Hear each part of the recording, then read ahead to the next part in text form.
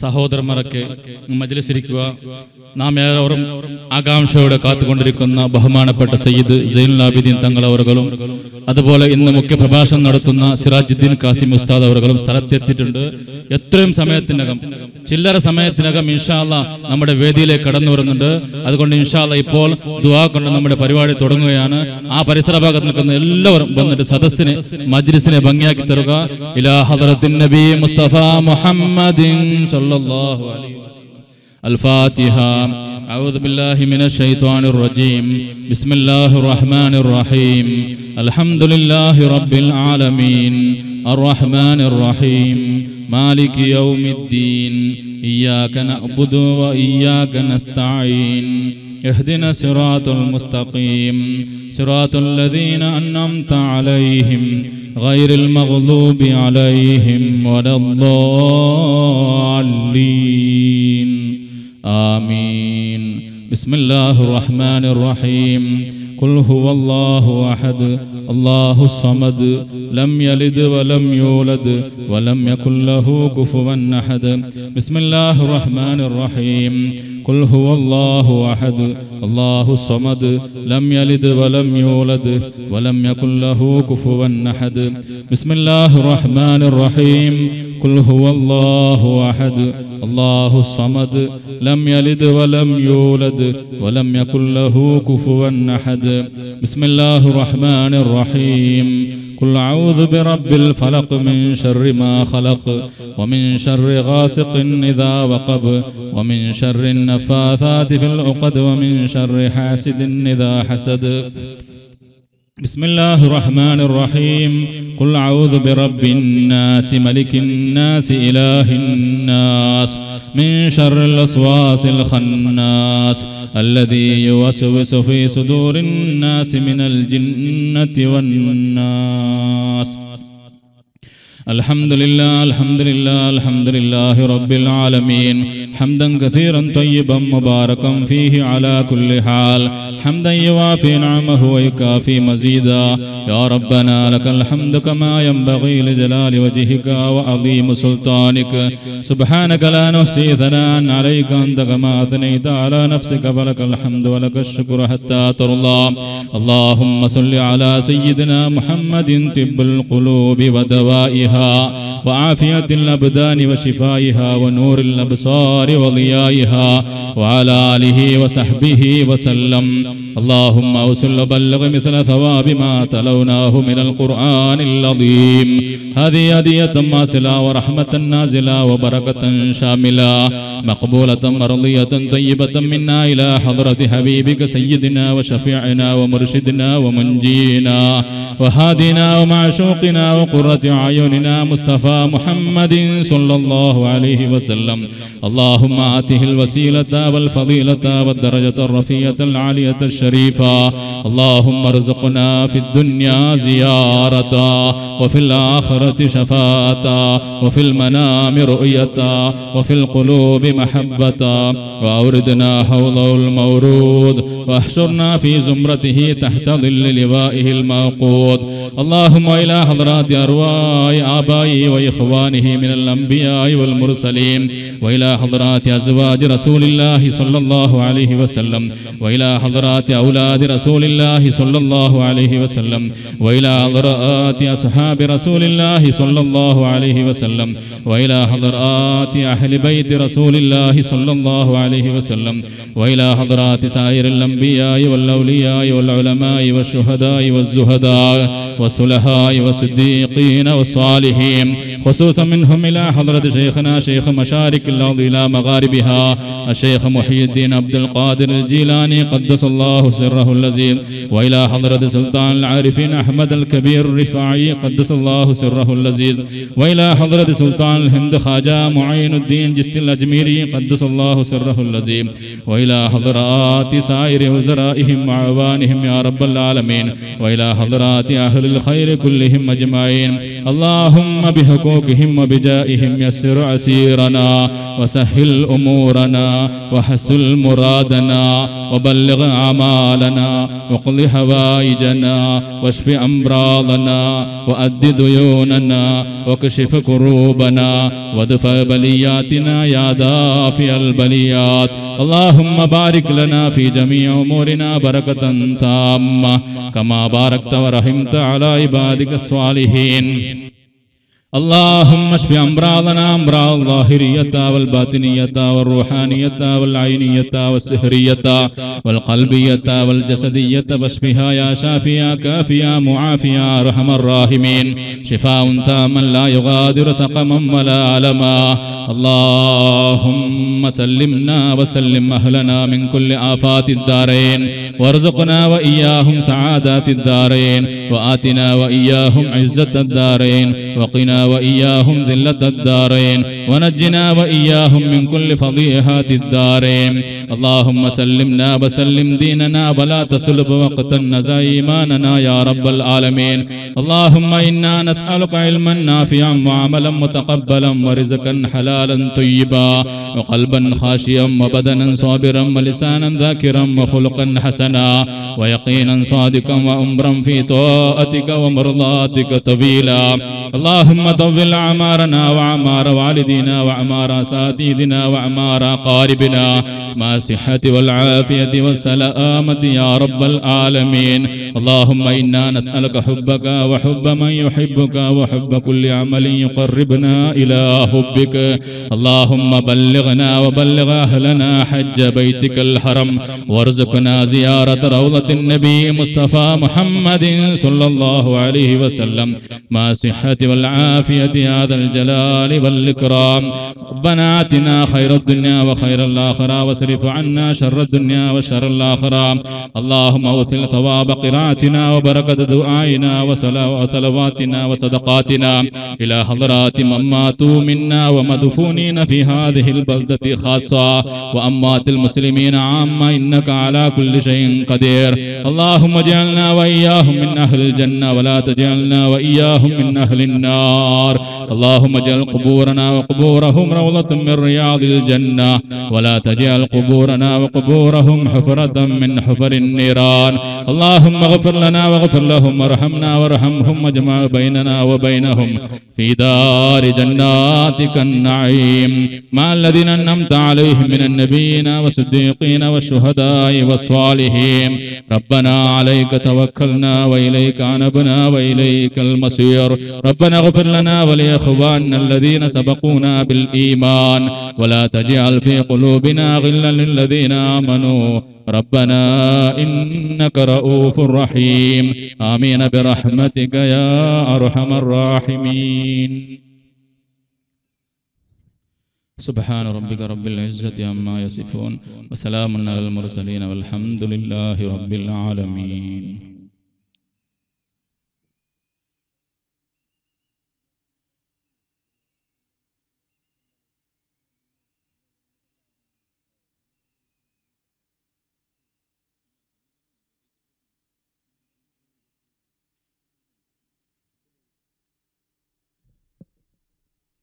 ಪೇರಡ್ಕ ಒಲಿಯುಲ್ಲಾಹಿ ದರ್ಗಾ ಶರೀಫ್ ಉರೋಸ್ ಸಮಾರಂಭದ ಸಮಾರೋಪ ದಿವಸವಾದ ಇಂದು ರಾತ್ರಿ ಈ ಸುಂದರ ಸಮಾರಂಭದ ಘನ ಅಧ್ಯಕ್ಷತೆಯನ್ನು ವಹಿಸಲಿರುವ ನಮ್ಮ ಜಮಾಯತಿನ ಗೌರವ ಅಧ್ಯಕ್ಷರು ಉರುಸ್ ಸಮಿತಿಯ ಅಧ್ಯಕ್ಷರು, ನಮ್ಮ ಈ ದರ್ಗಾ ಪ್ರದೇಶಕ್ಕೆ ಬಹಳ ಸಂಕಷ್ಟದ ಸಂದರ್ಭದಲ್ಲಿ ಒಳ್ಳೆಯ ರಸ್ತೆ ಹಾಗೂ ಸೇತುವೆ ಆಗಲು ಕಾರಣೀಭೂತರಾದಂತ ನಮ್ಮ ಈ ಜಮಾಯತ್ ಕಮಿಟಿಯ ಜಮಾಯತ್ ಪಕ್ಕದ ಸುಂದರವಾಗಿ ಕಾಣಲು ಅಲ್ಲಿ ಇಂಟರ್ಲಾಕ್ ವ್ಯವಸ್ಥೆ ಇರಬಹುದು ಕಟ್ಟಡ ಇರಬಹುದು ಎಲ್ಲದಕ್ಕೂ ಕಾರಣೀಭೂತರಾದ.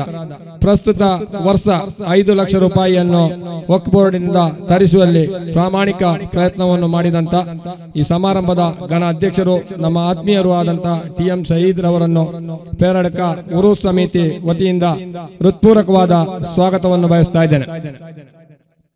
ಅದೇ ರೀತಿ ನಮ್ಮ ಈ ಸಮಾರಂಭದಲ್ಲಿ ಉಪಸ್ಥಿತರಿರುವ ಕೊಡಗು ಜಿಲ್ಲಾ ವಕ್ಫೋರ್ನ ಅಧ್ಯಕ್ಷರು, ನಮ್ಮ ಆತ್ಮೀಯರು ಆದಂತ ಯಾಕೂಬ್ ಸರ್, ಇವರಿಗೂ ಸಹ ನಮ್ಮ ಉರುಸ್ ಸಮಿತಿ ಪರವಾಗಿ ಹಾಗೂ ಪೇರಡ್ಕ ಜಮಾಯತ್ ಕಮಿಟಿ ಪರವಾಗಿ ಹೃತ್ಪೂರ್ವಕವಾದ ಸ್ವಾಗತವನ್ನು ಬಯಸ್ತಾ ಇದ್ದೇನೆ.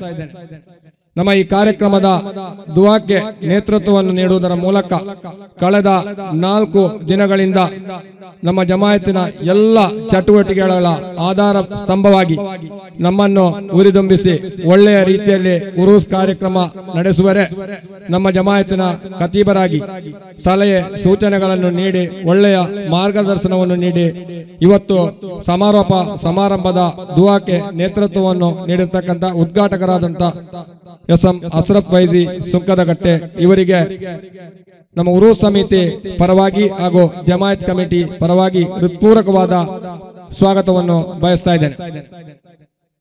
ಅದೇ ರೀತಿ ಈ ದಿವಸ ಸನ್ಮಾನಿಸಲ್ಪಡತಕ್ಕಂತ ನಮ್ಮ ಅತಿಥಿಗಳಲ್ಲೋರ್ವರಾದಂತ ಡಾಕ್ಟರ್ ಉಮರ್ ಬೀಜದ ಕಟ್ಟೆ, ನಮ್ಮ ಎಲ್ಲ ವರ್ಷದ ಉರುಸಿನಲ್ಲಿ ನಮಗೆ ಎಲ್ಲ ರೀತಿಯ ನೆರವನ್ನು ನೀಡತಕ್ಕಂತ ದಾನಿಗಳು. ಅದೇ ರೀತಿ ನಮ್ಮ ಎಲ್ಲ ಆಗುಹೋಗುಗಳ ಹಿಂದೆ ಕೆಲಸ ಮಾಡತಕ್ಕಂತ ಶಕ್ತಿ. ನಮ್ಮ ಈ ವರ್ಷದ ಉರು ಸಮಾರಂಭದಲ್ಲಿ ಅರವತ್ತೆರಡು ಸಾವಿರ ಹನ್ನೆರಡು ಸಾವಿರ ರೂಪಾಯಿಯ ದ್ವಾರ ಹಾಗೂ ಐವತ್ತು ಸಾವಿರ ರೂಪಾಯಿ ನಮ್ಮ ಉರುಸ್ ಕಾರ್ಯಕ್ರಮಕ್ಕೆ ಹಾಗೂ ಒಂದು ಲಕ್ಷ ರೂಪಾಯಿ ನಮ್ಮ ಮದ್ರಸ ಸ್ಥಳ ಖರೀದಿಗೆ ಈಗಾಗಲೇ ಮೊನ್ನೆ ನಮ್ಮ ಕಾರ್ಯಕ್ರಮದಲ್ಲಿ ಭಾಗವಹಿಸಿ ವಾಗ್ದಾನವನ್ನು ಮಾಡುವುದರ ಮೂಲಕ ನಮ್ಮನ್ನೆಲ್ಲ ಉರಿದು ತುಂಬಿಸ್ತಕ್ಕಂಥ ಹಲವಾರು ಪ್ರಶಸ್ತಿಗಳನ್ನು ಪಡೆದುಕೊಂಡಂತ ನಮ್ಮ ಊರಿಗೆ ಹೆಸರನ್ನು ತಂದುಕೊಟ್ಟಿರ್ತಕ್ಕಂಥ ಡಾಕ್ಟರ್ ಉಮರ್ ಬೀಜದಕಟ್ಟೆ ಅವರನ್ನು ಈ ವೇದಿಕೆಯಲ್ಲಿ ಸನ್ಮಾನಿಸಲಿಕ್ಕಿದ್ದೇವೆ. ಅವರಿಗೆ ನಮ್ಮ ಉರು ಸಮಿತಿಯ ಪರವಾಗಿ ಹಾಗೂ ಜಮಾಯತ್ ಕಮಿಟಿ ಪರವಾಗಿ ಹೃತ್ಪೂರ್ವಕವಾದ ಸ್ವಾಗತವನ್ನು ಬಯಸ್ತಾ ಇದ್ದೇವೆ.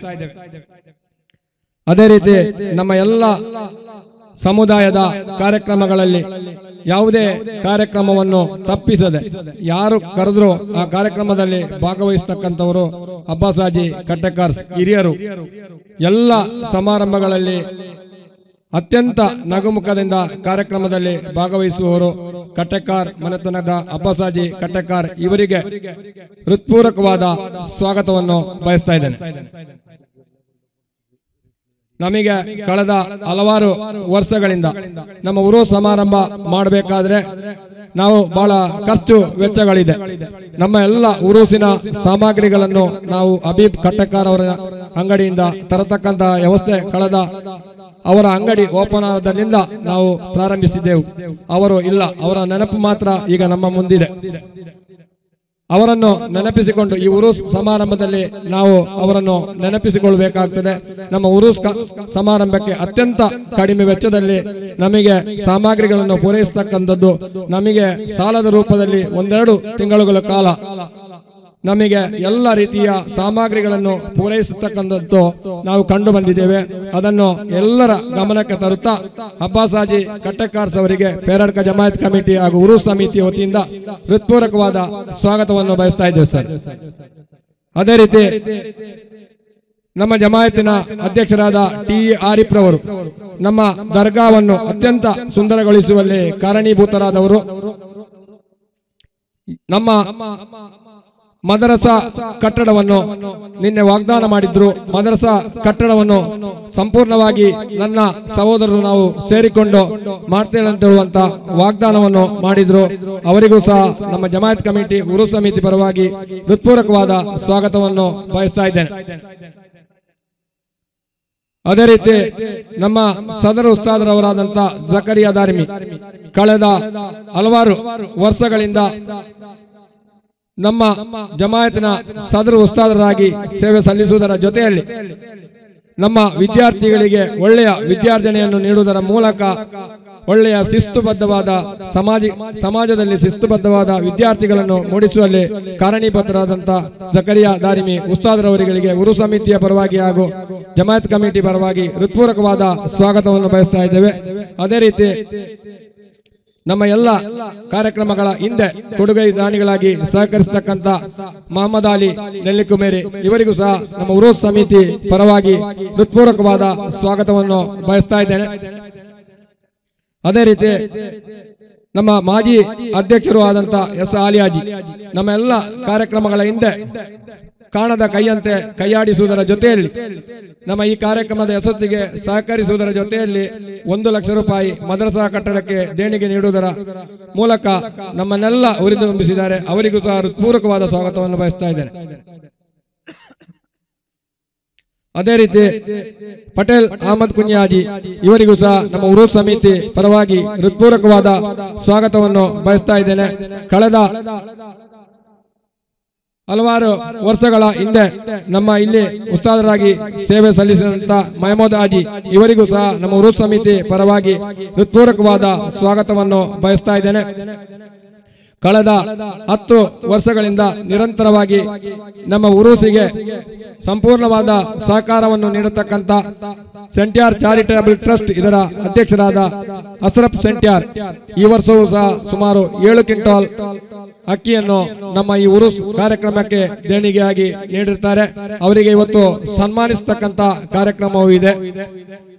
ಅವರನ್ನು ಸಹ ವೇದಿಕೆಗೆ ಆಹ್ವಾನಿಸುತ್ತಾ ಅವರನ್ನು ಹೃತ್ಪೂರ್ವಕವಾಗಿ ಸ್ವಾಗತಿಸ್ತಾ ಇದ್ದೇನೆ. ಅದೇ ರೀತಿ ನಮ್ಮೆಲ್ಲರ ಆತ್ಮೀಯರಾಗಿದ್ದುಕೊಂಡು ಮಜಲಿಸನ್ನು ನಡೆಸ್ತಕ್ಕಂಥ, ಸುಲಾತ್ ಮಜಲಿಸ್ ನಡೆಸ್ತಕ್ಕಂಥ ಅಬ್ದುಲ್ ಕುಂಜಿ ಸಂಕೇಶ್ ಇವರಿಗೂ ಸಹ ಪೇರಡಕ ಉರು ಸಮಿತಿ ಪರವಾಗಿ ಹೃತ್ಪೂರ್ವಕವಾದ ಸ್ವಾಗತವನ್ನು ಬಯಸ್ತಾ ಇದ್ದೇನೆ.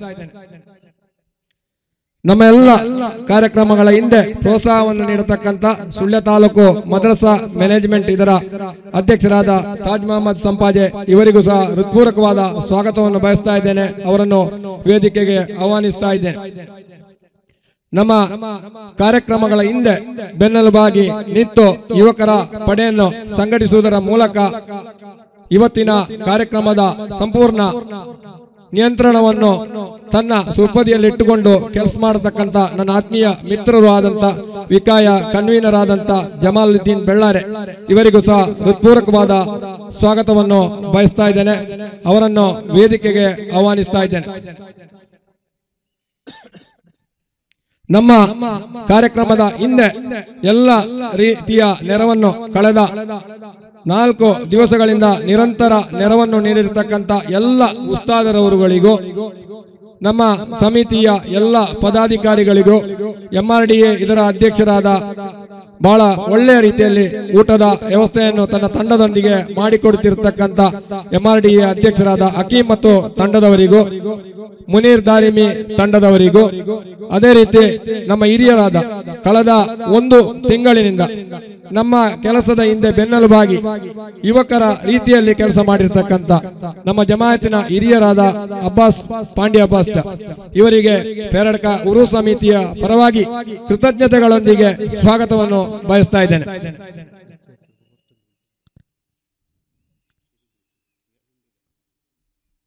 ಜಕರಿಯಾ ಜುಮಾ ಮಸೀದಿ ಬಳ್ಳಾರೆ ಇದರ ಅಧ್ಯಕ್ಷರಾದ ಮಂಗಳ ಅಬುಬಕರ್ ಬಳ್ಳಾರೆ ಇವರನ್ನು ವೇದಿಕೆಗೆ ಆಹ್ವಾನಿಸ್ತಾ ಇದ್ದೇವೆ. ಅವರಿಗೆ ಹೃತ್ಪೂರ್ವಕವಾದ ಸ್ವಾಗತವನ್ನು ಬಯಸ್ತಾ ಇದ್ದೇವೆ. ಅದೇ ರೀತಿ ದಕ್ಷಿಣ ಕನ್ನಡ ಜಿಲ್ಲಾ ವಕ್ಫ್ ಸಲಹಾ ಸಮಿತಿಯ ಸದಸ್ಯರು, ನಮ್ಮ ಆತ್ಮೀಯರು ಆದಂತ ಮುಸ್ತಫಾಜಿ ಸುಳ್ಯ ಇವರನ್ನು ವೇದಿಕೆಗೆ ಆಹ್ವಾನಿಸ್ತಾ ಇದ್ದೇವೆ. ಉರುಸ್ ಸಮಿತಿಯ ಪರವಾಗಿ ಹೃತ್ಪೂರ್ವಕವಾದ ಸ್ವಾಗತವನ್ನು ಬಯಸ್ತಾ ಇದ್ದೇವೆ.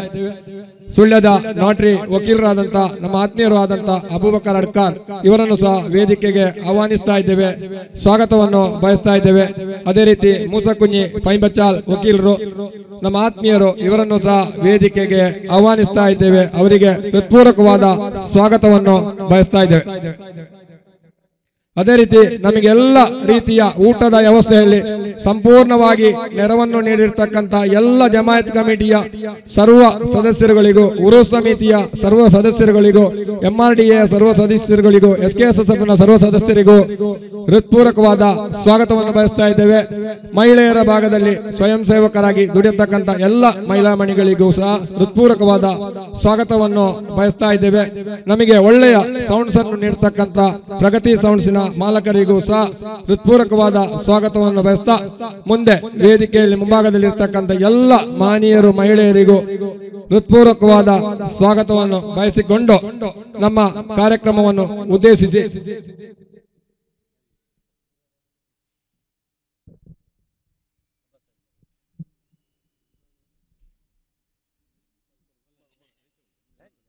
ಬಹುಮಾನ್ಯರಾದ ಯಾಕೂಬ್ ಕೊಡಗು ಜಿಲ್ಲಾ ವಕ್ಫ್ ಬೋರ್ಡ್ನ ಅಧ್ಯಕ್ಷರು ನಮ್ಮ ಈ ಭಾಗದಲ್ಲಿ ಟಿ ಎಂ ಶಹೀದ್ರವರ ಮೂಲಕ.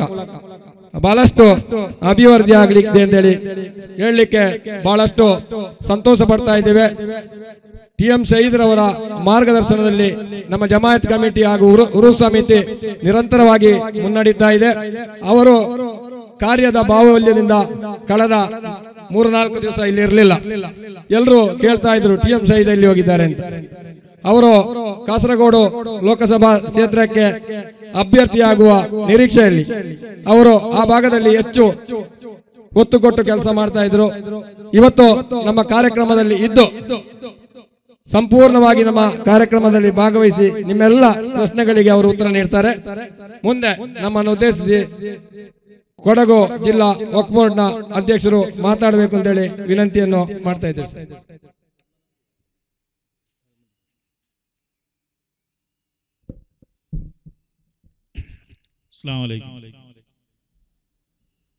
ಸಹೋದರ ಮಿತ್ರರಿಗೆ ನಮಸ್ಕಾರ. ವೇದಿಕೆಯಲ್ಲಿ ಈ ಉರು ಸಮಾರಂಭ ಕೊನೆಯ ದಿನ ಈ ಕೊನೆಯ ಸಮಾರಂಭದ ಅಧ್ಯಕ್ಷತೆ ವಹಿಸಿದಂತಹ ನಮ್ಮೆಲ್ಲರ ನೆಚ್ಚಿನ ಆತ್ಮೀಯರು. ಟಿ ಎಂ ಶೇದ್, ನನಗೊಂದು ಇಪ್ಪತ್ತು ವರ್ಷದಿಂದ ನಾವು ಕಾಂಗ್ರೆಸ್ ಪಕ್ಷದಲ್ಲಿ ದುಡಿತಾ ಇರುವಾಗ ಅಲ್ಲಿಂದ ಇಲ್ಲಿವರೆಗೂ ಒಂದಾಗಿ ಎಲ್ಲ ವಿಷಯದಲ್ಲೂ ಬೆಂಗಳೂರಲ್ಲಿ ಇಲ್ಲಿ ಕಂಡು ಬಹಳ ಒಂದು ಸಂಘಟಕರಾಗಿರುವಂತಹ ಆತ್ಮೀಯರಂತಹ ಶಹೀದ್ರವರೇ ಹಾದಿರನೇರದ ಉಸ್ತಾದರವರೇ ಈಗಾಗಲೇ ಸ್ವಾಗತ ಮಾಡಿದಂಥ ಪಂಚಾಯತ್ ಸದಸ್ಯರು ಆತ್ಮೀಯರಂತ ಹಮೀದರವರೇ ಇಲ್ಲಿಯ ಜಮಾಯತಿನ ಅಧ್ಯಕ್ಷರೇ ನೆರೆದಂಥ ಎಲ್ಲ ಬಂಧುಗಳೇ ವೇದಿಕೆಯಲ್ಲ ಗಣ್ಯರೇ ಮಹಾನೀರ ಮಹಿಳೆಯರೇ, ಅಲಹಮ್ದುಲಿಲ್ಲ, ಈ ಒಂದು ಮಹತ್ತಾದ ಉರು ಸಮಾರಂಭ, ಉಲಿಲ್ಲಾಹಿ ದರ್ಗಾ ಶರೀಫ್ ಪೇರಡ್ಕ, ಇಲ್ಲಿ ನನಗೆ ನಿಮ್ಮೊಂದಿಗೆ ಬೆರೆಯಲು ಅಲ್ಲಾಹು ಅನುವಾದಿಸಿಗೆ ಅಲ್ಲಹನ್ನು ನಾನು ಸ್ಮರಿಸುತ್ತಾ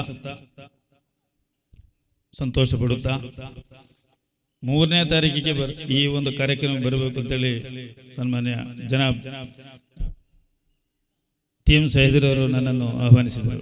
ಆದರೆ ಮೂರನೇ ತಾರೀಕು ನಾನು ಅವರು ಬೆಂಗಳೂರಲ್ಲಿ ಇದ್ದರು ಯಾಕೆಂತಂದ್ರೆ ಪಾಣಕಾಡ್ ಶಿಹಾಬ್ ಮರ್ಹೂಮ್ ಶಿಹಾಬ್ ತಂಗ್ಳರವರ ಹೆಸರಲ್ಲಿ ಒಂದು ಹ್ಯುಮ್ಯಾನಿಟಿ ಬಿಲ್ಡಿಂಗ್ ಉದ್ಘಾಟನೆ ಇತ್ತು. ಅದರ ಬಗ್ಗೆ ಕಾರ್ಯಕ್ರಮ ಇತ್ತು. ಹೈದರಾಬಾದ್ ಶಿಹಾಬ್ ತಂಗಳಿದ್ರು, ಸಾದಿಕ್ ಅಲಿ ಶಿಹಾಬ್ ತಂಗಳಿದ್ರು, ಬಶೀರ್ ಅಲಿ ಶಿಹಾಬ್ ತಂಗಳಿದ್ರು, ಮುನೋರ್ ಅಲಿ ತಂಗಳಿದ್ರು. ಕೇರಳದ ಎಲ್ಲ ಎಂ ಪಿಗಳು ಮಾಜಿ ಮಂತ್ರಿಗಳು ಆಲಿ ಎಂ ಎಲ್ ಎಗಳು ನಮ್ಮ ಕರ್ನಾಟಕದ ಮಂತ್ರಿಗಳಾದ ಜಮೀರ್ ಅಹಮದ್ ಅವರು ಇತರ ಎಲ್ಲ ಎಂ ಎಲ್ ಎಗಳು ಸಹ ಇದ್ರು. ಅಲ್ಲಿ ನಾವಿಬ್ಬರು ಪಾಲ್ಗೊಂಡಿದ್ದು. ನಿನ್ನೆ ಸಹ ಅಲ್ಪಸಂಖ್ಯಾತರಿಗೆ ಒಂದು ಸ್ಟೇಟ್ ಮಟ್ಟದ ಒಂದು ಸಮಾವೇಶ ಸಹ ಇತ್ತು. ಅದರಲ್ಲೂ ಸಹ ಪಾಲ್ಗೊಂಡು ನಾವು ಬೆಂಗಳೂರಲ್ಲೇ ಕಳೆಯುವಂತಹ ಆಯಿತು. ಇಲ್ಲಿ ನೋಡುವಾಗ ಎಲ್ಲರೂ ಹೇಳ್ತಾ ಇದ್ದಾರೆ ಶಹೀದರಲ್ಲಿದೆ ಇಲ್ಲಿ ಯಾವುದು ಕಾಣ್ತಾ ಇಲ್ಲ. ಇಲ್ಲಿ ವೇದಿಕೆನೇ ಒಂಥರ ಚಪ್ಪೆ ಆಗಿದೆ ಅಂತ ಹೇಳ್ತಾರೆ ಸುಮಾರು ಜನ ಹೇಳ್ತಾರೆ ಸಂತೋಷ ಆಯ್ತು. ಏನೇ ಆಗಲಿ, ಒಂದು ಊರಲ್ಲಿ ಒಬ್ಬ ವ್ಯಕ್ತಿ ಈ ಊರಿಗೆ ಒಳ್ಳೆ ಕೆಲಸಕ್ಕೆ ಶ್ರಮಿಸುವಾಗ ಆ ಜನಗಳ ಬೆಂಬಲ ಮಾತಾಡೋ ಗೊತ್ತಾಗುತ್ತೆ. ಈ ರಸ್ತೆ ಇರ್ಬೋದು, ಈಗ ನನ್ನ ಕಾರಲ್ಲಿ ಬರ್ತಾ ಇರೋ ಇಬ್ಬರನ್ನ ಹಚ್ಕೊಂಡೆ ಅದ್ರಲ್ಲಿ ಒಬ್ರು ಹೇಳಿದ್ರು, ನಾವು ದೋಣಿಲಿ ದಾಡ್ತಾ ಇದ್ದೋ, ಈಗ ಒಂದು ಸೇತುವೆ ಆಗ್ಬೇಕು ಕಾರಣ ಶಹೀದವರು ಅಂತ. ಅಲ್ಹಮ್ದುಲಿಲ್ಲ. ಅಲ್ಲಾಹು ಇಂಥ ಒಳ್ಳೆ ಕೆಲಸ ಮಾಡಲಿಕ್ಕೆ ಆಯುಸ್ಸು, ಆರೋಗ್ಯ, ಇಜ್ಜತ್ ಅವರಿಗೆ ಇನ್ನೂ ಕೊಡಲಿ. ರಾಜಕೀಯ ಅಧಿಕಾರ ಇನ್ನೂ ಹೆಚ್ಚು ಹೆಚ್ಚು ಸಿಗಲಿ. ಅವ್ರಿಗೆ ಈಗಾಗಲೇ ಇನ್ನೊಂದು ನನಗೆ ಸಂತೋಷ ಅಂತ ಹೇಳಿದ್ರೆ, ಕೊಡಗಿನಲ್ಲಿ ಕೆ ಪಿ ಸಿ ಸಿ ಇಲ್ಲಿ ಇರೋದ್ರಿಂದ ಕಾರ್ಯದರ್ಶಿ ಆದ್ರಿಂದ ನಮಗೆ ಇನ್ಚಾರ್ಜ್ ಹಾಕಿದ್ದಾರೆ ನನಗೂ ಸಹ ಒಂದು ಶಕ್ತಿ ಆಯಿತು. ಇನ್ನು ಮೊದಲನೇ ಪರಿಚಯ ಇರುವ ಒಂದು ವ್ಯಕ್ತಿಯು ನಮ್ಮಲ್ಲಿ ಇನ್ಚಾರ್ಜ್ ಆದಮೇಲೆ ಪಕ್ಷ ಸಂಘಟನೆ ಅವರೊಂದಿಗೆ ನಮಗೂ ಮಾಡಲಿಕ್ಕೂ ತುಂಬಾ ಒಂದು ಶಕ್ತಿ ಆಯಿತು. ಏನೇ ಇರಲಿ, ನಾನು ಜಾಸ್ತಿ ಮಾತಾಡೋದಿಲ್ಲ. ಹಲವಾರು ವೇದಿಕೆಯಲ್ಲಿ ಉತ್ತಮ ಭಾಷಣಕಾರರಿದ್ದಾರೆ ಮತ್ತು ನೀವು ಯಾರ ಭಾಷಣ ಕೇಳಲಿಕ್ಕೆ ಜಾಸ್ತಿ ಬಂದಿದ್ದಾರೆ ಗೊತ್ತು, ಸಿರಾದಿನ್ ಉಸ್ತಾದ್ ಕಾಸಿಮಿಯರ ಸಿರಾದುದ್ದೀನ್ ಕಾಸಿಮಿಯರ ಪ್ರಸಂಗನ ಕೇಳಿಕ್ ಬಂದಿದ್ದೀರಾ. ಅಲ್ಹಮ್ದಿಲ್ಲ ನಿಜವಾಗ್ಲೂ ಅವರ ಮಾತು ಕೇಳಿದ್ರೆ ಬೆಳಕರಿದ್ರು ಹೋಗಕ್ಕೆ ಮನಸ್ಸು ಬರಲ್ಲ. ಅಂತ ಒಂದು ಮಾತುಗಾರ. ಅಲ್ಹಮ್ದಿಲ್ಲ ಅವ್ರಿಗೂ ಆಯುಸು, ಆರೋಗ್ಯ ಅಲ್ಲಾಹು ಕೊಡ್ಲಿ.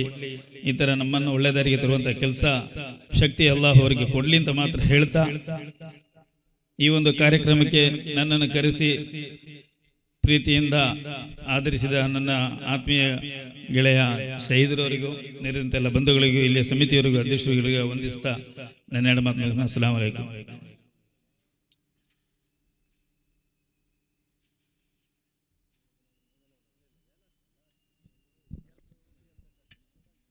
ನಮ್ಮ ಕಾರ್ಯಕ್ರಮಕ್ಕೆ ಶುಭವನ್ನು ಹಾರೈಸಿ ಹಿತನುಡಿಗಳನ್ನಾಡಿದಂತ ಯಾಕೂಬ್ ಕೊಡಗು ಜಿಲ್ಲಾ ವಕ್ ಬೋರ್ಡ್ನ ಅಧ್ಯಕ್ಷರು ಇವರಿಗೆ ಹೃತ್ಪೂರ್ವಕವಾದ ಕೃತಜ್ಞತೆಗಳನ್ನು, ಅಭಿನಂದನೆಗಳನ್ನು ಸಲ್ಲಿಸ್ತಾ ಇದ್ದೇನೆ.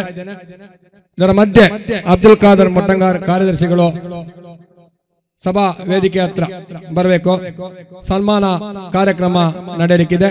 ಈ ಸನ್ಮಾನಕ್ಕೆ ಇವತ್ತು ಸನ್ಮಾನಗೊಳ್ಳಲಿರುವವರು ಡಾಕ್ಟರ್ ಉಮರ್ ಬೀಜದ ಕಟ್ಟೆ ನಮ್ಮ ಊರಿನ ನಾಡಿನ ಹೆಮ್ಮೆಯ, ಹಿರಿಮೆಯ ಸಂಕೇತ ನಮ್ಮ ಊರಿಗೆ ಹಲವಾರು ಪ್ರಶಸ್ತಿಯನ್ನು ತಂದುಕೊಡುವುದರ ಮೂಲಕ ಜಗತ್ತಿನ ಭೂಪಟದಲ್ಲಿ ದುಬೈಯಲ್ಲಿಯೂ ಕೂಡ ಸನ್ಮಾನ ಕಾರ್ಯಕ್ರಮ ಇತ್ತು.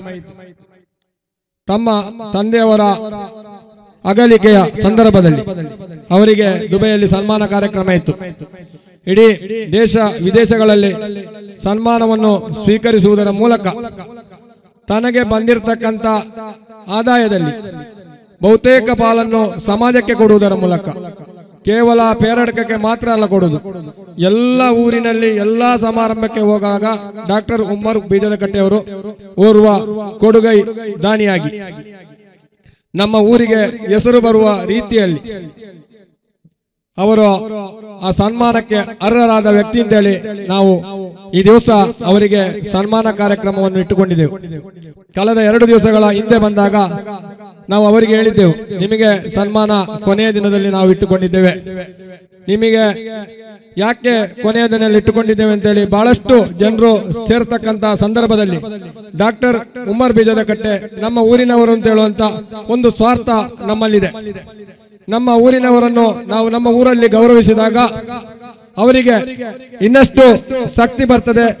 ಇನ್ನೂ ಹೆಚ್ಚಾಗಿ ತಮ್ಮ ಕಾರ್ಯ ಬಾಹುಲ್ಯವನ್ನು ಇನ್ನಷ್ಟು ಎತ್ತರಕ್ಕೆ ಕೊಂಡೊಯ್ಯುವಲ್ಲಿ ಅದು ಸಹಕಾರಿಯಾಗ್ತದೆ ಅವರು ನಮ್ಮ ಊರಿನ ಕಳೆದ ಹಲವಾರು ವರ್ಷಗಳಿಂದ ನಾವು ಅವರನ್ನು ಕರೆಸ್ತಾ ಇದ್ದೇವೆ. ನಮ್ಮ ಯಾವುದೇ ಒಂದು ಕಾರ್ಯಕ್ರಮ ಅದು ಒಳ್ಳೆಯ ಕಾರ್ಯಕ್ರಮ ಆಗಬೇಕಾದ್ರೆ ನಮಗೆ ಆರ್ಥಿಕ ನೆರವನ್ನು ನೀಡುವುದರ ಜೊತೆಯಲ್ಲಿ ನಮ್ಮ ಯುವಕರನ್ನು ಪ್ರೋತ್ಸಾಹಿಸತಕ್ಕಂತ ಕೆಲಸವನ್ನು ಡಾಕ್ಟರ್ ಉಮ್ಮರ್ ಬೀಜದ ಕಟ್ಟೆಯವರು ಮಾಡ್ತಾ ಇದ್ದಾರೆ. ಅಂತ ವ್ಯಕ್ತಿಗಳನ್ನು ನಾವು ಗೌರವಿಸದೆ ಹೋದರೆ ತಪ್ಪಾಗ್ತದೆ. ಆ ನಿಟ್ಟಿನಲ್ಲಿ ಡಾಕ್ಟರ್ ಉಮರ್ ಬೀಜದ ಕಟ್ಟೆಯವರಿಗೆ ಇವತ್ತು ಸನ್ಮಾನ ಕಾರ್ಯಕ್ರಮವನ್ನು ಇಟ್ಟುಕೊಂಡಿದ್ದೇವೆ. ಅದರ ಜೊತೆಯಲ್ಲಿ ನಮ್ಮ ಉರು ಸಮಿತಿಯ ಅಧ್ಯಕ್ಷರಾದ ಟಿ ಎಂ ಶಹೀದ್ರವರಿಗೆ ನಾವು ಸನ್ಮಾನವನ್ನು ಇಟ್ಟುಕೊಂಡಿದೆ ಟಿ ಎಂ ಶಹೀದ್ರವರು ನಮ್ಮ ಸನ್ಮಾನವನ್ನು ನಿರಾಕರಿಸಿದ್ರು. ನಾವು ಖಂಡಿತ ಅವರಿಗೆ ಅದಕ್ಕೆ ಒಪ್ಪಿಗೆ ಸೂಚಿಸಿಲ್ಲ. ಯಾಕೆಂತ ಹೇಳಿದ್ರೆ ನಮಗೆ ಪ್ರವಾಸೋದ್ಯಮ ಇಲಾಖೆಯಿಂದ ಪ್ರಸ್ತುತ ವರ್ಷ ಸುಮಾರು ಅರವತ್ತೈದು ಲಕ್ಷ ರೂಪಾಯಿಯನ್ನು ಪಡೆದುಕೊಳ್ಳುವಲ್ಲಿ. ಯಾರಿಗೂ ಯಾರಿಗೂ ಕೂಡ ಸಾಧ್ಯ ಇಲ್ಲ. ಅಷ್ಟು ದೊಡ್ಡ ಮಟ್ಟದ ಅನುದಾನವನ್ನು ನಮ್ಮ ಊರಿಗೆ ತರಿಸಿಕೊಡುವಲ್ಲಿ, ಪ್ರಾಮಾಣಿಕ ಪ್ರಯತ್ನವನ್ನು ಮಾಡುವುದರ ಜೊತೆಯಲ್ಲಿ ಸಮುದಾಯ ಭವನಕ್ಕೂ ಸಹ ಸುಮಾರು ಒಂದು ಕೋಟಿ ರೂಪಾಯಿಗಳ ಬೇಡಿಕೆ ನೀಡುವುದರ ಜೊತೆಯಲ್ಲಿ ಈಗಾಗಲೇ ಸರ್ಕಾರದ ಮಟ್ಟದಲ್ಲಿ ಕೆಲಸ ಮಾಡತಕ್ಕಂತ ಓರ್ವ ಕ್ರಿಯಾಶೀಲ ಯುವ ನಾಯಕ ಟಿ ಎಂ ಶಹೀದ್ ಅದೇ ರೀತಿ ಪ್ರಸ್ತುತ ವರ್ಷ ವಕ್ಫ್ ಬೋರ್ಡ್ನಿಂದ ನಮಗೆ ಐದು ಲಕ್ಷ ರೂಪಾಯಿಗಳ ಅನುದಾನವೂ ಸಹ ಈಗಾಗಲೇ ಮಂಜೂರಾತಿ ಆಗಿದೆ. ಇದೆಲ್ಲರ ಹಿಂದೆ ಟಿ ಎಂ ರವರ ಪ್ರಯತ್ನ ಇದೆ. ಅವರ ನೇತೃತ್ವದಲ್ಲಿ ನಮ್ಮ ಜಮಾಯತ್ ಕಮಿಟಿ ಹಾಗೂ ಉರು ಸಮಿತಿ ಮುಂದುವರಿತಾ ಇದೆ. ಮುಂದಿನ ದಿನಗಳಲ್ಲಿ ನಾವು ಇನ್ನಷ್ಟು ಅಭಿವೃದ್ಧಿಯನ್ನು ಈ ಪ್ರದೇಶ ಕಾಣಬೇಕಾಗಿದೆ. ನಿನ್ನೆ ನಮ್ಮ ಒಬ್ಬ ಮಿತ್ರರು ಬಂದಿದ್ರು. ನಾವು ಹತ್ತು ವರ್ಷಗಳ ಹಿಂದೆ ಬಂದ ಪೇರಡ್ಕ, ಇದು ಅಲ್ಲ ಅಂತ ಹೇಳುವಂತ ನಮ್ಮ ಓರ್ವ ಉಸ್ತಾದರು ಬಂದು ಹೇಳಿದ್ರು. ನಮಗೆ ಬಹಳ ಖುಷಿ ಆಯ್ತು. ಇದು ಟಿ ಎಂ ಸೈದರಿಂದ ಆಗಿದೆ ಅಂತ ಹೇಳುವುದಕ್ಕೆ ನಾನು ಈ ಸಂದರ್ಭದಲ್ಲಿ ಇಷ್ಟಪಟ್ಟುಕೊಂಡು. ಉರೋಸ್ ಸಮಿತಿಯ ಪರವಾಗಿ ಅವರು ಬೇಡ ಅಂತ ಹೇಳಿದ್ರು ನಾವು ಸನ್ಮಾನಿಸುವ ಕಾರ್ಯಕ್ರಮವನ್ನು ಹಮ್ಮಿಕೊಂಡಿದ್ದೇವೆ. ಅವರಿಗೆ ಈ ದಿವಸ ಈ ಕಾರ್ಯಕ್ರಮದಲ್ಲಿ ಸನ್ಮಾನಿಸ್ತಾ ಇದ್ದೇವೆ. ಅದೇ ರೀತಿ ಕೊಡಗು ಜಿಲ್ಲಾ ವಕ್ಫ್ ಬೋರ್ಡ್ನ ಅಧ್ಯಕ್ಷರಾದ ಯಾಕೂಬ್, ಇವರಿಗೂ ಸಹ ನಮ್ಮ ಉರು ಸಮಿತಿಯ ಪರವಾಗಿ, ಪೇರಡ್ಕ ಜಮಾಯತ್ ಕಮಿಟಿಯ ಪರವಾಗಿ ಸನ್ಮಾನವನ್ನು ಇಟ್ಟುಕೊಂಡಿದ್ದೇವೆ ಸರ್. ಅದೇ ರೀತಿ ಕಳೆದ ಹತ್ತು ವರ್ಷಗಳಿಂದ ನಿರಂತರವಾಗಿ ನಮ್ಮ ಉರುಸಿಗೆ ನಮ್ಮ ಈ ಪರಿಸರಕ್ಕೆ, ಮಕಾಮಿಗೆ, ಇನ್ನಿತರ ಎಲ್ಲ ಕಾರ್ಯ ಚಟುವಟಿಕೆಗಳಿಗೆ ಮದ್ರಸಾ, ಕಟ್ಟಡಕ್ಕೆ ಸಹಾಯವನ್ನು ಮಾಡತಕ್ಕಂತ ಯಾವುದೇ ಸಂದರ್ಭದಲ್ಲಿ ನಮ್ಮ ಕಮಿಟಿಯವರು ಕೈ ಚಾಚಿದಾಗ ಕೈ ಎತ್ತಿ ಕೊಡತಕ್ಕಂತ ಕೈ ಸೆಂಟರ್ ಎಚ್ ಎ ಅಶ್ರಫ್ ರವರು ಅವರು ಅವರನ್ನು ಈ ಸಂದರ್ಭದಲ್ಲಿ ಎಲ್ಲಿದ್ರು ವೇದಿಕೆಗೆ ಆಹ್ವಾನಿಸ್ತಾ ಇದ್ದೇವೆ. ಅವರಿಗೂ ಸಹ ಈ ದಿವಸ ಬಹುಮಾನ್ಯರಾದ ಜೈನುಲ್ಲಾಬಿನ್ ತಂಗಳವರ ನೇತೃತ್ವದಲ್ಲಿ ಈ ನಾಲ್ಕು ಜನರಿಗೆ ನಾವು ಸನ್ಮಾನ ಕಾರ್ಯಕ್ರಮವನ್ನು ಇಟ್ಟಿದ್ದುಕೊಂಡಿದ್ದೇವೆ. ಅದೇ ರೀತಿ ಇನ್ನೊಬ್ರು Abdul Gafoor K chairman Eastern Group ಅವರು ಸಹ ನಮ್ಮ ಈ ಕಾರ್ಯಕ್ರಮಕ್ಕೆ ಆಗಮಿಸ್ತಾರೆ. ಅವರಿಗೂ ಸಹ ನಾವು ಈ ದಿವಸ ಸನ್ಮಾನವನ್ನು ಇಟ್ಟುಕೊಂಡಿದ್ದೇವೆ ಬಹುಮಾನ್ಯರಾದ ತಂಗಳ್ರವರು ಆಗಮಿಸಿದ ಕೂಡಲೇ ಈ ನಾಲ್ಕು ಜನರಿಗೂ ಸನ್ಮಾನ ಕಾರ್ಯಕ್ರಮ ನಡೆಯಲಿಕ್ಕಿದೆ.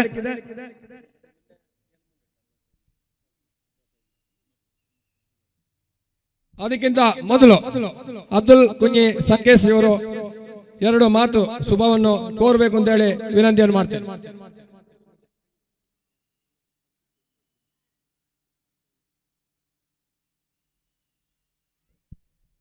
ನಮ್ಮ ನಿರಂತರ ನಾಲ್ಕು ದಿವಸ ಕಾರ್ಯಕ್ರಮದಲ್ಲಿ ನಿರಂತರವಾಗಿ, ಕ್ರಿಯಾಶೀಲವಾಗಿ ನಮ್ಮೊಂದಿಗೆ ಸಹಕರಿಸಿದ ಮದ್ರಸಾ ಮ್ಯಾನೇಜ್ಮೆಂಟ್ನ ಅಧ್ಯಕ್ಷರಾದ ತಾಜ್ ಮಹಮ್ಮದ್ ರವರು ಎರಡು ಮಾತಾಡಬೇಕು ಅಂತ ಹೇಳಿ ವಿನಂತಿಯನ್ನು ಮಾಡ್ತಾ ಇದ್ದೀವಿ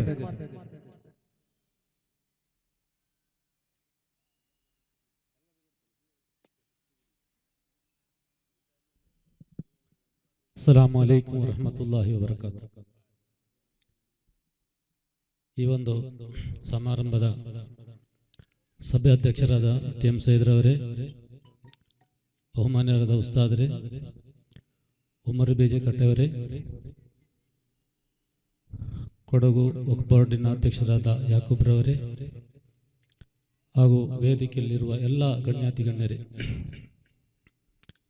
ಬಹುಶಃ ನನಗೆ ಈ ಪೇರಡಕದ ಬಗ್ಗೆ ಹೇಳಲಿಕ್ಕೆ ಜಿ ಕೆ ಹಾಮೀದ್ರವರು ಏನು ಉಳಿಸಲಿಲ್ಲ. ಎಲ್ಲರೂ ಅದನ್ನೇ, ಅವರೇ ಅವರೇ ಎಲ್ಲವನ್ನು ಹೇಳಿ ಆಗಿದೆ. ಆದ ಕಾರಣ ಈ ಒಂದು ಕುಗ್ರಾಮದಲ್ಲಿ ಇಂಥ ಒಂದು ಕಾರ್ಯಕ್ರಮವನ್ನು ಯಶಸ್ವಿಯಾಗಿ ನೆರವೇರಿಸಿದ ಸ್ವಾಗತ ಸಮಿತಿ ಅಧ್ಯಕ್ಷರಿಗೂ, ಎಲ್ಲ ಪದಾಧಿಕಾರಿಗಳಿಗೂ ನಾನು ಮದ್ರಸಾ ಮ್ಯಾನೇಜ್ಮೆಂಟ್ ಪರವಾಗಿ ಹೃದಯಪೂರ್ವಕ ಕೃತಜ್ಞತೆಯನ್ನು ಸಲ್ಲಿಸುತ್ತಾ ಸರ್ವವಿಧದ ಶುಭಾಶಯವನ್ನು ಕೋರುತ್ತಾ ಅಸ್ಸಲಾಂ ಅಲೈಕುಂ ವರಹಮತುಲ್ಲಾಹಿ ವಬರಕಾತು.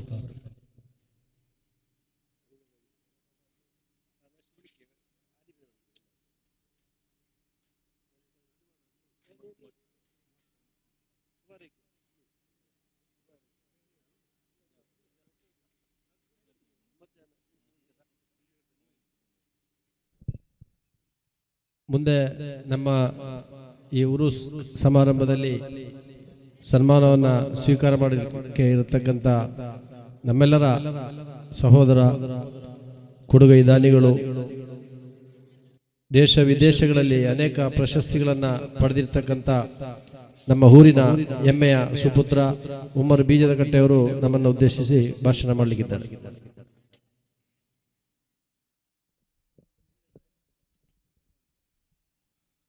السلام عليكم ورحمة الله وبركاته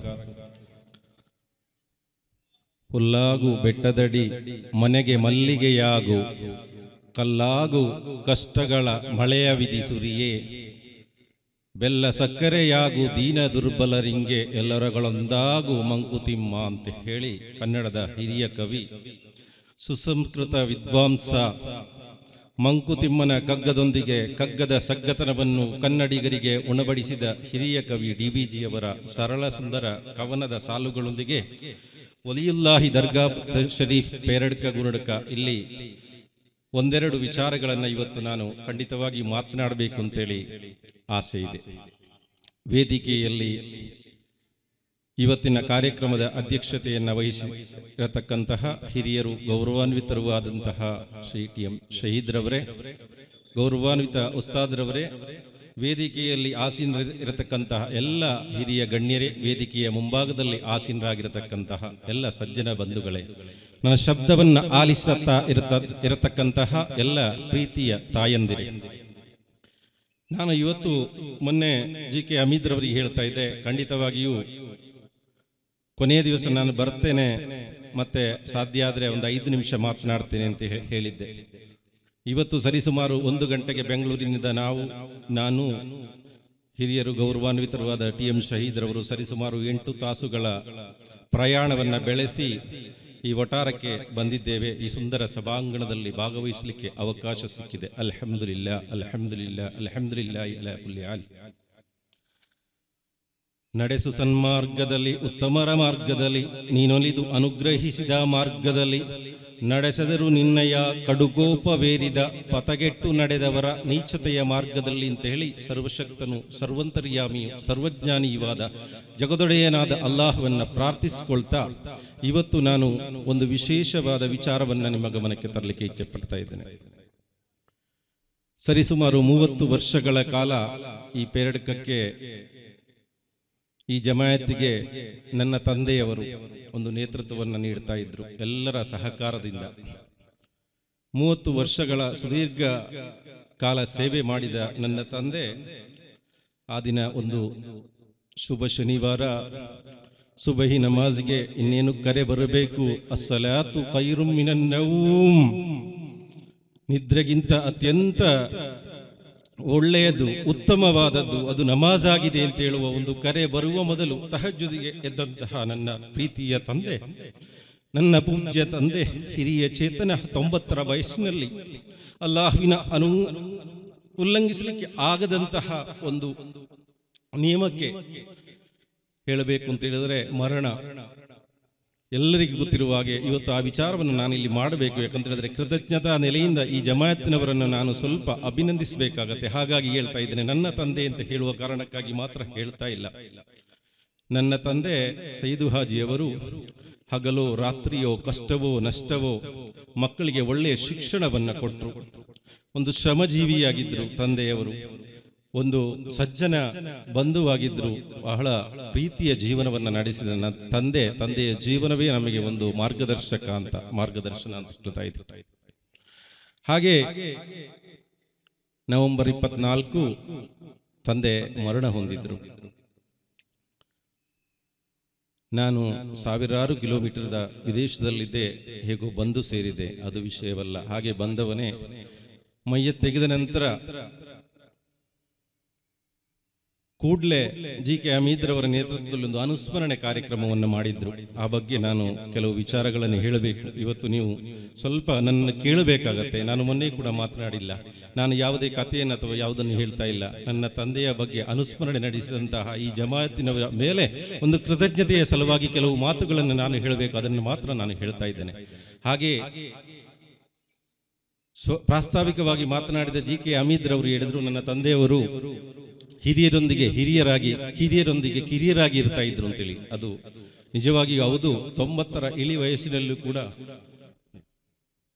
ബഹുമാനപ്പെട്ട തങ്ങളവർകൾ വേദിയിലേക്ക് കടന്നു വരികയാണ് എല്ലാവരും എണീച്ച് നിന്ന് സ്വാഗതം ചെയ്യുക അള്ളാഹു അക്ബർ അല്ലാഹു അക്ബർ അല്ലാഹു അക്ബർ ലാ ഇലാഹ ഇല്ലല്ലാഹു അല്ലാഹു അക്ബർ അല്ലാഹു അക്ബർ വലില്ലാഹിൽ ഹംദ് എല്ലാവരും ആ പരിസര ഭാഗത്ത് നിൽക്കുന്ന എല്ലാവരും വന്ന വേദിയിൽ നിങ്ങൾക്ക് വേണ്ടി സജ്ജീകരിച്ച വന്ന് വന്നിരുന്ന് സദസ്സിനെ ഭംഗിയാക്കുക ബഹുമാനപ്പെട്ട തങ്ങളവർക്ക് നമുക്ക് വേണ്ടി സുദീർഘമായ ഉപദേശവും അതുപോലെ ദ്വാവും നടത്തുന്നതാണ് എല്ലാവരും ആരും നിൽക്കാതെ ആ ചുറ്റുഭാഗങ്ങളിൽ നിന്ന് കറങ്ങിക്കൊണ്ടിരിക്കുന്ന എല്ലാ സഹോദരന്മാരും നിങ്ങൾക്ക് വേണ്ടി ഇവിടെ പ്രത്യേകമായ കസാല എടുത്തിട്ടുണ്ട്. എല്ലാവരും വന്നിരുന്ന് സഹകരിക്കുക മജ്ലിസിനെ ഭംഗിയാക്കുക. അള്ളാഹു തോഫിക് ചെയ്യും.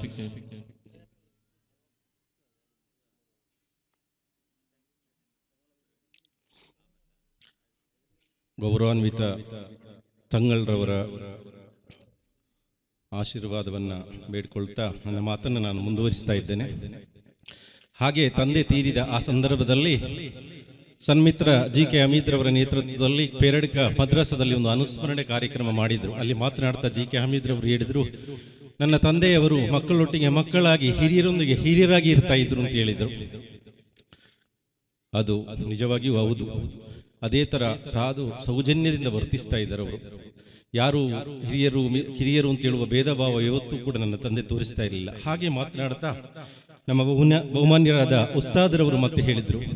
ತಂದೆಯವರೊಬ್ಬರು ಮಹಾನುಭಾವರಾಗಿದ್ದರು ಅಂತ ಹೇಳಿದರು. ಯಾಕೆಂತ ಹೇಳಿದ್ರೆ ಮರಣದ ಸೂಚನೆ ತಂದೆಗೆ ಇತ್ತು. ಅದರ ಕೆಲ ದಿನಗಳ ಹಿಂದಷ್ಟೇ ಇಲ್ಲಿ ಈದ್ ಮಿಲಾದ್ ಕಾರ್ಯಕ್ರಮ ನಡೆಯುವಾಗ ತಂದೆ ವೇದಿಕೆಯಿಂದ ಸ್ವಲ್ಪ ಅಲ್ಲಿ ಬಿದ್ದಾಗೆ ಆಗಿದ್ರು. ಅವಾಗ ಕಬರ್ನ ಬಗ್ಗೆ ಕೂಡ ಅವರು ಹೇಳಿದ್ದಾರೆ. ಆ ಸೂಚನೆ ಇತ್ತು, ಅವರು ಮಹಾನುಭಾವರಾಗಿದ್ರು ಅಂತ ಹೇಳಿದರು. ನಾನು ಹೇಳಿದ್ದಲ್ಲ, ನಮ್ಮ ಗೌರವಾನ್ವಿತ ಉಸ್ತಾದರವರು ಹೇಳಿದ್ದು, ಅದನ್ನು ನಾನು ಮೆಲುಕು ಹಾಕ್ತಾ ಇದ್ದೇನೆ. ಆ ನಿಟ್ಟಿನಲ್ಲಿ ಅವರಿಗೆಲ್ಲರಿಗೂ ನಾನು ಈ ವೇದಿಕೆಯ ಮೂಲಕ ಕೃತಜ್ಞತೆಯನ್ನ ಸಲ್ಲಿಸ್ತಾ ಇದ್ದೇನೆ. ಹಾಗೆ ಅಶ್ರಫ್ ಸ್ಪೈಜಿ ಅವರು ಮತ್ತೆ ಹೇಳಿದರು, ಮಾತನಾಡುತ್ತಾ, ಈ ಊರಿನ ಇತಿಹಾಸವೊಂದು ಅಸ್ತಂಗತವಾಯಿತು ಅಂತ ಹೇಳಿದರು. ಹಿರಿಯರು ಸರಳಜೀವಿಯಾದ ಸೈದುವಾಜಿಯವರ ಮರಣದೊಂದಿಗೆ ಈ ಊರಿನ ಒಂದು ಚರಿತ್ರೆಯೇ ಅಲ್ಲಿಗೆ ಒಂದು ಅಸ್ತಂಗತವಾಯಿತು ಅಂತ ಹೇಳಿ ಅವರು ಹೇಳಿದರು. ಹಾಗೆ ಅವರು ಹೇಳಬೇಕು ಅಂತ ಹೇಳಿದ್ರೆ ಬಹುಮಾನ್ಯರಾದ ಉಸ್ತಾದ್ರವರು ಹೇಳಿದ್ದು, ಅವರು ಆಗಸ್ಟ್ ಅಲ್ಲಿಗೆ ಬಂದಿದ್ರು, ಬಂದು ತುಂಬಾ ದಿವಸಗಳಾಗಲಿಲ್ಲ.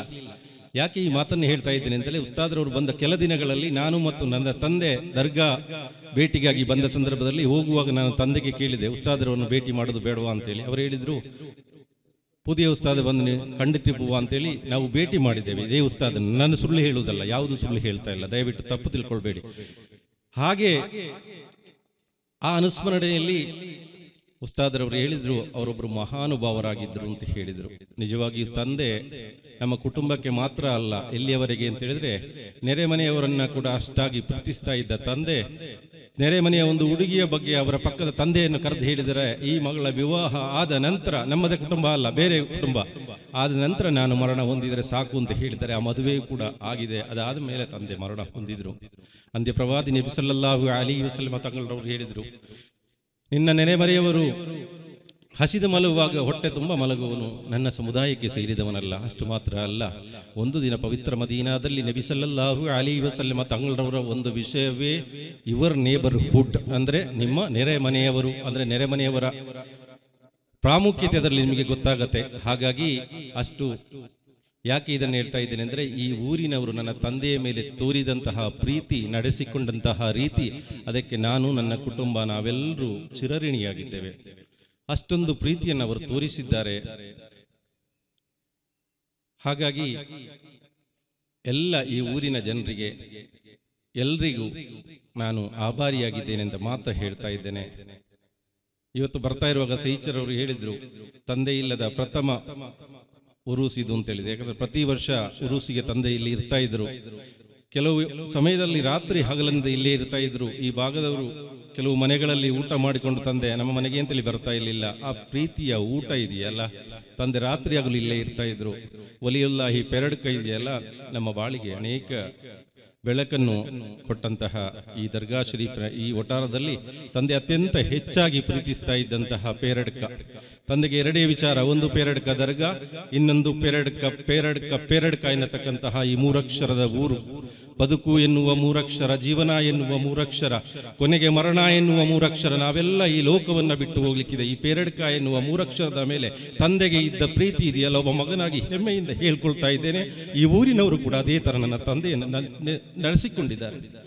ಈ ದರ್ಗಾದ ಮೇಲೆ ಅಪಾರವಾದ ವಿಶೇಷವಾದ ಪ್ರೀತಿ ಇತ್ತು. ನನ್ನ ತಂದೆಗೆ ಇನ್ನೆರಡು ಬಹಳ ಮುಖ್ಯವಾದ ಗುಣ ಇತ್ತು. ನನ್ನ ತಂದೆಯನ್ನು ಹೋಗಲಿಕ್ಕಾಗಿ ವೇದಿಕೆಯನ್ನು ನಾನು ಬಳಸ್ಕೊಳ್ತಾ ಇದ್ದೇನೆ ಅಂತ ಹೇಳಿದ ತಂದೆ, ತೊಂಬತ್ತರ ಇಳಿ ವಯಸ್ಸಿನಲ್ಲೂ ಕೂಡ ಈ ಪೇರಡ್ಕ ಜಮಾತಿಗಾಗಲಿ, ಸಮಾಜಕ್ಕಾಗಲಿ ನಾನು ಅವರನ್ನು ಕಂಡದ್ದು ಕೇವಲ ತಂದೆಯಾಗಿ ಮಾತ್ರ ಅಲ್ಲ, ಒಬ್ಬ ಸಮಾಜದ ಹಿತಾಸಕ್ತಿಯನ್ನ ಕಾಯ್ತಕ್ಕಂತಹ ಒಬ್ಬ ಸುಧಾರಕನಾಗಿ ನಾನು ನೋಡಿದ್ದೇನೆ, ನನ್ನ ತಂದೆಯನ್ನು. ತಂದೆಯಿಂದ ಕಲಿತ ಅನೇಕ ವಿಚಾರಗಳನ್ನು ನಾನು ಇವತ್ತು ಮೈಗೂಡಿಸಿಕೊಂಡಿದ್ದೇನೆ. ಹಾಗಾಗಿ ಮಾಶಾ ಅಲ್ಲ ಇವತ್ತು ನಾಲ್ಕೈದು ಸಂಸ್ಥೆಗಳ ಒಂದು ದೊಡ್ಡ ಉನ್ನತ ಸಂಸ್ಥೆಯಲ್ಲಿ ಒಂದು ವೃತ್ತಿಯನ್ನ ಮಾಡಲಿಕ್ಕೆ ಸಾಧ್ಯ ಆಗುತ್ತೆ. ನನ್ನ ತಂದೆ ನನಗೆ ಮಾರ್ಗದರ್ಶಕ. ನನ್ನ ತಂದೆ ಮಾಡ್ತಾ ಇದ್ದದ್ದು ಎರಡು ಕೆಲಸ, ಒಂದು ಅಹಿಲ್ ಬೈತನ್ನು ಅತಿಯಾಗಿ ಪ್ರೀತಿಸ್ತಾ ಇದ್ದರು. ಅಂತ್ಯ ಪ್ರವಾದಿ ನಬಿಸಲ್ಲಾಹು ಅಲಿ ವಸಲಮ ತಂಗಳವರ ಕುಟುಂಬಸ್ಥರನ್ನು ನನ್ನ ತಂದೆ ಅತಿಯಾಗಿ ಅತಿಯಾಗಿ ಅತಿಯಾಗಿ ಪ್ರೀತಿಸ್ತಾ ಇದ್ರು. ಎರಡನೇದಾಗಿ ಆಲಿಮಿಗಳನ್ನು ಬಹಳವಾಗಿ ಗುರು, ಗೌರವಿಸ್ತಾ ಇದ್ರು ನನ್ನ ತಂದೆ. ಯಾಕೆ ಈ ಮಾತನ್ನು ಹೇಳ್ತಾ ಇದ್ದೇನೆ ಅಂತೇಳಿ ಇವತ್ತಿನ ಯುವ ಜನತೆ ಎಲ್ಲಿ ತಪ್ಪುತ್ತಾ ಇದ್ದಾರೆ ಅಂತೇಳಿ ಯವ್ವಾನ ಬದ್ದಿತೆಂದು ಹದ್ದು ಮೀರಿ ನಡೆದುಕೊಂಡು ಮಾಡಬೇಡ ಕೆಟ್ಟವರ ಸಂಘ, ತಂದೀತು ನಿನಗದು ಭಯಂಕರ ರೋಗದ ಭಂಗ. ಈ ಇಳಿ ಯೌವನದಲ್ಲಿ ನಿಮಗೆ ಒಳ್ಳೆಯತನ ಬರಬೇಕು. ಅದು ಬರಬೇಕಾದ್ರೆ ನಾನು ಹೇಳ್ತಾ ಇರೋದು ನನ್ನ ತಂದೆ ಅಹಲು ಬೈತನ್ನು ಬಹಳವಾಗಿ ಗೌರವಿಸ್ತಾ ಇದ್ದರು. ನಾನು ಅದನ್ನು ಕಲಿತುಕೊಂಡಿದ್ದೇನೆ. ಆಲಿಮಿಗಳನ್ನು ಉಸ್ತಾದ್ರವನ್ನು ಬಹಳವಾಗಿ ಪ್ರೀತಿಸ್ತಾ ಇದ್ರು. ಇಲ್ಮಿಗೆ ಬಹಳ ಗೌರವ ಕೊಡ್ತಾ ಇದ್ರು. ನನ್ನ ತಂದೆಗೆ ವಿಶೇಷವಾದ ಶಿಕ್ಷಣ ಇರಲಿಲ್ಲ. ಆದರೆ ಮಕ್ಕಳೆಲ್ಲರನ್ನೂ ಕೂಡ ಶಿಕ್ಷಣವನ್ನು ಕೊಡುವುದರ ಮೂಲಕ ಒಳ್ಳೆಯ ವೃತ್ತಿಯನ್ನು ತೆಗಲಿಕ್ಕೆ ಸಾಧ್ಯ ಮಾಡಿದ್ರು. ಹಾಗೆ ತಂದೆ ಒಬ್ಬರು ನಿಜವಾಗಿ ಹೇಳಬೇಕು ಅಂತ ಹೇಳಿದ್ರೆ, ಶಿಕ್ಷಣವಿಲ್ಲದ ಒಬ್ಬ ಶಿಕ್ಷಣ ಪ್ರೇಮಿ ಮಾತ್ರ ಅಲ್ಲ, ಒಬ್ಬ ಚಿಕ್ಕ ಸಮಾಜ ಸುಧಾರಕನಾಗಿ ನಾನು ನೋಡ್ತಾ ಇದ್ದೆ. ವಿಷಯ ಅದೇನೇ ಇರಲಿ, ನಾನು ಹೇಳ್ತಾ ಇರೋದು ಇಷ್ಟೇ. ಈ ಊರಿನವರು ತುಂಬಾ ಪ್ರೀತಿ ತೋರಿಸಿದ್ದಾರೆ. ಅಷ್ಟು ಮಾತ್ರ ಅಲ್ಲ, ಆ ಪ್ರೀತಿಯ ಇದರಲ್ಲಿ ನಾನು ನಿಮ್ಗೆಲ್ಲರಿಗೂ ಕೃತಜ್ಞನಾಗಿದ್ದೇನೆ. ಹಾಗಾಗಿ ಎಲ್ಲರೂ ಕೂಡ ನನ್ನ ತಂದೆಗಾಗಿ ಪ್ರಾರ್ಥಿಸಬೇಕು ಅಂತೇಳಿ ಮಾತ್ರ ಈ ಸಂದರ್ಭದಲ್ಲಿ ಹೇಳ್ತಾ ಇದ್ದೇನೆ. ಮತ್ತೆ ಅವಕಾಶ ಸಿಕ್ಕಾಗ ಯಾವತ್ತಾದ್ರೂ ಮಾತನಾಡ್ತೇನೆ. ಪ್ರೀತಿ ಇಟ್ಟು ನನ್ನನ್ನು ಕರೆಸಿದ್ದಕ್ಕಾಗಿ ಮತ್ತು ಮಾತನಾಡಲಿಕ್ಕೆ ಅವಕಾಶ ಮಾಡಿಕೊಟ್ಟದ್ದಕ್ಕಾಗಿ ಚೀಟವೊಂದನೇ നിർത്തിയല്ല എല്ലാം ഞാൻ നിർത്താൻ കഴിഞ്ഞിട്ടുണ്ടായി ತಂದೆಯ ಆ ದುಃಖದ ವಿಚಾರ ಆವತ್ತು ನಾನು ಮಾತನಾಡಲಿಕ್ಕೆ ಆಗಿಲ್ಲ ಗದ್ಗದಿನಾಗಿ ಇವತ್ತು ನನಗೆ ಮಾತನಾಡುವ ಪರಿಸ್ಥಿ- ಪರಿಸ್ಥಿತಿಯಲ್ಲಿಲ್ಲ ಚೀಟು ಬಂದರೆ ಇಲ್ಲಂಗ നിർത്തിട്ടില്ല ഞാൻ ಆಗಿ ನಿಲ್ಲಿಸಿದ್ದಲ್ಲ ಹಾಗಾಗಿ ನನ್ನ ಕಳಕಳಿಯ ಕೋರಿಕೆಯ ವಿನಂತಿ ನಿಮ್ಮಲ್ಲಿ ಅಷ್ಟೇ ನನ್ನ ತಂದೆಗಾಗಿ ನೀವು ಪ್ರೀತಿಯಿಂದ ದುವಾ ಮಾಡಬೇಕು ಯಾಕೆಂತ ಹೇಳಿದ್ರೆ ಈ ಊರನ್ನು ಪ್ರೀತಿಸಿದ ತಂದೆ ಹಿರಿಯರನ್ನು ಗೌರವಾನ್ವಿತರನ್ನು ಗೌರವದಿಂದ ಕಂಡ ತಂದೆ ಅಹ್ಲು ಬೈತನ್ನು ಸ್ನೇಹಿಸಿದ ಪ್ರೀತಿಸಿದ ಪ್ರೇಮಿಸಿದ ತಂದೆ ಅಷ್ಟು ಮಾತ್ರ ಅಲ್ಲ, ಎಲ್ಲರನ್ನು, ಆಲಿಮಿಗಳನ್ನು ವಿಶೇಷವಾಗಿ ಗೌರವಿಸಿದ ತಂದೆ. ಹಾಗಾಗಿ ನೀವೆಲ್ಲ ದುವಾ ಮಾಡಬೇಕು ಅಂತ ಮಾತ್ರ ಹೇಳ್ತಾ ನನ್ನ ಮಾತನ್ನು ಮುಗಿಸ್ತಾ ಇದ್ದೇನೆ. ಅನಿಲ್ ಅಹಮದಿಲ್ಲ ಇರಬಿಲ್ಲ ಅಸ್ಸಲಾಮು ಅಲೈಕುಂ ತನ್ನ ತಂದೆಯ ಜೀವನದ ಶೈಲಿಯ ಬಗ್ಗೆ, ಜೀವನದ ಬಗ್ಗೆ ಬಹಳ ವಿಸ್ತಾರವಾಗಿ ಹೇಳಿದಂತ ಉಮರ್ ಬೀಜದ ಕಟ್ಟೆಯವರಿಗೆ ಧನ್ಯವಾದಗಳು. ಅವರ ತಂದೆಯವರು ಯಾರಾದರೂ ಮರಣ ಹೊಂದಿದಾಗ ಪ್ರಥಮವಾಗಿ ತಲುಪತಕ್ಕಂಥ ವ್ಯವಸ್ಥೆ ಅವರು ಮೈಯತ್ ಪರಿಪಾಲನೆ ಮಾಡುವುದಕ್ಕೆ ಬಹಳ, ಈಗ ನಮಗೆ ಬಹಳ ಕಷ್ಟ ಆಗ್ತಾ ಇದೆ ಅವರ ಅನುಪಸ್ಥಿತಿಯಲ್ಲಿ. ಎಲ್ರಿಗೂ ಬಹಳ ಮುಖ್ಯ. ನಮ್ಮ ಜಮಾಯತಿನಲ್ಲಿ ಒಬ್ಬ ಹಿರಿಯರಾಗಿದ್ದರು. ಅವರ ಅಗಲಿಕೆ ಈ ಉರು ಸಮಾರಂಭದಲ್ಲಿ ನಮಗೆ ಗೊತ್ತಾಗಿದೆ. ಈ ನಿಟ್ಟಿನಲ್ಲಿ ಡಾಕ್ಟರ್ ಉಮರ್ ಬೀಜದ ಕಟ್ಟೆ ಅವರ ಸುಪುತ್ರರಾಗಿ ನಮಗೆ ಒಳ್ಳೆಯ ಉಪದೇಶವನ್ನು ನೀಡಿದ್ದಾರೆ. ಅವರಿಗೆ ಹೃತ್ಪೂರ್ವಕ ಕೃತಜ್ಞತೆಗಳು.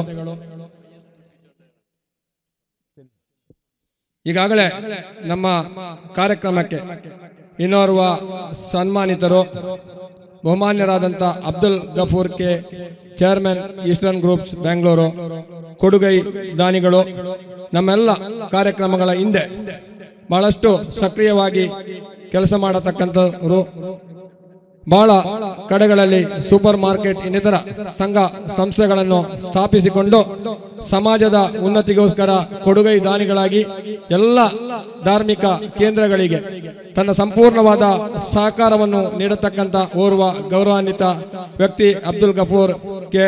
ಇವರಿಗೆ ನಮ್ಮ ಉರು ಸಮಿತಿ ಪರವಾಗಿ ಹಾಗೂ ಪೇರಡ್ಕ ಜಮಾಯತ್ ಕಮಿಟಿ ಪರವಾಗಿ ಪೂರಕವಾದ ಸ್ವಾಗತವನ್ನು ಬಯಸ್ತಾ ಇದ್ದೇವೆ.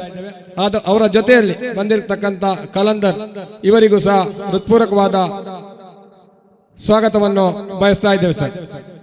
ಅದೇ ರೀತಿ ನಮ್ಮ ಈ ಕಾರ್ಯಕ್ರಮಕ್ಕೆ ಆಗಮಿಸಿದ ಅಬ್ದುಲ್ ಗಫೂರ್ ತಾಲೂಕ್ ಪಂಚಾಯತ್ ಸದಸ್ಯರು ಪಂಜಾ ಇಸ್ಮಾಯಿಲ್ ಪಡಪಿನಂಗಡಿ, ಅದೇ ರೀತಿ ಇಸಾಕ್ ಬಾಕ ಬಾಕವಿ ಉಸ್ತಾದ್ ಅರಂತೋಡು ಹಾಗೂ ಎಲ್ಲ ಗೌರವಾನ್ವಿತರನ್ನು ಹೃತ್ಪೂರ್ವಕವಾಗಿ ಸ್ವಾಗತಿಸ್ತಾ ಇದ್ದೇವೆ. ಮುಂದೆ ನಮ್ಮ ಬಹು ನಿರೀಕ್ಷಿತ ಕಾರ್ಯಕ್ರಮ, ಸನ್ಮಾನ ಕಾರ್ಯಕ್ರಮ.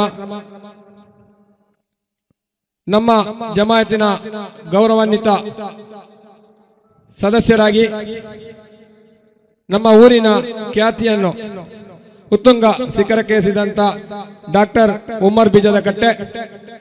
ಅದೇ ರೀತಿ ಅವರ ಜೊತೆಯಲ್ಲಿ ಇನ್ನೋರ್ವ ದಾನಿಗಳು, ನಮ್ಮ ಎಲ್ಲ ಕಾರ್ಯಕ್ರಮಗಳ ಹಿಂದೆ ಸಹಕಾರವನ್ನು ನೀಡತಕ್ಕಂಥ ಸಮುದಾಯದ ಆಗುಹೋಗುಗಳ ಹಿಂದೆ ಒಂದು ಶಕ್ತಿಯಾಗಿ ಕೆಲಸ ಮಾಡತಕ್ಕಂಥ ನಾವು ಫೋನ್ನಲ್ಲಿ ಕೇಳಿಕೊಂಡಾಗ ಬಹಳ ಸಂತೋಷದಲ್ಲಿ ಒಪ್ಪಿಕೊಂಡಂತ Abdul Gafoor K chairman Eastern Group ಈ ಎರಡು ಜನರನ್ನು ಬಹುಮಾನ್ಯರಾದ ಜೈನುಲ್ ಆಬಿದೀನ್ ತಂಗಲ್ರವರು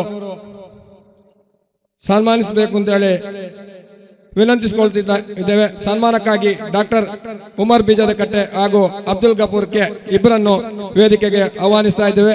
ಉರು ಸಮಿತಿಯ ಅಧ್ಯಕ್ಷರು ಜಮಾಯತ್ ಅಧ್ಯಕ್ಷರು ಬಹುಮಾನ್ಯರಾದ ತಂಗಳ್ರವರು ಈ ಕಾರ್ಯ ಕಾರ್ಯಕ್ರಮವನ್ನು ನೆರವೇರಿಸಿಕೊಡ್ಬೇಕು ಅಂತ ಹೇಳಿ ತಮ್ಮಲ್ಲಿ ವಿನಂತಿಯನ್ನು ಮಾಡಿಕೊಳ್ತಾ ಇದ್ದೇವೆ.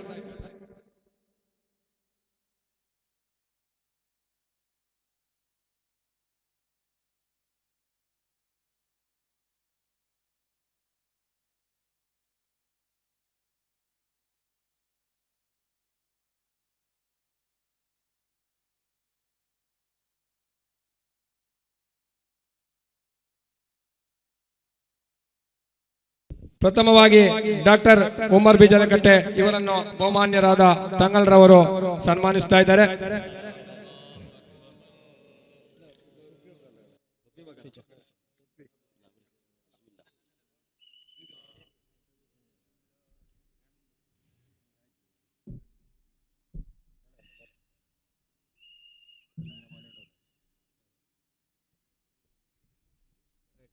ಬಹುಮಾನ್ಯರಾದ ಅಬ್ದುಲ್ ಗಫೂರ್ ಕೆ ಇವರನ್ನು ಬಹುಮಾನ್ಯರಾದ ಜೈನುಲ್ ಆಬಿದೀನ್ ತಂಗಲ್ರವರು ಸನ್ಮಾನಿಸಿದರಿದ್ದಾರೆ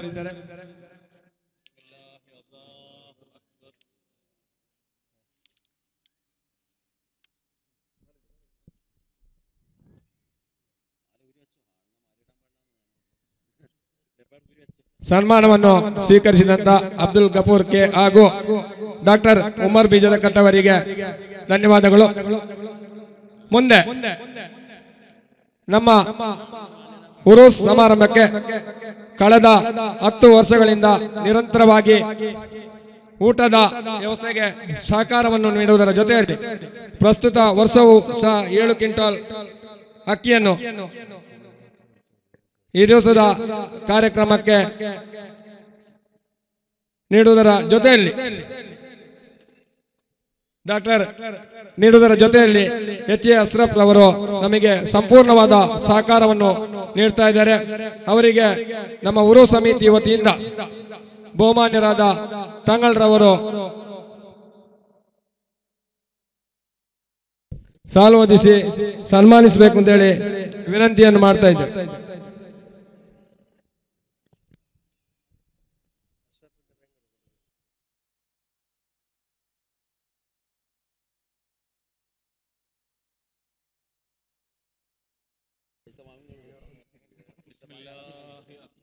ಸನ್ಮಾನವನ್ನು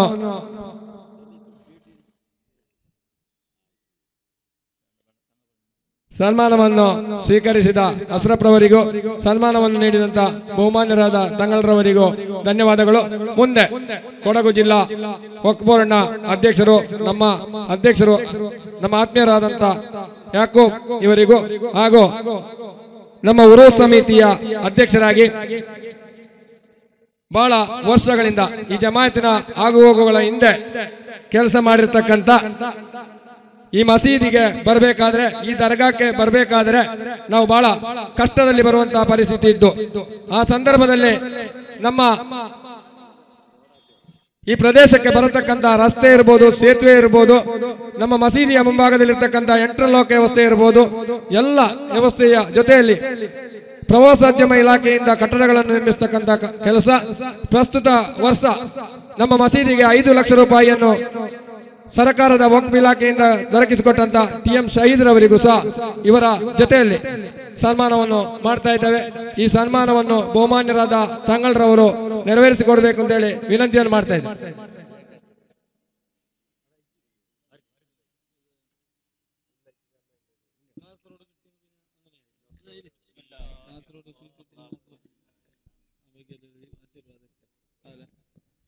ಸನ್ಮಾನವನ್ನು ಸ್ವೀಕರಿಸಿದ ಯಾಕೂಬ್ ಅವರಿಗೆ ಧನ್ಯವಾದಗಳು.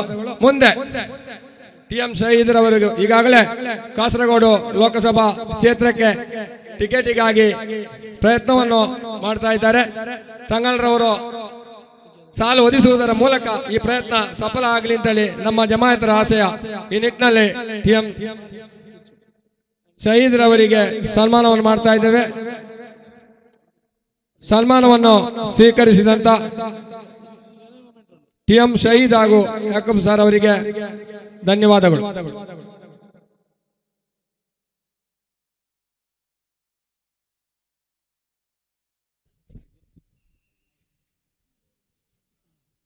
ಮುಂದೆ ನಮ್ಮ ಕಾರ್ಯಕ್ರಮದ ನೇತೃತ್ವವನ್ನು ನೀಡಲಿರುವಂತ ಕಳೆದ ಹಲವಾರು ವರ್ಷಗಳಿಂದ ನಮ್ಮ ಉರೂಸ್ ಕಾರ್ಯಕ್ರಮಕ್ಕೆ ನೇತೃತ್ವವನ್ನು ನೀಡುವುದರ ಮೂಲಕ ನಮ್ಮ ಇಲ್ಲಿ ಒಂದು ಸುಭದ್ರ ಅಡಿಪಾಯವನ್ನು ಹಾಕಿರದಂತ ಫಕ್ರುದ್ದೀನ್ ತಂಗಳ್ರವರ ಸುಪುತ್ರ, ನಮ್ಮ ಹೆಮ್ಮೆಯ ಸಂಕೇತ, ನಾವು ಯಾವತ್ತೂ ಸಹ ದುಗ್ಗಲಕ ಇಡೀ ರಾಷ್ಟ್ರದಲ್ಲಿಯೇ ಗುರುತಿಸುವಂತ ಒಂದು ಸ್ಥಳವಾಗಿ ಮಾರ್ಪಟ್ಟಿರುವುದು ನಮ್ಮ ಬಹುಮಾನ್ಯರಾದ ತಂಗಳವರ ನೇತೃತ್ವದಲ್ಲಿ. ಅಲ್ಲಾಜ್ ಸೈಯದ್ ಜೈನುಲ್ ಆಬಿದೀನ್ ತಂಗಳ್ರವರು ಈ ಕಾರ್ಯಕ್ರಮದ ದುವಾಕ್ಕೆ ನೇತೃತ್ವವನ್ನು ನೀಡುವುದರ ಜೊತೆಯಲ್ಲಿ ನಮ್ಮ ಈ ಪರಿಸರದಲ್ಲಿ ನಮ್ಮ ಜಮಾಯತ್ ಕಮಿಟಿಗೆ ಬಹಳ ಸಂಕಷ್ಟದಲ್ಲಿ, ಸಂದರ್ಭದಲ್ಲಿ ಬಹಳ ಬಹಳಷ್ಟು ಸಹಕಾರವನ್ನು ನೀಡಿದಂತ ಬಹುಮಾನ್ಯ ತಂಗಲ್ರವರು ಈ ಭಾಗದ ಈ ಪೇರಡಕದ ಬೆಳವಣಿಗೆ ಕಾರಣೀಭೂತರಾದವರು. ಮುಂದೆ ನಮಗೆ ಗೂನಡಕದ ಪರಿಸರದಲ್ಲಿ ಒಂದು ಸುಂದರವಾದ ಮದರಸಾವನ್ನು ನಿರ್ಮಿಸಬೇಕಾಗಿದೆ. ಮದರಸಕ್ಕೆ ಸ್ಥಳವನ್ನು ಖರೀದಿ ಮಾಡಬೇಕಾಗಿದೆ. ಸುಮಾರು ಇಪ್ಪತ್ತೈದು ಲಕ್ಷ ರೂಪಾಯಿ ಇದಕ್ಕೆ ವೆಚ್ಚ ತಗುಲುತ್ತದೆ ಕಳೆದ ಎರಡು ದಿನಗಳಿಂದ ಸುಮಾರು ಐದು ಲಕ್ಷ ರೂಪಾಯಿಯಷ್ಟು ನಮಗೆ ಇಲ್ಲಿ ವಾಗ್ದಾನಗಳು ಬಂದಿದೆ. ಬಹುಮಾನ್ಯರಾದ ತಂಗಳರವರ ನೇತೃತ್ವದಲ್ಲಿ. ನಮ್ಮ ಪೇರಡಕ ಊರಿನಲ್ಲಿ, ಈ ಪೇರಡಕ ಜಮಾಯತಿನ ಬೆಳವಣಿಗೆಯಲ್ಲಿ ತಂಗಲ್ರವರ ಪಾತ್ರ ಬಹಳಷ್ಟು ಹಿರಿದಾದುದು ನಮ್ಮ ಅವರ ನೇತೃತ್ವದಲ್ಲಿಯೇ ನಮ್ಮ ಮದ್ರಸ ಅಲ್ಲಿ ಕಾರ್ಯಾರಂಭ ಆಗಬೇಕು, ಒಳ್ಳೆಯ ಮದ್ರಸ ಆಗಬೇಕು. ಈಗ ತಂಗಲ್ರವರ ಕಟ್ಟಡದಲ್ಲಿ ನಾವು ಬಹಳಷ್ಟು ವರ್ಷಗಳಿಂದ, ಕಳೆದ ಹತ್ತು ವರ್ಷಗಳಿಂದ ನಮಗೆ ಮದ್ರಸವನ್ನು ಮಾಡಲಿಕ್ಕೆ ಬಹುಮಾನ್ಯರಾದ ತಂಗಳರವರು ಸಲವನ್ನು ಕೊಟ್ಟಿದ್ದಾರೆ. ಅವರ ನೆರಳಿನಲ್ಲಿ ನಾವೆಲ್ಲರೂ ಬದುಕಿ ಬಾಳುತ್ತಾ ಇದ್ದೇವೆ. ಈ ನಿಟ್ಟಿನಲ್ಲಿ ನಮ್ಮ ತಂಗಳರವರ ನೇತೃತ್ವದಲ್ಲಿ ಗುಣಡಕದಲ್ಲಿ ಸುಂದರವಾದ ಒಂದು ಮದ್ರಸ ನಿರ್ಮಾಣ ಆಗಬೇಕೆಂದ ಆಸೆಯನ್ನಿಟ್ಟವರು ಈ ಜಮಾಯತಿನ, ಈ ಪೇರಡಕದ ಎಲ್ಲರೂ ಅವರ ನೇತೃತ್ವದಲ್ಲಿ ಇದಕ್ಕೆ ಮುನ್ನುಡಿಯನ್ನು ಬರೀಬೇಕು ಅಂತೇಳಿ ವಿನಂತಿಯನ್ನು ಮಾಡಿಕೊಂಡು ಬಹುಮಾನ್ಯರಾದ ತಂಗಳರವರನ್ನು ದುವಾಕ್ಕೆ ಆಹ್ವಾನಿಸ್ತಾ ಇದ್ದೇವೆ.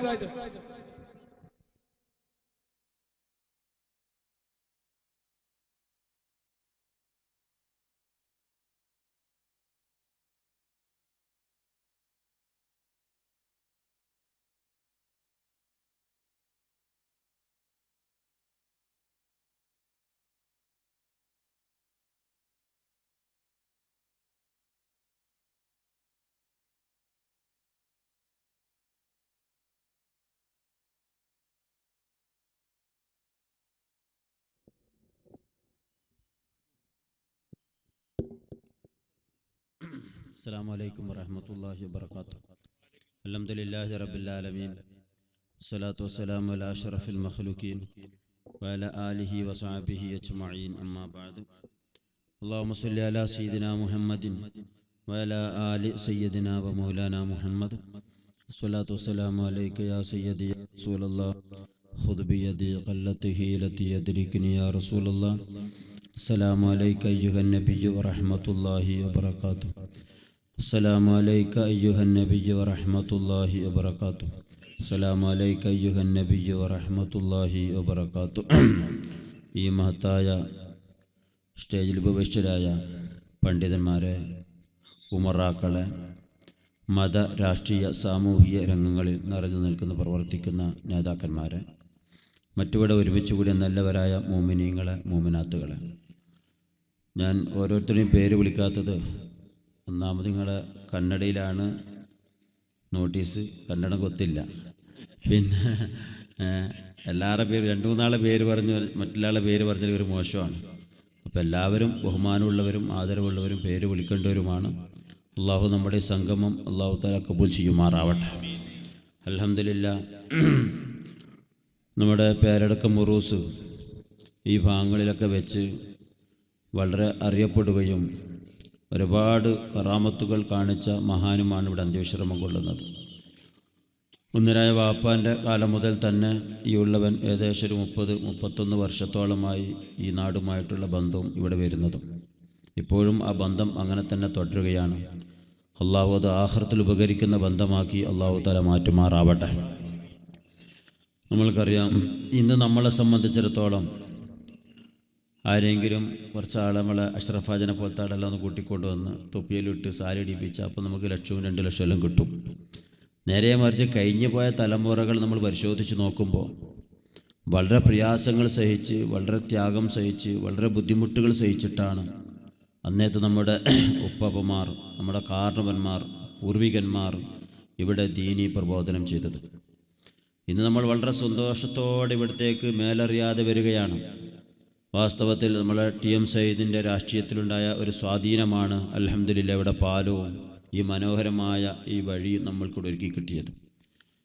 അതിനൊക്കെ നമ്മൾ ദ്വാരുന്നതിന് കണക്കില്ല. കാരണം ഒരു പത്ത് മുപ്പത് വർഷം മുമ്പ് ഞാൻ വരാൻ തുടങ്ങിയ തുടങ്ങിയ കാലം മുതൽ ഊനെടുക്കത്ത് ഇറങ്ങി ഇങ്ങോട്ട് വരുന്ന രാത്രിയും മറ്റൊക്കെ വരുന്ന ആ സ്വഭാവവും നമ്മുടെ പ്രിയങ്കരനായ സെണ്ടിയാറും അവിടെ കാത്തു നിന്ന് കൂട്ടിക്കൊണ്ടുവന്ന് വൈകുന്നേരം വരും.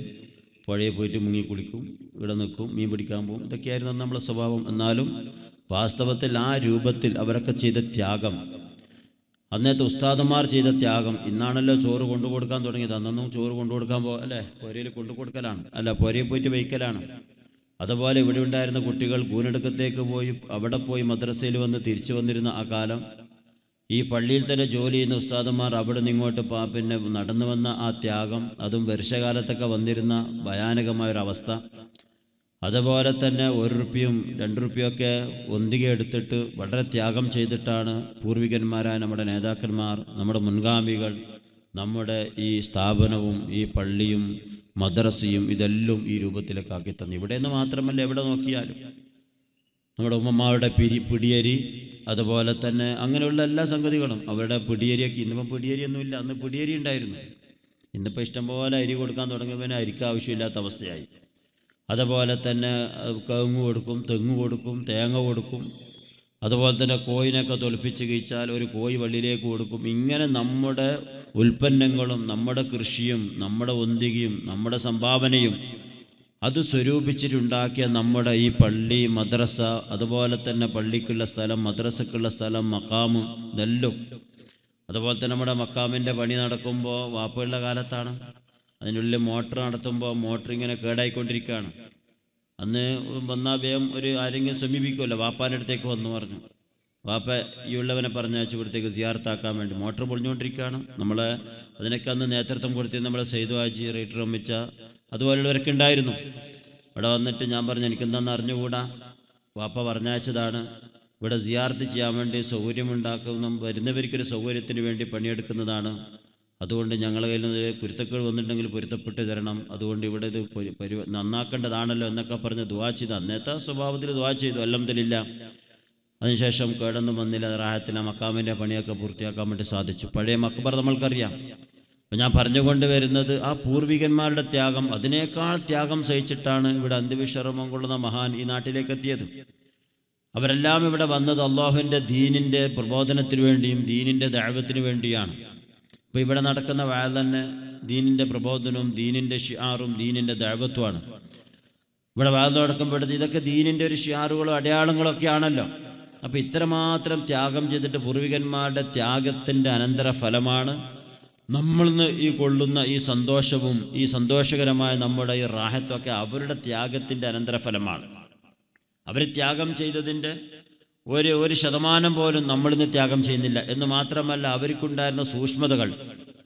വാസ്തവത്തിൽ ആ സൂക്ഷ്മത നമ്മൾക്കും ഉണ്ടാവണം. ഏത് രംഗത്ത് പ്രവർത്തിക്കുന്നവരായാലും മുസ്ലിമീങ്ങളായ നമ്മളെ സംബന്ധിച്ചിടത്തോളം. മരണവും മരണാന്തര ജീവിതം ഇന്നെന്താ ഇന്നെന്താ വിഷയം മരണം? ഇന്ന് കുടുംബബന്ധം. അതുപോലെ തന്നെ കുടുംബബന്ധമായാലും മറ്റൊക്കെ തന്നെയും നമ്മൾ പിന്നെ ഉൾക്കൊള്ളുന്നതിന് വേണ്ടിയിട്ടാണ് ആഹ്റത്തിന്റെ വിജയത്തിന് വേണ്ടിയിട്ടാണ്. ആഹ്റം വിജയിച്ച് കിട്ടണമല്ലോ. മുസ്ലിമീങ്ങളെ നമ്മളെ സംബന്ധിച്ചിടത്തോളം മരിച്ചു കഴിഞ്ഞാൽ മറ്റൊരു ജീവിതമുണ്ടെന്ന് വിശ്വസിക്കുന്നവരാണ്.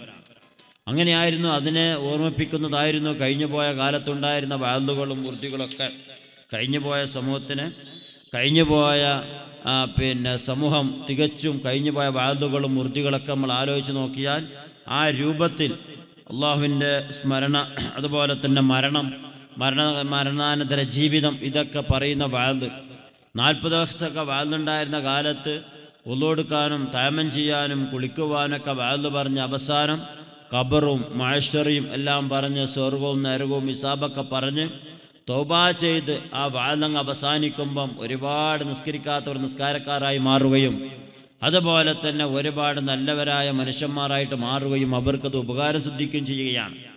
നിങ്ങൾ തന്നെ പഴയകാല തലമുറ ചിന്തിച്ചു നോക്കിയെന്ന് എനിക്കറിയാം എന്റെ ചെറുപ്പത്തിൽ ഓർമ്മയുണ്ട്. നമ്മുടെ നാട്ടിലൊക്കെ ആദ്യമായിട്ട് ഒരു പശു പ്രസവിച്ചാൽ അല്ലെങ്കിൽ പശു പ്രസവിച്ചാൽ അതിന്റെ പാൽ ആദ്യം അതിനെ കറക്കുമ്പോൾ പെണ്ണുങ്ങളാരും തൊടൂല. ആണുങ്ങൾ മാത്രമേ ആ പാ പശുവിനെ കറക്കുള്ളൂ. ആണുങ്ങൾ തന്നെ കറന്ന് ആണുങ്ങൾ തന്നെ അത് ഒഴിച്ച് ആണുങ്ങൾ തന്നെ കൊടുത്തയച്ച് ഉസ്താദന്മാരുടെ അടുത്ത് കൊണ്ടുപോയി കൊടുത്ത് ഒരുമാടേക്ക് യാസിനോദിപ്പിക്കുന്നൊരു സ്വഭാവം ഉണ്ടായിരുന്നു ഇവിടെ ഇപ്പം അങ്ങനെ ഉണ്ടോയെന്ന് എനിക്ക് അറിഞ്ഞുകൂടാ. അന്ന് ഉസ്താദന്മാരോട് യാസിനോദിപ്പിച്ചാൽ ഒരു റുപ്യോ രണ്ട് റുപ്യോ കൊടുക്കേണ്ടി വരുന്ന നിലയ്ക്ക് ഈ ഉള്ളവന്റെ അടുക്കിലേക്കൊക്കെ പിന്നെ വരും പിന്നെ എരുമാടേക്ക് യാസിനോദിപ്പിച്ചിരുന്നു. എനിക്ക് ആ മൈബീഷ എന്നാൽ മതിയല്ലോ. ഉസ്താദന്മാർക്ക് അത് കൊടുക്കാൻ കഴിയില്ലല്ലോ. ആ രൂപത്തിൽ. കാരണം അന്നെന്താ അത്ര ത്യാഗമുള്ള അന്ന് ത്യാഗം സഹിച്ച ത്യാഗം ചെയ്ത കാലമായിരുന്നു ആ കാലം. അപ്പം ആ രൂപത്തിലുണ്ടായിരുന്ന അവരൊക്കെ അന്ന് ജീവി എത്ര ത്യാഗം സഹിച്ചാലും എത്ര പ്രയാസം അനുഭവിച്ചാലും അവരുടെയൊക്കെ ജീവിതത്തിൽ സൂക്ഷ്മത ഉണ്ടായിരുന്നു എല്ലാ മേഖലകളിലും. എല്ലാവർക്കും എന്നല്ല ഞാൻ പറഞ്ഞത് തൊണ്ണൂറ് ശതമാനം ജനങ്ങളും സൂക്ഷ്മതയോടുകൂടിയാണ് കാര്യങ്ങളൊക്കെ കൈകാര്യം ചെയ്തിരുന്നത്. അത് ഏത് മേഖലയിൽ പ്രവർത്തിക്കുന്നവരായാലും ശരി സംഘടനയിലാവട്ടെ പാർട്ടിയിലാവട്ടെ പള്ളിയിലെ ഉസ്താദുമാറാവട്ടെ ജോലി ചെയ്യുന്ന പണിക്കാരനാവട്ടെ പണക്കാരനാവട്ടെ ആരും കച്ചവടക്കാരനാവട്ടെ എല്ലാവർക്കും അന്നൊരു സൂക്ഷ്മത ഉണ്ടായിരുന്നു എല്ലാ മേഖലകളിലും. സത്യസന്ധമായ ഒരു ജീവിതം. സത്യസന്ധമായ ജീവിതം എന്നുള്ളത് മുസ്ലിമിന്റെ മുഖമുദ്രയാണല്ലോ. ഒരു മുസ്ലിമിനെ സംബന്ധിച്ചിടത്തോളം അവന്റെ ആഹാരം രക്ഷപ്പെടണമെങ്കിൽ വിജയിക്കണമെങ്കിൽ അവനിക്ക് എല്ലാ മേഖലകളിലും സത്യസന്ധത ഉണ്ടാവണം റസൂലുല്ലായി സല്ലല്ലാ അലൈഹി വസല്ലമ തങ്ങൾ തന്നെയും തങ്ങൾ അന്നേത്തെ കുറേശികൾ പേരിട്ട് വിളിച്ചതിന് അല്ലാമീൻ സത്യസന്ധൻ എന്നല്ലേ? എന്താ അത് വിളിക്കാൻ കാരണം? ഏത് മേഖലകൾ പരിശോധിച്ച് നോക്കിയാലും അതരവായ നബി തങ്ങളുടെ ചെറുപ്പം മുതൽ തന്നെ തങ്ങളുടെ വിശേഷണമായിരുന്നു സത്യസന്ധത എന്നുള്ളത്. ഒരു മൂമിനെ സംബന്ധിച്ചിടത്തോളം സത്യസന്ധത ഒഴിച്ചുകൂടാൻ പറ്റാത്തതാണ്. ബഹുമാനപ്പെട്ട മഹാന്മാർ പറയുന്നത് ഒരു പക്ഷേ സാഹചര്യത്തിന് അടിമപ്പെട്ട ഒരു മുസ്ലിമായ മനുഷ്യനെ ഒരു പക്ഷേ വ്യഭിചാരം ചെയ്തേക്കാം. ഞാനത് കൊച്ചാക്കി പറയുന്നതല്ല. ഇന്ന് അതെല്ലാം തന്നെയും വാസ്തവത്തിൽ ഇപ്പോൾ ഒരു അടുത്ത് നമ്മുടെ കർണാടകപ്പെട്ട ഒരു ഉസ്താദിനെ തന്നെ ലൈംഗികാരോപണം നടത്തി അറസ്റ്റ് ചെയ്തിട്ടുള്ളത്. യഥാർത്ഥത്തിൽ അദ്ദേഹവുമായിട്ട് ബന്ധപ്പെട്ട് നോക്കുമ്പോൾ അദ്ദേഹം അങ്ങനെ തെറ്റ് ചെയ്യുന്ന വ്യക്തിയല്ല എന്ന് അദ്ദേഹത്തിന്റെ കുട്ടികളുടെ മാതാപിതാക്കൾക്ക് പോലും പരാതിയില്ല. അദ്ദേഹം ഭയങ്കര ഫലിതം പറയുകയൊക്കെ ചെയ്യുന്ന മനുഷ്യനാണ്. പക്ഷെ അദ്ദേഹത്തിനെ വളരെ ആ കുട്ടികളെന്തെങ്കിലും പറയുന്നതനുസരിച്ചിട്ട് പിടിക്കുന്നു അറസ്റ്റ് ചെയ്യുന്നു. അങ്ങനെ ആ രൂപത്തിൽ ഒരു മനുഷ്യനെ സംബന്ധിച്ച് ലൈംഗികാരോപണം നടത്തണമെങ്കിൽ ഷറയിൽ നാലാൾ കാണണ്ടേ? നാലാൾക്കാർ അവർ എട്ട് കണ്ണുകൊണ്ട് കണ്ടാൽ മാത്രമേ ഒരാളെപ്പറ്റി ലൈംഗികാരോപണം നടത്താൻ വേണ്ടി പാടുള്ളൂ. അല്ലാതെ പറയാൻ പാടില്ല. അങ്ങനെ പറഞ്ഞാൽ തന്നെ അല്ലാതെ പറഞ്ഞാൽ അവരുടെ ഹദ് ഇസ്ലാമിന്റെ നിയമപ്രകാരം അടി ഹദ് ചെയ്യേണ്ടത് ആ പറഞ്ഞവരെയാണ് ചെയ്തവരല്ല. മാലിക് ഇമാമ തങ്ങളുടെ കാലത്ത് ഒരു പെണ്ണിനെ സംബന്ധിച്ചിട്ട് എല്ലാവർക്കും ഒരു പരാതി ഉണ്ടായിരുന്നു. ആ പെണ്ണ് ഒരു വേശ്യാവൃത്തിയായ പെണ്ണാണെന്ന്. ആ പെണ്ണ് അങ്ങനെ മരിച്ചു. ആ പെണ്ണിനെ മയ്യത്ത് കുളിപ്പിക്കുമ്പോൾ വാസ്തവത്തിൽ ആ പെണ്ണിന്റെ മയ്യത്ത് കുളിപ്പിച്ചുകൊണ്ടിരിക്കെ പെണ്ണ് മറ്റൊരു പെണ്ണ് കരുതി അവളുടെ ഗുഹ്യസ്ഥാനം കൈ കൊടുക്കുമ്പോൾ എത്ര ആൾ പെരുമാറിയ സ്ഥലമായിരിക്കും ഈ സ്ഥലം എന്ന്. കാരണം അവളെപ്പറ്റി അങ്ങനെ ഒരു ഒരു പരാതി ഉണ്ടായിരുന്നു. ആ വിചാരിച്ചിട്ട് അവളെ ആ പിന്നെ കുളിപ്പിക്കുമ്പോൾ ആ കൈ ഗുഹ്യസ്ഥാനത്ത് തന്നെ പറ്റിപ്പോയി അനങ്ങുന്നില്ല. വളരെ പ്രയാസപ്പെട്ട് എങ്ങനെ ആ കൈ അടത്തി മാറ്റാൻ പറ്റുന്നില്ല. ഒന്നിരിക്കൽ കൈ മുറിക്കണം. അല്ലെങ്കിൽ ആ ഉയസ്ഥാനം അങ്ങനെ തന്നെ മുറിച്ചിട്ട് ഇങ്ങോട്ട് എടുക്കണം. ആ രൂപത്തിലായി സംഭവം. ബഹുമാനപ്പെട്ട മാലിക് ഇമാമ് ജീവിച്ചിരിക്കുന്ന കാലത്താണ് മാലിക് ഇമാമിന്റെ അടുക്കിലേക്ക് പരാതിയുമായി പോയി. മാലിക് ഇമാമ് തങ്ങൾ പറഞ്ഞു ആ പെണ്ണിനെ എന്തോ അവർ കതിഫ് മനസ്സിൽ വിചാരിച്ചിട്ടുണ്ട്. അതുകൊണ്ട് കതിഫിന്റെ ഹദ് ചെയ്യണം. എന്നിട്ട് ഇങ്ങ് പിന്നെ പരിശോധിക്കുമെന്ന് പറഞ്ഞു. അങ്ങനെ വീണ്ടും വന്നിട്ട് കതിഫിന്റെ ഹദ് അടി അങ്ങ് നടപ്പിലാക്കി. അടി അടി നടപ്പിലാക്കി കഴിഞ്ഞപ്പോൾ ആ പെണ്ണിന്റെ കൈയടന്ന് വിട്ടു. ഞാൻ പറയുന്നത് ഇതാണ്. ഇസ്ലാമിനെ സംബന്ധിച്ച് നമ്മൾ വളരെ ചിന്തിക്കേണ്ട വിഷയമാണ്.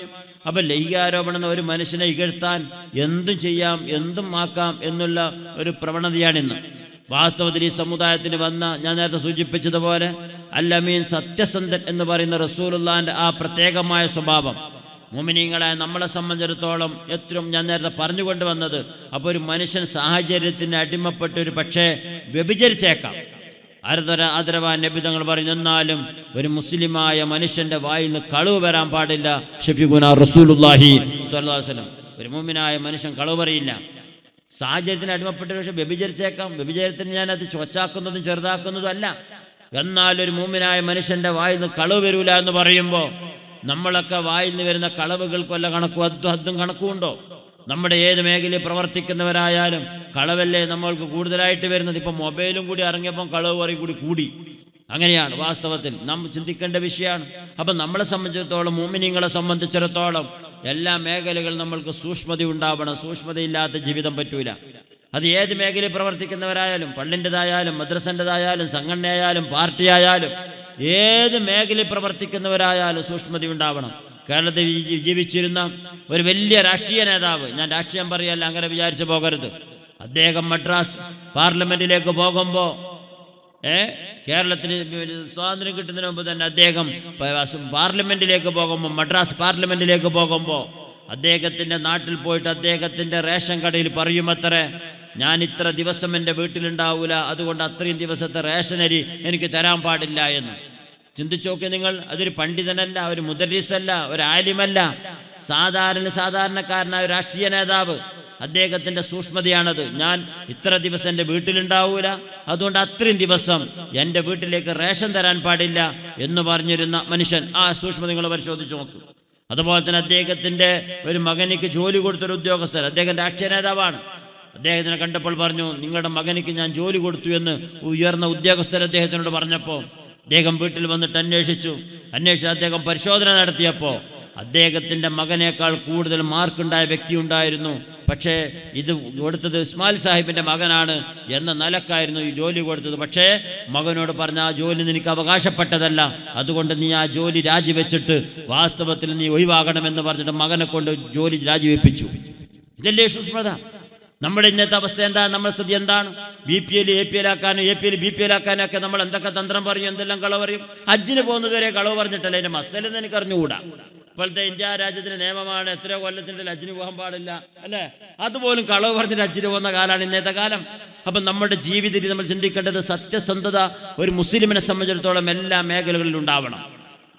ഏത് മേഖലയിൽ പ്രവർത്തിക്കുന്നവരായാലും ഉണ്ടാവണം. ബഹുമാനപ്പെട്ട കണ്ണെത്തുസ്താദ് മരക്കച്ചവടം ചെയ്തിരുന്നു. മലപ്പുറം ഭാഗത്തൊക്കെ അതൊരു പാഞ്ചല്ല ഒരു പഴമൊഴിയായിട്ട് പറയും. കണ്ണിത്തുസ്താദിന്റെ മരക്കച്ചോടം പോലെയെന്ന്. മരക്കച്ചവടം ചെയ്യുമ്പോൾ പറയും ഇന്നാലിന്ന കുറവുണ്ട് ഇന്നാലിന്ന അയബുണ്ട് ഇന്നാലിന്നടുത്തൊക്കെ അതിന് കേടുണ്ട് എന്ന് പറഞ്ഞിട്ടാണ് മൂപ്പർ കച്ചവടം ചെയ്യുക. അങ്ങനെ ഏത് മേഖല പ്രവർത്തിക്കുന്നവരായാലും ഞാൻ പറയുന്നത് സത്യസന്ധതയില്ലാത്ത ജീവിതം പറ്റൂല. എന്റെ നാട്ടിൽ ഞാൻ ചെറുപ്പത്തിൽ പഠിക്കുന്ന കാലം ഇപ്പം എനിക്ക് ഏകദേശം പത്തൊൻപതോളം വർഷമല്ലോ ഒരു പത്ത് പന്ത്രണ്ട് വയസ്സ് ഞാൻ പഠിക്കുന്ന കാലത്തൊക്കെ ഉണ്ടായിരുന്നൊരു സെക്രട്ടറി പറയാറുണ്ട്. അവിടെ രണ്ട് മൂന്ന് വർഷം ജോലി ചെയ്തിരുന്ന ഒരു മുഅദ്ദിൻ ഒരു മുക്രി അദ്ദേഹം ജോലി മതിയാക്കിയിട്ട് നാട്ടിലേക്ക് പോകുമ്പോൾ കമ്മിറ്റിക്കാരോട് പറഞ്ഞത്ര സെക്രട്ടറിയോട് പറഞ്ഞു എത്രേ ഞാൻ രണ്ട് സുബഹി ബാങ്ക് കൊടുത്തിട്ടില്ല അതുകൊണ്ട് എന്റെ പൈസ നിങ്ങൾ ശമ്പളം കട്ട് ചെയ്യണമെന്ന്. കാരണം ഒരാൾ മുക്കറിയായിട്ട് നിർത്തുന്നു ബാങ്ക് കൊടുക്കാനാണ്. അന്ന് ബാങ്ക് കൊടുത്തിട്ടില്ലെങ്കിൽ ആരും അറിയില്ല കാരണം മയക്കൊന്നുമില്ലാത്ത കാലാണ്.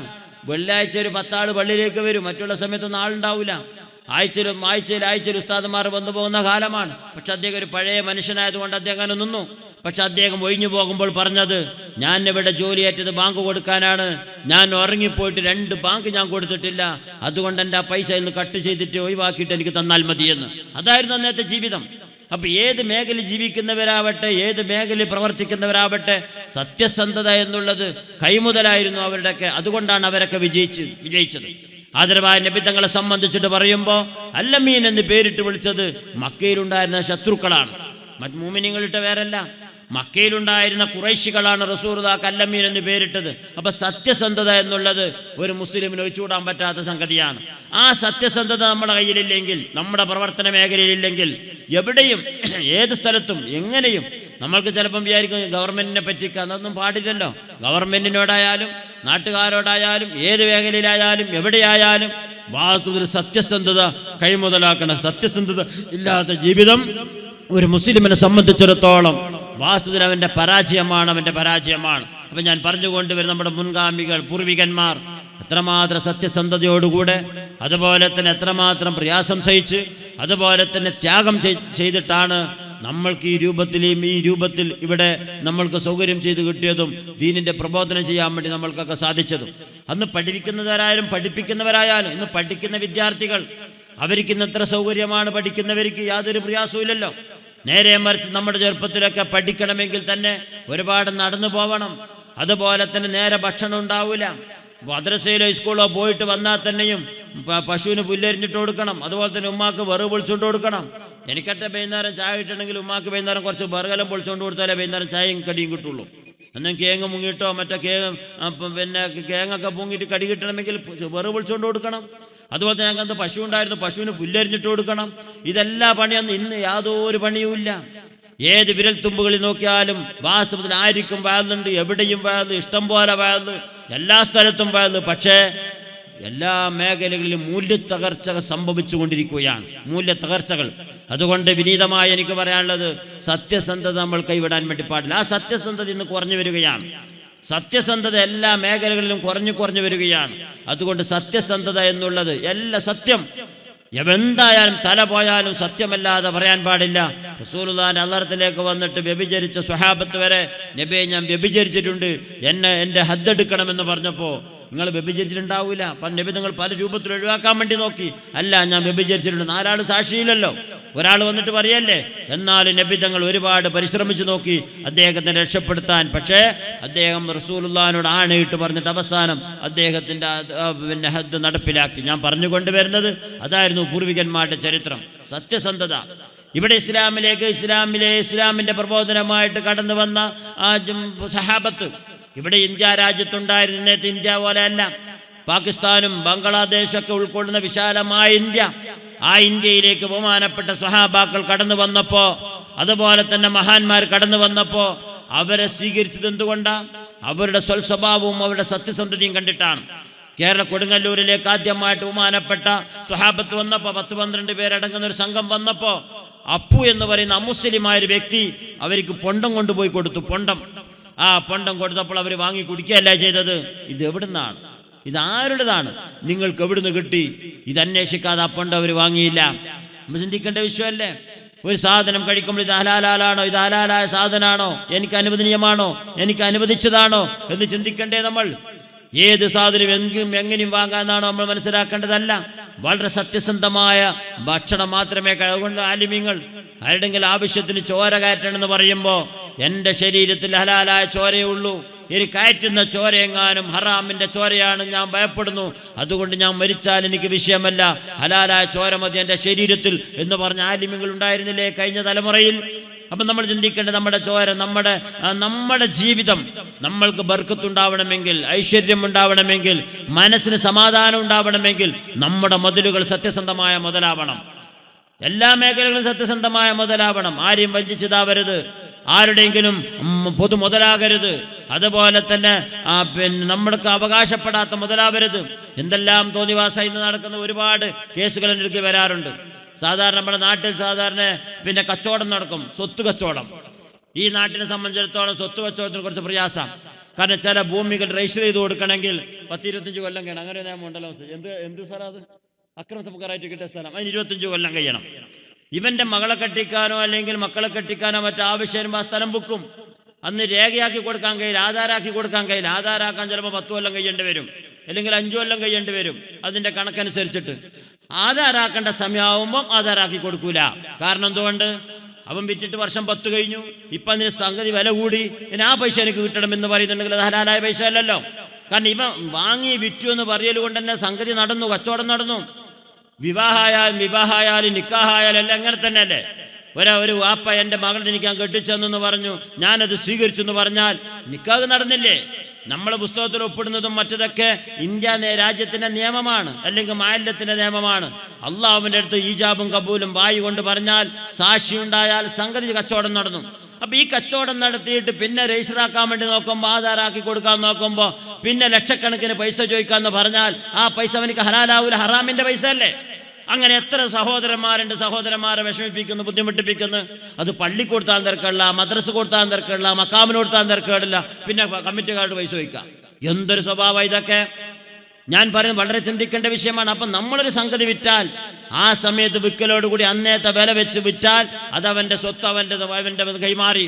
പിന്നെ രാജ്യത്തിന്റെ നിയമമാണ് നമ്മൾ ആധാരാക്കി കൊടുക്കുക എന്നുള്ളത്. ആ സമയത്ത് ആധാരാക്കി കൊടുക്കാതെ ആ സമയത്ത് എനിക്ക് ഇത്ര കിട്ടണം അത്ര കിട്ടണം എന്ന് വിലപേശുന്നുണ്ടെങ്കിൽ ആ വാങ്ങുന്ന പൈസ എനിക്ക് ഹലാലാവൂല. വളരെ ചിന്തിക്കേണ്ട അങ്ങനെ അങ്ങനെ ഏത് മേഖലകൾ പരിശോധിച്ച് നോക്കിയാലും ഏത് മേഖലകൾ പരിശോധിച്ച് നോക്കിയാലും സത്യസന്ധതയില്ലാത്ത ജീവിതമാണെങ്കിൽ സത്യസന്ധതയില്ലാത്ത പ്രവർത്തനാണെങ്കിൽ അതിലൊന്നും നമ്മൾക്ക് ബർക്കത്തുണ്ടാവില്ല അത് നമ്മൾ വളരെ സൂക്ഷിക്കേണ്ട വിഷയമാണ്. മുസ്ലിമീങ്ങളെ സംബന്ധിച്ചിടത്തോളം വളരെ പേടിക്കേണ്ട ഒരു ഭയാനകമായ ഒരു അന്തരീക്ഷത്തിലും ഒരു സ്തുതിയിലുമാണ് നമ്മൾ മുന്നോട്ട് പോയിക്കൊണ്ടിരിക്കുന്നത്. വളരെ പ്രയാസകരമായ ഒരവസ്ഥയിൽ. കാരണം മുസ്ലിമിനെ പച്ചയായി പേപ്പട്ടികളെ തച്ചുകൊല്ലുന്നത് പോലെ തച്ചുകൊന്നിരിക്കുന്നു പല നാടുകളിലും. പല പ്രദേശങ്ങളിലും.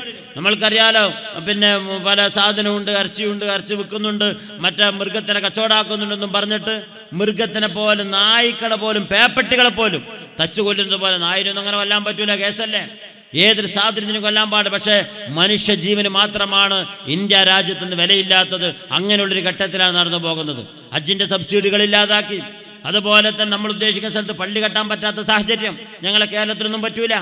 കേരളത്തിൽ പള്ളി കെട്ടണമെങ്കിൽ അതിന്റെ ചുറ്റുഭാഗത്തുള്ളവരുടെ സമ്മതം ഉണ്ടാവണം. ആ പരിധിയിൽപ്പെട്ട പോലീസ് സ്റ്റേഷനിലുള്ള സമ്മതപത്രം കിട്ടണം. താസിദ്ദാർ സമ്മതപത്രം കിട്ടണം. അവസാനം കലക്ടർ ഓർഡർ ഉണ്ടാവണം. എന്നാലേ പള്ളി കെട്ടാൻ പറ്റും. പൊതുസ്ഥലത്തല്ല. എന്റെ സ്വന്തം രേഖയിലുള്ള സ്ഥലമായാലും പള്ളി കെട്ടാൻ പറ്റില്ല. കഴിഞ്ഞു പോയ തലമുറയിൽ അങ്ങനെയല്ല. തലമുറ എന്ന് പറയുമ്പോൾ നാൽപ്പത് വർഷമാണല്ലോ ഒരു തലമുറ. ഒരു രണ്ട് തലമുറ മുമ്പ് ചിന്തിച്ചു നോക്കിയാൽ എവിടെയും യഥേഷ്ടം ഹലാലായ സ്ഥലത്തല്ലേ പള്ളി കിട്ടുള്ളൂ. അങ്ങനെയുള്ള സ്ഥലത്ത് പള്ളി കെട്ടാൻ എവിടെയും പറ്റും. പക്ഷെ ഇന്ന് സാഹചര്യമല്ല. എന്ന് പറഞ്ഞാൽ ഒരു മുസ്ലിം വളരെ ഇഞ്ചിഞ്ചായി പ്രയാസപ്പെട്ടുകൊണ്ടിരിക്കുകയാണ്. ഇന്നെ എന്ത് ചോക്ക് എന്റെ മകൾക്ക് പതിനെട്ട് വയസ്സ് പൂർത്തിയാകാൻ രണ്ട് ദിവസം ബാക്കി ഉണ്ടായാൽ മതി. ആ കുട്ടിയുടെ നിക്കാഹങ്ങാനം അറിഞ്ഞാൽ അത് അപ്പോൾ തന്നെ ക്യാൻസൽ ചെയ്യുന്നു മാത്രമല്ല നിക്കാഹ് ചെയ്തു കൊടുത്താൽ. ചെയ്തു കൊടുത്ത വാപ്പാക്ക് കേസാണ് സ്വീകരിച്ച ഭർത്താവിന് കേസാണ് എല്ലാം കേസാണ്. ഇന്നിപ്പോ ഒരു പുതിയ നിയമം എന്താ? മുത്തലാക്ക് മുത്ത മുത്തലാക്ക് എന്ന് പറഞ്ഞ മൂന്ന് തലാക്ക് അതൊക്കെ വഹാബികളുണ്ടായ ഒരു പ്രത്യേക സ്വഭാവമാണ്. വഹാബികൾ കൊണ്ടുവന്ന ഒരു പ്രത്യേക ശൈലിയാണ്. അങ്ങനെയുള്ള തലാക്ക് എന്തായി മുത്തലാക്ക് എന്നൊക്കെ പറഞ്ഞാൽ നമ്മുടെ മുഖ്യ പ്രാസംഗ്യൻ റഹ്മത്ത് കാസിമിയുടെ എത്തി. ഞാൻ നിർത്തലേട്ടാ എന്താ മുത്തലാഖ്. മുത്തലാക്ക് എന്ന് പറഞ്ഞാൽ എന്താ? മൂന്ന് തലാക്ക് ഒന്നിച്ചിരിയല്ല എന്ന് പറയുന്ന സ്വഭാവം. ആ വാസ്തവത്തിൽ ആ പേരിട്ടത് മറ്റൊക്കെ വഹാബികളാണ്. ഇവിടെ വാസ്തവത്തിൽ ഭൂരിപക്ഷം വരുന്ന മതവിഭാഗം ഭൂരിപക്ഷം വരുന്ന മതവിഭാഗം. ആ ഭൂരിപക്ഷം വരുന്ന മതവിഭാഗത്തിന്റെ വളരെ സനതോടുകൂടിയുള്ള ഒരു നിയമം ഉണ്ടെങ്കിൽ അത് തലാക്ക് ചൊല്ലൽ പാടില്ല എന്നുള്ളത് മാത്രമാണ്. അങ്ങനെ ചില മതങ്ങളുണ്ട്. തലാക്ക് ചെല്ലാൻ പാടില്ലാത്ത ചില മതങ്ങളുണ്ട്. അവിടത്തേക്കാണ് കാര്യങ്ങൾ ചെന്നെത്തിച്ചുകൊണ്ടിരിക്കുന്നത്. അങ്ങനെ മുസ്ലിമീങ്ങളെ വളരെ ഇഞ്ചിഞ്ചായി പല രൂപങ്ങളിലും ഒരാളൊരു ഭാര്യനെ മൂന്ന് തലാഖ് ചൊല്ലിയാൽ മൂന്ന് വർഷം വരെ അവനിക്ക് കഠിനമായ ജയിലാണ്. അങ്ങനെയുള്ള നിയമങ്ങളൊക്കെ കൊണ്ടുവരുമ്പോൾ ഒരു വലിയതായിരിക്കുന്ന ഒരു ഒരു ഒരു യുദ്ധത്തിന്റെ കളത്തിലാണ് ഇന്ന് ഇന്ത്യൻ രാജ്യത്തുള്ള ജനങ്ങൾ നിൽക്കുന്നത്. യുദ്ധം എന്ന് പറഞ്ഞാൽ തോക്കുകൊണ്ടുള്ള യുദ്ധമല്ല ബാലറ്റ് പേപ്പറിൽ കൂടിയിട്ടുള്ള ആ യുദ്ധം. അതുകൊണ്ട് തന്നെ നമ്മുടെ വിവേകം നമ്മുടെ വികാരങ്ങൾക്ക് അടിമപ്പെടാതെ ഇവിടെയുള്ള മുസ്ലിം ഉമ്മത്ത് ഒറ്റക്കെട്ടായും കൊണ്ട് വളരെ ദീർഘദൃഷ്ടിയോടുകൂടി ചിന്തിച്ചിട്ട് കാര്യങ്ങൾ മുന്നോട്ട് കൊണ്ടുപോകുന്നില്ല എങ്കിൽ അപകടകരമായ അവസ്ഥ വരും. എനിക്ക് എനിക്ക് സ്ഥലമാക്കി തന്നിട്ടില്ല. അല്ലെങ്കിൽ എന്റെ സ്ഥലത്തിന് എനിക്ക് രേഖയാക്കിയിട്ടില്ല. അല്ലെങ്കിൽ എന്റെ പേരന്റെ ഭാഗത്തേക്ക് റോഡ് കിട്ടിയിട്ടില്ല. അല്ലെങ്കിൽ എനിക്ക് റേഷൻ അരി കിട്ടിയിട്ടില്ല. എനിക്ക് കാർഡ് കിട്ടിയിട്ടില്ല എന്നുള്ള ഓരോരുത്തരുടെ സ്വാർത്ഥ താല്പര്യം. അതല്ലെങ്കിൽ നാം വിചാരിക്കുന്ന ഏതെങ്കിലും ഒരു നാം ഉദ്ദേശിക്കുന്ന ഒരാൾ അദ്ദേഹം എന്നോട് നേരെ പെരുമാറിയിട്ടില്ല. അതുകൊണ്ട് ഓനെ തോപ്പിക്കണം അല്ലെങ്കിൽ ഓന്റെ പാർട്ടി പറ്റൂല എന്നൊക്കെ പറഞ്ഞ് നമ്മുടെ വോട്ടുകളൊക്കെ ഭിന്നിച്ച് ചിന്ന ഭിന്നമായി പോയാൽ ആരതരവായ നബി തങ്ങൾ പറഞ്ഞതുപോലെ എന്റെ പ്രിയമുള്ളവരെ കൂട്ടം തെറ്റി ആട്ടൻ കുട്ടികളെ കൂട്ടി കുട്ടികളെ പോലെ ആവരുത് നമ്മളോട് പഠിപ്പിച്ചു തന്നിട്ടുണ്ട്. കൂടം തെറ്റി ആട്ടുകുട്ടികളെ പോലെ നിങ്ങൾ ആകരുത്. കാരണം ഒരു കൂട്ടം ആടുകളെ കൂട്ടമായിട്ട് കൊണ്ടുപോകുമ്പോൾ എവിടെയെങ്കിലും പച്ചപ്പ് കാണുമ്പോൾ അതിനെ കടിച്ചും മറിച്ചൊക്കെ ചില ആടുകൾ ഒറ്റപ്പെട്ടു പോകും. അങ്ങനെ ഒറ്റപ്പെട്ടു പോയാൽ ഒറ്റപ്പെട്ട ആടുകളെ പിടിക്കാൻ ചെന്നായകൾക്ക് എളുപ്പമാണ് അതുകൊണ്ട് എന്റെ സമുദായമേ നിങ്ങൾ കൂട്ടം തെറ്റരുതേ. നിങ്ങൾ ഐക്യത്തിലും സ്നേഹത്തിലും ഉണ്ടാവണേ എന്ന് മുസ്തഫ നബി തങ്ങൾ പഠിപ്പിച്ചു തന്നിട്ടുണ്ടെങ്കിൽ ആ ഒരു കൂട്ടായ്മ ഇന്ന് നമ്മൾ വളരെ കാത്തു സൂക്ഷിക്കേണ്ടതാണ്. നമ്മളെ സംബന്ധിച്ചിടത്തോളം നമ്മൾക്കറിയാം ബഹുമാനപ്പെട്ട സമസ്തയുടെ ഉപദ്ധ്യക്ഷനാണ് ബഹുമാനപ്പെട്ട ഹൈദർ അലി ഷിഹാബ് തങ്ങൾ. ശിഹാബ് തങ്ങൾ വാസ്തവത്തിൽ മതസംഘടനയിലും അതുപോലെ തന്നെ എല്ലാ മേഖലകളിലും ഈ സമുദായത്തിന് നേതൃത്വം കൊടുക്കുന്നവരാണ്. അപ്പൊ തങ്ങൾ എന്ത് പറയുന്നുവോ? ഞാൻ പറയുന്ന രാഷ്ട്രീയം പറയാന്ന് മനസ്സിലാക്കി പോകരുത്. നമ്മുടെ വിജയത്തിന് വേണ്ടി നമ്മുടെ ബഹുമാനപ്പെട്ട സമസ്ത നമ്മൾക്കറിയാം. ഇവിടെ ഭൂരിപക്ഷ ആൾക്കാരും സമസ്തയിൽ വിശ്വസിക്കുന്നവരും സമസ്തയുടെ അനുയായികളുമാണ്. ഭൂരിപക്ഷ ആൾക്കാരും അങ്ങനെ തന്നെയാണ്. അല്ലാത്തവരുണ്ട് സുന്നത്തമായത്തിന്റെ മറ്റ് സംഘടനയിൽ പ്രവർത്തിക്കുന്നവരുണ്ട്. മറ്റുള്ളതൊന്നും സുന്നത്ത് ജമായത്തല്ല എന്നല്ല ഞാൻ പറയുന്നത്. സുന്നത്ത് ജമായത്ത് തന്നെ കേരളത്തിൽ നാല് സംഘടനകളുണ്ട്. ഞാനത് വിശദീകരിക്കുന്നില്ല. പക്ഷേ സമസ്തയിലാണ് ഭൂരിപക്ഷം സുന്നികളും അതുപോലെ തന്നെ മുസ്ലിമുകളുള്ളത് ആ അതിന്റെ തലപ്പത്ത് നിൽക്കുന്നവരാണ് ഇതരൽ ശഹാബദങ്ങൾ. അപ്പൊ തങ്ങളൊരു ആഹ്വാനം നടത്തുമ്പോൾ തങ്ങളൊരു പ്രസ്താവന നടത്തുമ്പോൾ ആ തങ്ങളുടെ പിന്നിൽ അടിയുറച്ചു നിൽക്കാൻ നല്ലവരായ നമ്മൾ സന്നിധരാവണം. അതെല്ലാ മേഖലകളിൽ ഉണ്ടാവണം. എല്ലാ മേഖലകളിലും ആ ആ യോജിപ്പുണ്ടാവണം. അങ്ങനെ യോജിപ്പില്ലാതെ വന്നാൽ നമ്മൾ പരാജയപ്പെട്ടു പോകും നശിച്ചു പോകും. നമ്മുടെ റഷ്യയുടെയൊക്കെ ചിത്രം അതാണ്. റഷ്യ എന്ന് പറയുന്ന രാജ്യമൊക്കെ ഇമാം ബുഖാരി തങ്ങളൊക്കെ ജനിച്ച രാജ്യം ആ രാജ്യമൊക്കെ പരാജയപ്പെട്ട് ചിന്ന ഭിന്നമായി പോയതൊക്കെ അന്നേത്തെ മുസ്ലിമീങ്ങളെ തമ്മിൽ പിന്നെ ഭിന്നിപ്പിച്ചതാണ്. അങ്ങനെ ഭിന്നിപ്പിച്ചിട്ടാണ് അന്നേത്തെ ശത്രുക്കൾക്ക് അവിടെ രക്ഷപ്പെടാൻ വേണ്ടി സാധിച്ചത്. അവർക്ക് ഭരണത്തിലേക്ക് എത്താൻ വേണ്ടി സാധിച്ചത്. അങ്ങനെ ഭരണത്തിലേക്ക് എത്തിയപ്പോൾ പിന്നെ അവർ മുസ്ലിമീങ്ങളെ തന്നെ ഇഞ്ചിഞ്ചായി നശിപ്പിക്കുകയും പള്ളികൾ പോലും അടച്ചുപൂട്ടുകയും ഒക്കെ ചെയ്യുന്ന ഒരു അവസ്ഥയിലേക്ക് എത്തിച്ചു. അതുകൊണ്ട് അങ്ങനെയുള്ളൊരു പ്രവണതയൊന്നും ഉണ്ടാകരുത് എന്നിട്ട് മാത്രം സൂചിപ്പിച്ചുകൊണ്ട് ഞാൻ വാക്കുകൾ അവസാനിപ്പിക്കുകയാണ്. അള്ളാഹു റബ്ബു സുബാനു തആല ഈ ഒരുമിച്ച് കൂടിയതുപോലെ അവന്റെ സ്വർഗത്തിൽ അള്ളാഹു നമ്മളൊക്കെ ഒരുമിച്ച് കൂട്ടി അനുഗ്രഹിക്കുമാറാവട്ടെ. ഞാൻ നേരത്തെ മക്കാമിൽ വെച്ചിട്ട് എല്ലാവർക്കും വേണ്ടി ഇൻഷാല്ല ദുവാ ചെയ്തിട്ടുണ്ട്. അറമുറാഹിമിന റബ്ബ് നമ്മുടെ എല്ലാ ദോഷങ്ങളെയും അള്ളാഹു തല മാഫാക്കി തരുമാറാവട്ടെ. നമ്മുടെ എല്ലാ പ്രയാസങ്ങളെയും അള്ളാഹു തല മാറ്റി തരുമാറാവട്ടെ. എല്ലാ രോഗങ്ങളെയും അള്ളാഹു റബ്ബ് സുബാനോ തല ഷിഫിയാക്കി തരുമാറാവട്ടെ. പ്രത്യേകിച്ച് നമ്മുടെ ഈ നാട്ടിന് വേണ്ടി ഒരുപാട് ത്യാഗം ചെയ്തവരാ ഇവിടെ മരിച്ചു പോയിട്ടുണ്ട്. ഞാൻ നേരത്തെ മക്കാമൻ തന്നെ ദുആ ചെയ്തിരുന്നു. നമ്മളെ സെയ്ദ്വാജി അതുപോലെ തന്നെ സെന്റാർ റേറ്റ് റമിച്ച അന്ത്രൂച്ച അങ്ങനെ അല്ലേ ഒരുപാട് നമ്മളെ തെക്കിലാജി അവരെപ്പോൾ നമ്മൾ സ്മരിക്കേണ്ടതാണ്. തെക്കിലാജിനെ കൊണ്ടാണല്ലോ ഈ സ്ഥലവും കാര്യവും ഇതൊക്കെ നമുക്ക് ഉണ്ടായത്. അങ്ങനെ അവരുടെ മക്കൾ ഇബ്രാഹിച്ച ഇബ്രാഹിച്ച നമ്മൾ ഇരിക്കുന്ന സ്ഥലം. ഞാൻ ഇന്റർവ്യൂലും പോയിട്ട് അവരുടെ കച്ചവടാക്കി ഇബ്രാഹിച്ചാനോട്. ഏഹ് ഇബ്രാഹിച്ച പള്ളിക്ക് എന്ന് പറഞ്ഞിട്ടാണ് ആ സ്ഥലം നമ്മുടെ ആരിഫ് ഇപ്പോഴത്തെ പ്രസിഡന്റിന്റെ വാപ്പ. അങ്ങനെ ഈ സ്ഥലം ഇവിടെ നൽകിയവർ അങ്ങനെ ഒരുപാട് ഇതിനു വേണ്ടി ത്യാഗം ചെയ്തവരുണ്ട്. എനിക്ക് പേര് ഓർമ്മയിൽ വരാത്തതുകൊണ്ട് ഞാൻ പറയുന്നത് നമ്മുടെ ടർലി ഇബ്രാഹിച്ച. അവരൊക്കെ ഒരുപാട് നമുക്ക് വേണ്ടി ത്യാഗം ചെയ്തിട്ടുണ്ട്. അങ്ങനെ ഒരുപാട് പൂർവികന്മാർ നമ്മുടെ ഈ മാലിന്യത്തിന് വേണ്ടി ഈ മദ്രസയ്ക്ക് വേണ്ടി ഈ മക്കാമിന് വേണ്ടി ഈ പള്ളിക്ക് വേണ്ടി ആ പള്ളിക്ക് തോട്ടുണ്ടാക്കുന്നതിന് വേണ്ടി ഇവിടെയൊക്കെ പണ്ട് ആ കവുങ്ങ് നട്ടപ്പോ ഇപ്പൊ കവുങ്ങെല്ലാം പോയില്ലേ? ആ കവുങ്ങൊക്കെ നടാൻ ഒരുപാട് റബ്ബർ. മുറാദ് അസ്ലാമിന്റെ നമ്മളെ മഹമ്മൂദാജി അദ്ദേഹത്തിന്റെ വാപ്പ അതും ഓർമ്മ വന്നതിന്റെ ഇടയിൽ. മഹമ്മൂദാജിക്ക് എന്റെ ഉപ്പ ഒരുപാട്? അബ്ബാസാജിക്ക ഒരുപാട് നമ്മുടെ ഈ സ്ഥാപനത്തിന് വേണ്ടി ഇവിടെ ത്യാഗം ചെയ്ത വ്യക്തിയാണ്. മഹമ്മൂദാജിനോടും അബ്ബാസാജി പറഞ്ഞെന്നാ കേട്ടത്. മോനെ മൊയിലാറായിട്ട് തന്നെ നിൽക്കുന്നത് അതിന്റെ മുമ്പ് റേഷൻ കാർഡ് കൊണ്ട് പോയതാ. അള്ളാഹുത്തല ബർക്കത്തായി കൊടുക്കട്ടെ. അപ്പം അങ്ങനെ ദീനിന് വേണ്ടി സേവനം ചെയ്തിരുന്ന ഒരുപാട് ആൾക്കാർ. മക്കളോട് പോലും വസീത്ത് നോക്കിയ. മറ്റൊന്നിനും പോണ്ട. ആ പുതിയ. ആ പേരെങ്ങനെ? കുഞ്ഞഹമ്മദ് ആ അള്ളാഹു തല ഇജ്ജത്ത് പ്രദാനം ചെയ്യട്ടെ. ഉയർച്ചയെന്ന് ഉയർച്ചയിൽ അള്ളാഹു തല എത്തിക്കുമാറാവട്ടെ. മുസ്ലിം നമ്മളെ സംബന്ധിച്ചിടത്തോളം ആവശ്യമാണ്. ന്യൂനപക്ഷ വിഭാഗത്തിന് അങ്ങനെ തഹസിൽദാറും അതുപോലെ തന്നെ കലക്ടറും എസ് പിയും ഒക്കെ ഉണ്ടാവണം. നമ്മൾ സാധിക്കണ്ടല്ലോ. സാധിക്കൊണ്ട് കച്ചവടത്തിന് പോയതാണ്. നീ മന്ത്രിച്ചിട്ടും പറഞ്ഞ് പഠി- പഠിക്കാൻ വിട്ടത്. അല്ലെന്നില്ല ഇപ്പം എന്തായി? പോലീസായി എസ് പിന്നെ ഡ്രൈവറല്ലായല്ലോ അള്ളാഹു തല ബർക്കത്താക്കട്ടെ. അങ്ങനെ ഒരുപാട് ആൾക്കാരുണ്ട്. അങ്ങനെ നമുക്ക് ആവശ്യമാണ് ഈ സമുദായത്തിൽ പഠിക്കുകയും അതുപോലെ തന്നെ ഉയർന്ന ഉദ്യോഗസ്ഥന്മാരാണ് ഇന്ത്യ രാജ്യത്തിന് സ്വാതന്ത്ര്യം കിട്ടുമ്പോൾ നമ്മുടെ അന്നത്തെ നേതാക്കന്മാർ ആഗ്രഹിച്ചത് അതാണ്. പക്ഷെ നമ്മളാരും നിൽക്കില്ല വേഗം ഗൾഫിലേക്ക് പോയും അല്ലെങ്കിൽ വലിയ കമ്പനി കയറിയിട്ട് ബിസിനസ് നടത്തും അതാണ് നമ്മൾ ചിന്തിക്കുന്നത്. പക്ഷെ ഇതുപോലുള്ള ഉത്തരവാദപ്പെട്ട ജോലിയിൽ പ്രവേശിക്കാൻ വേണ്ടിയൊക്കെ നമ്മളെ സമൂഹം പരിശ്രമിക്കുകയും ആ ഭാഗം ചിന്തിക്കുകയും ചെയ്യുന്ന കൂടി സന്ദർഭത്തിൽ ഞാൻ സൂചിപ്പിക്കണം അപ്പോൾ നമ്മുടെ അബ്ബാസാജിക്കാർക്ക് വേണ്ടി പ്രത്യേകിച്ച് ദുവാ ചെയ്യാൻ മുഹമ്മദ് അജി തന്നിട്ടുണ്ട്. അതുപോലെ ഒരുപാട് ആൾക്കാർ ഇവിടത്തേക്ക് ദുവാ ചെയ്യാൻ വേണ്ടി എത്തിച്ചെന്നിട്ടുണ്ട് അപ്പോൾ ആ ത്യാഗം ചെയ്തവരുടെയൊക്കെ കബർ അള്ളാഹുത്തല സ്വർഗത്തൊപ്പാക്കി കൊടുക്കുമാറാവട്ടെ. അവരുടെയൊക്കെ കബറിന് അള്ളാഹുത്തല വിശാല ചെയ്യുമാറാവട്ടെ അവരുടെ പിന്നെ കബർ ബർസഖ്യ ജീവിതം. അവർ പണ്ട് അറിവില്ലാത്തവരായതുകൊണ്ട് വിവരമില്ലാത്തവരായതുകൊണ്ട് എന്തെങ്കിലും അപാകതകളോ എന്തെങ്കിലും അവരെടുത്ത് വന്നു വന്നു പോയിട്ടുണ്ടെങ്കിൽ അള്ളാഹുദല അത് മാഫാക്കി കൊടുത്ത് അവരെ നമ്മളെല്ലാം അള്ളാഹുത്തല സ്വർഗത്തിൽ ഒരുമിച്ച് കൂട്ടുമാറാവട്ടെ. അതുപോലെ ഒരുപാട് രോഗികൾ ഈ ബഹുമാനപ്പെട്ട ദർഗയിലേക്ക് വർഷാവർഷം ഈ ഭാഗത്തുള്ളവരൊക്കെ വന്ന് നമ്മുടെ പ്രയാസങ്ങളും നമ്മുടെ വേവലാതികളും നമ്മുടെ പ്രയാസങ്ങളും വിഷമങ്ങളും കുടുംബത്തിന്റെ കാര്യം മക്കളെ കാര്യം നമ്മുടെ കച്ചവടത്തിന്റെ കാര്യം അങ്ങനെ ഓരോന്നോരോന്നും ആ മക്ബറയിൽ വന്ന് പറഞ്ഞിട്ട് നമ്മൾ സമാധാനം കാണുകയാണ്. അള്ളാഹു അവരുടെ ബർക്കത്ത് കൊണ്ട് നമ്മുടെ എല്ലാ പ്രശ്നങ്ങൾക്കും അള്ളാഹു തല പരിഹാരം നൽകുമാറാവട്ടെ.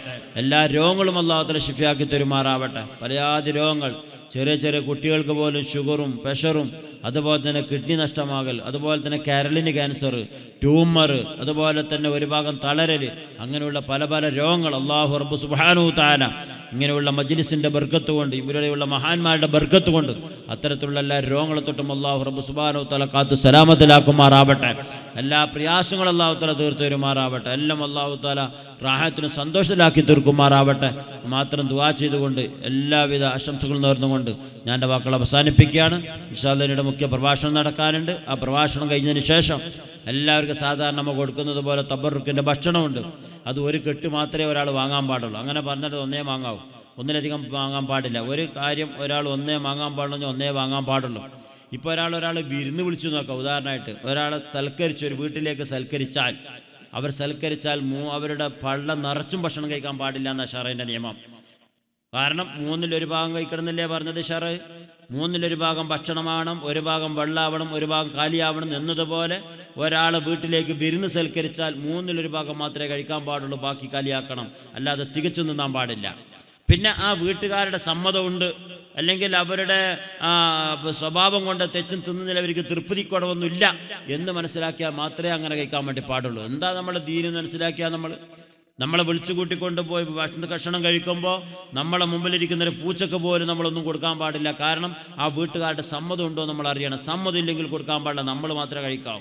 നമ്മൾക്ക് തന്നത്. അത് ഞാൻ നേരത്തെ സൂചിപ്പിച്ചതുപോലെ അതെല്ലാം ഇസ്ലാമിന്റെ കർക്കശമായ രൂപമാണ്. എല്ലാം ചിന്തിക്കേണ്ട വിഷയമാണ്. ബഹുമാനപ്പെട്ട അബു അനീഫി റലി അള്ളാഹു താലാനു ആരെങ്കിലും കടം വാങ്ങിയാൽ ആ കടം വാങ്ങിയ വ്യക്തിയുടെ വീടിന്റെ അരികിലേ കൂടി പോവില്ല എന്തുകൊണ്ട്? ഞാൻ കൊടുത്ത കടത്തിന് പകരമായിട്ട് അവന്റെ വീടിന്റെ തണൽ കൊള്ളുന്നത് എന്റെ അടുത്ത് ബഡിയിൽ പെട്ടുപോകുമോ എന്ന് പേടിച്ചിട്ട് വളരെ ചിന്തിക്കേണ്ട വിഷയമാണ്. അതുപോലെ തന്നെ അത് അങ്ങനെയുള്ള എല്ലാ മേഖലകളിലും എല്ലാ മേഖലയും നമ്മൾ വളരെ പേടിക്കുകയും ചിന്തിക്കുകയും ചെയ്യണം. അള്ളാഹ് ഇപ്പോൾ അതിൽ നിന്നെല്ലാം ബഡ്ഡി കൊടുക്കുക വാങ്ങുക. അതുപോലെ തന്നെ കൈക്കൂലി കൊടുക്കുക വാങ്ങുക. അതൊക്കെ ഇന്നൊരു സർവസാധാരണയായിട്ട് മാറിയിരിക്കുകയാണ്. ഇന്നത്തെ വാസ്തുവിൽ പിന്നെ ഈ റോഡും മറ്റൊക്കെ ഡാമറാക്കാൻ വേണ്ടിയൊക്കെ കോൺക്രീറ്റ് കോൺട്രാക്ടറായിട്ട് എടുക്കുന്നില്ലേ? അവരൊക്കെ കൊടുക്കുന്ന കൈക്കൂലിക്ക് കണക്കുണ്ടോ വാങ്ങുന്നതിനുള്ള കണക്കുണ്ടോ ഇപ്പൊ താസിദാർ തീരെ ഇരിക്കുന്നുണ്ട്. ബേജാറായി പോണ്ട. ഇവരല്ലേ? ചിലവരൊക്കെ ഒപ്പുണ്ടെങ്കിൽ എത്ര പൈസ വാങ്ങുക? അതൊക്കെ ഹലാലാവൂലല്ലോ.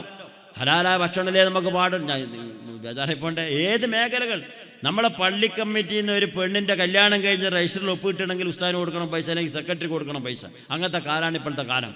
അള്ളാഹു താല അത്തരത്തിലുള്ള എല്ലാ ദുഷിച്ച ചിന്തകളെ തൊട്ട് നമ്മളെല്ലാവരും അള്ളാഹു താല കാത്തു സലാമത്തിലാക്കുമാറാവട്ടെ. അതായിരുന്നു അബു ഹനീഫ മുഹമ്മദങ്ങൾ കാരണം കടം കൊടുത്ത വ്യക്തിയുടെ അരികിൽ ആ വീടിന്റെ അരികിലെ കൂടി പോകുമ്പോൾ ആ വീടിന്റെ തണൽ ഞാൻ കൊണ്ടുപോയാൽ ഒരുപക്ഷെ ഞാൻ കൊടുത്ത കടത്തിന് പകരമായി പോകുമോ എന്ന് പേടിച്ചിട്ടെന്ന് വെക്കുമ്പോൾ അവരുടെയൊക്കെ ജീവിതവും സൂക്ഷ്മതയും എത്ര വലുതാണ് അതാണ് ഞാൻ സൂചിപ്പിക്കുന്നത്. അതുകൊണ്ട് ആരും ഞാൻ പറഞ്ഞാൽ കുറേ നീണ്ടു പോകും. അതുകൊണ്ട് ആ രൂപത്തിൽ നല്ല നിലയ്ക്ക് ജീവിച്ചു മരിക്കാൻ അള്ളാഹു നമ്മൾക്കൊക്കെ തോഫീക്ക് പ്രദാനം ചെയ്യുമാറാവട്ടെ. അള്ളാഹു റബ്ബ് സുബാനോ നമ്മൾക്ക് ആവശ്യമുള്ളത് ആവശ്യമുള്ള സന്ദർഭത്തിൽ ആവശ്യമുള്ള നേരത്ത് ആവശ്യമുള്ളതിന് അള്ളാഹു നമ്മൾക്ക് പ്രദാനം ചെയ്യുമാറാവട്ടെ മാത്രം ദുവാ ചെയ്തുകൊണ്ട് ഞാൻ നിർത്തുന്നു അസ്സലാമു അലൈക്കും വറഹമത്തുള്ള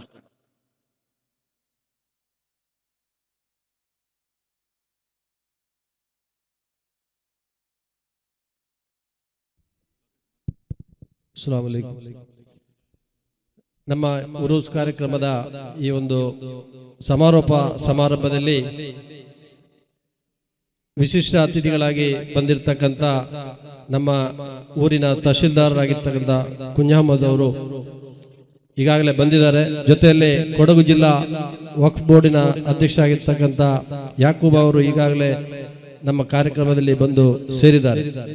ಪವಿತ್ರವಾದಂಥ ಈ ಒಂದು ಪುಣ್ಯ ಪ್ರದೇಶದಲ್ಲಿ ಸರ್ವ ಧರ್ಮ ಸಮಬಾಳ್ವೆ ಮತ್ತು ಅತ್ಯಂತ ಒಳ್ಳೆಯ ಶಾಂತಿ ಸೌಹಾರ್ದತೆಯ ಕೇಂದ್ರವಾಗಿರ್ತಕ್ಕಂಥ ಪೇಡಕದಲ್ಲಿ ಇವತ್ತು ಅನೇಕ ಅಭಿವೃದ್ಧಿ ಕಾರ್ಯಕ್ರಮ ಆಗಿದೆ.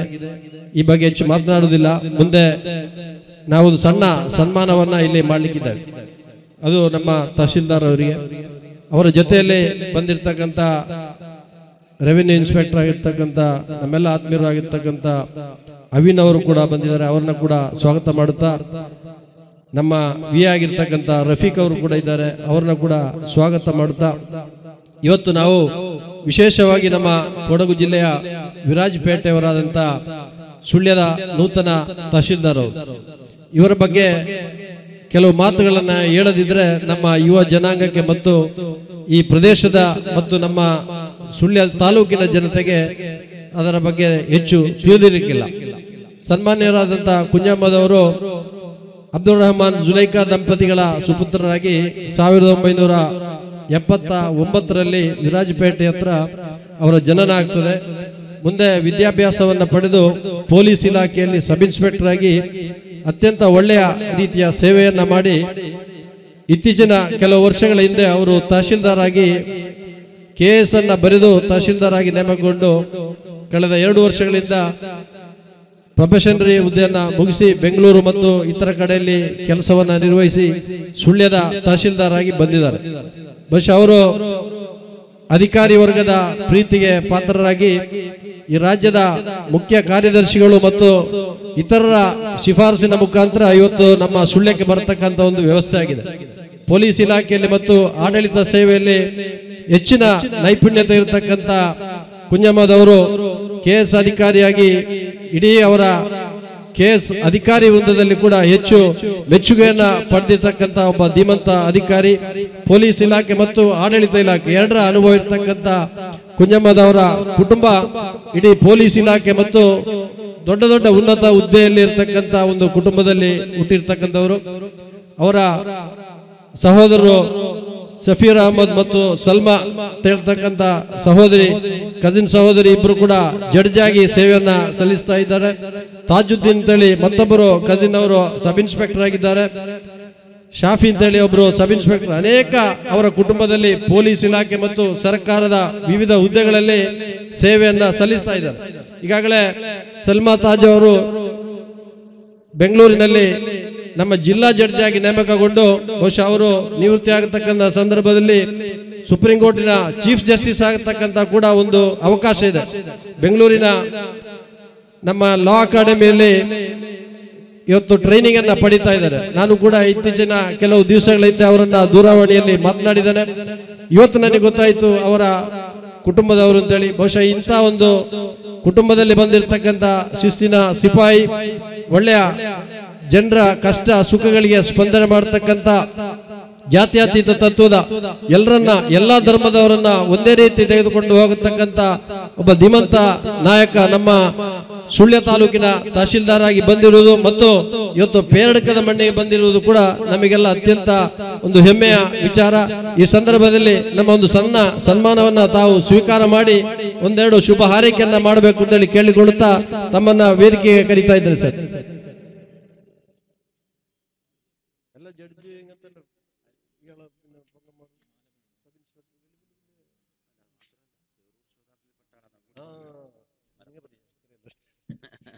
സ്നേഹമുള്ളവരെ ഞാൻ ഒരു ഇപ്പൊ കണ്ട പരിചയമുള്ളൂ. സംസാരിച്ച് നോക്കുമ്പോൾ ദീനിയ രൂപത്തിലും മലപ്പുറം ജില്ലയിൽ ചേറൂർ ശ്രോതാക്കൾ എന്ന് പറഞ്ഞാൽ പണ്ട് ബ്രിട്ടീഷുകാരോട് പര പടപൊരുത്തിയ ആ ഒരു വിഭാഗമുണ്ട്. അത് ഇവരെ വല്യപ്പന്മാരെ കൂട്ടത്തിൽ പെട്ടവരെന്നാണ് പറയുന്നത് അപ്പൊ എല്ലാ മേഖലകളിലും കഴിവുള്ള ആളാണ് നമ്മളെ സംബന്ധിച്ചിടത്തോളം നമ്മളെ സുല്യ താലൂക്കിനെ സംബന്ധിച്ചിടത്തോളം. തഹസിൽദാറായി നമുക്ക് ഇങ്ങനെ ഒരാളെ കുഞ്ഞഹമ്മദ് എന്ന് പറയുന്ന ഒരാളെ കിട്ടിയത് നമുക്ക് വലിയ അഭിമാനമാണ്. അള്ളാഹു അദ്ദേഹത്തിന്റെ സ്ഥാനം ഇനിയും ഉയർന്നു വരുത്തി അള്ളാഹു താല അദ്ദേഹത്തിനെ ഉയർച്ചയിലെത്തിക്കുമാറാവട്ടെ.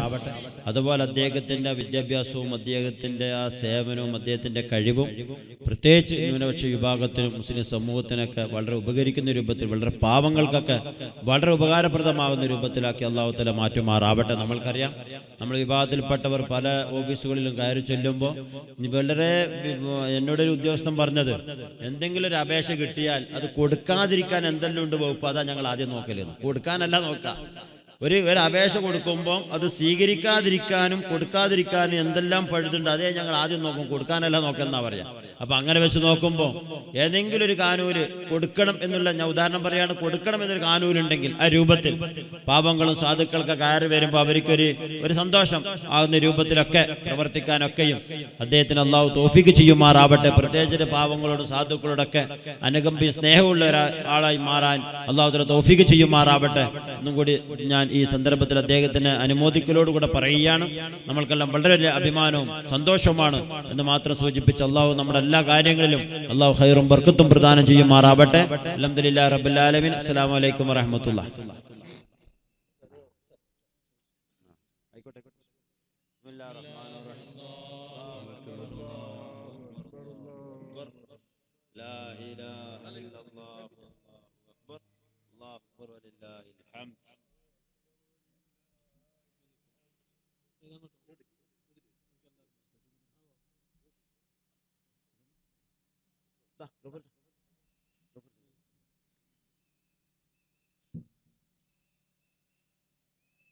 കുലു തക്ബീർ അള്ളാഹു തല എല്ലാം സ്വീകരിക്കുമാറാവട്ടെ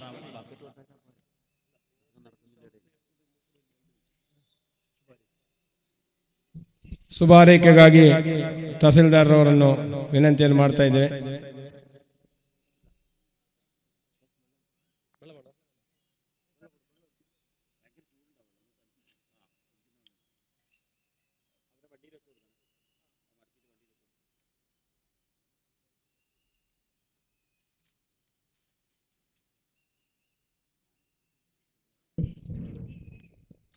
ಹಲೋ ಅಸ್ಲಾಂ ಕನ್ನಡದ ಸಂಸಾರಕ್ಕೆ ಈ ವಿದ್ಯುತ್ ಪೂರ್ಣ ವೇದಿಕೆಯಲ್ಲಿ ಆಸೀನರಾಗಿರುವಂತಹ ತಂಗಳರವರೇ, ಆತ್ಮೀಯರಾದ ಶಹೀದ್ರವರೇ, ಅವಿನ್ರವರೇ ಹಾಗೂ ಎಲ್ಲ ಗಣ್ಯ ಗಣ್ಯರೇ ಹಾಗೂ ಸಮಸ್ತ ನಾಗರಿಕರೇ ಹಾಗೂ ಮಾಧ್ಯಮ ಮಿತ್ರರವರೇ, ಪ್ರಿಯ ವಿದ್ಯಾರ್ಥಿಗಳೇ. ನನ್ನನ್ನು ಆಧರಿಸಿ, ಸತ್ಕರಿಸಿ, ತನ್, ಸನ್ಮಾನಿಸಿದ ಎಲ್ಲರಿ, ತಮಗೆಲ್ಲರಿಗೂ ವಂದಿಸುತ್ತ? ನಾನೊಂದು ಎರಡು ಮಾತುಗಳನ್ನು ಆಡಲು ವಿಚಾರಿಸುತ್ತೇನೆ. ಭಾರತೀಯ ಮಣ್ಣು, ಪವಿತ್ರವಾದ ಮಣ್ಣು. ಇದು ಸಾಂಸ್ಕೃತಿಕವಾದ ಕೇಂದ್ರ. ಸೂಫಿ ಸಂತರು ಸಹೋದರತೆಯನ್ನು ಸಾರಿದ ಈ ನಾಡು ಸದಾಕಾಲ ಎಲ್ಲ ಧರ್ಮದವರೊಂದಿಗೆ ಸಹೋದರತೆಯೆಂದು ಸ್ನೇಹಪರವಾಗಿ ಜೀವನ ಮಾಡಿ.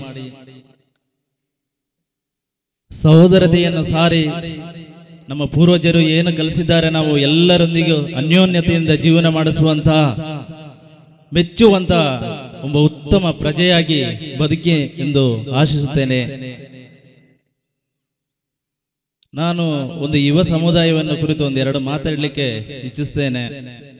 ಭಾರತವು ಶೇಕಡ ಐವತ್ತಾರರಷ್ಟು ಯುವಜನರಿಂದ ಕೂಡಿರುವಂತಹ ರಾಷ್ಟ್ರವಾಗಿದೆ. ಹಾಗಾಗಿ ಜಗತ್ತಿನಲ್ಲಿ ಭಾರತವನ್ನು ಯುವ ಭಾರತ ಅಂತ ಗುರುತಿಸಲಾಗುತ್ತದೆ.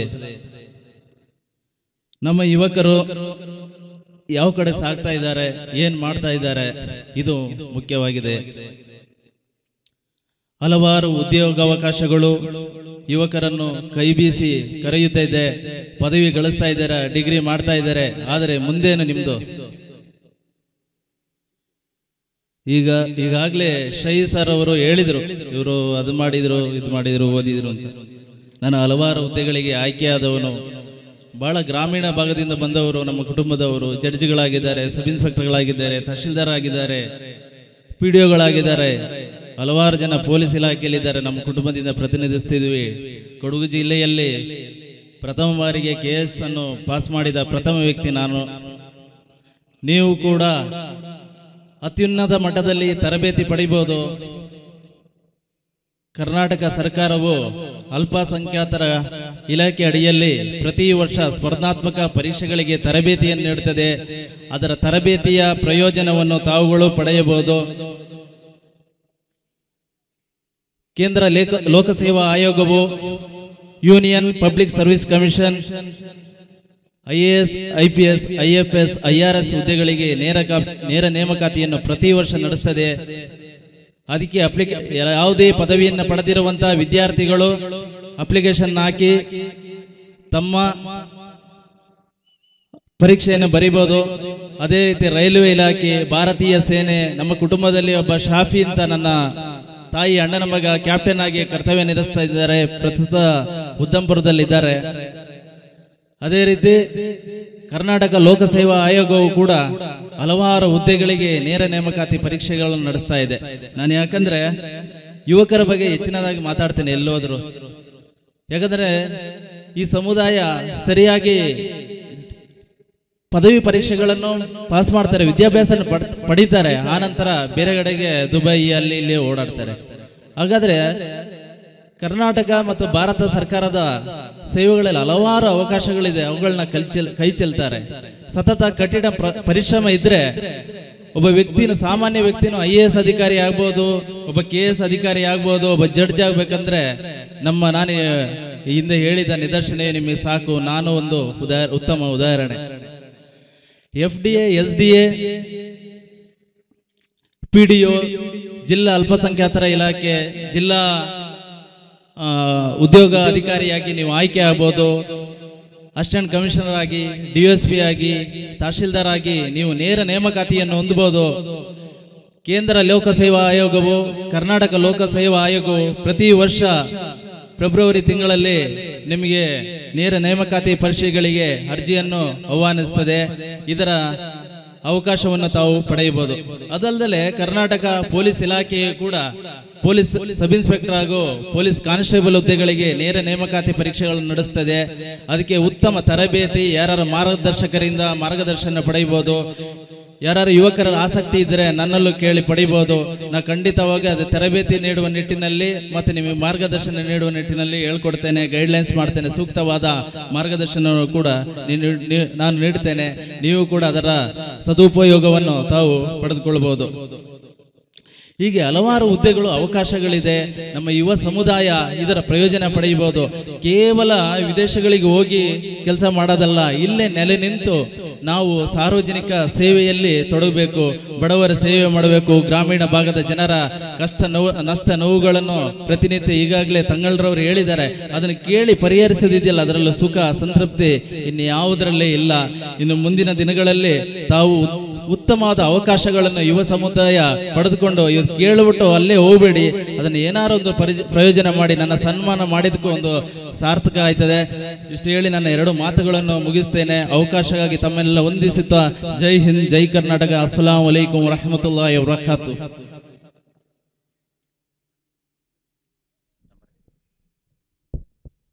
സ്നേഹമുള്ളവർ ഞാൻ നേരത്തെ സൂചിപ്പിച്ചതുപോലെ നമ്മുടെ ഉറൂസ് എന്നൊക്കെ പറയുന്നത് ദീനിന്റെ ദൈവത്താണ് ഷിയാറാണെന്നൊക്കെ ഞാൻ സൂചിപ്പിച്ചത് എനിക്ക് ഒരുപാട് ചെലവുണ്ട്. അതുകൊണ്ട് എല്ലാവരും കഴിവിന്റെ പരമാവധി നല്ലൊരു സംഭാവന നിങ്ങളുടെ ഭാഗത്തേക്ക് ബക്കറ്റും കൊണ്ട് വരും. ഇപ്പം മുസാഫാത്ത് ചെയ്യണമെന്ന് പറഞ്ഞിരുന്നു. മുസാഫാത്തി ഒരുപാട് സമയം താമസിക്കും. നമ്മളെ കാസിമിന്റെ പ്രസംഗമുണ്ട്. ഒരുപാട് ദൂരത്ത് ഇവിടെ വന്നത് പ്രസംഗിക്കാനാണല്ലോ. അതുകൊണ്ട് പ്രസംഗം നടക്കുന്നതിന്റെ ഇടയിൽ എല്ലാവരും മുമ്പിലേക്കും ബക്കറ്റ് കൊണ്ടുവരും എല്ലാവരും എന്റെ കയ്യിൽ തരുന്നത് പോലെ കരുതി. നല്ലൊരു സംഖ്യ. നമ്മളെല്ലാം കൊടുക്കുന്നത് അള്ളാഹുവിന്റെ വജീവിന് വേണ്ടി അള്ളാഹുവിന്റെ തൃപ്തിക്ക് വേണ്ടിയിട്ടാണല്ലോ. ആ തൃപ്തി മനസ്സിൽ കരുതി. കാരണം ഇവിടെ ഈ ലൈറ്റ് അതുപോലെ തന്നെ സൗണ്ട് അതുപോലെ തന്നെ ഇവിടുത്തെ ചീരണി ഇതിനെല്ലാം ഒരുപാട് ചിലവുണ്ട്. അതുകൊണ്ട് എന്റെ വകയിലും അതിലൊന്നും ഇരിക്കട്ടെ എന്ന നിലയ്ക്ക് എല്ലാവരും കുറയാത്ത വളരെ കുറയാത്ത നല്ല രൂപത്തിലുള്ള സംഭാവന. കൊടുത്തയക്കണം. അള്ളാഹുത്തല ഹൈറും ബർക്കത്തും പ്രധാനം ചെയ്യുമാറാവട്ടെ. അതുപോലെ തന്നെ സ്ത്രീകളെ ഭാഗത്തേക്കും ബക്കറ്റ് കൊടുത്തയക്കും. അവരും കഴിവിന്റെ പരമാവധി സംഭാവനകൾ കൊടുത്തയക്കണമെന്ന് വിനയത്തോടുകൂടി അഭ്യർത്ഥിക്കുകയാണ്. അള്ളാഹു നമ്മൾക്ക് ഹൈറും ബർക്കത്തും പ്രധാനം ചെയ്യുമാറാവട്ടെ. അതുപോലെ തന്നെ പരിപാടിയുടെ അവസാനത്തിൽ ശേഷം ഇവിടെ കുറേ തേനുണ്ട്. അതിവിടെ മന്ദിരിച്ച് വെക്കുന്നുണ്ട്. ഇൻഷാല്ല അവസാനത്തിൽ അതൊക്കെ ലേലം ചെയ്ത് കൊണ്ടുപോകണം. എല്ലാവരും അത് വാങ്ങിക്കൊണ്ടു പോകണം നമ്മൾക്കറിയാം കഴിഞ്ഞു പോയ തലമുറകളിൽ ഇതുപോലെ തേൻ ലേലം വിളിച്ചിട്ടും മുട്ട ലേലം വിളിച്ചിട്ട് തന്നെയാണ് നമ്മൾ ദീനിന്റെ പ്രബോധനം ചെയ്തത്. ഇപ്പോഴടുത്ത കാലത്താണ് ഗൾഫും അതുപോലെ തന്നെ അറബികളൊക്കെ വന്ന് കെട്ടിത്തരാനൊക്കെ തുടങ്ങിയത്. മുമ്പ് അങ്ങനെയല്ല. ഇതുപോലെ പാതിര വാതിൽ ആ വാതിൽ വെച്ചിട്ട് ഇതുപോലെ സാധനങ്ങൾ ലേലം ചെയ്ത് കൊണ്ടുപോകും. കൊണ്ടുപോകുന്നവർക്ക് ബർക്കത്താണ് ചെയ്യുന്നവർക്ക് ബർക്കത്താണ്. അന്നൊരു ബർക്കത്തുണ്ടായിരുന്നു നമുക്കൊക്കെ. അപ്പോൾ ഇങ്ങനെയുള്ള മജ്ലിസിനും മറ്റൊക്കെ സാധനം കൊണ്ടുപോയി കഴിക്കുമ്പോൾ അതിലൊരു ബർക്കത്തുണ്ടാവും. അതുപോലെ തന്നെ വാസ്തവത്തിൽ ഇന്നത്തെ നമ്മുടെ സ്വഭാവ രീതി ഇപ്പോൾ നമ്മുടെ എല്ലാം നമ്മുടെ പ്രവർത്തനവും നമ്മുടെ സംസ്കാരവും മാറിയതാണ് ഇന്നത്തെ പ്രശ്നത്തിന്റെ എല്ലാം കാരണം. ഉദാഹരണമായി വീട്ടിൽ ബർക്കത്തുണ്ടാകാൻ റസൂല്ല പറഞ്ഞത് കോയിനെ പോറ്റിയാൽ കോയി പൊരയിൽ ബർക്കത്താണ്. ആട് പൊരയിൽ ബർക്കത്താണ്. റസൂല്ല പറഞ്ഞതല്ലേ? അതുപോലെ തന്നെ പിന്നെ തണ്ടാസ് ബാത്റൂം അത് ഷെയ്ത്താന്റെ സ്ഥലമാണ്. ഷെയ്ത്താനാണ് ഒരു എല്ലാം ഷെയ്ത്താൻ എന്നല്ല ഞാൻ പറയുന്നത്. ഒരുപാട് രോഗത്തിന്റെ കാരണം ഷെയ്ത്താനാണല്ലോ വാസ്തവത്തിൽ തണ്ടാസിലേക്ക് കയറുമ്പോൾ നമ്മൾ ദുവാ ചെയ്യേണ്ടത് എന്താ? അള്ളാഹു ബിസ്മില്ല അള്ളാഹുമിൽ ഖബായിസ്. ആൺ ഷെയ്ത്താനെ തൊട്ടും പെൺ ഷെയ്ത്താനെ തൊട്ടും നിന്നോട് ഞാൻ കാവലിനെ ചോദിക്കുന്നു അല്ല എന്ന് ദുവാ ചെയ്തിട്ടാണ് തണ്ടാസ് കയറേണ്ടത് കഴിഞ്ഞു പോയ തലമുറകളെ പരിശോധിച്ച് നോക്കിയാൽ തണ്ടാസ് പരന്റെ കുറേ ദൂരായിരിക്കും. പൊരയായിട്ട് ഒരു ബന്ധവും ഉണ്ടാവില്ല. ഇന്ന് അതുപോലെ തന്നെ എല്ലാ പൊരയിൽ ആടും ഉണ്ടാവും കോയും ഉണ്ടാവും മൂന്ന് അടുപ്പ് വെച്ച കല്ലുണ്ടാവും അതൊക്കെ ബർക്കത്താണ്. ഇന്നോ അടുപ്പ് പോയി ആട് പോയി കോഴി പോയി കക്കൂസ് പറഞ്ഞൊരു പൊരന്റെ ഉള്ളിലും കൊണ്ടുവച്ച്. ബാത്റൂമിന്റെ പിന്നീട് സുക്കേട് മാറാം. കാരണം റസൂല പറഞ്ഞതിന് നേരെ വിപരീതമാണ് ഇന്ന് നമ്മുടെ ജീവിതം നമ്മുടെ സംസ്കാരം. അല്ലേ? അപ്പൊ ഷെയ്ത്താൻ നമ്മളെ വീട്ടിന്റെ ഉള്ളിൽ തന്നെയാണ്. വീട്ടിന്റെ ബാത്റൂം നമ്മളെ ഓരോ റൂമിലും അറ്റാച്ചഡ് ആണല്ലോ. അതൊക്കെ വലിയ പുണ്യമുള്ള കാര്യം എന്നാ ഞാൻ ആക്ഷേപിക്കുന്നതല്ല. നമുക്കിപ്പോ രണ്ട് കക്കൂസ് ഒന്നിച്ചിട്ട് വേണ്ട വരും കാരണം മുറ്റത്ത് ഇറങ്ങാൻ പേടിയാണ് പോകാൻ പ്രയാസമാണ്. പക്ഷെ നമ്മുടെ ജീവിത ശൈലി അങ്ങനെ ആയി മാറി പിന്നെ നമ്മുടെ പിന്നെ അറബികളൊക്കെ എന്താ പറയാ? മറക്കിരിക്കാന്നാ പറയാ. അവരൊക്കെ പുറത്തിരുന്നവരായിരുന്നു പണ്ട്. വെളുക്കിരിക്കാന്നാ പറയാ. കാരണം ഇപ്പൊ എന്റെ വാപ്പന്റെ കാലങ്ങളോളം ദൂരെടുക്കത്തപ്പം പിന്നെ കാട്ടിൽ പോയിട്ടല്ലേ മറക്കിരുന്നത് ആ സ്വഭാവമായിരുന്നു പണ്ട്. പണ്ട് അന്നൊക്കെ വീട്ടിൽ റഹത്തും ബർക്കത്തും ഐശ്വര്യവും സന്തോഷവും ഒരു റഹത്തും ഉണ്ടായിരുന്നു. ഇന്ന് സൗകര്യം കൂടുന്തോറും റസൂറുള്ള പറഞ്ഞെന്ന് വ്യതിചരിച്ച് വ്യതിചരിച്ച് നമ്മൾ ജീവിക്കുമ്പോൾ നമ്മൾക്കുള്ള പ്രയാസങ്ങളും വിഷമങ്ങളും ബുദ്ധിമുട്ടുകളും ദുരിതങ്ങളും ഇങ്ങനെ കൂടി കൂടി കൂടി വരികയാണ്. അള്ളാഹു അതിൽ നമ്മളെ രക്ഷപ്പെടുത്തുകയും സലാമത്താക്കുകയും ചെയ്യുമാറാവട്ടെ. അതിനൊക്കെയുള്ള ഒരു മാർഗമാണ് ഇതുപോലെയുള്ള സംഗതികൾക്കുള്ള സതക്കയും ദ്വായും അതുപോലെ ദ്വാരിപ്പിക്കലും ഇങ്ങനെ സാധനങ്ങൾ കൊണ്ടുപോയി കഴിക്കലതൊക്കെ അതിന്റെ ഒരു പരിഹാരമാണ്. അള്ളാഹു നമ്മുടെ എല്ലാ പ്രശ്നങ്ങൾക്കും പരിഹാരമാക്കി തരുമാറാവട്ടെ. മാത്രം ദ്വാ ചെയ്ത് ഞാൻ നിർത്തുന്നു. അസ്സലാമു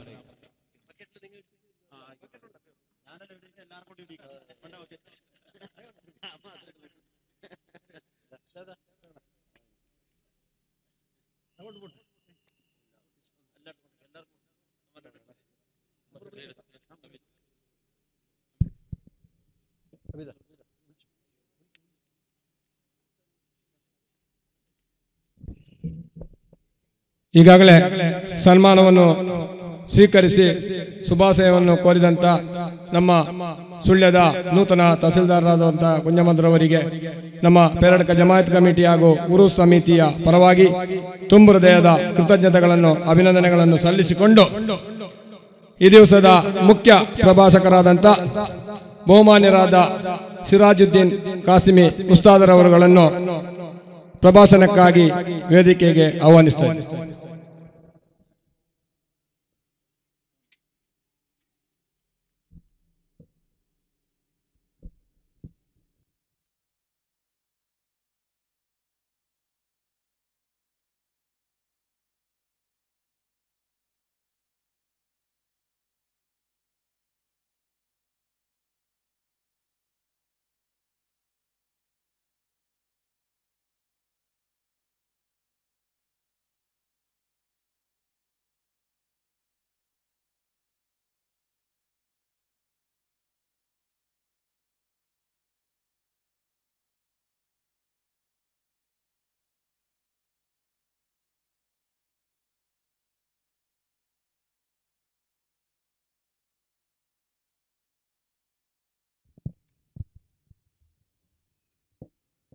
السلام عليكم ورحمة الله تعالى وبركاته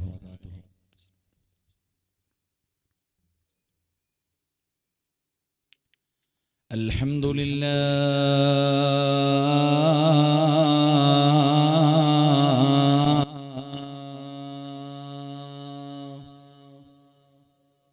نحمده ونستعينه ونستغفره ونؤمن به ونتوكل عليه. ونعوذ بالله من شرور أنفسنا ومن سيئات أعمالنا.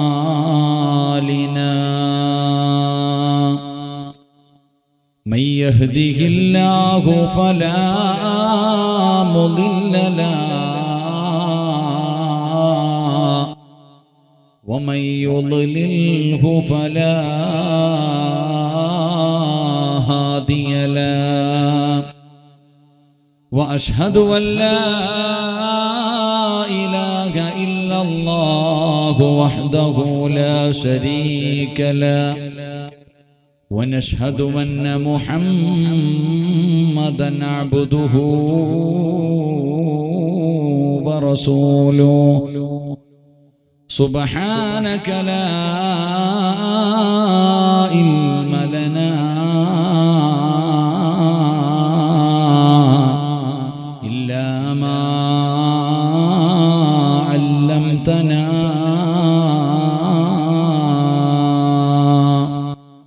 ولا معرفة إلا ما ألهمتنا. إنك أنت العليم الحكيم. أعوذ بالله من الشيطان الرجيم. بفضل بسم الله. الرحمن الرحيم. إن الله اشترى من المؤمنين أنفسهم وأموالهم بأن لهم الجنة. صدق الله مولانا العظيم قال النبي صلى الله عليه وسلم حاسبوا قبل أن تحاسبوا. قال نبينا وحبيبنا رسول الله صلى الله عليه وسلم. يا ربي بالمصطفى بلغ مقاصدنا واغفر لنا ما مضى. يا واسي الكرم. മുഹമ്മദിന് ചൂടുള്ള നാളുണ്ട്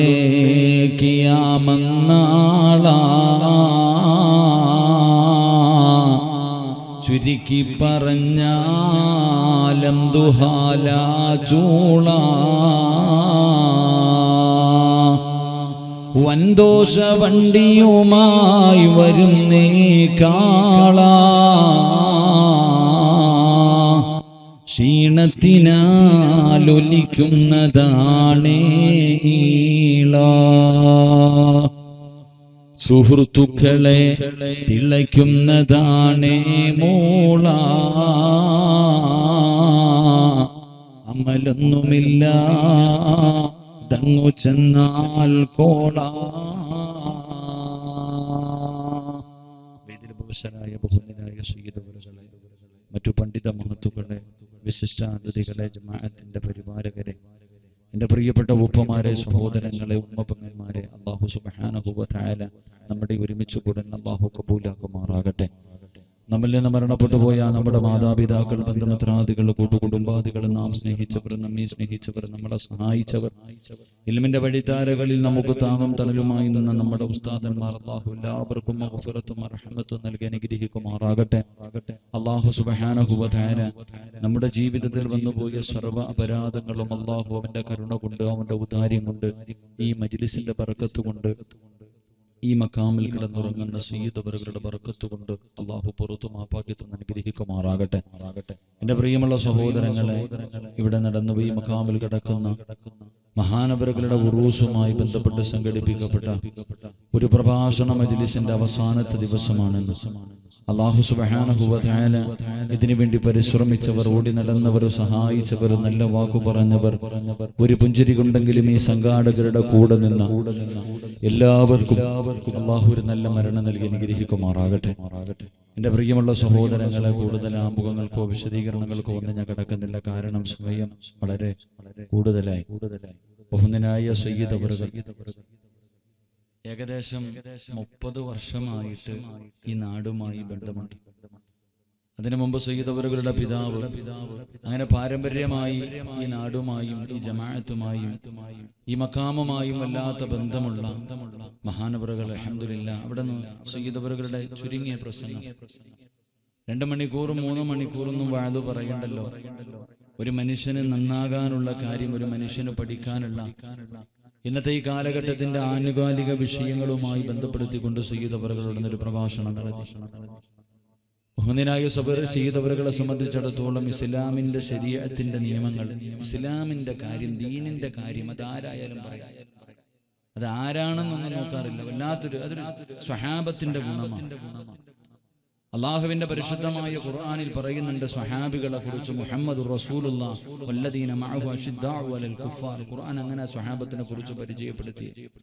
അപ്പൊ ഇസ്ലാമിന്റെ കാര്യം ദീനിന്റെ കാര്യം വരുമ്പോ ഇത് ആരാണെന്ന് നോക്കാറില്ല. വളരെ വളരെ മാന്യമായ രീതിയിൽ ചെയ്തവர்கள் മുഖം നോക്കാതെ ദീനിന്റെ കാര്യം പറയാനുള്ള ഒരു ആർജം ഒരുത്തൊരു ഈമാൻ അള്ളാഹു അത് മരിക്കോളം നിലനിർത്തി കൊടുക്കുമാറാകട്ടെ. ആരാണെന്ന് നോക്കില്ല ദീനിന്റെ കാര്യം പറയുന്നത്. അതിലുപരിയായി മുപ്പത് വർഷമായിട്ട് സാധാരണ തങ്ങന്മാരൊക്കെ വന്നാൽ ചെയ്തിരിക്കും ദ്വാ ചെയ്യും. ഈ ജമാഅത്തിലെ ഒരു സംഘാടകനെ പോലെ ഈ ജമാഅത്തിന്റെ ഒരു പരിപാലക ആളെ പോലെ ഹാദിമിനെ പോലെയാണ് ഇതുമായി ബന്ധപ്പെട്ട കാര്യങ്ങളിലൊക്കെ ചേർന്നുകൊണ്ടിരിക്കുന്നത് അള്ളാഹു തആല ആഫിയത്തും ദീർഘായുസും അള്ളാഹു നിലനിർത്തി കൊടുക്കുമാറാകട്ടെ. അള്ളാഹു ആ മുഖത്ത് കാണുന്ന പുഞ്ചിരി അള്ളാഹു മരിച്ചു കിടക്കുമ്പോഴും നിലനിർത്തി കൊടുക്കുമാറാകട്ടെ. മരിക്കുന്ന ദിവസം സ്വന്തം കൈകൊണ്ട് ഉളവെടുത്ത് അവസാനത്തെ വക്കത്തും അള്ളാഹുവെ ജമാഅത്തായി നിസ്കരിച്ച് അള്ളാഹുവെ നീ ഇഷ്ടപ്പെട്ടവര് പോയതുപോലെ മഹാന്മാര് പോയതുപോലെ അവിടുത്തെ കുടുംബ പരമ്പരയിൽ തന്റെ പിതാക്കന്മാര് പോയതുപോലെ അള്ളാഹു നീ ഒരു നല്ല യാത്ര നൽകി അനുഗ്രഹിക്കണേ തമ്പുരാനെ. എന്റെ പ്രിയമുള്ള സഹോദരങ്ങൾ അതുകൊണ്ട് അലഹമില്ല സമയം വളരെ കുറവ്. എല്ലാവരും ഇവിടുത്തെ തബുറുക്ക് ഈ മഹാന്റെ ഈ സദസ്സിന്റെ ഒരു തബുറുക്ക്. അത് വല്ലാതെ ബറക്കത്തുള്ളതാണ് അതുകൊണ്ടാണ് അമുസ്ലിമീങ്ങളായ സഹോദരങ്ങൾ പോലും ഇവിടെ വന്നിരിക്കുന്നത്. ഞാനൊരു അഞ്ചു വർഷം മുമ്പ് ഈ നാട്ടിൽ വയത് പറയാൻ വന്നിട്ടുണ്ട്. അന്ന് ഈ സൗകര്യമൊന്നും ഇല്ല അന്ന് ഈ റോഡൊന്നുമില്ല. ഈ പാലമൊന്നും ഇല്ലാത്തൊരു അഞ്ചു വർഷത്തിന് മുമ്പ്. അപ്പൊ അന്ന് ഞാൻ വരുമ്പോൾ ഈ സദസ്സിൽ ഏറ്റവും കൂടുതൽ മുസ്ലിമീങ്ങളെക്കാളും അമുസ്ലിമീങ്ങളായി. അപ്പൊ അവർക്കൊക്കെ നമ്മൾ പറയുമ്പോഴാണ് നമ്മൾ പറയുന്നതിനേക്കാളും എത്രയോ നല്ലത് അവരുടെ ജീവിതത്തിന്റെ അനുഭവങ്ങൾ അവരുടെ പ്രയാസം അവരുടെ ദുഃഖം അവരുടെ ദുരിതം. ഈ വല്ലാതെ മനുഷ്യൻ പരസ്പരം വർഗീയതയുടെ പേര് പറഞ്ഞ് തമ്മിലടിക്കുന്ന ഈ കാലഘട്ടത്തിൽ അലഹമില്ല അവരൊക്കെ ഈ മക്കാമിൽ കിടക്കുന്ന മഹാരഥന്റെ മുന്നിലേക്ക് കടന്നു വരുന്നുണ്ടെങ്കിൽ അതവരുടെ ജീവിതത്തിൽ ഒരുപാട് നേട്ടങ്ങൾ അവർക്ക് ഒരുപാട് നല്ല അനുഭവങ്ങൾ ഈ സുയ്യതവറുകളുടെ ഈ മഹാന്റെ അവിടുത്തെ കറാമത്തുകൾ അവരുടെ ജീവിതത്തിൽ ഒരുപാട് അനുഭവത്തിലൂടെ അവർക്ക് നേടിയെടുക്കാൻ കഴിഞ്ഞിട്ടുണ്ട്. അതുകൊണ്ടാണ് അലഹമില്ല അതുകൊണ്ട് അള്ളാഹു സുബാന ഈ മഹാന്റെ പൊരുത്തവും ഗുരുത്വവും അള്ളാഹു എനിക്കും നിങ്ങൾക്കും നൽകി അനുഗ്രഹിക്കുമാറാകട്ടെ. എന്റെ പ്രിയമുള്ളവരെ അതുകൊണ്ട് ഇൻഷാല്ല ഭക്ഷണമൊക്കെ പാക്ക് ചെയ്തുകൊണ്ടിരിക്കുന്നു. അപ്പൊ അതുകൊണ്ട് ഇൻഷാല്ല ഞാനും ഇവിടുത്തെ ദ്വായാണ് എനിക്കും വേണ്ടത്. ഈ സയ്യിദവറുകളെ ഇന്നത്തെ അവസാനത്തെ ഈ മജ്ലിസിന്റെ പ്രാർത്ഥന. ആ പ്രാർത്ഥനയാണ് തന്നെ സയ്യിദവറുകളാണ് അവസാനം ദ്വാ ചെയ്യേണ്ടത്. തങ്ങളിത് ഇപ്പൊ ആദ്യം തന്നെ ഇൻഷാല്ല ദ്വാ തലയിൽ അതുകൊണ്ട് ഇൻഷാല്ല പെട്ടെന്ന് നമുക്കൊരു പന്ത്രണ്ട് മണിയോട് ഒരു പന്ത്രണ്ടരയോട് കൂടി ഇൻഷാല്ല ഇപ്പൊ സമയം ഒരു പതിനൊന്നരയായി. ഒരു പന്ത്രണ്ടരയോട് കൂടി നമുക്ക് എല്ലാവർക്കും ആത്മാർത്ഥമായി ദ്വാ ചെയ്ത് പിരിയണം. അള്ളാഹു സുബഹാനഹുവ താല ഈ സദസ് അള്ളാഹു ഇഷ്ടപ്പെട്ട സദസ്സായി അള്ളാഹു സ്വീകരിക്കുമാറാകട്ടെ. എന്റെ പ്രിയമുള്ള സഹോദരങ്ങളെ സഹോദരിമാരെ ബഹുമാനായ സയ്യിദവറുകൾ പറഞ്ഞു ഇന്ന് പുരോഗതി പുരോഗതി ഇന്ന് എല്ലായിടത്തും പുരോഗതിയാണ് വല്ലാത്ത വികസനം. വികസനം വികസിച്ച് വികസിച്ച് എവിടെ വന്നു എന്ന് പറഞ്ഞാൽ എന്റെ പ്രിയപ്പെട്ടവരെ നമ്മുടെ വീടിന്റെ അകത്ത് വരെ വികസനം എത്തിയിരിക്കുന്ന ഒരു കാലഘട്ടത്തിലാണ് ഞാനും നിങ്ങളും ജീവിക്കുന്നത്. പണ്ട് നമ്മുടെ വീടിന്റെ അകത്തായിരുന്നു അടുക്കള. വീടിന്റെ അകത്തായിരുന്നു അടുക്കള. ബാത്റൂം വീടിന്റെ വെളിയിലായിരുന്നു. ഇന്ന് ഇന്ന് എന്റെ പ്രിയമുള്ളവരെ പണ്ട് വീടിന്റെ അകത്തിരുന്ന് ഭക്ഷണം ഉണ്ടാക്കി വീടിന്റെ അകത്തിരുന്ന് അത് ഭക്ഷിച്ചിട്ട് വിസർജിക്കാൻ പുറത്തു പോകുന്ന ഒരു കാലമുണ്ടായിരുന്നു. ഇന്ന് അതൊക്കെ മാറിയിട്ട് പണ്ട് വീടിന് ഒരു അടുക്കളേ ഉള്ളൂ. ഇന്ന് അടുക്കളകൾ വീടിന് ഒരുപാടായി. ഇന്ന് വീടിന്റെ വെളിയിലാണ് അടുക്കള. വീടിന്റെ അകത്ത് അടുക്കളയില്ല. വീടിന്റെ വെളിയിൽ അടുക്കള വെച്ചു. ബാത്റൂം കൊണ്ടുവന്ന് വീടിന്റെ അകത്ത് വെച്ചു. എങ്ങനെയെന്ന് പറഞ്ഞാൽ ബെഡ്റൂമിന്റെ അകത്ത് വരെ. അങ്ങനെ നമ്മുടെ വീടുകൾ പണ്ടൊക്കെ റഹ്മത്തിന്റെ മാലാകമാർ നമ്മുടെ വീട്ടിൽ വന്നിരിക്കുമായിരുന്നു. അള്ളാഹുവിന്റെ ഓർമ്മയുള്ള അള്ളാഹുവിനെ കുറിച്ച് പറയുന്ന വീടുകളായി നമ്മുടെ വീടൊക്കെ പണ്ട് ഉണ്ടായിരുന്നു. പക്ഷെ ഇന്ന് അതൊക്കെ മാറി. ഇന്ന് റഹ്മത്തിന്റെ മലക്കുകൾ നമ്മുടെ വീട് കാണാൻ വരുന്നില്ല.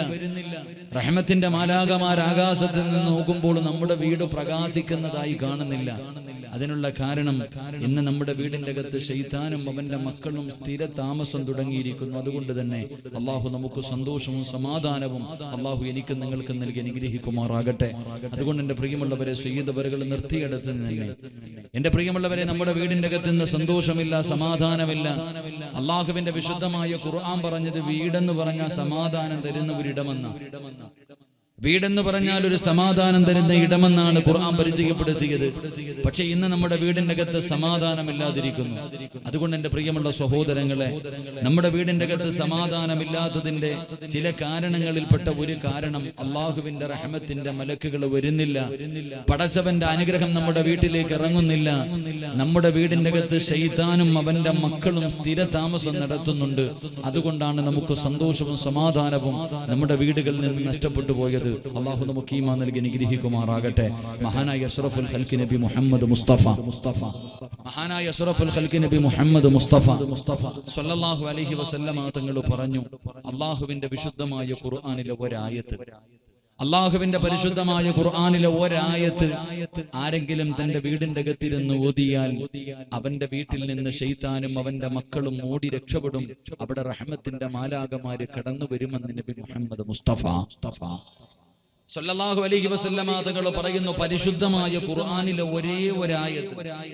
ഈ ഒരായത്ത് നമ്മൾ ആരെങ്കിലും നമ്മുടെ വീടിന്റെ അകത്ത് ഇന്ന് വയത് കഴിഞ്ഞ് ഇവിടെ നീ പിരിഞ്ഞ് നിന്റെ വീട്ടിലേക്ക് കടന്നു ചെന്നു ഭക്ഷണമൊക്കെ കഴിച്ചു സന്തോഷത്തോടെ കിടക്കുമ്പോ അള്ളാഹുവിന്റെ വിശുദ്ധമായ ഖുർആാനിലെ ഒരായത്ത് ഇഖിലാസോടുകൂടി നിങ്ങൾ ആരെങ്കിലും നിങ്ങളുടെ വീടിന്റെ അകത്തിരുന്ന് ഓതിയാൽ ഇബിലീസ് വീടിന്റെ മുകളിൽ കയറിയിരിക്കുന്ന നിങ്ങളൊന്ന് പുറത്തിറങ്ങിയിട്ട് നോക്കണം മുകളിൽ ആരെങ്കിലും ഉണ്ടോ?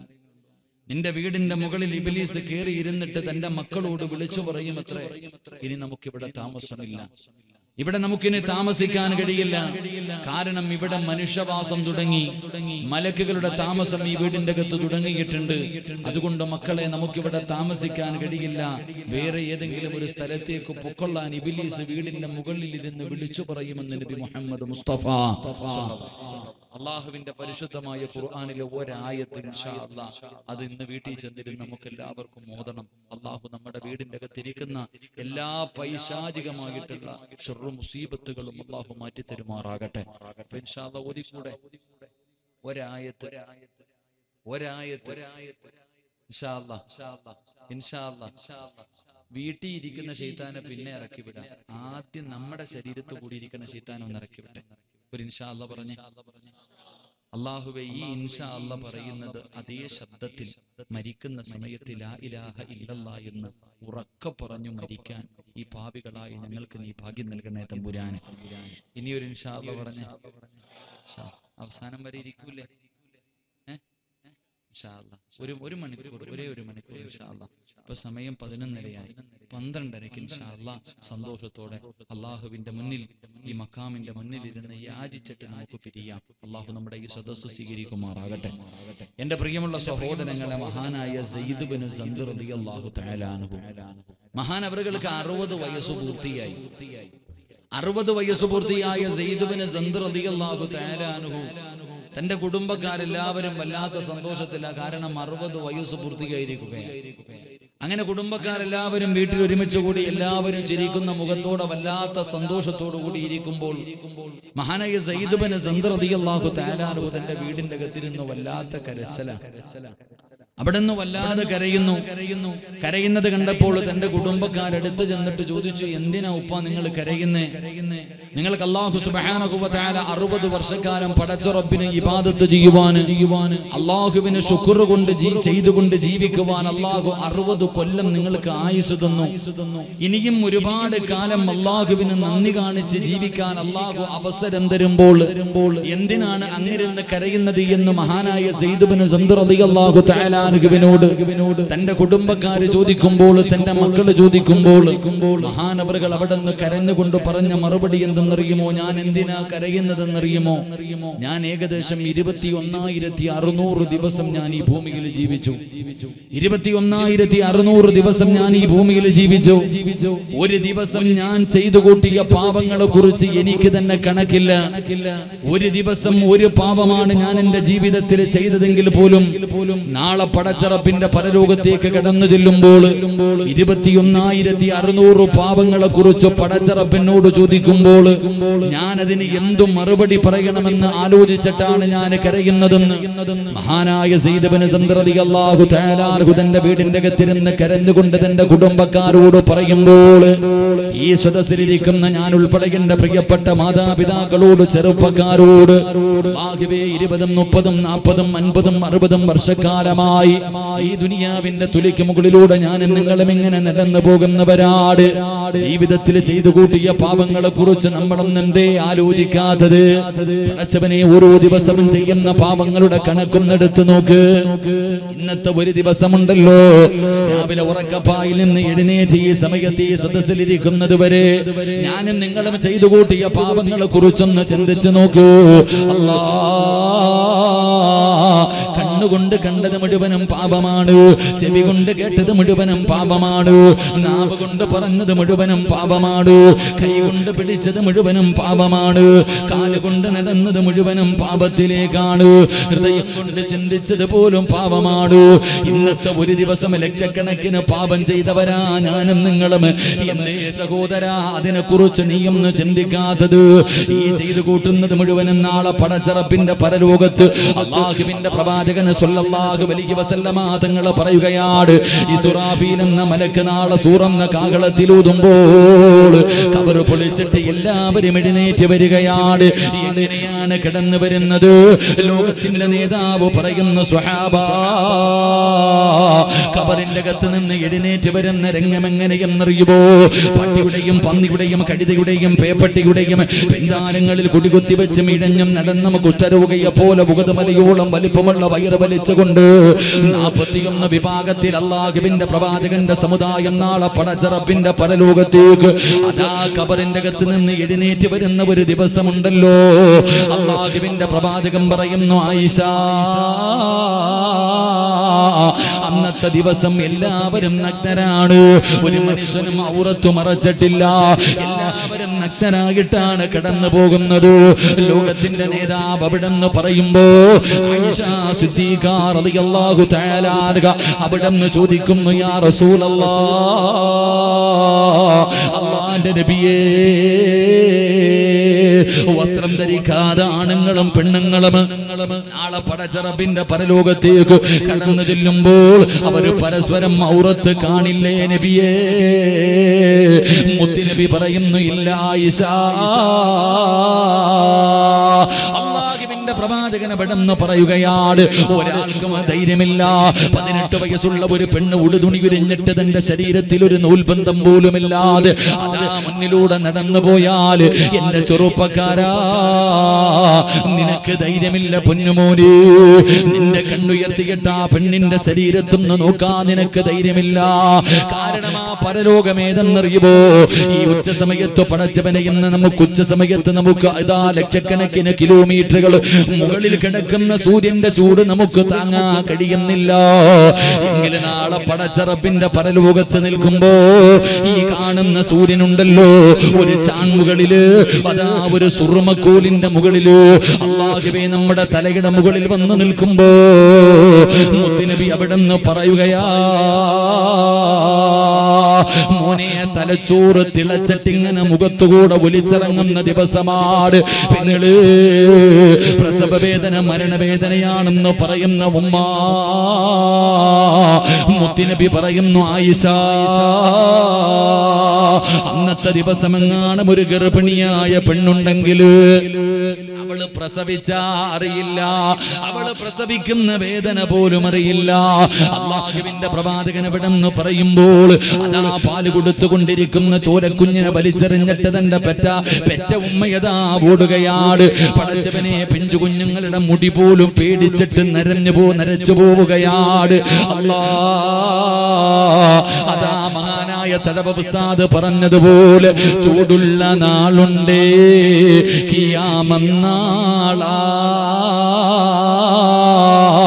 ചുരുക്കി പറഞ്ഞാൽ എന്തു ഹാല ചൂള. വൻദോഷ വണ്ടിയോ മായി വരും നേക്കാളാ ക്ഷീണത്തിനാലൊലിക്കുന്നതാണേ ഈള. സുഹൃത്തുക്കളെ തിളയ്ക്കുന്നതാണേ മൂള. തലച്ചോറ് തിളയ്ക്കുന്ന ദിവസമുണ്ടല്ലോ. അള്ളാഹുവിന്റെ പ്രവാചകന പെടെന്ന് പറയുന്ന നാളെ പടച്ചറപ്പിന്റെ പരലോകത്ത് നിങ്ങളും എല്ലാവരും ഒരുമിച്ച് കൂടുന്ന ഒരു ദിവസമുണ്ടല്ലോ. ആ ഒരുമിച്ച് കൂടുമ്പോ അള്ളാഹു നമ്മോടോട് ചോദിക്കുന്ന ചില ചോദ്യമുണ്ട്. ആ ചോദ്യത്തിന് മറുപടി പറയാതെ ഒരു മനുഷ്യനും താൻ വെച്ചിരിക്കുന്ന കാലുണ്ടല്ലോ. അതാ ചവിട്ടിയിരിക്കുന്ന കാലുണ്ടല്ലോ. അവിടുന്ന് ചലിപ്പിക്കാൻ കഴിയില്ലെന്ന് ലോകത്തിന്റെ നേതാവ് പറഞ്ഞു തരുമ്പോ ഈ സദസ്സിലിരിക്കുന്നവരോട് എനിക്ക് പറയാനുള്ളത് മോനെ ഈ ദുനിയാവിൽ ചെയ്തു കൂട്ടിയത് മുഴുവനും നാളെ ഒരു ദിവസം അല്ലാഹു പിടിച്ചു നിർത്തിയിട്ട് ചോദിക്കുമല്ലോ. ആർക്കും ആ വിഷയത്തിന് സംശയമില്ല. ഒരാൾക്കും സംശയമില്ല. കാരണം അള്ളാഹുവാണ് പറഞ്ഞത്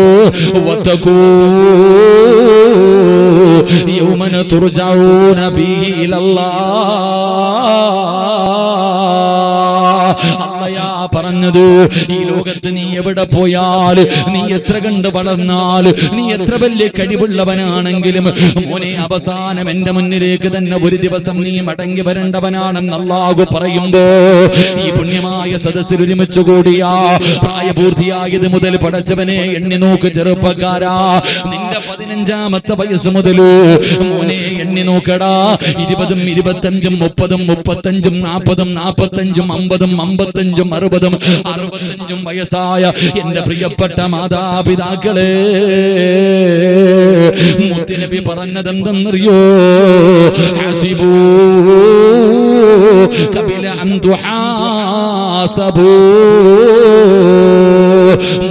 പറയുകയാ മഹാനായ സയ്യിദുനാ ഉമർ ഇബ്നുൽ ഖത്താബ് റളിയല്ലാഹു തആല ഉമർ തങ്ങളുടെ ജനാസ ഇങ്ങനെ കുളിപ്പിക്കുമ്പോൾ അവിടുത്തെ ശരീരം മുഴുവനും ചാട്ടമാറുകൾ കൊണ്ട് തല്ലിയ അടയാളം കാണുകയാണ്. എന്താണ് സംഭവിച്ചതെന്നറിയില്ല. അവിടുന്ന് ജനാസ കബറടക്കിയിട്ട് സഹാബികൾ വീട്ടിലേക്ക് കടന്നു ചെന്നു. ഉമർ തങ്ങളെ കുറിച്ച് ചോദിക്കുമ്പോ കരഞ്ഞുകൊണ്ട് പറയുന്ന സ്വഹാബ രാത്രിയായി കഴിഞ്ഞാൽ ഉമർ തങ്ങളെ വീടിന്റെ റൂമിന്റെ അകത്ത് കയറുകയാണ് റൂമിന്റെ അകത്ത് കയറുകയാണ് എന്നിട്ട് ചാട്ടവാറ് കൊണ്ട് തന്റെ ശരീരത്ത് തല്ലിയിട്ട് അവിടെ സ്വന്തമായിട്ട് വിചാരണ ചെയ്യുമായിരുന്നു എന്ന് ചരിത്രം പറയുമ്പോ ഈ രാത്രി ഒരുമിച്ച് കൂടിയവരോട് എനിക്കൊന്നേ പറയാറുള്ളൂ. ഈ രാത്രി ഒരുമിച്ച് കൂടിയവരോടൊന്നേ പറയാറുള്ളൂ. അയ്യുഹല്ലദീന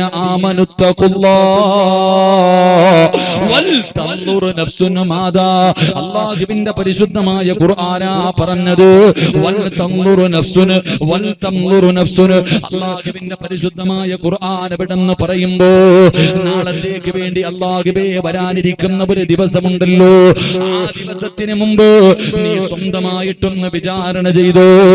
നിന്റെ ജീവിതത്തിൽ കഴിഞ്ഞു പോയ ഇന്നത്തെ രാത്രി വരെ സംഭവിച്ചു പോയ കാര്യങ്ങളെ കുറിച്ച് നിനക്കൊന്ന് വിചിന്തനം ചെയ്യാറ് ഇവിടെ ഇരുന്ന് കൊണ്ടെന്ന് ആലോചിച്ചിട്ട് അള്ളാ ഈ മക്കാമിൽ കിടക്കുന്ന മഹാന്റെ ബ്രൂസിന്റെ അവസാന ദിവസമാണ് ഇന്ന് ഈ സദസ്സിലിരുന്നിട്ട് പടച്ചറപ്പിന്റെ മുന്നിൽ പൊട്ടിക്കരഞ്ഞ് തൗപ ചെയ്തിട്ട് പിരിഞ്ഞു. എന്റെ പ്രിയമുള്ളവരെ കണക്കെടുക്കുമ്പോൾ എനിക്കും നിങ്ങൾക്കും അറിയാം നമ്മൾ പാപം മാത്രം ചെയ്തവരാ. ഉസ്താദെ ഇതെവിടെ കൊണ്ട് കഴുകാനാട്? ഒരുപാട് പാപങ്ങൾ എന്റെ ജീവിതത്തിൽ ചെയ്തു പോയി. കള്ളു കുടിച്ചിട്ടുണ്ട് വ്യഭിചരിച്ചിട്ടുണ്ട് പലിശ തിന്നിട്ടുണ്ട് ഭർത്താവിനെ വഞ്ചിച്ചിട്ടുണ്ട് ഭാര്യയെ ചതിച്ചിട്ടുണ്ട്. ഒരുപാട് പാപങ്ങൾ എന്റെ ജീവിതത്തിൽ ചെയ്തു പോയി ഉസ്താദ്. ഇതെല്ലാം എവിടെ കൊണ്ട് കഴുകിക്കളയാരാ മോനെ കഴുകിക്കളയാൻ ആഗ്രഹമുണ്ടോ? അള്ളാഹുവിന്റെ പരിശുദ്ധമായ ഖുർആൻ നൂറ്റി പതിനാല് അധ്യായങ്ങൾ ആറായിരത്തി അറുന്നൂറ്റി അറുപത്തിയാറ് ആയത്തുകൾ ഈ പരിശുദ്ധമായ ഖുർആനിൽ അള്ളാഹു ഒരുപാട് ചരിത്രം പറയുന്നുണ്ട്. കഥ പുസ്തകമല്ലടാ പൊന്നുമോര്. ഒരു ചരിത്ര പുസ്തകമല്ല അള്ളാഹുവിന്റെ ഖുർആൻ. പിന്നെ എന്തിനാണ് അള്ളാഹു കഥ ഖുർആനിൽ ചരിത്രങ്ങൾ പറഞ്ഞത്? എന്തിനാണ് കഥകൾ പറഞ്ഞതെന്നറിയോ? എനിക്കും നിങ്ങൾക്കും പഠിക്കാരാ. എനിക്കും നിങ്ങൾക്കും മനസ്സിലാകാരാ. അള്ളാഹുവിന്റെ പരിശുദ്ധമായ ഖുർആൻ മഹാനായ യൂനിസ് നബി അലിഖലാമിന്റെ ചരിത്രം പറയുന്നുണ്ട്. ഒരു പ്രവാചകനാണല്ലോ യൂനുസ് നബി അലിഹിസലാ പടച്ചവനെ ഒരു നാട്ടിലേക്ക് പടച്ചറപ്പിന്റെ ദീനിന്റെ താഴ്വത്വമായി കടന്നു ചെന്നു. അവസാനം തന്റെ അനുയായികൾ മുഴുവനും ഇസ്ലാമിലേക്ക് കടന്നു വരാതെ വന്നപ്പോ യൂനുസ് നബിക്ക് സഹിക്കാൻ കഴിഞ്ഞില്ല. അവിടെ നിന്ന് പടച്ചറപ്പിനോട് ചെയ്യുകയാണ്. അള്ളാഹുവിന്റെ അതാബ് വരികയാണ്. പടച്ചറപ്പിന്റെ അതാബ് വരുമ്പോ അള്ളാഹുവിന്റെ അനുവാദമില്ലാതെ യൂനുസ് നബി അലിഹിസലാബ് അവിടെ സ്വന്തം കാരണം നാട്ടിൽ നിന്ന് നടന്നുപോയ ചരിത്രം നമുക്കറിയാ. അവിടെ നിന്ന് കപ്പലിൽ കയറിയിട്ട് യൂനുസ് നബി കടന്നുപോയ ചരിത്രം അള്ളാഹുവിന്റെ ഖുർആൻ പറയുകയാ വദന്നൂനി ഇദ്ഹബ് മുഗാദിബൻ ഫലന്ന അല്ലൻ നഖ്ദിറ അലൈ ഫനാദാ ഫിൽ ലുമാ أن لا إله إلا أنت سبحانك إني كنت من الظالمين യൂനുസ് നബി അവസാന കപ്പലിൽ കയറിയിട്ട് യാത്ര തുടങ്ങുകയാണ്. നടുകടലെത്തിയപ്പോ കപ്പൽ തകരുമെന്ന് കണ്ടപ്പോ അവസാനം യൂനുസ് നബി അലിഹസലാം പടച്ചവനെ അവിടെ നിന്ന് ജനങ്ങളെ യൂനുസ് നബി എടുത്തിട്ട് ജീവനോടെ നടുകടലിലേക്ക് വലിച്ചെറിയുകയാ. അതാ യൂനുസ് നബി കടലിലേക്ക് വീഴുമ്പോൾ ആ ഒരു മത്സ്യം വന്നിട്ട് വിഴുങ്ങുകയാണ്. കടലിന്റെ അടിത്തട്ടിൽ ഒരു മീനിന്റെ ഗർഭാശയത്തിലായി ഒരു മീനിന്റെ വയറിന്റെ അകത്തായി ആ ഇരുളിനകത്ത് കിടന്നിട്ട് യൂനുസ് നബി അള്ളാരോട് പറയുകയാണ് ലാ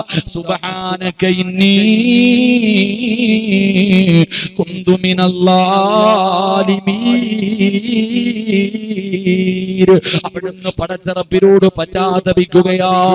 അവിടുന്ന് അള്ളാഹുവിനോട് തൗപ ചെയ്യുകയാണ്. ആ കടലിന്റെ അടിത്തട്ടിൽ ഒരു മത്സ്യത്തിന്റെ ഇരുളെന്ന് പറയുന്ന ആ ഇരുളിനകത്ത് കിടന്നിട്ട് യൂനിസ് നബി അള്ളാഹുവിനോട് കരഞ്ഞുകൊണ്ട് തൗപ ചെയ്തപ്പോ അള്ളാ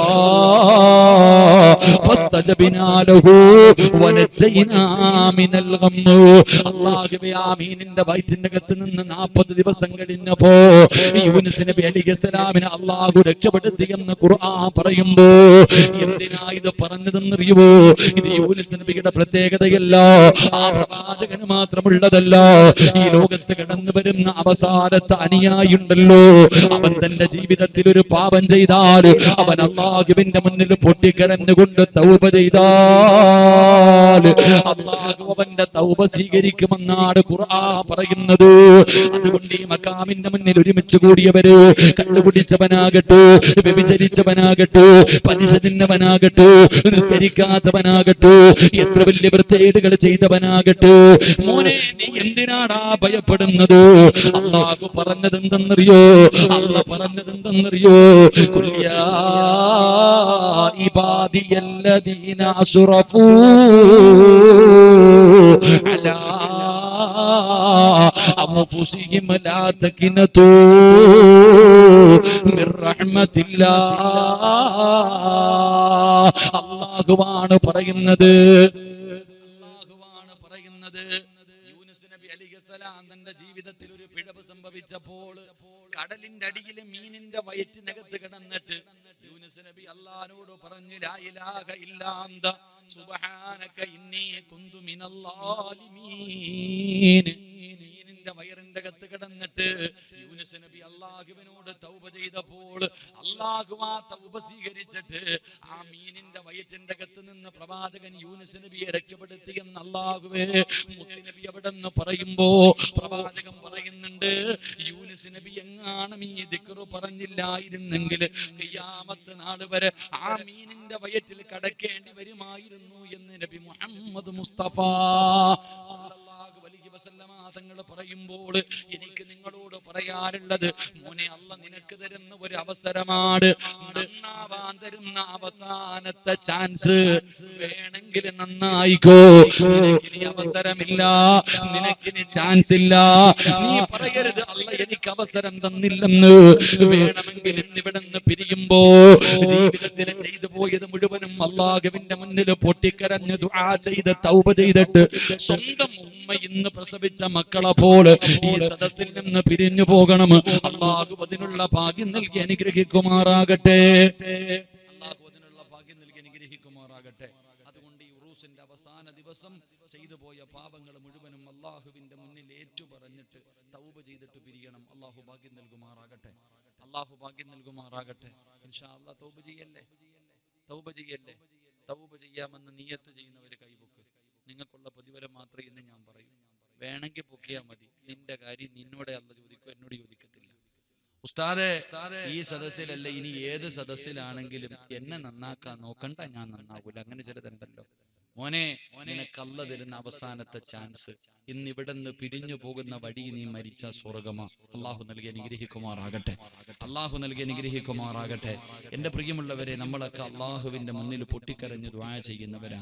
ദ്വായിക്ക് ഒരു കുറവുമില്ല. ദ്വായിക്ക് ഒരു കുറവുമില്ല. എല്ലാവരും ഇന്ന് ഇവിടെ വന്നിരിക്കുന്ന ദുആ പ്രതീക്ഷിച്ച. എല്ലാവരും ഇന്ന് അവസാനത്തെ ദുആ പ്രതീക്ഷിച്ചിട്ട. ചീരണിയൊന്നും നമ്മൾ ഇല്ലാഞ്ഞിട്ടൊന്നുമില്ല. വീട്ടിൽ എല്ലാത്തിനും ആവശ്യത്തിനുള്ള ഭക്ഷണം ഉണ്ട് അപ്പൊ എല്ലാവരും ഇന്നത്തെ ദുആ പ്രതീക്ഷിച്ച കടന്നു വന്നു. എല്ലാവരും അള്ളാഹുവിൻ നിസ്കാരത്തിന് മുമ്പ് ദുആ നിസ്കരിച്ചതിന് ശേഷം ദുവാ യാസീൻ ഓതി ദുവാ ഹത്ത ഓതി ദുവാ അതുപോലെ തന്നെ ത- തഹജ്ജുദ് നിസ്കരിച്ചിട്ട് ദുവാ നോമ്പ് പിടിച്ചിട്ട് ദുവാ സതക്ക കൊടുത്തിട്ട് ദുവാ ദുആ ദുആ ദുആ ദുവാ പക്ഷെ ഒന്നും അല്ല സ്വീകരിക്കുന്നില്ല. എന്തേ മനുഷ്യ തലകുത്തി കിടന്ന് ദുആ ചെയ്തിട്ടും അള്ളാഹു നിന്റെ ദുആ സ്വീകരിക്കാത്തതിന്റെ കാരണം എന്താ എല്ലാവരും അള്ളാഹുവിന്റെ മുന്നിൽ ആത്മാർത്ഥമായി ദുആ ചെയ്യുന്നു. പക്ഷെ ഒന്നിനും ഉത്തരം കിട്ടുന്നില്ല. എന്റെ പ്രിയമുള്ളവരെ നമ്മൾ ചെയ്യുന്ന ദുആ അള്ളാഹു സ്വീകരിക്കാത്തതിന്റെ കാരണം ഒരു മനുഷ്യന്റെ ദുആ അള്ളാഹു സ്വീകരിക്കണമെങ്കിൽ ആറ് കാര്യങ്ങൾ സൂക്ഷിച്ചിട്ട് ദുആ ചെയ്താലേ അള്ളാഹു ദുആ സ്വീകരിക്കൂ എന്ന് നബി മുഹമ്മദ് മുസ്തഫ. വെറുതെ അല്ലാ അല്ലാ പഠിച്ചവനെ പുറത്ത് അല്ലാ പുറത്ത് ഇങ്ങനെ പുറത്തുകൊണ്ടിരിക്കാനേ പറ്റത്തുള്ളൂ. അള്ളാഹുവിന്റെ മുന്നിൽ ദുആ ചെയ്യുമ്പോ നിന്റെ ദുആ അള്ളാഹു സ്വീകരിക്കണമെങ്കിൽ വെറുതെ ചെയ്താൽ പോരാ. ദുആയിക്ക് പന്ത്രണ്ട് മര്യാദയുണ്ടെന്ന് അത് വേറെ. ഒരാളുടെ പ്രാർത്ഥന അള്ളാഹു സ്വീകരിക്കണമെങ്കിൽ പന്ത്രണ്ട് മര്യാദ വേറെ. മര്യാദയല്ല ഞാൻ പറയുന്നത്. ഒരാളുടെ ദുആ അള്ളാഹു സ്വീകരിക്കണമെങ്കിൽ ആറ് കാര്യം സൂക്ഷിച്ചിട്ട് ദുആ ചെയ്യണം. വെറുതെ ചെയ്താൽ പോരാ. ആറ് കാര്യങ്ങൾ സൂക്ഷിച്ചിട്ട് ദുആ ചെയ്താലേ നീ ചോദിക്കുന്ന കാര്യം അള്ളാഹു തരൂ എന്ന് നബി മുഹമ്മദ് മുസ്തഫ. അള്ളാഹു നമുക്കത് പഠിക്കാൻ ഭാഗ്യം നൽകുമാറാകട്ടെ.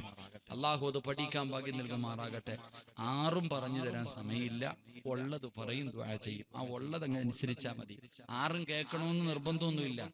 കേൾക്കുന്നത് ഒന്നാണെങ്കിലും അത് ജീവിതത്തിൽ ഒന്ന് അനുസരിക്കാനുള്ള മനസ്സ് കാണിച്ചാൽ മതി. അള്ളാഹു ഭാഗ്യം നൽകുമാറാകട്ടെ.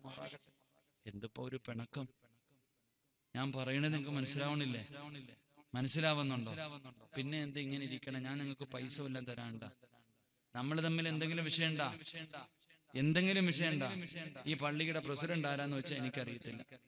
സെക്രട്ടറി ആരാണെന്ന് വെച്ചാൽ അറിയത്തില്ല. ഇരിക്കുന്നതിൽ ഹത്തീബ് ആരാന്ന് വെച്ചാൽ എനിക്കറിയില്ല. മൈക്ക് സെറ്റ് ആരാന്ന് വെച്ചാൽ ആരാന്നറിയില്ല. ക്യാമറമാൻ ആരാന്ന് വെച്ചാൽ അറിയത്തില്ല. എനിക്ക് ആകെ അറിയുന്ന യുനീസിനെ മാത്രം അറിയാം. അഞ്ചു കൊല്ലം മുമ്പ് അവനാ ഇവിടെ വാതിലുണ്ട് പിന്നെ ഇരിക്കുന്നത് ആയി ചങ്ങാതി നമ്മുടെ ഒമ്പറാണ് കൈ വേറെ ആരെയും എനിക്ക് അറിയത്തില്ല പിന്നെ എന്തിനാ അപ്പൊ വാശിയും വൈരാഗ്യൊക്കെ ചിരിക്ക് അത് സദക്കയാണെന്ന് നബി മുഹമ്മദ് മുസ്തഫ. മുസ്തഫ. ഒന്ന് പുഞ്ചിരിച്ച്. ഒന്ന് ചിരിക്കും. അതിന് പൈസ വേണ പൈസ വേണ ചിരിക്കും മനുഷ്യന്മാരെ. പുഞ്ചിരിയും സതക്കയ അള്ളാഹു നമുക്ക് പ്രതിഫലം നൽകി അനുഗ്രഹിക്കുമാറാകട്ടെ. അപ്പൊ അഞ്ച് ആറ് കാര്യങ്ങളിൽ ഒന്നാമത്തെ കാര്യം. എന്താ അപ്പൊ നിങ്ങളൊക്കെ നിക്കണേ? ഇരിക്കാൻ സ്ഥലമില്ലാഞ്ഞിട്ടാണോ? ചങ്ങായിമാരൊക്കെ നിൽക്കുന്നത് ഒന്ന് കസേര പെണ്ണുങ്ങളൊക്കെ നിൽക്കുന്നുപ്പ ഒന്ന് കസേര പറക്കി അവിടെ ഇട്ടുവിടും പാവങ്ങൾ ഇരിക്കട്ടെ. എല്ലാരും ഇരിക്കട്ടെ ഇൻഷാ. അവരിങ്ങോട്ട് വന്ന് ഇരിക്കാൻ ബുദ്ധിമുട്ടുള്ളത് അവിടെ നിൽക്കണം. അപ്പൊ സംഘാടകർ ആ കസേര എടുത്ത് അങ്ങോട്ട് ഇട്ട് കൊടുത്താൽ മതി. എല്ലാരും സ്വർഗത്തിലിരിക്കും അള്ളാഹു നമുക്കൊക്കെ സ്വർഗത്തിൽ ഒരുമിച്ച് കൂടാൻ ഭാഗ്യം നൽകുമാറാകട്ടെ. എന്റെ പ്രിയമുള്ള സഹോദരങ്ങളെ സഹോദരിമാരെ ഒരു മനുഷ്യന്റെ ദുആ അള്ളാഹു സ്വീകരിക്കണമെങ്കിൽ ഒന്നാമത്തെ കണ്ടീഷൻ എന്തെന്നറിയും അള്ളാന്റെ ഖുർആനാ പറയുന്നേ. അള്ളാഹുവിന്റെ പരിശുദ്ധമായ ഖുർആനാ പറയുന്നേ. അള്ളാഹുവിന്റെ പ്രവാചകൻ അവിടെന്ന് പറഞ്ഞു കൊടുക്കുകയാണ്. വമാ ഉമിറു ഇല്ലാ ലിയഅ്ബുദുല്ലാഹ മുഖ്ലിസീൻ അള്ളാഹുവിന്റെ വിശുദ്ധമായ ഖുർആൻ പറയുകയാണ് ഇബാദത്തുകൾ അള്ളാഹു സ്വീകരിക്കണമെങ്കിൽ ഇഖ്ലാസോടുകൂടിയുള്ള ഇബാദത്തെ പടച്ചറബ് സ്വീകരിക്കൂ എന്ന് ഖുർആൻ പറയുമ്പോൾ മുത്തിനബി പറയുന്ന സ്വഹാബ എന്ന് പറഞ്ഞാൽ ഒരു ഇബാദത്താണ്. എന്ന് പറഞ്ഞാൽ ഒരു ഇബാദത്താണ്. അതുകൊണ്ട് ഇഖ്ലാസോടുകൂടി ദുആ ചെയ്താൽ അള്ളാഹു ഒരു മനുഷ്യന്റെ ദുആ സ്വീകരിക്കൂ എന്ന് നബി മുഹമ്മദ് മുസ്തഫ ദുആ ഒന്നാമത്തെ കണ്ടീഷൻ ഇഖിലാസ് ഉണ്ടാകണം. ഇഖിലാസ് എന്താണെന്ന് എനിക്കും അറിയത്തില്ല നിങ്ങൾക്കും അറിയത്തില്ല ഇന്ന് വരെ.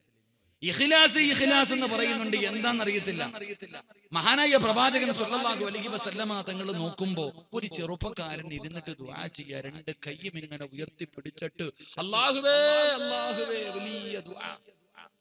റസൂലുള്ള എന്തേ ചോദിച്ചെന്നറിയോ?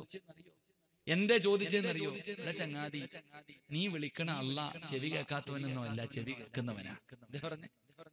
ഒരാൾ ഇരുന്നിട്ട് ഇങ്ങനെ വിളിച്ചു കൂവിയിട്ട് ദ്വാ ചെയ്യാ. അപ്പൊ നബി പറഞ്ഞത് എടാ അള്ളായിക്ക് ചെവി കേൾക്കൂടാ നീ എന്തിനാടാ വിളിച്ചു പോകുന്നേ അല്ല പൊട്ടനും അന്തനൊന്നും അല്ലല്ലോ. അള്ളായിക്ക് ചെവിയും കേൾക്കാൻ കണ്ണും കാണാ. ഒന്ന് മെല്ലെ ദ്വാ ചെയ്യുന്ന നബി മുഹമ്മദ് മുസ്തഫ. ഈ കടന്ന് ഇങ്ങനെ വിളിച്ചു കൂവി നാട്ടുകാര് കാണക്കിടന്ന് ഇങ്ങനെ വിളിച്ചു കൂവിട്ടൊന്നും ഒരു കാര്യമില്ല ചങ്ങായി. അത് ഞാനായാലും നിങ്ങളായാലും ആർക്കാ ഇഖ്ലാസ്? ഉസ്താദ് ഇങ്ങനെ നെഞ്ചു പൊട്ടിയിട്ട് ദ്വാ ചെയ്യ. അള്ളാഹു നിങ്ങളൊക്കെ ആമി ആമി ഈ വിളിക്കുന്നവനും പറയുന്നവന്റെ മനസ്സിൽ എന്തെങ്കിലും ഉണ്ടോ? അതുകൊണ്ട് ആ പ്രവാചകൻ അലൈഹി വസല്ലമ തങ്ങൾ പറഞ്ഞു നിങ്ങൾ ശബ്ദം ഉയർത്തിയിട്ട് ദ്വാ ചെയ്യരുത് ശബ്ദം താഴ്ത്തി മനസ്സിൽ ദ്വാ ചെയ്താലും? എവിടെ ഇഖ്ലാസ് നാമം വന്നോ ഇങ്ങനെ ഇരിക്കുക. കണ്ണിങ്ങനെ നിറഞ്ഞൊഴുകുന്നുണ്ട് മനസ്സിന്റെ ഉള്ളിൽ ഇങ്ങനെ? എന്തെങ്കിലും കാര്യമുണ്ട്? ഇല്ല ചങ്ങായി. ശബ്ദം താഴ്ത്തി കെട്ടി ഇഖ്ലാസോടുകൂടി ദുആ ചെയ് എങ്കിലേ നിന്റെ പ്രാർത്ഥന അള്ളാഹു സ്വീകരിക്കൂ എന്ന് നബി മുഹമ്മദ് മുസ്തഫ ആർക്കാ ഇഖ്ലാസ്? ഇവിടെ ആർക്കാ ഇഖ്ലാസ് ഉള്ള എനിക്കാ നിങ്ങൾക്ക് ആർക്കാപ്പ എല്ലാം എല്ലാം വേറെ രീതികളല്ല. അങ്ങനത്തെ കാലമാണല്ലോ. ആർക്കും ഇന്ന് ഇല്ല.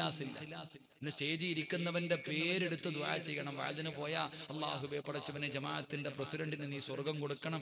സെക്രട്ടറിക്ക് കൊടുക്കണം സംഘാടകർക്ക് കൊടുക്കണം വിളിച്ചില്ലെങ്കിൽ ഉദാ ചെയ്യണം ഉസ്താദും ചിന്തിക്കണം. അല്ല ഈ പഹയന്റെ പേര് പറഞ്ഞില്ലെങ്കിൽ നീ ഇപ്പൊ എന്തെല്ലാം പറ പേര് പറഞ്ഞു തന്നെ ദുആ ചെയ്യണം. പേര് പറഞ്ഞു തന്നെ ദുആ ചെയ്തില്ലെങ്കിൽ അപ്പൊ ഉസ്താദിന്റെ മനസ്സിൽ ഇഖ്ലാസില്ല കാരണം അടുത്തവൻ അല്ല പ്രസിഡന്റിന്റെ പേരെന്താ? അബൂബക്കർ ഓർത്തിരിക്കുക ഇവിടെ കരഞ്ഞുകൊണ്ട് അല്ലാ നരകത്തിൽ നിന്ന് രക്ഷപ്പെടുത്തുന്ന അബൂബക്കർ ഉമർ ഉസ്മാൻ അലി പേര് മനസ്സിൽ വെച്ചിട്ട് ആർക്കാപ്പ ഇഖ്ലാസ്? നാല് പേര് കൂടുമ്പോ കടന്ന് വിളിച്ചു പോകുന്നിരുന്ന കാര്യമില്ല ചങ്ങായിമാരെ. ഇഖ്ലാസ് ഇല്ലെങ്കിൽ ദുആയിക്ക് ഇജാബത്തില്ലെന്ന് നബി മുഹമ്മദ് മുസ്തഫ. ഒരുപാടൊന്നും വേണ്ട. ആയിരങ്ങൾ കണക്കിനൊന്നും വിളിച്ചു പോകേണ്ട കാര്യമൊന്നുമില്ല. ഒരാൾ ഒരു വാക്കുമതി ആത്മാർത്ഥമായിട്ട് പറയുന്നത് ഒരു വാക്കാണെങ്കിലും മഹാനായ മഹാനായ പ്രവാചകൻ സല്ലല്ലാഹു അലൈഹി വസല്ലമ തങ്ങളുടെ മുന്നിലേക്ക് അംറുബ്നുൽ ജമൂഹ് റളിയല്ലാഹു തആല അൻഹു 60 വയസ്സുള്ള ഒരു പടുവൃദ്ധനായ 60 വയസ്സുള്ള ഒരു വൃദ്ധനായ കാലിന് മുടന്തുള്ള ഒരു സ്വഹാബി മുത്തുനബിയുടെ മുന്നിലേക്ക് കടന്നു വരികയാണ്. അല്ലാഹുവിന്റെ പ്രവാചകന്റെ മുന്നിലേക്ക് കടന്നു വന്നിട്ട് കരഞ്ഞുകൊണ്ട് പറയുന്നു യാ റസൂലല്ലാഹ് എന്റെ മക്കൾ എന്നെ യുദ്ധത്തിന് പോകാൻ അനുവദിക്കുന്നില്ല. അറുപത് വയസ്സുള്ള പ്രായം ചെന്ന ഒരു മനുഷ്യന് മാത്രമല്ല കാലിന് മുടന്തുണ്ട്. അതാ നൊണ്ടി നൊണ്ടിയാണ് നടന്നു വരുന്നത്. പ്രവാചകന്റെ മുന്നിൽ വന്നിട്ട് പറയുന്നു എന്റെ മക്കൾ എന്നെ യുദ്ധത്തിന് പോകാൻ അനുവദിക്കുന്നില്ല. അതുകൊണ്ട് എനിക്ക് യുദ്ധത്തിന് പോകണം നബിയേ. അള്ളാഹുവിന്റെ പ്രവാചകൻ അവിടെ നിന്ന് പറയുന്നു അമ്രുബിൻ തആല അൻഹുവിനോട് അവിടെ നിന്ന് പറയുന്നു നിങ്ങൾക്ക് പ്രായമായല്ലോ നിങ്ങൾ വൃദ്ധനായല്ലോ നിങ്ങളുടെ കാലിന് മുടന്തുണ്ടല്ലോ. അതുകൊണ്ട് നിങ്ങൾ യുദ്ധത്തിന് പോയില്ലെങ്കിലും കുഴപ്പമില്ല.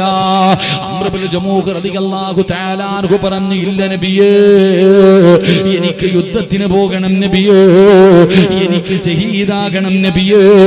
അള്ളാഹുവിന്റെ പ്രവാചകരോട് പറയുകയാണ് അവസാനം അള്ളാഹുവിന്റെ റസൂൽ അനുവാദം കൊടുത്തു. അതാ അമ്രുബിൻ ജമൂഹ് അള്ളാഹു അൻഹു ഊരി പിടിച്ച വാളുമായിട്ട് അല്ലാ ഉഹദിന്റെ രണാങ്കണത്തിലേക്ക് ഇറങ്ങുകയാണ്. അറുപത് വയസ്സുള്ള ഒരു പ്രായം ചെന്ന മനുഷ്യനുണ്ടല്ലോ.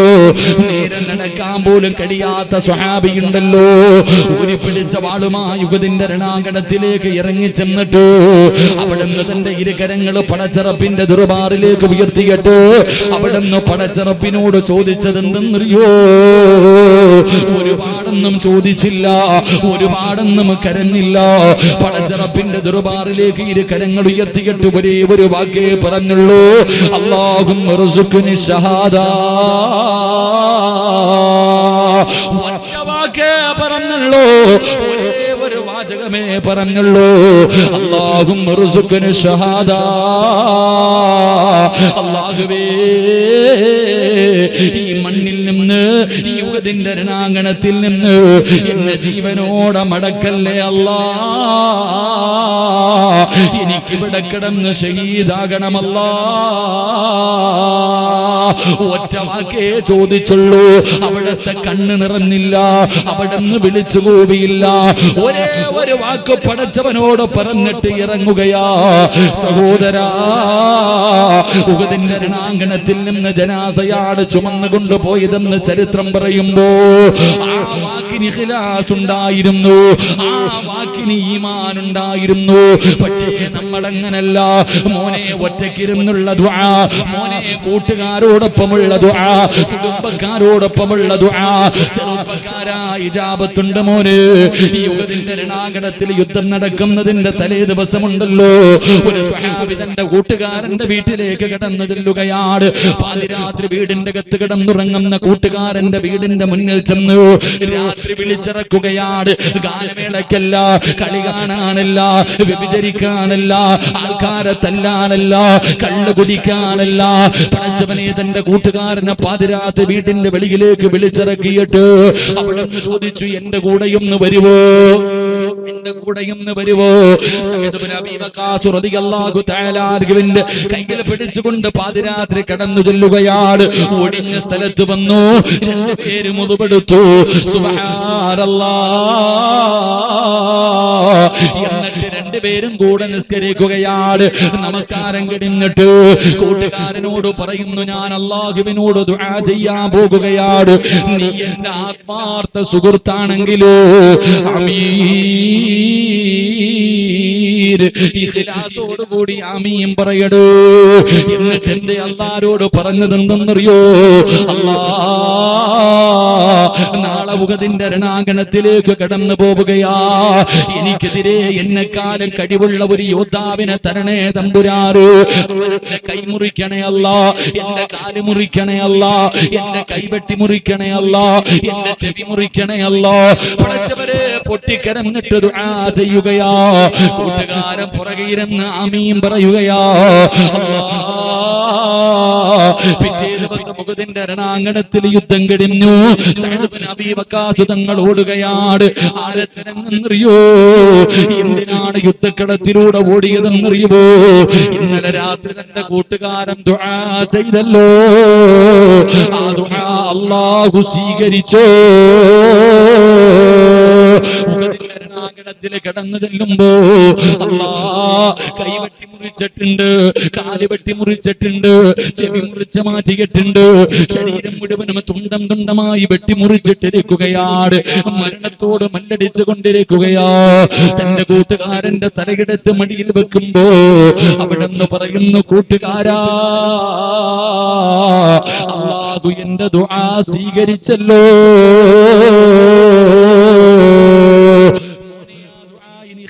ഉണ്ടായിരുന്നു അതുകൊണ്ട് എന്റെ പ്രിയമുള്ളവരോട് പറയുകയാണ് വെറുതെ കിടന്ന് കരഞ്ഞിട്ട് കാര്യമില്ലോ വിളിച്ചു കൂപിയിട്ട് കാര്യമില്ലോ ചെയ്യണമെന്നറിയോ?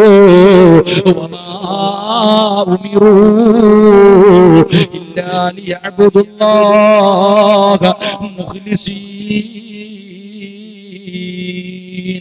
ഇഖ്ലാസോടുകൂടി ദുആ ചെയ്താലേ അല്ലാഹു സ്വീകരിക്കൂ എന്ന് നബി മുഹമ്മദ് മുസ്തഫ ഒറ്റ വാക്കേ പറഞ്ഞുള്ളൂ. അള്ളാഹുവെ യുദ്ധക്കളത്തിൽ വാളും കൊണ്ട് അങ്ങോട്ട് ഇറങ്ങി പോകുമ്പോ അള്ളഹാനോട് പറഞ്ഞു പടച്ചവനെ എന്നെ ജീവനോടെ എന്റെ വീട്ടിലേക്ക് മടക്കരുത്. ഇതേ പറഞ്ഞുള്ളൂ. അല്ല മടക്കിയില്ല. അതാ ദ്വാ അതാ ദ്വാ കരഞ്ഞു വിളിച്ചൊന്നും ചോദിച്ചില്ല. അള്ളാഹുവെ എനിക്ക് ഇവിടെ തന്നെ കിടന്നു മരിക്കണം. ഇത്രയും പറഞ്ഞിട്ട് പോയി മരിച്ചു. അതാണ് ഇഖ്ലാസോട് നമ്മളോ അല്ലാഹു അലം തഹജ്ജുദ് നിസ്കരിച്ചിട്ട് ദുആ സുബൈ നിസ്കരിച്ചിട്ട് ദുആ ദുഹർ നിസ്കരിച്ചിട്ട് ദുആ യാസീൻ ഊതിയിട്ട് ദുആ സദക്ക കൊടുത്തിട്ട് ദുആ പള്ളിയിൽ പോയി ദുആ മക്കാമിന്റെ മുന്നിൽ പോയി ദുആ കഅബാലയത്തിൽ പോയി ദുആ മദീനത്ത് പോയി ദുആ ഒന്നും കിട്ടുന്നില്ല. കാരണം എന്ത്? കാരണം എന്ത്? ഇഖ്ലാസ് ഇല്ല അള്ളാഹു നമുക്ക് ഈമാൻ നൽകുമാറാകട്ടെ. അള്ളാഹു നമുക്ക് ഈമാൻ നൽകുമാറാകട്ടെ. ഇഖ്ലാസ് ഇല്ലെങ്കിൽ ഒന്നും സ്വീകരിക്കൂല. മഹാനായ സയ്യിദുന അലിയുബിൻ അബി ത്വാലിബ് റളിയല്ലാഹു തആല ഇസ്ലാമിൽ ഒരുപാട് മുസ്ലിമീങ്ങളെ കൊന്ന ഒരുത്തനെ യുദ്ധത്തിൽ കീഴ്പ്പെടുത്തി. ഒരുപാട് മുസ്ലിമീങ്ങളെ കൊന്ന ഒരുത്തനെ സഹാബികൾ മുഴുവനും നോക്കി നിൽക്കുക. കീഴ്പ്പെടുത്തിയിട്ട് അവന്റെ നെഞ്ചിന്റെ മുകളിൽ കയറി ഇരുന്നിട്ട് ഉറയുന്ന വാളെടുത്തിട്ട് കഴുത്തി വെച്ചപ്പോ അവൻ അലിയാരിതങ്ങളുടെ മുഖത്തേക്ക് കാർക്കിച്ചു തുപ്പി. അലിയാര് തങ്ങളുടെ മുഖത്തൊന്ന് തൊപ്പി മഹാനായ സയ്യിദുന അലിബിൻ അബി താലിബ് അള്ളാഹു തആലാൻഹു കഴുത്തിൽ വെച്ച കത്തി എടുത്തിട്ട് മിണ്ടാതെ തിരിഞ്ഞളഞ്ഞു എല്ലാരും ചോദിച്ചു അലിയെ എത്ര സഹാബികളെ കൊന്നവനാ അലിയെ? അവനെ കൊന്നേക്കാൻ വയ്യായിരുന്നു. ഇവനെ കൊന്നു കളഞ്ഞൂടായിരുന്നു അല്ല സ്വർഗം തരുമല്ലോ. അലിയാര് തങ്ങൾ പറഞ്ഞെന്തെന്നറിയോ? ഞാൻ അവന്റെ കഴുത്തിൽ കത്തി വെച്ചപ്പോൾ അവൻ എന്റെ മുഖത്ത് തുപ്പി. എനിക്കപ്പോ അവനോട് ദേഷ്യമുണ്ടായി. എനിക്ക് അവനോട് ദേഷ്യമുണ്ടായി. ആ ദേഷ്യത്തോടു കൂടി ഞാൻ അവനെ കൊന്ന. അല്ല എനിക്ക് സ്വർഗം തരൂല. മഹാനായി അബി ഇഖ്ലാസ് ഇല്ലെങ്കിൽ ഒന്നും വേണ്ട. അതുകൊണ്ട് എന്റെ പ്രിയമുള്ള സഹോദരങ്ങളോട് പറയുന്നു പണ്ട് കഥ കാണാം. റസൂലുള്ളാഹി സ്വല്ലല്ലാഹി അലൈഹി വസല്ലം തങ്ങളുടെ കാലഘട്ടത്തിൽ കഥ പറയുന്നുണ്ടല്ലോ ഒരു സഹാബി. എന്റെ ഒരു മനുഷ്യ ജനങ്ങളെല്ലാവരും കൂടെ ഒരു മരത്തിനെ ആരാധിക്കാം. ഒരു മരത്തിനെ ആരാധിക്കുന്നത് കണ്ടപ്പോ ഷെയ്ത്താന് വലിയ ഇഷ്ടമുള്ള കാര്യമാണ്. അപ്പൊ ഒരു മനുഷ്യൻ ഈമാനുള്ള ഒരു മനുഷ്യൻ വാളുവെടുത്തും മഴുവെടുത്തുകൊണ്ട് ഇതും അള്ളാഹുബെ ചെറുക്ക് ചെയ്യുന്നല്ലോ ഈ മരം വെട്ടിമുറിക്കണമെന്ന് പറഞ്ഞിട്ട് വെട്ടിമുറിക്കാൻ പോയപ്പോ ഇബിലീസ് ഒരു മനുഷ്യന്റെ രൂപത്തിൽ വന്നിട്ട് തടഞ്ഞു. രണ്ടുപേരും കൂടെ യുദ്ധം ചെയ്തു. അള്ളാഹുബെ ഈ മനുഷ്യൻ ഇബിലീസിനെ പരാജയപ്പെടുത്തി. ഇബിലീസിനെ പരാജയപ്പെടുത്തി ജനങ്ങളെല്ലാം ഓടി രക്ഷപ്പെട്ടു മരം മുറിച്ചില്ല. പിന്നെ ഈ മനുഷ്യൻ വീട്ടിലേക്ക് മടങ്ങി വന്നു. രണ്ടാമത് നോക്കുമ്പോഴും ജനങ്ങൾ ആരാധിക്ക രണ്ടാമത്തെ ദിവസവും പോയി ഷെയ്ത്താനുമായിട്ട് യുദ്ധം ചെയ്തു. ഷെയ്ത്താൻ തോറ്റു ഈ മനുഷ്യൻ ജയിച്ചു. മൂന്നാമത്തെ ദിവസവും മനുഷ്യൻ യുദ്ധത്തിന് വേണ്ടി കടന്നുപോയപ്പോ ഈ മനുഷ്യനോട് ഇബിലീസ് പറഞ്ഞു നിങ്ങൾ ഈ മരം മുറിക്കാതെ ഇരുന്നാൽ എല്ലാ ദിവസവും രാവിലെ തലകണ്ണിന്റെ അടിയിൽ നിങ്ങൾക്ക് സ്വർണ നാണയം ഞാൻ കൊണ്ടുതരാം. മുറിക്കരുത് മുറിക്കരുത്. ഈ മനുഷ്യൻ സമ്മതിച്ചു. വീട്ടിലേക്ക് മടങ്ങി വന്നു. രാത്രി കിടന്നുറങ്ങി. പിറ്റേ ദിവസം രാവിലെ എഴുന്നേറ്റിട്ട് തലകണ്ണിന്റെ അടി നോക്കിയപ്പോ ഒരു സ്വർണ നാണയുണ്ട് രണ്ടാമത്തെ ദിവസമുണ്ട്. മൂന്നാമത്തെ ദിവസമുണ്ട്. നാലാമത്തെ ദിവസം നോക്കുമ്പോ സ്വർണ നാണയം കാണുന്നില്ല. ഉടനെ വെട്ടുകത്തി എടുത്തിട്ട് പോവാ മരം മുറിക്കാൻ. മൂന്നാമത്തെ ദിവസം സ്വർണ നാണയം കാണാതെ വന്നപ്പോ കോടാലി എടുത്തുകൊണ്ടും മഴുവെടുത്തുകൊണ്ടും മരം വെട്ടിമുറിക്കാൻ പോയപ്പോ ശൈത്താമെന്ന് മുന്നിൽ നിൽക്കാൻ ചിരിച്ചുകൊണ്ട് ഇവൻ ചെന്നു. മൂന്നാമത്തെ ദിവസം യുദ്ധം തുടങ്ങി. ഒറ്റ അടിക്ക് ശൈത്താൻ തറയിട്ട് കളഞ്ഞു ഈ മനുഷ്യനെ ഒറ്റ അടിക്ക് തറയിലിട്ടു. ഈ മനുഷ്യൻ ഇബിലീസിനോട് ചോദിച്ചു രണ്ട് പ്രാവശ്യം ഞാൻ നിന്നെ പരാജയപ്പെടുത്തി. മൂന്നാമത്തെ പ്രാവശ്യം എന്ത് എന്നെ നീ പരാജയപ്പെടുത്തി? എടാ പഹയ ഇനി നീ എത്ര കാലം യുദ്ധം ചെയ്താലും ജയിക്കൂല. കാരണം നീ ആദ്യത്തെ രണ്ട് പ്രാവശ്യം വന്നത് ഇഖ്ലാസോട് കൂടിയായിരുന്നു. ഇപ്പൊ വന്നത് പൈസ കിട്ടാത്തതിന്റെ വാശിക്ക. നീ ജയിക്കൂ. ഇതന്നെ ഈ കഥകളൊന്നും വെറുതെ അല്ലല്ലോ. ഇതിനകത്ത് പഠിക്കാൻ ഒരുപാട് പാഠങ്ങൾ നമുക്കുണ്ടല്ലോ അതുകൊണ്ട് സഹോദര ഞാൻ വിശദീകരിക്കുന്നില്ല. അള്ളാഹുവിന്റെ പ്രവാചകൻ സല്ലല്ലാഹു അലഹി വസല്ലമ തങ്ങൾ പറഞ്ഞു സ്വീകരിക്കണമെങ്കിൽ ഇഖ്ലാസോടുകൂടി ദുആ ചെയ്താലേ അള്ളാഹു സ്വീകരിക്കൂ എന്ന് നബി മുഹമ്മദ് മുസ്തഫ. രണ്ട് രണ്ട് രണ്ട് അള്ളാഹുവിന്റെ പ്രവാചകൻ സല്ലല്ലാഹു അലൈഹി വസല്ലമ തങ്ങൾ പറയുകയാണ് ഒരു മനുഷ്യന്റെ ദുആ അള്ളാഹു സ്വീകരിക്കണം രണ്ടാമത്തെ കാര്യം എന്തെന്നറിയുവോ അള്ളാഹുവിന്റെ ഖുർആൻ പറയുന്നു യാ അയ്യുഹല്ലദീന ആമനൂ തൂബൂ ഇലല്ലാഹി തൗബതൻ നസുഹാ. ആത്മാർത്ഥമായി പടച്ചവനെ ഇഖ്ലാസോടുകൂടിയുള്ള തൗബയെ അല്ലാഹു സ്വീകരിക്കൂ. രണ്ടാമതായിട്ട് അല്ലാഹുവിന്റെ പ്രവാചകം പറയുന്നു ഇസ്തഗ്ഫിറൂ റബ്ബക്കും ഇന്നഹു കാന ഗഫാറാ. അള്ളാഹുവിന്റെ ഖുർആൻ എവിടെന്ന് പറയുന്ന നിങ്ങൾ ഇസ്തിഗ്ഫാർ പറയടേ. അള്ളാഹുവിന്റെ റസൂൽ പറയുകയാണ് നിങ്ങളുടെ ദുആ അള്ളാഹു സ്വീകരിക്കണമെങ്കിൽ രണ്ടാമത്തെ മാനദണ്ഡം എന്താ? അസ്തഗ്ഫിറുല്ലാഹൽ അലീം. നിങ്ങൾ ഇസ്തിഗ്ഫാർ പറയടേ. ഇസ്തിഗ്ഫാർ എന്ന് പറയുന്നത് ഒരു തൗബയാണെന്ന് നബി മുഹമ്മദ് മുസ്തഫ. സല്ലല്ലാഹു അലൈഹി വസല്ലമ തങ്ങൾ പറയുകയാ ഒരുപാടൊന്നും കരഞ്ഞു ദുആ ചെയ്യണമെന്നില്ല. ഒരു മനുഷ്യൻ പടച്ചവനെ എന്റെ ജീവിതത്തിൽ ഒരുപാട് പാപം ചെയ്തു. ഇനി ഒരിക്കലും ചെയ്യില്ല. അള്ളാഹുവേ എന്നെ നീ നന്നാക്കണേ തമ്പുരാന്. എന്ന് പറഞ്ഞുകൊണ്ട് അലീം. ഒരു പ്രാവശ്യം പറഞ്ഞാൽ അത് തൗബയാണെന്ന് നബി മുഹമ്മദ് മുസ്തഫ തങ്ങൾ പറയുമ്പോൾ എന്റെ പ്രിയമുള്ളവരെ അസ്തഗ്ഫിറുല്ല പറയാനെന്ന് നമുക്ക് സമയമില്ലല്ലോ. അള്ളാഹുവിന്റെ പ്രവാചകൻ അവിടെ നിന്ന് ഒരു ദിവസം എഴുപത് പ്രാവശ്യം നൂറ് പ്രാവശ്യം അസ്തഗ്ഫിറുല്ല പറയുമായിരുന്നു എന്ന ചരിത്രം പറയുമ്പോ എല്ലാവരും പടച്ചവനെ ഇന്ന് മടിയാട് എല്ലാവർക്കും ഇന്ന് മടിയാട് ഇസ്തിഗ്ഫാർ പറയാ മടിയാട് എങ്കിൽ അള്ളാഹുവിന്റെ പ്രവാചകൻ അവിടെ പറഞ്ഞു സ്വഹാബ പറ സ്വഹാബ. മുത്തിനബി തന്റെ സ്വഹാബികളോട് പറയുന്നു അസ്തകുഫിറുള്ള പറയാറ്.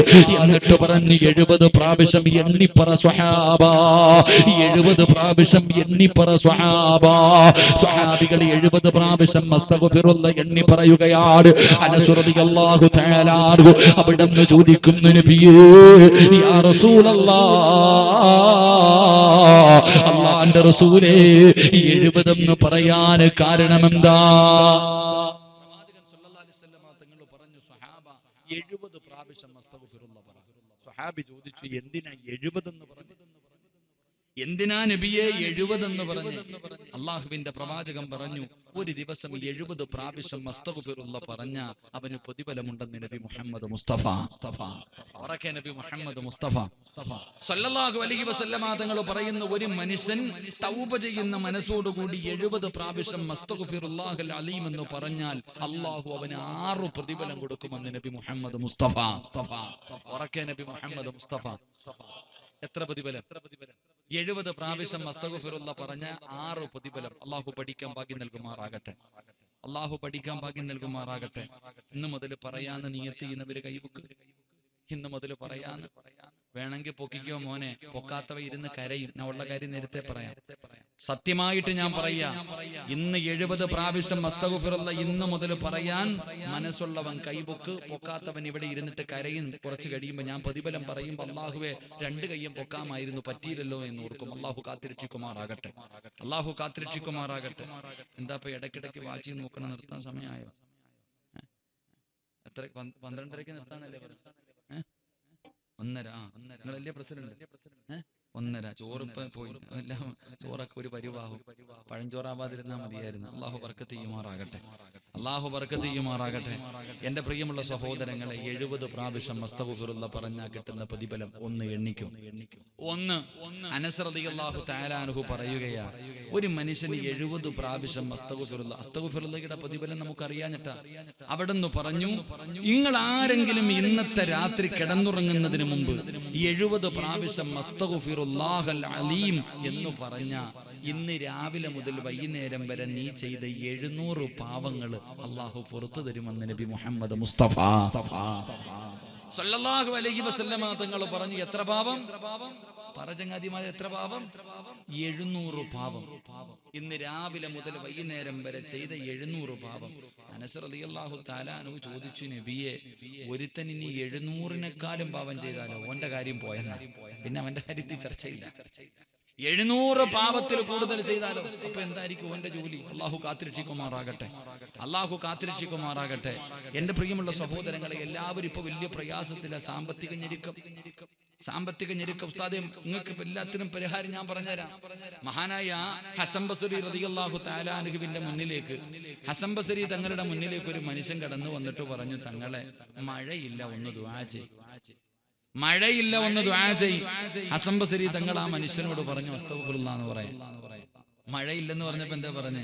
അസ്തഗ്ഫിറുല്ല പറയാ ആ മനുഷ്യൻ തിരിച്ചുപോയി രണ്ടാമതൊരാൾ വന്നിട്ട് പറയുന്നു തങ്ങളെ കല്യാണം കഴിഞ്ഞിട്ട് കുറെ കാലമായി തങ്ങളെ മക്കളില്ല തങ്ങളെ. ഒന്ന് ദുവാച്ചി ചെയ് അസ്തഗ്ഫിറുല്ല പറ. മൂന്നാമതൊരാൾ വന്നിട്ട് പറയുക കച്ചവടമൊക്കെ തകർന്നു പോയി കിടക്ക തങ്ങളെ. ഒന്ന് അസ്തഗ്ഫിറുല്ല പറ. ഈ ഗവൺമെന്റ് ഹോസ്പിറ്റലിൽ പോയാൽ പനിക്കാണെങ്കിലും തലവേദനക്കാണെങ്കിലും നെഞ്ചി പറ്റ ഗുളികയല്ലേ? നമ്മളെങ്ങനെയാണല്ലോ അതിനകത്ത് എന്തോ ഒരു വർക്കത്തുണ്ട് ഹോസ്പിറ്റലിലെ ഗുളികയ്ക്ക്. പക്ഷെ നമ്മളെടുത്ത് കഴിച്ചാൽ മാറത്തില്ല നമ്മൾ ചെല്ലുമ്പോൾ എന്ന് നോക്കിയാൽ മതി. ഹോസ്പിറ്റലിൽ ഒരു ഒരു ഒരു ഇതിനകത്ത് നിന്ന് ഒരു വെളുത്ത ഗുളി എല്ലാം അതിൽ തന്നെ എടുത്ത് ഏത് അസുഖത്തിന് പോയാലും നമ്മൾ ചിന്തിക്കാറുണ്ട്. എന്നാൽ സ്വന്തം എടുത്ത് കഴിച്ചാൽ മാറും അതില്ല. അതൊരു വർക്കത്ത. എന്റെ പ്രിയമുള്ള സഹോദരങ്ങളെ ഇതുപോലെ മക്കളില്ല എന്ന് പറഞ്ഞപ്പോഴും ഒരു മരുന്ന്. മഴയില്ലെന്ന് പറഞ്ഞപ്പോഴും ഒരു മരുന്ന്. കച്ചവടം വേണമെന്ന് പറഞ്ഞപ്പോൾ അപ്പോഴും ഒരു മരുന്ന്. എന്താ മരുന്ന്? അസ്തഫിറുല്ലാഹി അള്ളാഹു ഈമാൻ നൽകുമാറാകട്ടെ. ഇത് കണ്ടുകൊണ്ടിരുന്ന ശിഷ്യന്മാർ ഉസ്താദിനോട് ചോദിച്ചു എന്തേപ്പാ മൂന്നിനും ഒരേ മരുന്ന് തന്നെ? മഹാനായ ഹസൻ ബസരി തങ്ങളോട് അതാ തന്റെ ശിഷ്യന്മാര് ചോദിച്ചു എന്തേ നിങ്ങളെ എല്ലാത്തിനും ഒരു മരുന്ന്? എന്റെ പ്രിയമുള്ളവരെ വെറുതെ പറഞ്ഞതല്ല ചിരിക്കാൻ പറഞ്ഞതല്ല. അള്ളാഹുവിന്റെ അനുഗ്രഹമാണ് മഴ വല്ലാത്ത ചൂടാണല്ലോ അല്ലാ. വെള്ളം കുടിക്കാനില്ല അതാ നദികൾ മുഴുവനും പറ്റിപ്പോയി അതാ വീടിന്റെ കിണറുകൾ മുഴുവനും പറ്റിയിട്ട് മനുഷ്യരിന്ന് വെള്ളത്തിന് വേണ്ടി വല്ലാതെ പ്രയാസപ്പെടുമ്പോ മഴ കിട്ടാൻ വേണ്ടി ദുആ ചെയ്യുമ്പോ സഹോദരാ നിനക്ക് മഴ വേണോ? അസ്തഗ്ഫിറുല്ലാഹൽ പറമോനെ അല്ലാഹുവേ ഹസൻ ബസരി തങ്ങൾ പറയുകയാണ് യുർസിലിസ് സമാ അലൈക്കും മിദ്റാറാ. അല്ലയാ പറഞ്ഞത് അല്ലയാ പറഞ്ഞത്. മോനെ മഴ വേണമെങ്കിൽ നീ ഇസ്തിഗ്ഫാർ പറഞ്ഞോ. യുസിലിസമാലൈക്കും മിദ്റാറാ. വയുംദിദുകും ബിഅംവാലിം വബരീർ വയജഅൽ ലക്കും ജന്നാതിൻ വയജഅൽ ലക്കും അൻഹാറാ വിവാഹം കഴിഞ്ഞ വർഷങ്ങളായി ഉസ്താദേ ഒരു മക്കളെ ഇല്ല.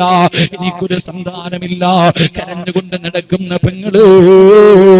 മക്കളെ വേണോ മോൾ? നിന്നമ്മ എന്ന് വിളിക്കുന്നത് കേൾക്കോ? നിന്നമ്മ എന്ന് വിളിക്കുന്നത് കേൾക്കോ? ഒരു പിഞ്ചു കുഞ്ഞിനെ മടിത്തട്ടിലിട്ട് കളിപ്പിക്കണമെന്ന് നിനക്ക് മോഹമുണ്ടോ? മോളെ അല്ലയാ പറഞ്ഞത് ഹോസ്പിറ്റലിൽ പോകാനല്ല മരുന്ന് കഴിക്കാനല്ല മന്ത്രവാദം ചെയ്ത് നടക്കാനല്ല ഹറാമായ വഴിയിലൂടെ മക്കളെ ഉണ്ടാക്കാനല്ല. അള്ളാഹു പറഞ്ഞതെന്തെന്നറിയുവോ?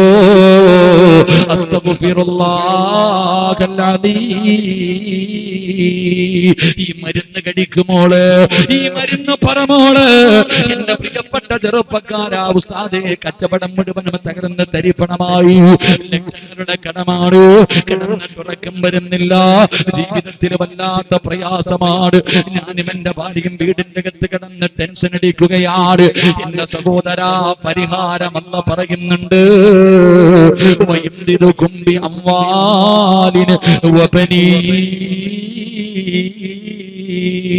അള്ളയല്ലേ പറഞ്ഞത് അള്ളയല്ലേ മരുന്ന് പറഞ്ഞു തന്നത് അതുകൊണ്ട് എന്റെ പ്രിയപ്പെട്ടവരോട് പറയുകയാ അസ്തഗ്ഫിറുള്ള പറഞ്ഞാൽ ലഭിക്കുന്ന ഒന്നാമത്തെ പ്രതിഫലമെന്താ?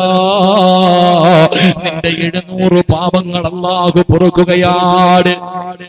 നിന്റെ പടച്ചവന്റെ അനുഗ്രഹം നിനക്ക് ലഭിക്കുകയാണ് പടച്ചവൻ നിനക്ക് മക്കളെ തരികയാണ് നിന്റെ കച്ചവടത്തിൽ ബർക്കത്ത് ചെയ്യുകയാ. മൂന്ന്. അള്ളാഹുവിന്റെ പ്രവാചകൻ പെടെന്ന് പറയുകയാണ്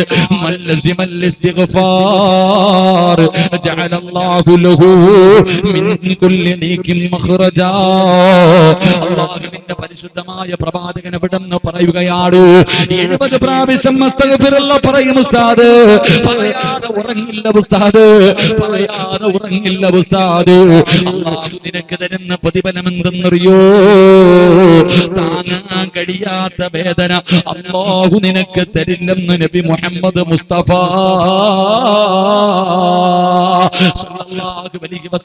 തങ്ങൾ പറയുകയാണ്. താങ്ങാൻ കഴിയാത്ത വേദനയുണ്ടല്ലോ. ചെറുപ്പക്കാരാ ക്യാൻസർ എന്ന് പറയുന്ന രോഗം വന്നാ നീ എന്ത് ചെയ്യപ്പെടാ പൊന്നുമൂര്? സമ്പാദിച്ചത് മുഴുവനും വെച്ച് ചികിത്സിച്ചാലും രക്ഷപ്പെടുമെന്ന് നിനക്ക് തോന്നുന്നുണ്ടോ? വീടിന്റെ അകത്തിരുന്ന് കരയാനല്ലാതെ നിന്നെ കൊണ്ടെന്ത് കെടിയാരാ? കിഡ്നി രണ്ടെന്ന് തകർന്നു പോയാൽ എന്ത് ചെയ്യും വാപ്പാ ഇരുപത്തഞ്ചും മുപ്പതും ലക്ഷം കൊടുത്തു മാറ്റി വെച്ചാലും രക്ഷപ്പെടുമെന്ന് ഉറപ്പില്ലല്ലോ. എന്റെ പ്രിയപ്പെട്ട പെങ്ങൾ ഒമ്പതര മാസക്കാലം ഗർഭം ചുമന്ന് മരണവേദനയുടെ വേദനയിൽ നിന്ന് പ്രസവിച്ച നിന്റെ പൊന്നാര മക്കൾ വീടിന്റെ റൂമിന്റെ അകത്ത് കിടന്ന് ഉമ്മ എനിക്ക് വേദനിക്കുന്നു ഉമ്മ. എന്ന് പറഞ്ഞുകൊണ്ട് ബെഡ്റൂമിന്റെ അകത്ത് കിടന്ന് നിലവിളിക്കുന്ന മക്കളെ കണ്ട. എന്ത് ചെയ്യും പിന്നൾ? എന്ത് ചെയ്യും പൊന്നുമോൾ? അള്ളാഹുബേ പടച്ചവനെ ഇന്നലെ ആ ബാധന വരുമ്പോ ഇന്നലെ പടച്ചവനെ എന്റെ പ്രിയ സുഹൃത്ത് ബറാരി എന്ന് പറയുന്ന എന്റെ പ്രിയപ്പെട്ട കൂട്ടുകാര് അവിടെ മദ്രസയിൽ പഠിപ്പിച്ച ഒരു പൊന്നുമോ? അള്ളാഹുബേ ക്യാൻസർ എന്ന് പറയുന്ന രോഗത്തിന് കാസർഗോഡ് എവിടെയോ ഒരു പച്ചമരുന്നുണ്ടെന്ന് പറഞ്ഞപ്പോ ഹോസ്പിറ്റലിൽ നിന്ന് വീട്ടിലേക്ക് തള്ളിയ ചെറുപ്പക്കാരനാ. പതിനഞ്ച് വയസ്സേ ഉള്ളൂ പതിനഞ്ച് വയസ്സേ ഉള്ളൂ. തലച്ചോറ് ക്യാൻസർ പിടിച്ചിട്ടല്ല എഴുന്നേക്കാൻ കഴിയാതെ കുടുംബക്കാരുടെ മടിയിൽ കിടന്നിട്ട് ആ ചെറുപ്പക്കാരനായ പൊന്നുമോ?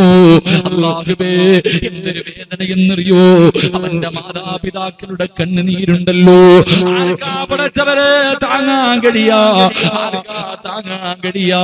മോനെ അസ്തഗഫിറുള്ള പറയടാ ചെറുപ്പക്കാരാ.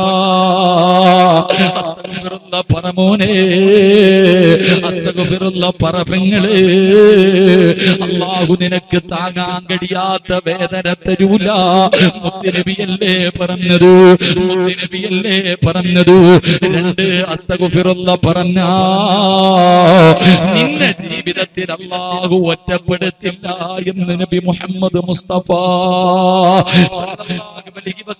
തങ്ങൾ പറയുകയാണ്. ജീവിതത്തിൽ ഒറ്റപ്പെട്ടു പോകുന്ന ചില സമയമുണ്ട്. അള്ളാഹുവേ മരിച്ചാ മതി പടച്ചവര് ആത്മഹത്യ ചെയ്താ മതി പടച്ചവര് അള്ളാഹുവേ ജീവിതത്തിൽ ഒറ്റപ്പെട്ടു പോകുന്ന സമയം കിടപ്പിൽ കിടന്ന് മലമൂത്ര വിസർജനം നടത്തിയിട്ട് വീടിന്റെ അകത്ത് കിടക്കുമ്പോ ഭാര്യ പറയുന്ന നോക്കി നോക്കി മടുത്തല്ല പരിഹാസവും കേട്ട് വീടിന്റെ കിടപ്പിൽ കിടന്ന് റൂമിന്റെ അകത്ത് കിടന്നിട്ട് നീ തന്നെ പറയുകയാ റബ്ബേ എന്നെ എങ്ങും മരിപ്പിക്കല്ലാ സ്വന്തം മക്കൾ ചെയ്യുന്ന വാപ്പ മരിക്കുന്നതിന് വേണ്ടി ദുആ ചെയ്യുന്ന രംഗമുണ്ടല്ലോ. എല്ലാവരും നിന്റെ കൂടെയുണ്ട്. ഭാര്യയുണ്ട് മക്കളുണ്ട് കൂടപ്പിറപ്പുണ്ട് കുടുംബക്കാരുണ്ട്. ആരുമില്ലാതെ ചില സമയങ്ങളിൽ നെഞ്ചുമുട്ടുന്ന രംഗമുണ്ട്. എന്റെ പ്രിയപ്പെട്ട ചെറുപ്പക്കാരാ നിന്റെ പൊന്നാര മക്കളെ നിന്റെ കയ്യിലേപ്പിച്ചിട്ട് ചെറിയ പ്രായമുള്ള നിന്റെ പൊന്നാര മക്കൾ വാപ്പ എന്ന് വിളിച്ചുകൊണ്ട് ഓടി വരുന്ന നിന്റെ പൊന്നാര മക്കളുണ്ടല്ലോ. ആ മക്കളെ ഒരു ദിവസം നിന്റെ കയ്യിലേപ്പിച്ചിട്ട് നിന്റെ ഭാര്യ അങ്ങ് പോയാ. മക്കൾ ചോദിക്കുന്നു ഉമ്മ എന്തേ വാപ്പാ? ഉമ്മ വീടിന്റെ അകത്ത് പിഞ്ചു മക്കൾ മക്കളെ ചേർത്ത് പിടിച്ചിരുന്ന് നെഞ്ചു പൊട്ടിയിട്ട് കരയാൻ പറ്റുമോ ചെറുപ്പക്കാരാ. പറമോളെ ഇന്ന് നിനക്ക് ഭർത്താവുണ്ട് ഭർത്താവിന്റെ വീട്ടുകാരുണ്ട് നിന്റെ വീട്ടുകാരുമുണ്ട്. പക്ഷേ നിന്റെ ഭർത്താവങ്ങ് മരിച്ചാ. പിന്നെ ഭർത്താവിന്റെ വീട്ടുകാർക്ക് നിന്നെ വേണ്ട. ഇനി നീ നിന്റെ വീട്ടിൽ പോയാലും അവരും നിനക്ക് അവർക്ക് ബാധ്യതയാ മോളെ. ആരുണ്ട് പൊന്നുപെങ്ങൾ ആരുണ്ട് പൊന്നുപെങ്ങൾ അതുകൊണ്ട് അള്ളാഹുവിന്റെ റസൂൽ പറയുകയാ.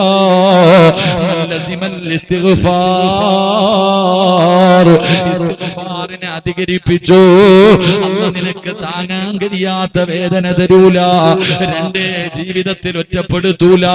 വാപ്പാ നിന്നോട് ഞാനൊരു ഇൻഷാല്ല പറയാൻ പറഞ്ഞപ്പോ ഒരസ്തഗുഫിറുള്ള പറവാപ്പ കൈപക്കാൻ പറഞ്ഞപ്പോ മനസ്സില്ലാത്തവര് നെഞ്ചിടിപ്പോട് അഹങ്കാരത്തോട് ധിക്കാരത്തോട് ഈ സദസ്സിലിരുന്ന എന്റെ പ്രിയപ്പെട്ട ചെറുപ്പക്കാരാ അമ്മ നിനക്ക് തരുന്ന മൂന്നാമത്തെ പരീക്ഷണം എന്തെന്നറിയുവോ?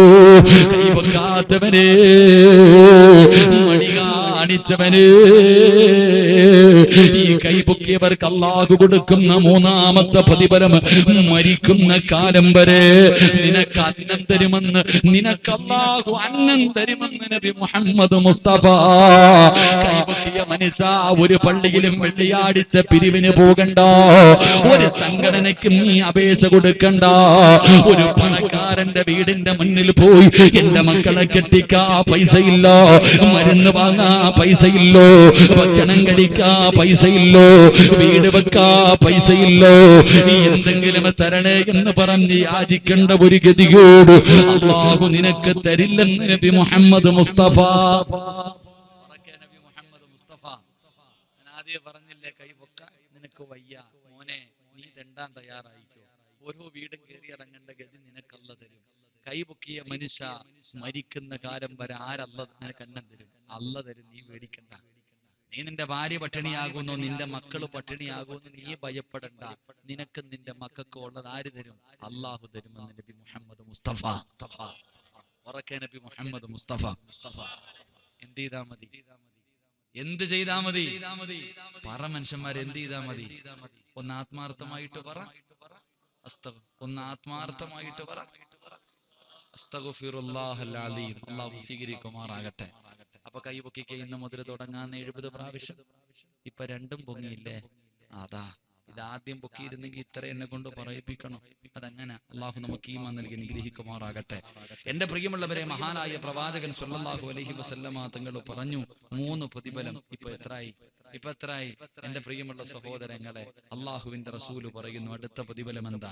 ഇസ്തിഗ്ഫാർ പറഞ്ഞാൽ ഇസ്തിഗ്ഫാർ പറഞ്ഞാൽ അള്ളാഹു തരുന്ന പ്രതിഫലം എന്താണ് മഹാനായ പ്രവാചകൻ സല്ലല്ലാഹു അലൈഹി വസല്ലമ തങ്ങൾ പറയുന്നു അസ്തഗ്ഫിറുല്ലാഹൽ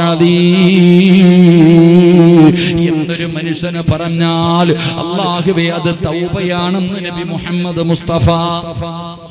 നബി മുഹമ്മദ് മുസ്തഫ. അസ്തഗ്ഫിറുല്ലാഹൽ അദീം എന്നൊരു മനുഷ്യൻ മനസ്സറിഞ്ഞിട്ട് പറഞ്ഞാൽ അത് തൗബയാ. അള്ളാഹു തൗബ ചെയ്യാൻ ഭാഗ്യം നൽകുമാറാകട്ടെ. അപ്പൊ നമുക്ക് തൗബ ചെയ്യാം. തൗബ ചെയ്യാം. മനസ്സുണ്ടോ? ഉസ്താദ് ഇവിടെ നിന്ന് തൗബ ചെയ്യാൻ പോവാണ്. ഞാൻ ഇന്ന് തൗബ ചെയ്തിട്ട് പിരിയൂ എന്ന് നീയത്ത് ചെയ്യുന്നവർ കൈവക്ക്. അതിന്റെ പ്രതിഫലവും പറയാം. അതിന്റെ പ്രതിഫലം അലഹമില്ല അള്ളാഹു ഭാഗ്യം നൽകുമാറാകട്ടെ. എന്റെ മുസ്ലിമീങ്ങളായ ചേച്ചിമാർ അവർക്ക് മനസ്സിലായില്ലെങ്കിൽ അവർ പൊക്കുന്നുണ്ട്.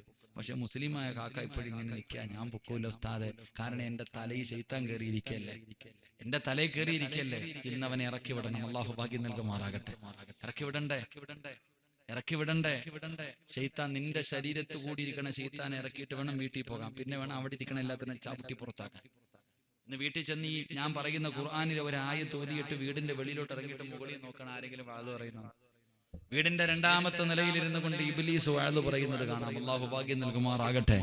എന്റെ പ്രിയമുള്ള സഹോദരങ്ങളെ അസ്തഗുഫിറല്ല പറഞ്ഞാൽ ഈ വയലിന്റെ സദസ്സിലിരിക്കുന്ന എന്റെ പ്രിയപ്പെട്ടവരെ എന്ന് ദുആ ചെയ്യുമ്പോൾ ജീവിതത്തിൽ ചെയ്തു പോയ പാപങ്ങൾ മുഴുവനും ഓർത്ത് കരഞ്ഞുകൊണ്ട് ഇഖ്ലാസോടുകൂടി അള്ളാഹുവിന്റെ മുന്നിൽ പൊട്ടിക്കരഞ്ഞ് തൗപ ചെയ്താൽ അള്ളാഹു നിങ്ങൾക്ക് പരുന്ന അള്ളാഹു നിങ്ങൾക്ക് തരുന്ന പ്രതിഫലം കേൾക്കടോ ഈ കൈ പൊക്കിയത് വെറുതെയല്ല വാപ്പാ. ഈ കൈപൊക്കിയത് വെറുതെയല്ല വാപ്പാ അള്ളാഹുവിന്റെ പ്രവാചകൻ എവിടെന്ന് പറയുകയാണ് പരിശുദ്ധമായ ഖുർആാനുണ്ടല്ലോ അള്ളാന്റെ ഖുർആനാ പറഞ്ഞത്. അള്ളാന്റെ ഖുർആനാ പറഞ്ഞത്. നിങ്ങൾക്ക് അള്ളാഹു തരുന്ന പ്രതിഫലം എന്തെന്നറിയൂ? അള്ളാഹു നിങ്ങൾക്ക് തരുന്ന പ്രതിഫലം എന്താണ്? ഒരു ഞാൻ പറഞ്ഞു തരാം. ഒരു ദിക്കറ് ഞാൻ പറഞ്ഞു തരാം. ഈ ദിക്കറ് നിങ്ങൾ ആരെങ്കിലും പറഞ്ഞാൽ നിങ്ങൾ ചെയ്ത സർവ പാപങ്ങളും അള്ളാഹു ഈ നിമിഷം പുറത്തു തരുമെന്ന് നബി മുഹമ്മദ് മുസ്തഫ. നബി ഞാനൊരു ദിക്കറ് പറഞ്ഞു തരാം. നേരെ ചൊവ്വ അങ്ങോട്ട് ഇരുന്നിട്ട് ഒറ്റ പ്രാവശ്യം പറഞ്ഞ നിന്റെ ജീവിതത്തിൽ ചെയ്ത സർവ പാപങ്ങളും അള്ളാഹു പുറത്തു തരുമെന്ന് നബി മുഹമ്മദ് മുസ്തഫ. ഉറക്കെ നബി മുഹമ്മദ് മുസ്തഫ.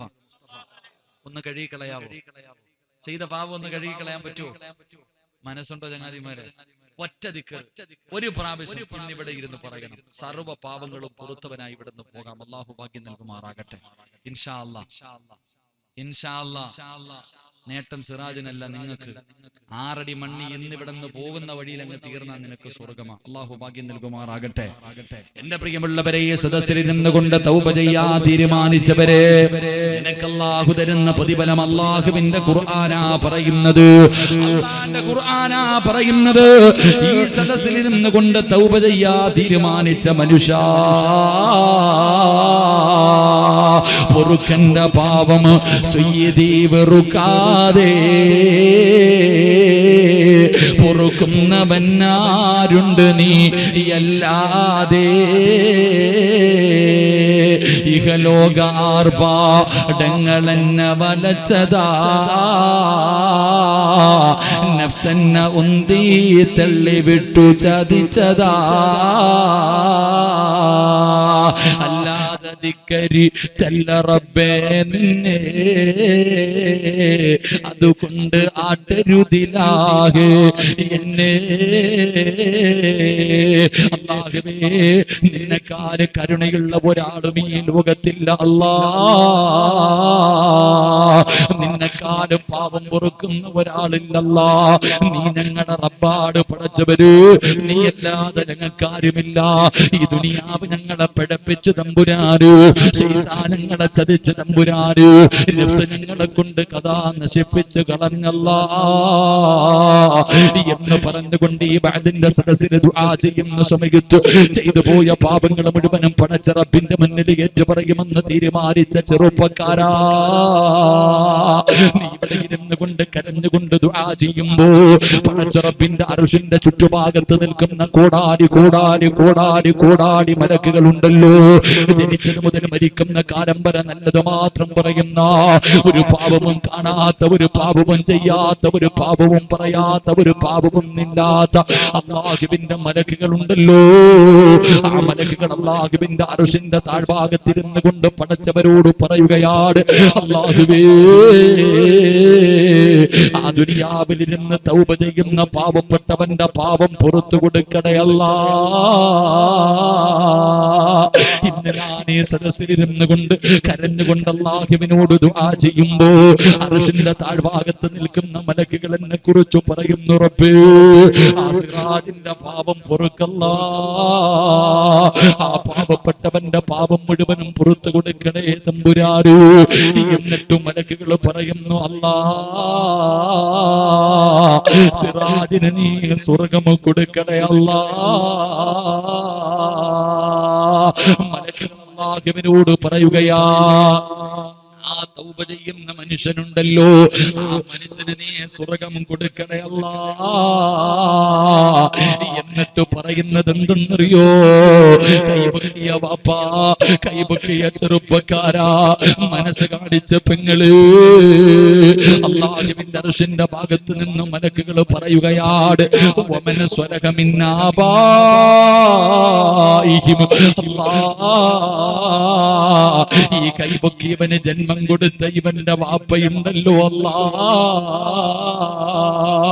രക്തം വിയർപ്പാക്കി കഷ്ടപ്പെട്ട് പോറ്റി പോറ്റി വളർത്തി ഇവന്റെ വാപ്പയുണ്ടല്ലോ അല്ലാ. ഇവന് വേണ്ടി ജീവിച്ച ഇവന്റെ പിതാവുണ്ടല്ലോ.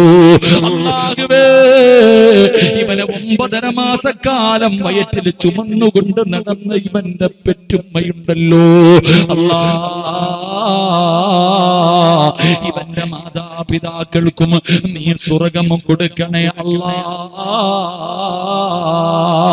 നിനക്ക് മാത്രമല്ല നിനക്ക് മാത്രമല്ല നീയല്ല ദുആ ചെയ്യുന്നത്. അള്ളാഹുവിന്റെ അർഷിന്റെ ഭാഗത്തിരുന്ന് കൊണ്ട് മലക്കുകൾ അള്ളാരോട് ദുആ ചെയ്യുകയാ. ഖുർആനാ പറഞ്ഞത്. വമൻ സ്വലക മിൻ ആബായിഹിം. ഇവന്റെ മാതാപിതാക്കൾക്ക് നീ സ്വർഗം കൊടുക്കണേ അല്ലാ. അവർക്ക് മാത്രമല്ല മിൻ ആബായിഹിം. ഇവന്റെ കൂടെ കിടപ്പറയിൽ കിടക്കുന്ന ഇവന്റെ ഭാര്യയുണ്ടല്ലോ അല്ലാ. ഇവന്റെ കൂടെ കിടപ്പറയിൽ ഇവന്റെ പുതപ്പിന്റെ കീഴിൽ കിടക്കുന്ന ഇവന്റെ ഭാര്യയുണ്ടല്ലോ. അല്ലാ ആ ഭാര്യക്ക് നീ സ്വർഗം കൊടുക്കണേ അല്ലാ. ഈ തൗപ ചെയ്യുന്ന പെണ്ണിന്റെ ഭർത്താവിന് നീ സ്വർഗം കൊടുക്കണേ അല്ലാ. മലക്ക് അവിടുന്ന് ദുആ ചെയ്യുകയാ. നിനക്ക് സ്വർഗമുണ്ട് നിന്റെ വാപ്പയ്ക്ക് സ്വർഗമുണ്ട് നിന്റെ ഉമ്മയ്ക്ക് സ്വർഗമുണ്ട് നിന്റെ ഭാര്യയ്ക്ക് സ്വർഗമുണ്ട്. അതുമാത്രമല്ല വമന ഇവന്റെ രക്തത്തിൽ പറന്ന ഇവന്റെ മക്കളുണ്ടല്ലോ. വധുരീയാതിയും ഇവന്റെ സന്താനങ്ങൾക്കും നീ സ്വർഗം കൊടുക്കണേ അല്ലാ. പടച്ചവര് ഇത് സതക്ക് ചെയ്ത മനുഷ്യന്റെ പ്രതിഫലമല്ല. നോമ്പ് പിടിച്ചവന്റെ പ്രതിഫലമല്ല. അള്ളാഹുവേ പള്ളി കെട്ടി കൊടുത്തവന്റെ പ്രതിഫലമല്ല. പിന്നെ ആരുടെ പ്രതിഫലമെന്നറിയോ? ജീവിതത്തിന് ചെയ്തു പോയ ഒരു പാപം അള്ളാഹുവേ ഞാൻ വിട്ടുപോയതാ തമ്പുരാരു. അറിയാതെ ചെയ്തു പോയതാ തമ്പുരാരു. അഹങ്കാരം കാണിച്ചതല്ല തമ്പുരാരു. നീ എനിക്ക് പുറത്തു തരണേ അല്ലാ. എന്ന് പടച്ച റബ്ബിനോട് ദുആ ചെയ്താൽ കുടുംബസമേതം അല്ലാഹു നിന്നെ സ്വർഗത്തിലെത്തിക്കുമെന്ന് അള്ളാഹുവിന്റെ വിശുദ്ധ ഖുർആൻ എന്നിട്ട് മലക്കുകൾ അല്ലാഹുവോട് പറയുകയാ ഇവൻ എന്നെ തൗബ ചെയ്തിട്ട് ഇവന്റെ ഉമ്മ പ്രസവിച്ചതുപോലെ ഇവൻ ഇന്ന് നന്നായി പടച്ചവരെ വകിഹിമുസ്സയ്യാത്ത്. ഇനി പഴയ തെറ്റിലേക്ക് ഇവനെ കൊണ്ടിടല്ലേ അല്ല? ഇവനെ വീണ്ടും കള്ളുകുടിയനാക്കല്ലേ ഇവനെ വീണ്ടും വ്യഭിചാരിയാക്കല്ലേ ഇവനെ വീണ്ടും പരിശക്കാരനാക്കല്ലേ നിസ്കരിക്കാത്തവനാക്കല്ലേ. അള്ളാഹുവേ ഇവളെ ഭർത്താവിനെ വഞ്ചിക്കുന്നവളാക്കല്ലേ കാമുകനുമായി കറങ്ങുന്നവളാക്കല്ലേ. അള്ളാഹുവേ ഇവളെ നീ നന്നാക്കണേ അല്ലാ. എന്നും എനിക്ക് ദുആ ചെയ്യുമെന്ന് അള്ളാഹുവിന്റെ വിശുദ്ധമായ ഖുർആൻ പറയുമ്പോ എന്റെ പ്രിയമുള്ള സഹോദരാ ഇനി രണ്ട് പ്രതിഫലം കൂടെ പറയട്ടെ. ഇനി രണ്ട് പ്രതിഫലം കൂടെ എന്താണ്? ചെയ്താൽ ഇലൈഹി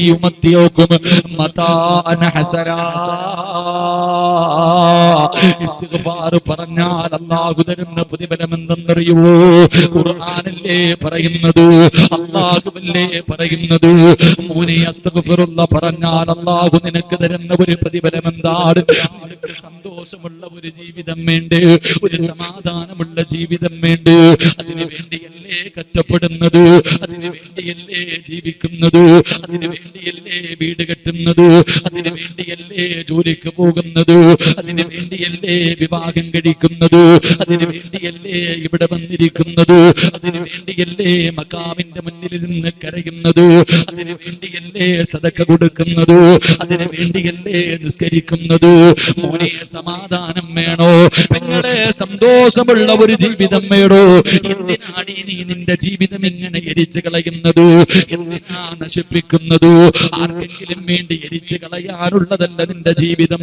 ജീവിക്ക ചെറുപ്പക്കാരാ തമ്മിലടിച്ചു വാശി കാണിക്കാനുള്ളതല്ലടാ അള്ളാഹു തന്ന ആയുസ് സന്തോഷത്തോടെ കഴിയാറുള്ളൂ പരസ്പരം ഒത്തൊരുമയോട് സ്നേഹത്തോട് ഭാര്യയും ഭർത്താവും തെറ്റുകൾ മനസ്സിലാക്കി പശ്ചാത്തപിച്ചുകൊണ്ട് സന്തോഷത്തോടെ കഴിയാൻ കഴിയാ മോഹമില്ലേ ചെറുപ്പക്കാരാ. മോനെ ഭാര്യയോടും ഭർത്താവിനോടും എനിക്ക് പറയാറുള്ളത് പറഞ്ഞു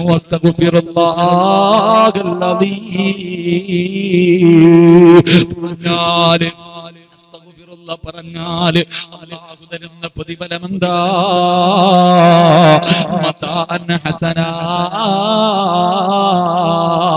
ഒരു സന്തോഷമുള്ള ജീവിതമാ.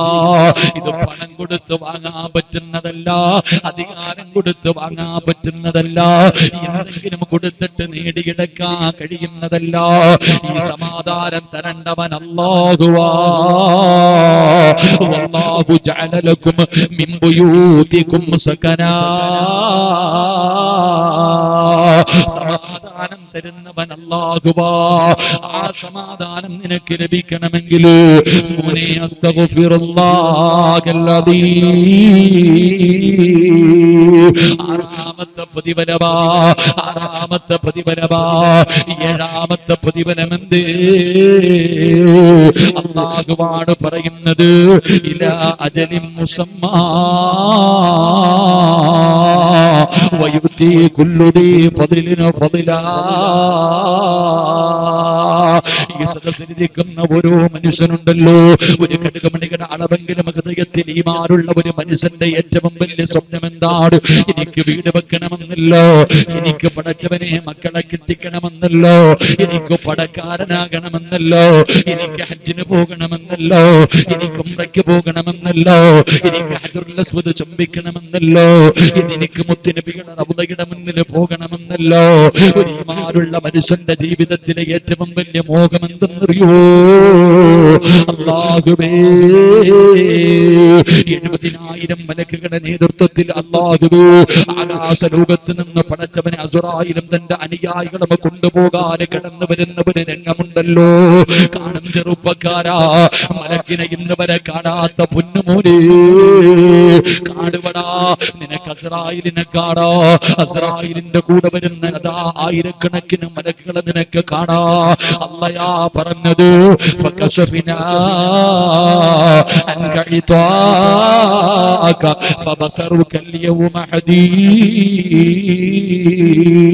അള്ളാഹു നിന്റെ കണ്ണങ്ങ് തുറന്നു തരികയാണ്. നീ മലക്കുൽ മൂത്തിനെ കാട് അള്ളാഹുവേ മറ്റുള്ള മലക്കുകളെ നിനക്ക് കാണാൻ കഴിയുകയാ. ആ മലക്കുകൾ നിന്റെ ചാരത്തേക്ക് കടന്നു വന്നിട്ട്. അല്ലാഹുവേ നിന്റെ റൂഹ് പിടിക്കുന്ന രംഗമുണ്ടല്ലോ. കാലിന്റെ തണ്ടവൻ നിന്ന് റൂഹ് പിടിക്കുകയാണ് ഒരു വിഭാഗം മുട്ടുവര് രണ്ടാമത്തെ വിഭാഗം മരവര് മൂന്നാമത്തെ വിഭാഗം നെഞ്ചുവര് വരൂ നാലാമത്തെ വിഭാഗം കഴുത്തുവര് അല്ലാ ഈ തൊണ്ടക്കുടിയുടെ ഭാഗത്തേക്ക് നിന്റെ റൂഹ് കടന്നു വരുമ്പോ മലക്കുൽ മൗത്ത് അസ്റായീൽ അതാ നിന്റെ തലയുടെ ഭാഗത്ത് നിന്നിട്ട് ൂഹങ്ങ് വലിച്ചെടുക്കുന്ന അവസാന സമയമുണ്ടല്ലോ.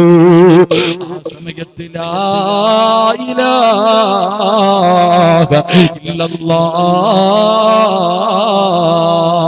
പറയണ്ടേടാ പൊന്നുമോരെ പറഞ്ഞു മരിക്കണ്ടേ ചെറുപ്പക്കാരാ.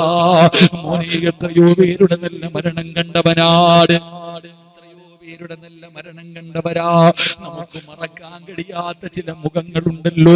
അള്ളാഹുവേ വെള്ളത്തുണിക്കകത്ത് പുതച്ചു കിടത്തുമ്പോ മെത്തബയിലെ ജബ്ബാർ ഉസ്താദിന്റെ ജനാസ കണ്ടവരല്ലേ ഒരു അവസാനമായി കണ്ടതാ മുഖമല്ലേ? പ്രകാശമായിരുന്നു ചെറുപ്പക്കാരാ. അത്യപ്പറ്റ ഉസ്താദ് മരണപ്പെട്ടെന്നറിഞ്ഞപ്പോ പോയ പൊന്നുമക്കൾ എന്തൊരു പ്രകാശമായിരുന്നു പൊന്നുമോന്. എത്ര നേരമാടാ എത്ര വെട്ടമാ മയ്യത്ത് നിസ്കരിച്ചത്. ആചരിക്കുന്ന മുഖം കണ്ടവരല്ലോ കണ്ണിയത്ത് ഉസ്താദിനെ കണ്ടവരല്ലോ ചിരശ്ശേരി ഉസ്താദിനെ കണ്ടവരല്ലോ. അവരൊക്കെ ആരാമോര് മുൻകൂട്ടി മരണത്തിന് മനസ്സിലാക്കിയവരല്ലോ. അല്ലാ കഴിഞ്ഞ മാസങ്ങൾക്ക് ഡിസംബർ മാസം ശംസുലിമയുടെ റൂസിന്റെ വാതിന് പോയപ്പോ ഭക്ഷണം കഴിക്കുന്ന സമയത്തൊരു പ്രായം ചെന്ന ഉസ്താദിന്റെ അടുക്കലുണ്ട്. എനിക്ക് ശംസുലിമയെ കുറിച്ച് വലിയ അറിവില്ലല്ലോ. കാരണം എന്റെ ആറാമത്തെ വയസ്സിൽ പോയ മഹാരാ. എനിക്ക് ആറ് വയസ്സുള്ളപ്പോൾ മരണപ്പെട്ടു പോയി. അവിടുന്ന് ഉസ്താദിനെ കുറിച്ച് ചോദിക്കുമ്പോ അവിടുന്ന് പറഞ്ഞു മോനെ മരണപ്പെടുന്നതിന്റെ അന്ന് പറ്റേ ദിവസം മരിക്കുന്നതിന്റെ തലേന്ന് പാതിരാത്രി രണ്ട് മണിയായപ്പോ ഞാൻ ഹോസ്പിറ്റലിലുണ്ട്. ഡോക്ടർ പരിശോധിക്കാമെന്നു. രോഗം പിടിച്ച് ഹോസ്പിറ്റലിൽ കിടക്കുമ്പോ ഡോക്ടർമാര് പരിശോധിക്കാൻ കിടന്നു വന്നു. അവിടെ പരിശോധിച്ചിട്ട് തിരിച്ചു പോകുമ്പോ ഇരുന്ന് ചിരിച്ചടാ മോര്. ഇരുന്ന് ചിരിക്കുകയാണ് കൂടെ നിന്നവർ ചോദിച്ചു എന്തിന് ചിരിക്കുന്നത്? എന്തിനാ ചിരിക്കുന്നത്? രാവിലെ പോകുന്ന എന്നെ പരിശോധിച്ചിട്ട് ഇവന്മാർക്ക് എന്താണ് മനസ്സിലായത്? ഒറ്റ ചോദ്യമാണ് പറഞ്ഞത്. രാവിലെ പോകുന്ന എന്നെ പരിശോധിച്ചിട്ട് ഇവർക്ക് എന്തേ മനസ്സിലായത്? പോയടാ അള്ളാഹുവിന്റെ പള്ളിയുടെ മിനാരത്തിൽ നിന്ന് സുബഹിക്ക് ബാങ്ക് വിളിച്ചില്ല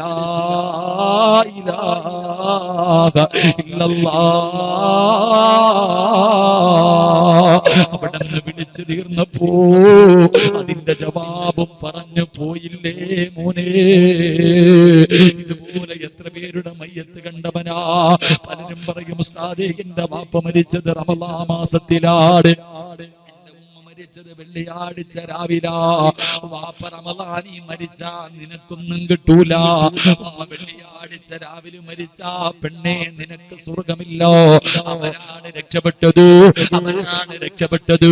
അതുകൊണ്ട് നിങ്ങൾക്ക് ആർക്കെങ്കിലും മരിക്കുമ്പോ ഈമാനോടുകൂടി മരിക്കടോ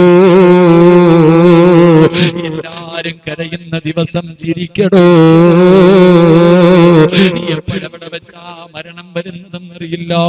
ഈ വയത് പറയുമ്പോഴാണോ? ചെയ്യുമ്പോഴാണോ? പോകുന്ന വഴിയിലാണോ? വാഹനത്തിലാണോ? വീട്ടിലാണോ? ഹോസ്പിറ്റലിലാണോ? ബെഡ്റൂമിലാണോ? നിസ്കാരപ്പായിലാണോ? എവിടെ വെച്ചാണ് മരണം വരുന്നതെന്നറിയില്ല. രോഗം വേണ്ടടാ പൊന്നുമോനെ. കുല്ലും അതാ അവിടെ പറയുകയാണ്. തുറമ്മീലു ഫിദ്ദുന്യാ طويلا ولا تدري. إلى جن ليل هل تعيش إلى الفجر؟ وكم من صحيح مات من غير إلتي وكم من مريض عاش ذكرا على ذكري ജനങ്ങൾ രാവിലെ എഴുന്നേറ്റവന് വൈകുന്നേരം തികയ്ക്കുന്നില്ല. രാത്രി കിടന്നവന് രാവിലെ എഴുന്നേൽക്കുന്നില്ല. ഒരു രോഗവുമില്ലാത്തവർ പെട്ടെന്ന് പെട്ടെന്ന് വീണ് മരിച്ചു പോകുന്ന രംഗം കാണുന്നവരാ. അതുകൊണ്ട് എന്റെ പ്രിയപ്പെട്ടവരോട് പറയുകയാ നിനക്ക് വെള്ളിയാഴ്ച രാവിലെ മരിക്കണ്ടേ? അല്ലാഹുവേ വെള്ളിയാഴ്ച മരിക്കുന്നവന് ഷഹീദിന്റെ കൂലിയുണ്ടെന്ന് മുത്തുനബി പറഞ്ഞിട്ടുണ്ടല്ലോ. വെള്ളിയാഴ്ച രാവിലെ മരിക്കണ്ടേ. ജുമയ്ക്ക് പള്ളിയിൽ വരുന്നവര് നിന്റെ മയ്യത്ത് നിസ്കരിച്ചിട്ട് നിന്നെ കബറടക്കണ്ട്. അതുകൊണ്ട് സഹോദരാ അമ്മയാ പറയുന്നത് അള്ളാഹുവാണ് പറയുന്നത്.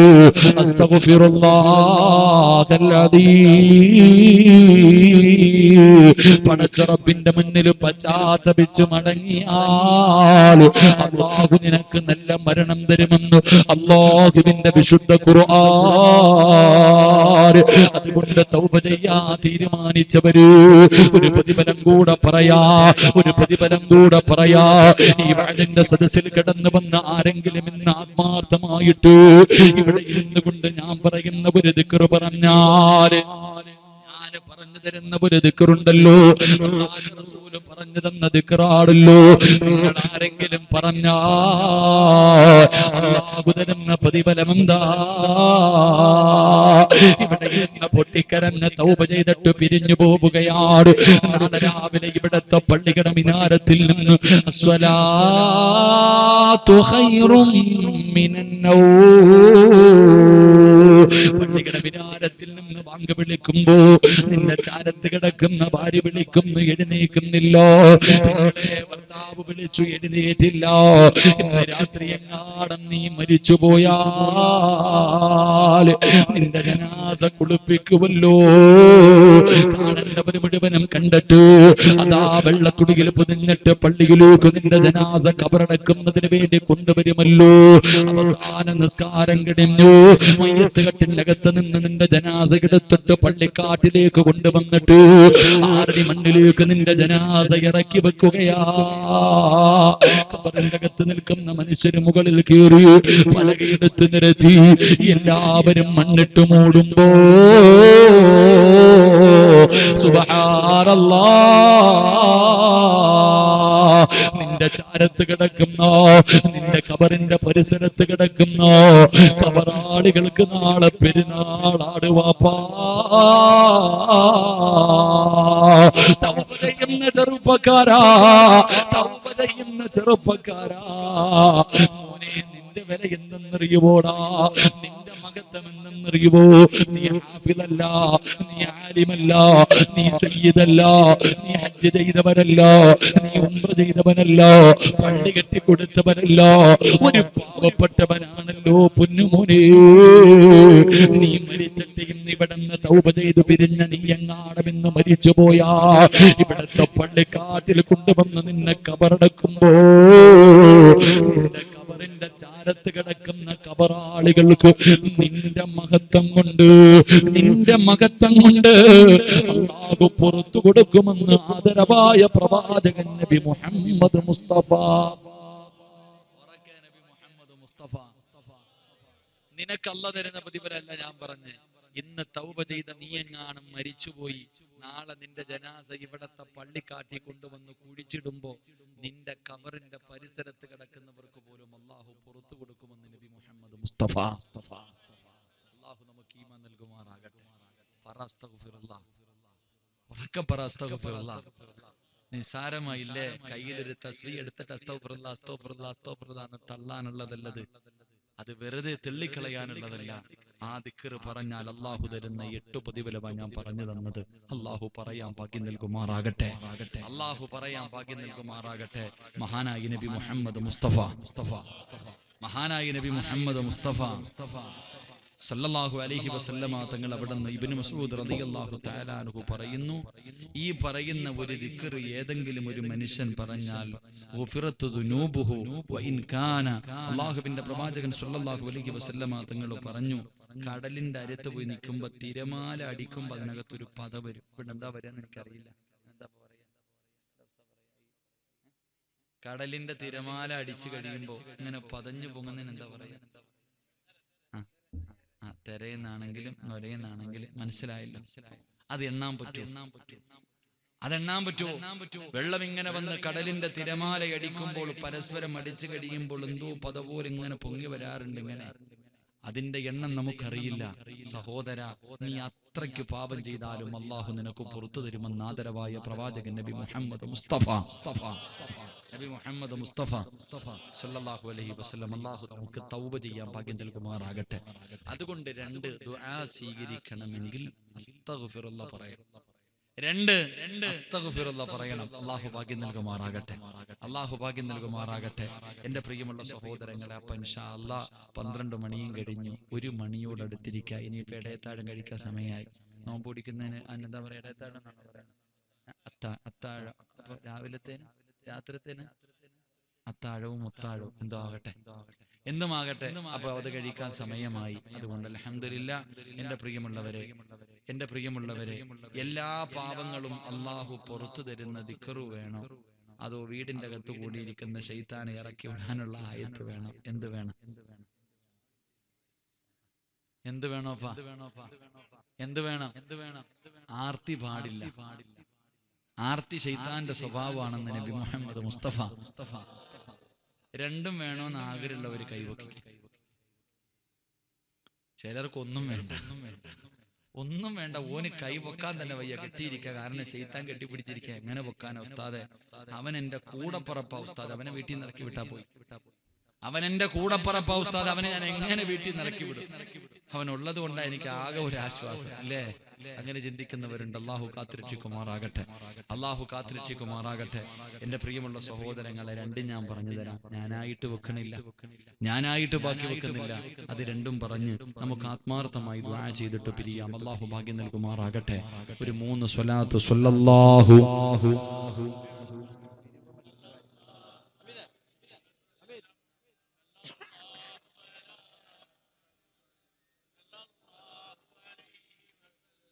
اللهم صل على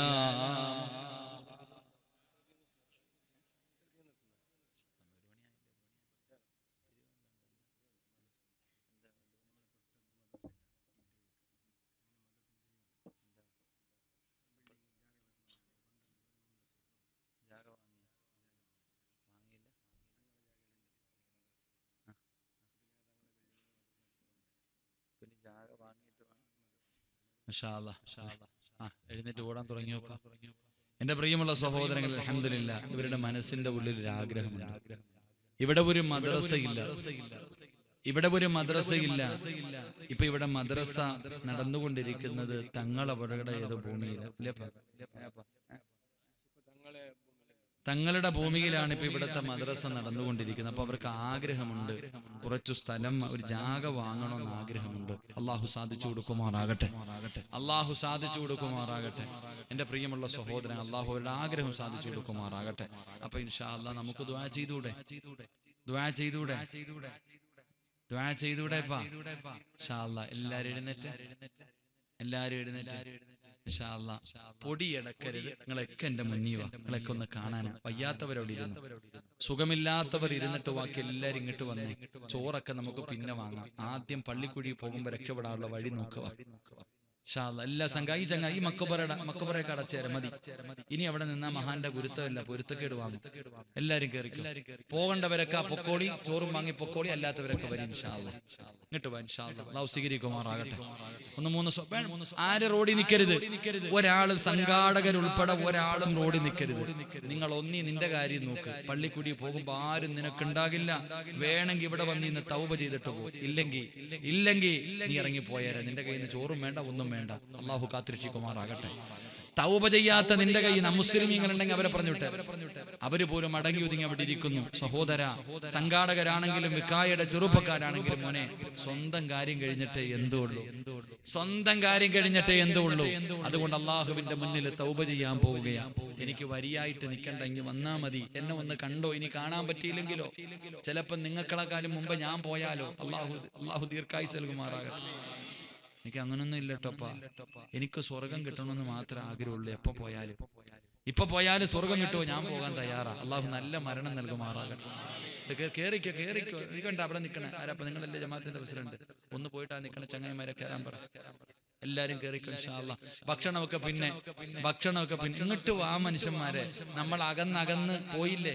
അകന്നകന്നകന്നകന്ന് ഇപ്പൊ ഒന്നിനും ഇല്ല. ഒന്നിനും കൊള്ളാത്തവനായി പട്ടിയെ തല്ലണ പോലെ നാല് സൈഡിൽ നിന്ന് തല്ല വേണമെങ്കിൽ ഒരുമിച്ചോ. അള്ളാഹു ഉമ്മത്തിന് ഐക്യം നൽകുമാറാകട്ടെ. പറ മനുഷ്യന്മാർ അള്ളാഹു നൽകുമാറാകട്ടെ. നിങ്ങൾ പേടിക്കണ്ട നിങ്ങൾ ഇറങ്ങി പോകുമ്പോഴേ ഭക്ഷണം തരത്തുള്ളൂ. ഈ നിൽക്കണവർ മുഴുവനും ആ ചെറുപ്പക്കാരോട് പറയുന്ന മക്കളെ ഭക്ഷണം ഇപ്പൊ കൊടുക്കരുത്. ഇവിടെ ഭക്ഷണം എന്ന് പറഞ്ഞാൽ എന്താണെന്നറിയാം അറിയാവി കൊടുക്കണത്? ഭക്ഷണം എല്ലാവരുടെ വീട്ടിലുമുണ്ട് എല്ലാവരുടെ വീട്ടിലും ഭക്ഷണം ഉണ്ട് പക്ഷേ ദ്വായ്ക്ക് മുമ്പാണോ ഭക്ഷണം കൊടുക്കുന്നത്? ശേഷമാണോ ചീരണി കൊടുക്കുന്നത്? എപ്പോഴാണ് കൊടുക്കുന്നത്? ചീരണി എന്ന് പറഞ്ഞാൽ എന്താ? ദ്വായ്ക്ക് മുമ്പ് കൊടുക്കുന്ന സാധനത്തിനാണോ ചീരണി എന്ന് പറയുന്നത്? ശേഷം കൊടുക്കുന്നതിനാണോ? എന്താ പറയാൻ ഒരു പേടി? നമ്മളൊക്കെ സുന്നത്തിയമായത്തിൽ വിശ്വസിക്കുന്നവരല്ലേ? സുന്നികളല്ലേ? എന്തിനാ ചീരണി എന്ന് പറയണേ? ദ്വായ്ക്ക് മുമ്പ് കൊടുക്കുന്നതിനോ ശേഷം കൊടുക്കുന്നതിനോ ശേഷം കൊടുക്കുക അപ്പൊ മുമ്പ് പഠിച്ചാലോ? മുമ്പ് പഠിച്ചാലോ? അതുകൊണ്ട് കൊടുക്കരുത്. ചെറുപ്പക്കാരെല്ലാരും വണ്ടി കൊണ്ട് കയറ്റി കിട്ടും ഇൻഷാല്ല ദുവാ അഴിഞ്ഞ് പോകുമ്പോൾ കൊടുത്താൽ മതി. ആ വണ്ടിയുടെ പുറകിലെല്ലാം വരും. ഇങ്ങോട്ട് ഇങ്ങോട്ട് ഇങ്ങോട്ട് അലഹമില്ല അള്ളാഹു സ്വീകരിക്കുമാറാകട്ടെ. നിങ്ങൾ ആരും ടെൻഷൻ അടിക്കണ്ട. ഒരു കാര്യം മനസ്സിലാക്കിയാൽ മതി. നിന്റെ പേര് ആ ചോറിൽ എഴുതിയിട്ടുണ്ടെങ്കിൽ നിനക്ക് തന്നെ കിട്ടും. ഞാൻ തിന്നൂല്ല അള്ളാഹു ഈമാൻ നൽകുവാണ്. ഉറപ്പല്ലേ? ഉറപ്പല്ലേ? എനിക്ക് അള്ളാഹു അന്ന എഴുതിയിട്ടുണ്ടായിരുന്നു. ഞാൻ എന്റെ ഉമ്മാടെ വയറ്റിൽ കിടന്നപ്പോ പത്തനാപുരം കൊല്ലം ജില്ലയിലെ പത്തനാപുരത്ത് ഇവിടെ നിന്ന് ഏകദേശം അഞ്ഞൂറ്റി അമ്പതോ അറുന്നൂറ് കിലോമീറ്റർ ഉണ്ട്. ഇത്രയും ദൂരം താണ്ടിയിട്ട് ഞാൻ വന്നത് എന്റെ പേരെഴുതിയ അന്നം തിന്നാനാ. അള്ളാഹു ഈമാൻ നൽകുമാറാകട്ടെ എന്തിനാ വന്നേ? എന്തിനാ വന്നേ? വളു പറയാനല്ല. എന്റെ പേരെഴുതിയ ഭക്ഷണം. കഴിക്കാനാ ഞാൻ വന്നത്. ഞാൻ കഴിച്ചു. ഇനി ഉണ്ടോന്ന് എനിക്കറിയില്ല. ഇനി ഉണ്ടോന്നറിയില്ല അപ്പൊ നിങ്ങളുടെ പേരെഴുതിയത് ഈ സിറാജ് തിന്നോ. പറ തിന്നോ നിങ്ങളുടെ പേരെഴുതിയ ചോറ് ഞാൻ കഴിക്കോ എന്റെ പേരെഴുതിയ നിങ്ങൾ കഴിക്കോ ഇല്ല നിന്റെ പേര് അതിലുണ്ടെങ്കിൽ നിനക്ക് കിട്ടിയിരിക്കും. നീ ധൈര്യമായിട്ട് അത് ഒരു പൊതിയാണെങ്കിലും രണ്ട് പൊതിയാണെങ്കിലും. ചിലപ്പോ ഒരു ഒരാളിപ്പോ രണ്ട് പൊതി വാങ്ങിച്ചു പറയാം. ഉസ്താദ് പറഞ്ഞില്ലേ? രണ്ടിന്റെ എന്റെ പേരുണ്ട്. അങ്ങനല്ലട്ടാ അല്ല ഒരാൾ പറഞ്ഞു എടാ താഴെ വീണ ചോറ് താഴെ വീണ ഭക്ഷണം എടുത്ത് കഴിക്കണം എന്ന് പറഞ്ഞപ്പോ ഒരു പയ്യൻ ചോദിക്കാ താഴെ കിടക്കുന്നത് എന്റെ പേരില്ല അതുകൊണ്ടാ കളഞ്ഞത്. അങ്ങനെ അത് അത് കുറുക്കു ബുദ്ധി. അത് പാടില്ല. രണ്ടെണ്ണം വാങ്ങിച്ചിട്ട് അങ്ങനെ മസല പറയരുതട്ടാ ഷാള്ള. അപ്പൊ എന്ത് ചെയ്യും? നിങ്ങളുടെ പേര് എഴുതിയിട്ടുണ്ടെങ്കിൽ നിങ്ങൾക്ക് കിട്ടും. കിട്ടിയില്ലേ? നിന്റെ പേരില്ല. സന്തോഷത്തോടെ പോ അള്ളാഹു ബർക്കത്ത് ചെയ്യുമാറാകട്ടെ അള്ളാഹു സ്വർഗത്തിലെ ഭക്ഷണം നൽകി അനുഗ്രഹിക്കുമാറാണ് എന്റെ പ്രിയമുള്ള സഹോദരങ്ങളെ സഹോദരങ്ങളെ സഹോദരിമാരെ അൽഹംദുലില്ലാ ഇവിടെ ഒരു മദ്രസ പഠിക്കണം അത് അവരുടെ സ്വപ്നമാണ് ഇന്നത്തെ ദിവസം കൊണ്ട് തന്നെ അത് ബിൽഡിംഗ് കെട്ടാന്നൊന്നും ഞാൻ പറയണില്ല. അവരുടെ ഒരു ആഗ്രഹമല്ല.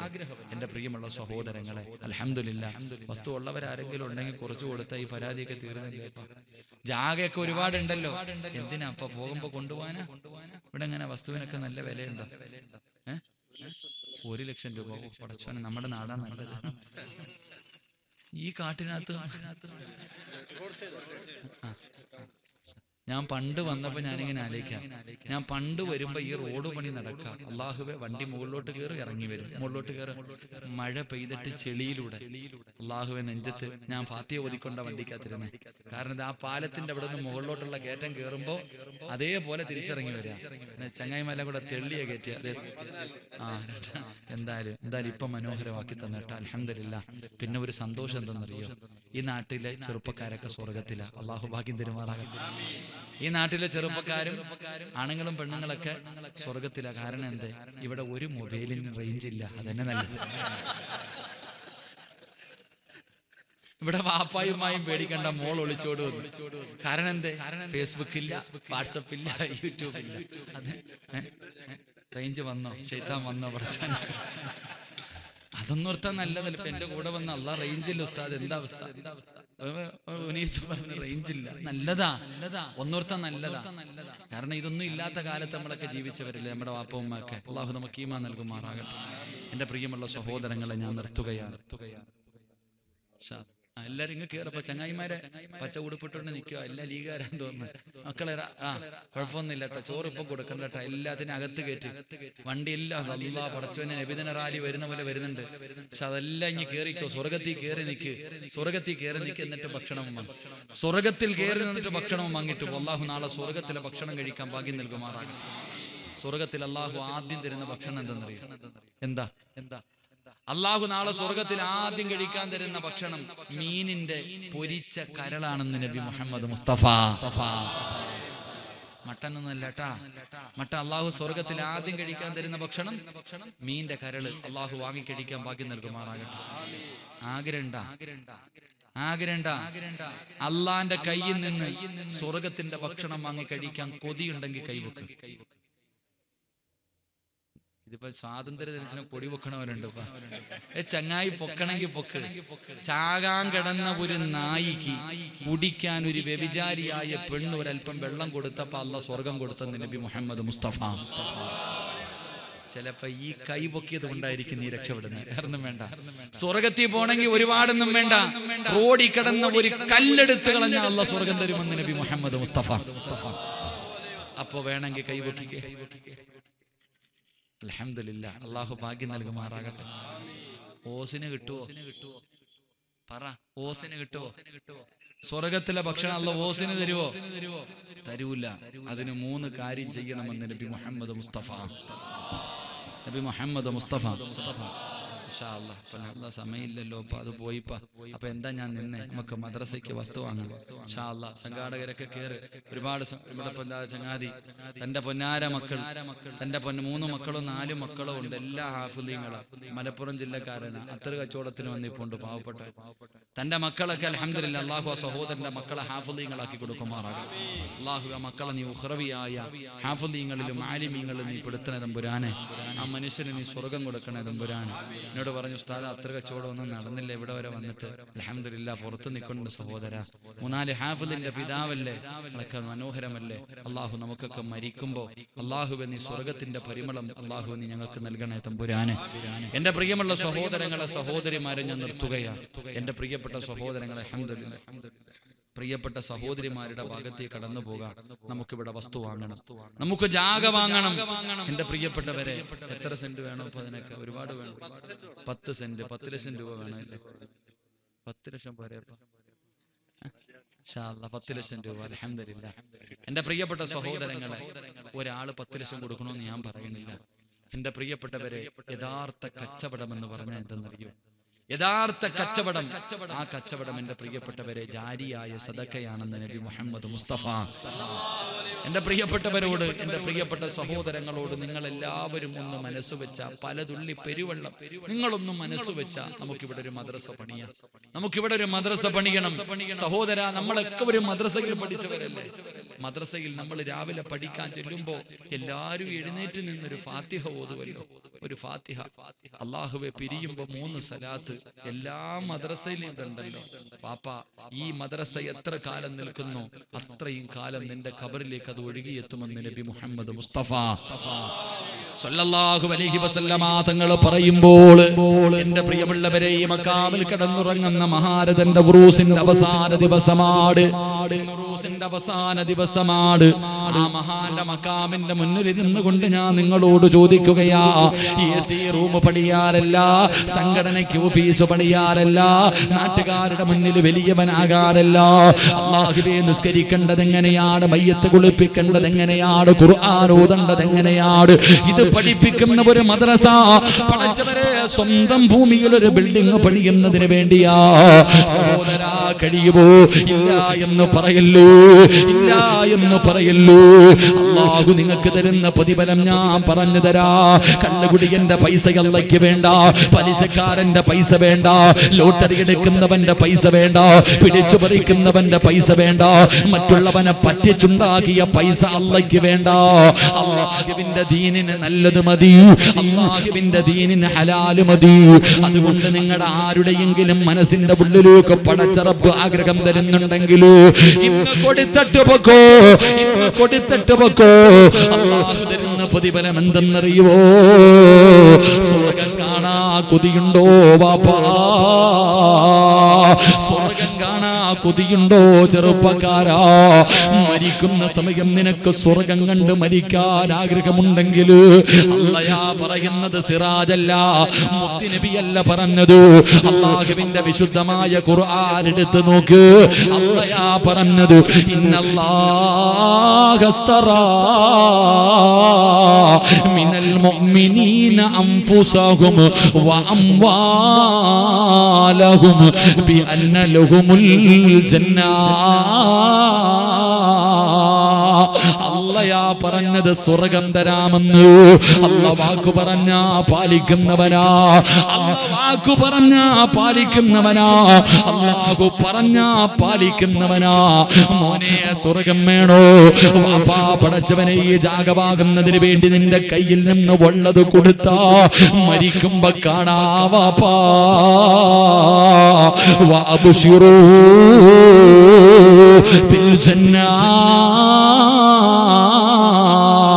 മരണവേദന സഹിക്കാൻ കഴിയാതെ നീ വീടിന്റെ അകത്ത് കിടന്ന് വിളിക്കുന്ന സമയമുണ്ടല്ലോ ഇന്നല്ലദീന ഖാലൂ റബ്ബുനല്ലാ ثم استقاموا تتنزل عليهم الملائكة ألا تخافوا ولا تحزنوا وأبشروا بالجنة അല്ല അന്നല്ലേ തരാമെന്ന് പറഞ്ഞത്. അല്ലയല്ലേ തരാമെന്ന് പറഞ്ഞത്. മരിക്കുന്ന സമയത്ത് കാണാവാപ്പാ വാബുശിറൂ ബിൽ ജന്നാ. സ്വർഗം കണ്ട് മരിക്കാനുള്ള ഭാഗ്യവാ. എന്റെ പ്രിയമുള്ളവരെ ഒന്ന് രണ്ട് അള്ളാനെ കാണാൻ നിനക്ക് കൊതിയുണ്ടോ? അള്ളാനെ കാണണ്ടേ മോനെ? കൈതം നിറപ്പ് കണ്ണിതം നിറപ്പ് കാലിതം നിറപ്പ് കരടിതം നിറപ്പ് മക്കളത്തം നിറപ്പ് ഭാര്യത്തം നിറപ്പ് അള്ളാ നിനക്കെല്ലാ വാരിക്കൂടി തന്ന നിന്റെ റബ്ബിനെ നിനക്ക് കാണണ്ടേ? വാരി കൂട്ടി വെക്കുന്നത്. പ്രായം ചെന്ന ഉമ്മമാര് വരെ സ്വർണമിടാത്ത പടച്ചവരെ ഒരറ്റ പെണ്ണുപോലും ഈ സദസ്സിലില്ല. എങ്കിലല്ല പറയുകയാ സ്വർഗം ഞാതരാ നിങ്ങൾക്ക് ആർക്കെങ്കിലും വേണോ? നിങ്ങൾക്ക് ആർക്കെങ്കിലും വേണോ? മോനെ കോടികൾ കൊടുത്താ നിനക്ക് കിട്ടാത്ത ഒരു ദിവസം വരുപടാ മണിയില്ല റബ്ബേ വാങ്ങുവാനാ വീട്. കൊതിയൊന്നുമല്ലാതെപ്പോഴും അതിനോട് അതിലേക്കു നീയൊരു വാസുതാമന്നാണ് അതു നിന്റെ പക്കൽ മാത്രമാണ്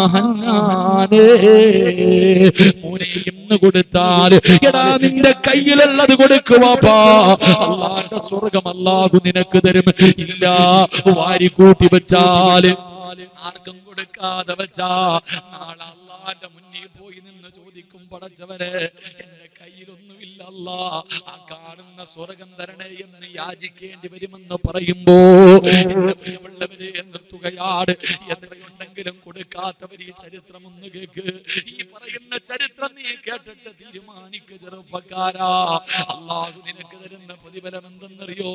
മഹാനായ പ്രവാചകന് സല്ലല്ലാഹു അലൈഹി വസല്ലമ തങ്ങൾ ഒരു ദിവസം പള്ളിയിൽ ഇരുന്ന് കൊണ്ട് പറഞ്ഞു സ്വഹാബ പാപങ്ങളെ സഹായിക്കാനാ. നിങ്ങളുടെ കയ്യിലുള്ളത് എടുത്തുകൊണ്ട് വാ സഹാബ. നിങ്ങളുടെ കയ്യിൽ എന്താണുള്ളത് എടുത്തുകൊണ്ട് വാ സഹാബ. മുത്തിനബി പറയുമ്പോ പള്ളിയിൽ നിന്ന് സ്വഹാബത്തിറങ്ങി ഓടുകയാണ്. തന്റെ വീട്ടിലേക്ക് കടന്നു ചെന്നിട്ട് പണമുള്ളവർ പണമെടുത്തു. അള്ളാഹുവേ പായുള്ളവർ പായെടുത്തു. ഭക്ഷണമുള്ളവർ ഭക്ഷണമെടുത്തു. ഈന്തപ്പഴം കൊണ്ട് കൊടുത്തവരുണ്ട്. ഗോതമ്പ് മാവ് കൊണ്ട് കൊടുത്തവരുണ്ട്. കയ്യിൽ കിട്ടിയതെടുത്തുകൊണ്ട് അള്ളാഹുവിന്റെ റസൂലിന്റെ മുന്നിലേക്ക് ഓടുകയാണ്. അള്ളാഹുവേ ഈ സമയം നോക്കുമ്പോ അതാ ഇബിന് എന്ന് പറയുന്ന ഒരു പാവപ്പെട്ട ചെറുപ്പക്കാരനുണ്ടല്ലോ. മോനെ രണ്ട് കാലില്ലടാ. ഇടത് കൈയില്ല വലത് കൈ മാത്രമുള്ള ഇബിന് എന്ന് പറയുന്ന ഒരു ചെറുപ്പക്കാരനായ സ്വഹാബിയുണ്ടല്ലോ വീടിന്റെ മുന്നിലിരിക്കുമ്പോ സഹാബികൾ ഇങ്ങനെ ഓടുകയാണ്. തന്റെ വീടിന്റെ മുന്നിലൂടെ ഓടുകയാണ്. ഇവർ മുഖയിൽ തങ്ങൾ എടഞ്ഞടഞ്ഞു വഴിയിൽ ചെന്നു. ഓടുന്ന ചെറുപ്പക്കാരനോട് ചോദിക്കുന്നു മോനെ എവിടെ ഓടുകയാ? എന്തേ എത്ര സന്തോഷമെന്തേ അള്ളാഹുവിന്റെ പ്രവാചകന് സതക കൊണ്ടുവരാൻ പറഞ്ഞു. മുത്തിനബി പറഞ്ഞു സ്വർഗം തരാമെന്ന്. മുത്തിനബി പറഞ്ഞു സ്വർഗം തരാമെന്ന്. എന്റെ വീട്ടിലാകെയുള്ളത് കുറച്ചു ഗോതമ്പ് മാവാ. കൊടുക്കാൻ കൊണ്ടുപോവുകയാണ്. ഇവന് മുഖയിൽ തങ്ങൾ കരയുന്നു അല്ലാ എന്റെ കയ്യിൽ പൈസ ഇല്ലല്ലോ അല്ല. എന്റെ കയ്യിൽ ഒന്നുമില്ലല്ലോ അല്ല. കാരണം രണ്ട് കാലില്ല. അല്ലാഹുവേ ഒരു കയ്യേ ഉള്ളൂ. വീടിന്റെ അകത്തിരുന്ന് കരയുകയാണ്. സ്വർഗത്തിൽ പോകണമെന്ന് വല്ലാത്ത മോഹമുണ്ട്.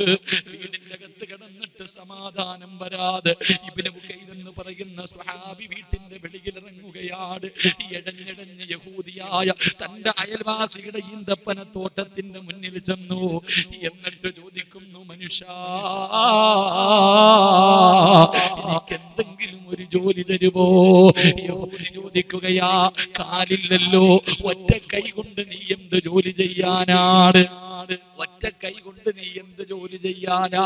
ഇവന് കയ്യിൽ തങ്ങൾ പറഞ്ഞു ഈ കാണുന്ന മരങ്ങൾ മുഴുവനും ഞാൻ വെള്ളം കോരി നനയ്ക്കാ. അത്ഭുതമായി ഒറ്റ കൈ കൊണ്ട് ഇവൻ ഇങ്ങനെ വെള്ളം കോരാരാ അവിടെ ജോലി കൊടുത്തു. തൊട്ടിയും കയറും എടുത്തുകൊണ്ട് കിണറ്റിന്റെ ചുവട്ടിലേക്ക് കടന്നു ചെന്നു. വാപ്പാ കിണറ്റിന്റെ ചുവട്ടിൽ ചെന്നു. വെള്ളം കോരുന്നതിന് വേണ്ടി കയറെടുത്ത് വെള്ളത്തിലിട്ടു. തുള്ളിയെടുത്ത് വെള്ളത്തിലിട്ടു.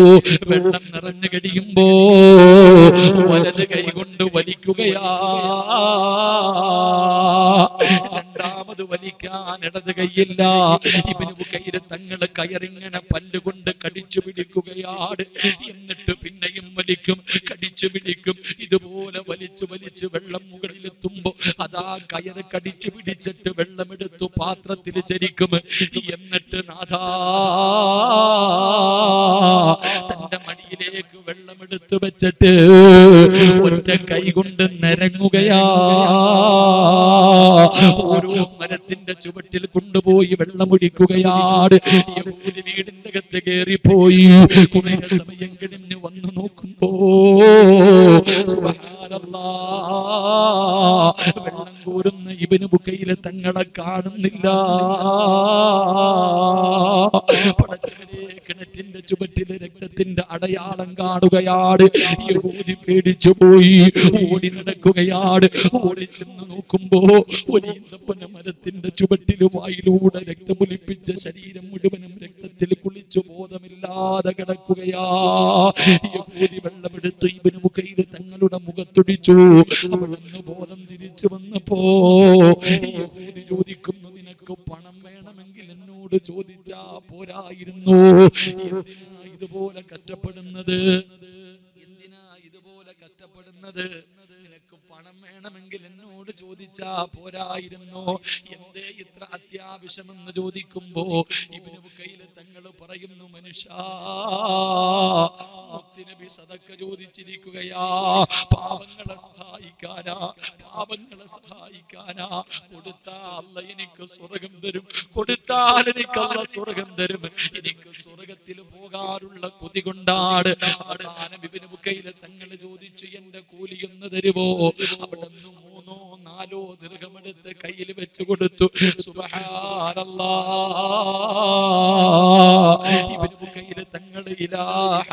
റസൂലില്ലാ. മുത്തുനബിയുടെ മുന്നിലേക്ക് ഇങ്ങനെ പോകുമ്പോ വായിലൂടെ രക്തം ഇങ്ങനെ ഒലിക്കുന്നുണ്ട്.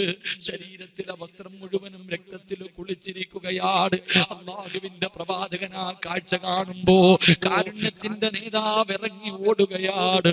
ഓടി വന്നിട്ട് ചോദിക്കുന്നു ഇവന് ഉക്കയിലേ നിന്നെ ആരാ ഉപദ്രവിച്ചത്? നിന്നെ ആരാ തല്ലിയത്? ആരും ഉപദ്രവിച്ചില്ല നബിയേ. ഈ രക്തം എങ്ങനെയാ വരുന്നത്? അവളെന്ന് പറഞ്ഞു യാ റസൂലല്ലാ യഹൂദിയുടെ ഈന്തപ്പനത്തോട്ടത്തിൽ വെള്ളം കോരുമ്പോ എന്റെ വായിൽ നിന്ന് രക്തം വരുന്നതിന്റെ കാരണം എന്തെന്നറിയോ വെള്ളം കോരുന്ന സമയത്ത് വലിക്കാൻ ഒരു കൈയല്ലേ ഉള്ളൂ. പല്ലുകൊണ്ട് ഞാൻ ഇങ്ങനെ കയറ് കടിച്ചു പിടിച്ചിട്ട് എന്റെ ചുണ്ടും നാവും മുറിഞ്ഞിട്ട് രക്തം വരുന്നതാണ്. കയറ് കടിച്ചു പിടിച്ചിട്ട് ചുണ്ടിൽ നാവിലൂടെ രക്തം ഇങ്ങനെ ഒലിക്കുകയാ. എന്റെ കാലിലെ രക്തമേതെന്നറിയോ? എന്റെ ശരീരത്തിൽ കാണുന്ന രക്തമേതെന്നറിയോ? നടക്കാൻ എനിക്കല്ല കാൽ തന്നില്ല. നടക്കാൻ എനിക്ക് കാലില്ല. വെള്ളം കൊണ്ടുപോയി മരത്തിന്റെ ചുവട്ടിലൊഴിക്കാൻ എനിക്ക് കാലില്ലല്ലോ. മടിയിലെടുത്ത് വെള്ളം വെച്ചിട്ട് മണ്ണിലൂടെ നിരങ്ങിയപ്പോ എന്റെ തോലുരിഞ്ഞു പോയിട്ട് രക്തം വരുന്നതാണ് നബിയേ. ചോദിച്ചു എന്തിനാ ഇബ്നു നീ എന്തിനാ ഇതുപോലെ കഷ്ടപ്പെട്ടത്? യാ റസൂലല്ലാ അമലില്ലല്ലോ നബിയെ സ്വർഗത്തിൽ പോകണമെന്ന് വല്ലാത്ത കൊതിയാണ്. എന്റെ കയ്യിൽ അമലില്ല ഒരുപാട് നിസ്കാരമില്ല ഒരുപാട് സതക്കയില്ല ഒരുപാട് നോമ്പില്ല. ഈ പാവപ്പെട്ടവന് മരിക്കുമ്പോ സ്വർഗം കണ്ടു മരിക്കണം. ഈ പാവപ്പെട്ട ഇവന് ഉക്കയിലിന് സ്വർഗം കണ്ടു മരിക്കണം. നാളെ സ്വർഗത്തിൽ പോയിട്ട് എന്റെ അള്ളാരെ കാണണം. എന്നെ പടച്ച റബ്ബിനെ എനിക്ക് പതിനാലാം രാവിലെ ചന്ദ്രനെ കാണുന്നത് പോലെ കാണണം നബിയെ. എന്റെ കയ്യിലാകെയുള്ളത് മൂന്ന് ദീർഘമാണ്. എന്റെ കയ്യിലാകെയുള്ളത് മൂന്ന് ദീർഘമാണ്. മുത്തുനബിയുടെ കയ്യിലേക്ക് വെച്ചു കൊടുത്തെന്ന് ചരിത്രം പറയുമ്പോ കാലില്ലാത്ത ആരെങ്കിലും ഉണ്ടോ? കയ്യില്ലാത്ത ആരെങ്കിലും ഉണ്ടോ? വീടില്ലാത്ത ആരെങ്കിലും ഉണ്ടോ ജോലിയില്ലാത്ത ആരെങ്കിലും ഉണ്ടോ ഇതെല്ലാം തന്നതല്ലയല്ലേടാ പൊന്നോനെ. ഇതെല്ലാം നിനക്ക് തന്നത് നിന്നോടുള്ള സ്നേഹം കൊണ്ടാണെന്ന് നിനക്ക് തോന്നുന്നുണ്ടോ അപ്പാ? ഒരിക്കലുമില്ല. ഒരിക്കലും നീ എങ്ങനെ കരുതല്ലേ? എന്റെ പ്രിയപ്പെട്ടവരോട് ഞാൻ ചോദിക്കട്ടെ. മക്കൾക്ക് വേണ്ടി ജീവിതം മാറ്റിവെച്ച വാപ്പമാരോട് മക്കൾക്ക് വേണ്ടി ജീവിക്കുന്ന എന്റെ ഉമ്മമാരോട് വാപ്പാ നീ മരിച്ചാ നിന്റെ മോനിന്റെ മയ്യത്ത് കുളിപ്പിക്കുവോ ഇത്രയും കാലം രാവിലെ മുതൽ വൈകുന്നേരം വരെ കഷ്ടപ്പെട്ട് നീ അല്ലേ അവനെ വളർത്തുന്നത്? നിന്റെ മയ്യത്ത് കുളിപ്പിക്കാനെങ്കിലും അവൻ അറിയോ അപ്പാ അതിന് നാട്ടുകാരെ വിളിക്കണ്ടേ? നാളെ നിന്റെ തുകറിന്റെ സമയത്ത് നിന്റെ വീടിന്റെ അകത്ത് നിന്റെ ജനാസ എടുത്ത് വെക്കുമ്പോ ഈ നാട്ടുകാരല്ലേ കാണൂ? എത്ര മക്കളുണ്ടെങ്കിലും കാണില്ലല്ലോ. ചിന്തിക്കുമെങ്ങളെ ചിന്തിക്കുമെങ്ങളെ സഹോദര അവസാന പള്ളിക്കകത്ത് കൊണ്ടുവെക്കുമ്പോ പള്ളിയിലെ ഇമാമല്ലേ നിന്റെ മയ്യത്ത് നിൽക്കേണ്ടത് നിന്റെ മയ്യത്തിന് ഇമാമത്ത് നിൽക്കേണ്ടത് നിങ്ങളുടെ മക്കളാ. പക്ഷേ അവൻ അറിയില്ല ഇമാമല്ലേ നിൽക്കുന്നത്. എന്തിന് നിന്റെ കബറിന്റെ ചാരത്ത് വന്നിട്ടൊരു യാസീൻ ഓതാൻ അറിയോ വാപ്പാ? അതുകൊണ്ട് എന്റെ പ്രിയപ്പെട്ടവരോട് പറയുകയാ നീ മരിച്ചാ നിന്റെ കടം പോലും നിന്റെ മക്കൾ വിട്ടൂല. നീ മരിച്ചാ നിന്റെ കടം പോലും വീട്ടണമെന്നില്ല. അതുകൊണ്ട് ഞാൻ പറയുന്നു പോകുമ്പോ എന്തെങ്കിലും ചെയ്തിട്ട് പോകോ ഇവിടെ നിന്ന് പോകുമ്പോ എന്തെങ്കിലും ഒന്ന് ചെയ്തു വെച്ചിട്ട് പോ ചെയ്താ ഈ മദ്രസ പണിയുന്നതിന് വേണ്ടി നിന്നെ കൊണ്ട് കഴിയുന്നത് കൊടുത്താ. ഇപ്പം കൊടുക്കണമെന്ന് ഞാൻ പറയുന്നില്ല. അടുത്ത വർഷം മദ്രസ തുറക്കുമ്പോ അള്ളാഹുവേ ഇവിടെ ഒരു മദ്രസ ഉണ്ടാകണം. എന്റെ പ്രിയപ്പെട്ടവരെ അടുത്ത റമലാൻ കഴിയുമ്പോ പടച്ചവനെ ഇവിടെ ഒരു ജാഗ ഉണ്ടാകണം. അതുകൊണ്ട് മാസങ്ങൾ നിങ്ങളുടെ മുന്നിലേക്ക് വെക്കുകയാ. എനിക്കറിയില്ല നിങ്ങളിൽ പണമുള്ളവരാരാ ഇല്ലാത്തവരാരാ തരുന്നവരാരാ തരാത്തതാരാ. ഞാൻ ആരോടും പറഞ്ഞു വെച്ചിട്ടില്ല വല്ലാഹി സത്യം. ഞാൻ ഒരാളോടും പറഞ്ഞു വെച്ചിട്ടില്ല ചോദിക്കുമ്പോ തരാർ ഇതിനാണ് പിരിക്കുന്നതെന്ന് ഞാൻ ഇപ്പോഴാണ് അറിയുന്നത്. അതുകൊണ്ട് ഞാൻ നിങ്ങളെ അള്ളാനെ ഏൽപ്പിക്കുകയാ. നിങ്ങളെ ഞാൻ അള്ളാനെ ഏൽപ്പിക്കുകയാ. കരുണക്കടലേ ആകാശത്തിരുന്ന് കാണുന്ന അല്ലാ. ഈ നിൽക്കുന്നവരിൽ സ്വർഗത്തിന്റെ അവകാശികളെ സിറാജിനറിയില്ല നിനക്കറിയാ. നീ അവരെ തെരഞ്ഞെടുക്കണേ അല്ലാ. നീ അവരെ തെരഞ്ഞെടുക്കണേ അല്ലാ. കൊടുക്കാറുള്ള കൊടുക്കാനുള്ള മനസ്സ് നൽകണേ അല്ലാ. ഞാൻ ആരോടും പറഞ്ഞു വെച്ചിട്ടില്ല. നിങ്ങൾ ഇപ്പൊ കൊടുക്കണമെന്ന് ഞാൻ പറയുന്നില്ല. ഇൻഷാ അല്ലാ. അതിന്റെ പണി തുടങ്ങുന്ന സമയത്ത് നിങ്ങളുടെ കയ്യിൽ കിട്ടുമ്പോൾ നിങ്ങളുടെ ജമാഅത്തിന്റെ കമ്മിറ്റിയുമായി ബന്ധപ്പെട്ട് കൊണ്ടുവന്ന ഒരു സദഖ കൊടുക്കണം. അള്ളാഹു ഭാഗ്യം നൽകുമാറാകട്ടെ. അള്ളാഹു ഭാഗ്യം നൽകുമാറാകട്ടെ. ഒന്ന് മരിക്കുമ്പോ സ്വർഗം കണ്ടിട്ട് മരിക്കാം. ഒന്ന് മരിക്കുമ്പോ സ്വർഗം കണ്ടിട്ട് മരിക്കാം വാപ്പ. രണ്ട് രണ്ട് അള്ളാഹു നിനക്ക് സ്വർഗം തരുമെന്ന് നബി മുഹമ്മദ് മുസ്തഫ. മൂന്ന് മൂന്ന് ഈ മക്കാമി കിടക്കുന്ന മഹാൻ മണ്ണ് തിന്നാതെ കബറിന്റെ അകത്ത് കിടക്കുന്ന മഹാന നിനക്കും അതുപോലെ കിടക്കണ്ടേ?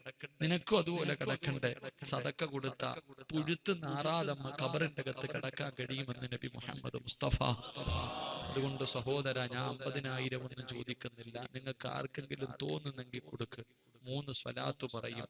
ആ സ്വലാത്ത് പറഞ്ഞു തീരുമ്പോ അല്ല തീരുമാനിക്കട്ടെ. ആരാ സ്വർഗത്തിന്റെ അവകാശി എന്ന് പറ.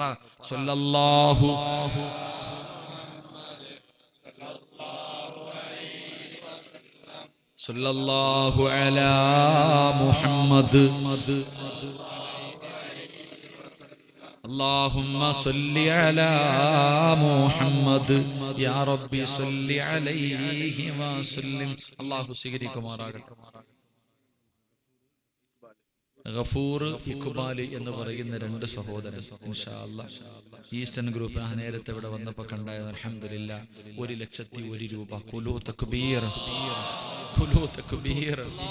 കരുണക്കടലായ അള്ളാഹ് ആ രണ്ട് കൂടപ്പറപ്പുകൾ നീ അനുഗ്രഹിക്കണേ അള്ളാഹ് അള്ളാഹുവെ പടച്ചവനെ അവരുടെ സദക്ക നീ സ്വീകരിക്കണേ അള്ളാഹ് അവരുടെ ദുനിയാവ് ആഹ്റവും നീ വെളിച്ചത്തിലാക്കണേ അള്ളാഹ് പടച്ചവനെ മരിക്കുമ്പോ നീ അവർക്ക് ഇതിന്റെ പ്രതിഫലം കാണിച്ചു കൊടുക്കണേ അല്ലാ. ഈ പ്രതിഫലം കണ്ടു മരിക്കാൻ നീ അവർക്ക് ഭാഗ്യം നൽകണേ റഹ്മാനെ. ഈ സദക്ക നീ അതിനൊരു സബബാക്കണേ അല്ലാ. അള്ളാഹു സ്വീകരിക്കുമാറാകട്ടെ. കുലൂത്ത് കുബീർ ഇൻഷാ അല്ലാ.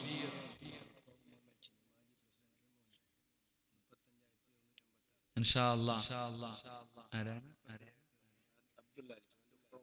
അബ്ദുല്ല എന്ന് പറയുന്ന സഹോദരൻ. ഇവിടെ ഉണ്ടോ അബ്ദുല്ല എന്ന് പറയുന്ന സഹോദരൻ ആരാപ്പ ഞാൻ കൈവക്കിക്ക ഇവന്ന് കാണാനുള്ള. എന്താ പേരെന്താ? മാജി പ്രസിഡന്റിന്റെ മകൻ. ആരാപ്പോ മുൻ പ്രസിഡന്റിന്റെ മകൻ. ഒന്ന് കൈ വെക്കൂ നീ കാണാനുള്ള. ആരാ? അബദുല്ല. ചോറ് വെക്കുന്നിടത്തുണ്ട് സംഘാടകർ ആരെങ്കിലും അബുദുള്ള അടുത്ത് പോകണം. അബുദുള്ള തരാമെന്ന് പറഞ്ഞത്? മുപ്പത്തി അയ്യായിരത്തി എഴുന്നൂറ്റി എൺപത്. അതൊരു കണക്കില്ലല്ലോ അപ്പ അതുകൊണ്ടാ. അതിലെന്തോ ഒരു കണക്കിലൊരു എന്തായാലും അബദുല്ലാടെ അടുക്ക പോകാം ഇൻഷാല്ല എന്നിട്ട് അതൊരു നല്ല സദക്ക. മുപ്പത്തി അയ്യായിരത്തി എഴുന്നൂറ്റി എൺപത്തി ആറ് എന്ന് പറയുന്ന ഒരു നല്ല കണക്കല്ല. അതുകൊണ്ട് ഇൻഷാള്ള അതൊരു നല്ല സദക്കയാക്കണം ഒന്ന് ആരെങ്കിലും അബദുല്ലാടെ അടുക്കൽ ഒന്ന് പറഞ്ഞു വിടുക ഇൻഷാല്ലാ. അടുക്കലേക്ക് ഒന്ന് പറഞ്ഞു വിടുക. അള്ളാഹു സ്വീകരിക്കുമാറാകട്ടെ. പുലൂത്തൊക്കെ പേരെന്റെ പ്രിയമുള്ളവരെ സമയമില്ലാത്തത് സമയമില്ലാത്തത് കൊണ്ട് സ്വർഗം വേണോ?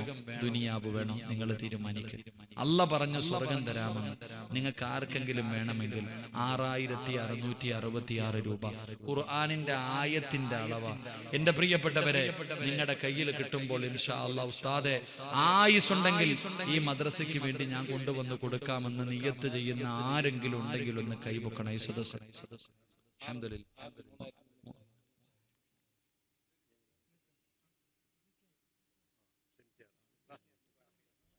ഇരു മുപ്പത് പേര് മുപ്പത്തി ഒന്ന് കുലോത്തക്ക് രണ്ട് മുപ്പത്തി മൂന്ന് മുപ്പത്തി നാല് മുപ്പത്തി അഞ്ച് മുപ്പത്തി ആറ് കുലോത്തക്ക് ബീർ മുപ്പത്തി ആറ് ആരാ മുപ്പത്തി ഏഴാമത്തെ അടിമ? ഒരാറായിരത്തി മുപ്പത്തി ഏഴ് അലഹമില്ല കുലൂത്ത കുബീർ.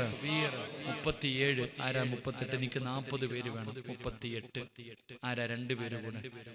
മുപ്പത്തി ഒൻപത് മോനെ ഇതാടാ നിന്റെ സമ്പാദ്യം. അല്ല പറഞ്ഞു മരിക്കുമ്പോ നിനക്ക് കാണിച്ചു തരും. നാൽപ്പത് കുലൂത്ത് കുബീർ. കുലൂത്ത് കുബീർ. സല്ലല്ലാഹു അലാ മുഹമ്മദ്. സല്ലല്ലാഹു അലൈഹി വസല്ലമ. സല്ലല്ലാഹു അലാ മുഹമ്മദ് സല്ലല്ലാഹു അലൈഹി വസല്ലമ اللهم صل على محمد يا ربي صل عليه وسلم കരുണക്കടലായ ദയാലുവായ അല്ലാ പടച്ചവനെ ആറായിരത്തി അറുന്നൂറ്റി അറുപത്തി ആറ് രൂപ ചോദിച്ചപ്പോൾ നീ ഇഷ്ടപ്പെട്ട നാൽപ്പത് പേരാണ് കൈപൊക്കിയത് അവരുടെ പേര് നിനക്കറിയാ അവരുടെ കുടുംബം നിനക്കറിയാ അവരെ നീ വെറും കൈയോടെ മടക്കല്ല അല്ലാ മനസ്സിന്റെ ഉള്ളിലുള്ള ആഗ്രഹം സാധിച്ചു കൊടുക്കണേ അല്ലാ. ഒരു നല്ല മരണം കൊടുക്കണേ അല്ലാ.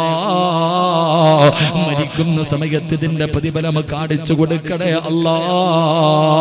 പടച്ചവന് അമ്പതിനായിരം കൊടുക്കാൻ ലക്ഷങ്ങൾ കൊടുക്കാൻ കഴിവുള്ളവരുണ്ട് തമ്പുരാരെ പക്ഷേ സ്വർഗം എല്ലാവർക്കും കിട്ടൂല. നീ ഇഷ്ടപ്പെട്ടവർക്ക് കിട്ടൂ. അള്ളാഹുബേ നിൽക്കുന്നവർ നീമാനുള്ളവരാക്കണേ അല്ലാ. കൊടുക്കാറുള്ള മനസ്സ് നൽകണേ അല്ലാ. ശൈതാരം കരയിപ്പിച്ചിട്ട് മരിക്കുന്നവരാക്കണേ അല്ലാ. ഈ സദക്ക അതിനൊരു സ്വഭാവാക്കണേ റബ്ബേ. അൽഹംദുലില്ലാ മുബാറക്ക്. എന്താപ്പാ അവനെന്തിനാ കരയിപ്പിക്കുന്നത് ആൺകുട്ടിയല്ലേ? അള്ളാഹു പൊന്നുമോനെ ഹാഫിളാക്കി കൊടുക്കുമാറാകട്ടെ. കുലൂ തക്ബീർ അള്ളാഹു ഹാഫിളാക്കട്ടെ. അലഹമില്ല അൻപതിനായിരത്തി ഒരു രൂപ കുലൂ തക്ബീർ. സല്ലല്ലാഹു അലാ മുഹമ്മദ്. സല്ലല്ലാഹു അലൈഹി വസല്ലം കരുണക്കടലായ ദയാലുവായ അല്ലാഹ്. മുബാറക് എന്ന് പറയുന്ന ഒരു പാവപ്പെട്ട അടിമ.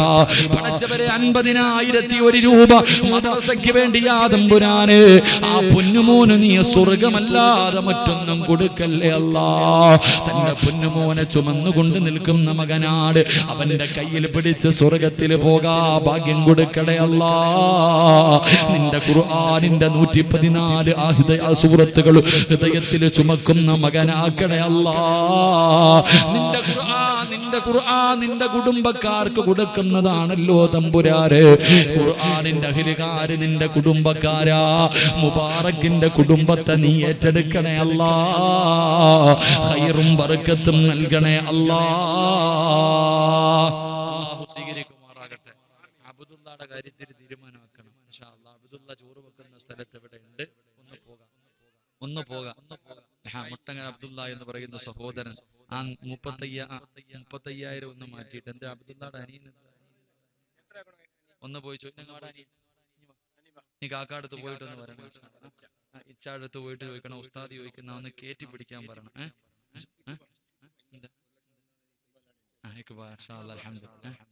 ഇച്ച പറഞ്ഞ മുപ്പത്തയ്യായിരത്തി എഴുന്നൂറ്റി അമ്പത്തി ആറ് അത് ഒരു നല്ല കണക്കല്ല ഓ ഞാൻ ചോദിച്ച എന്റെ മനസ്സ് വിശാലം ഞാൻ ചോദിച്ച ഞാൻ ഒന്ന് പറയട്ടെ. നാല് നാല് നാല് എല്ലാം നാല്. നാൽപ്പത്തി നാലായിരത്തി നാനൂറ്റി നാൽപ്പത്തി നാല് രൂപ. അത് വേണ്ട. അത് അതൊരു നല്ല കണക്കല്ല. നാൽപ്പത്തി നാലായിരത്തി മുന്നൂറ്റി പതിമൂന്ന് രൂപ. കുലൂത്ത കുബീർ. അള്ളാഹുവെ അബദുല്ല നിനക്ക് ഇഷ്ടപ്പെട്ട ഏറ്റവും നല്ല പേരാ. അള്ളാഹുവെ നിന്റെ അടിമയിൽ നീ പെടുത്തണേ റഹ്മാനെ. അള്ളാഹുവെ അബദുല്ലയുടെ കുടുംബത്തെ നീ ഏറ്റെടുക്കണേ റഹ്മാനെ. ഖൈറും പറക്കത്തും ഐശ്വര്യവും നൽകണേ റഹ്മാനെ. അബ്ദുല്ലയുടെ വാപ്പയും ഉമ്മയും ഈ മകനെയും കാത്ത് സ്വർഗത്തിന്റെ മുന്നിൽ കാത്തു നിൽക്കണേ അല്ലാ കുടുംബ സമേതം അവരെ നീ സ്വർഗത്തിൽ ഒരുമിച്ച് കൂട്ടി അനുഗ്രഹിക്കണേ റബ്ബെ. അള്ളാഹു സ്വീകരിക്കുമാറാകട്ടെ. അപ്പൊ അൽഹംദുലില്ല ആറായിരത്തി അറുന്നൂറ്റി അറുപത്തി ആറ് നാൽപ്പത് പേര് പറഞ്ഞു. പത്തു പേരുടെ പേര് പറഞ്ഞിട്ട് റസൂലുള്ള പറഞ്ഞു പത്തു പേരും സ്വർഗത്തില ഒരു പത്ത് പേരാണ് എനിക്കിനി വേണ്ടത്.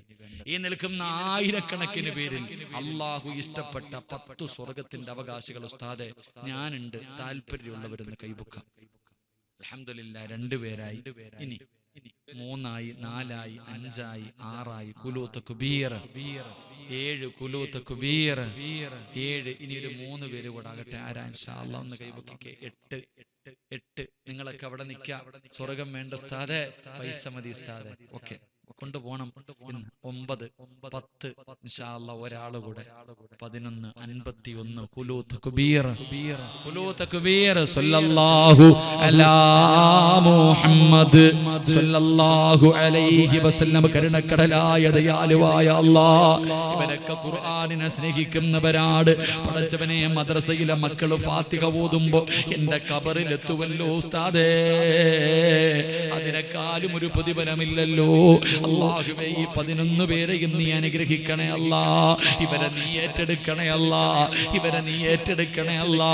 അറുത്തു മുറിക്കുന്ന ഏതെങ്കിലും ഒരു രോഗത്തിന്റെ അണുക്കൾ ഈ പാപങ്ങളുടെ ശരീരത്തിലുണ്ടെങ്കിൽ ഈ സദക്കയുടെ ബറക്കത്ത് കൊണ്ട് കരിച്ച് കളയണേ അല്ലാ.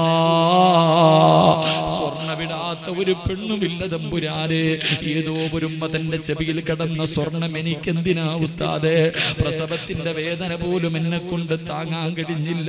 എനിക്കും മരിക്കുമ്പോ സ്വർഗം കാണണം. എന്റെ അടുക്കലിരിക്കുന്ന ഒരുപാടുള്ളവര് കൊടുക്കാത്തപ്പോ തന്റെ കയ്യിലുള്ളത് തന്ന ഉമ്മയാണ്. സ്വർഗം കൊടുക്കണേ അല്ലാ.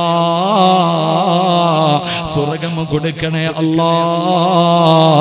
പടച്ചവനെ ആ പെണ്ണിന്റെ മയ്യത്ത് കാണുന്ന ഓരോ പെണ്ണും അവൾ മരിച്ചതുപോലെ മരിക്കാ കൊതിക്കണേ നാഥാ.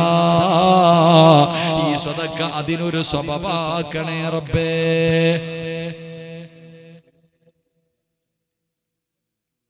ഇൻഷാ الله കുലൂത്ത് കുബീർ കുലൂത്ത് കുബീർ അപ്പൊ അൽഹംദുലില്ലാ രണ്ടും ഒരു അൻപത്തൊന്ന് പേര് ആറായിരത്തി അറുന്നൂറ്റി അറുപത്തി ആറായപ്പോ എന്താ ഇപ്പൊ കണക്ക്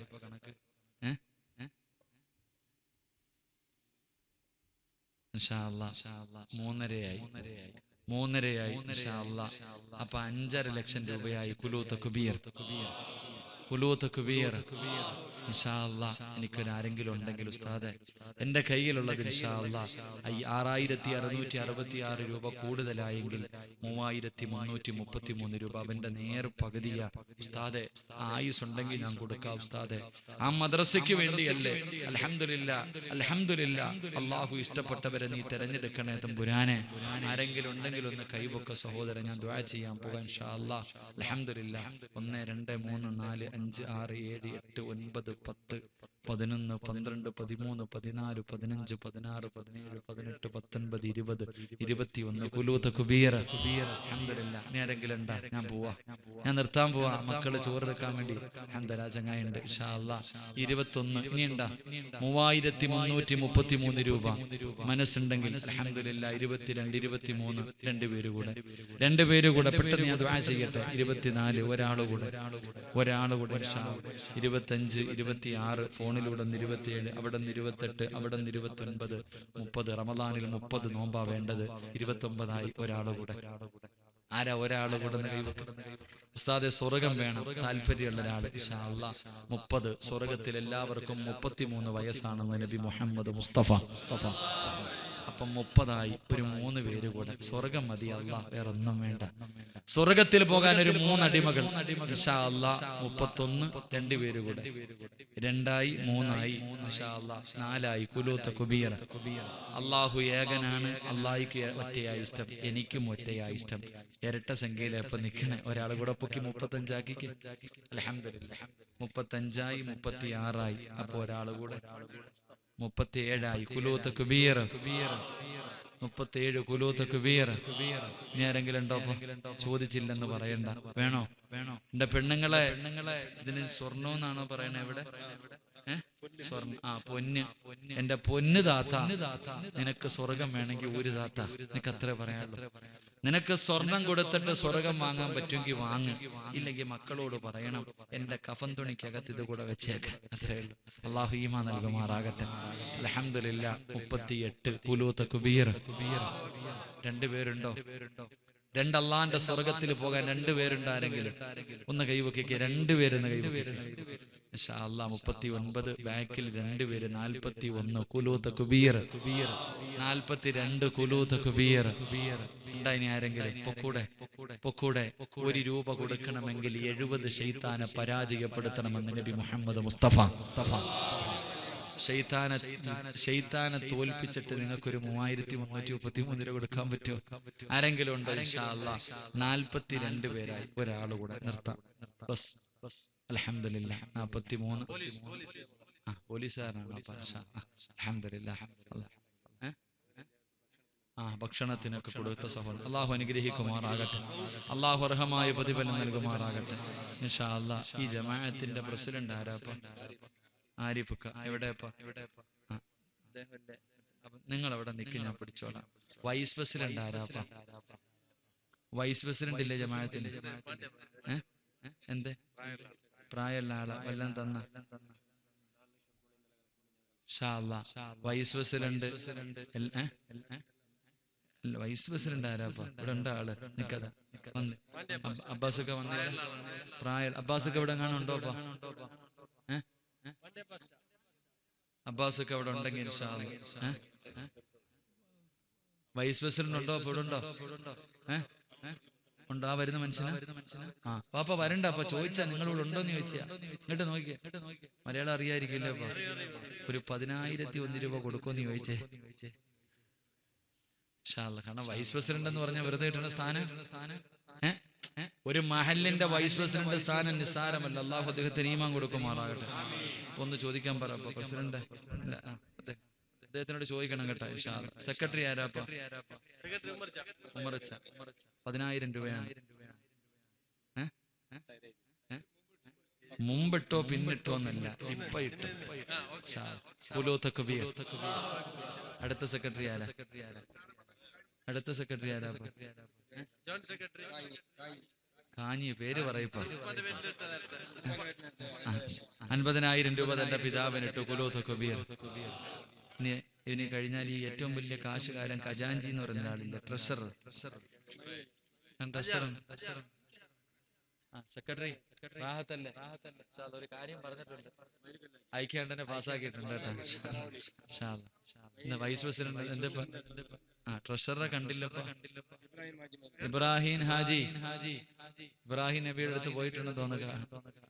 ഇബ്രാഹിനിക്ക ഇൻഷാ അല്ലാ, അദ്ദേഹത്തിന്റെ അടുക്കൽ ഇൻഷാ അല്ലാ, ഒരു ആറായിരത്തി അറുന്നൂറ്റി അറുപത്തി ആറ് രൂപ.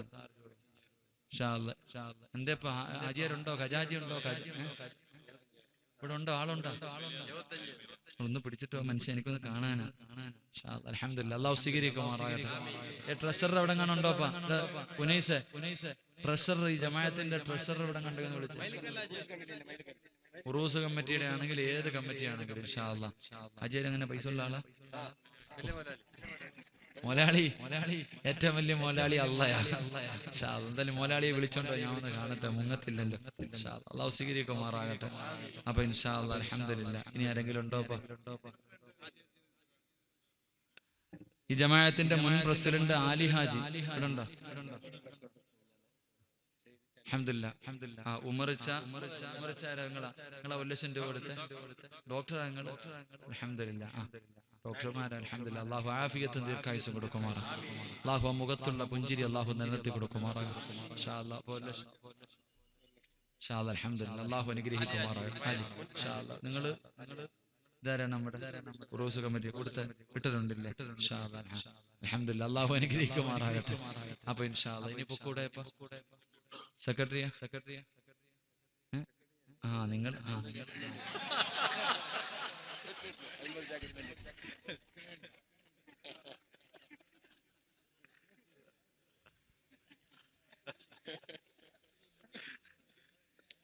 അള്ളാഹു മാറാകട്ടെ.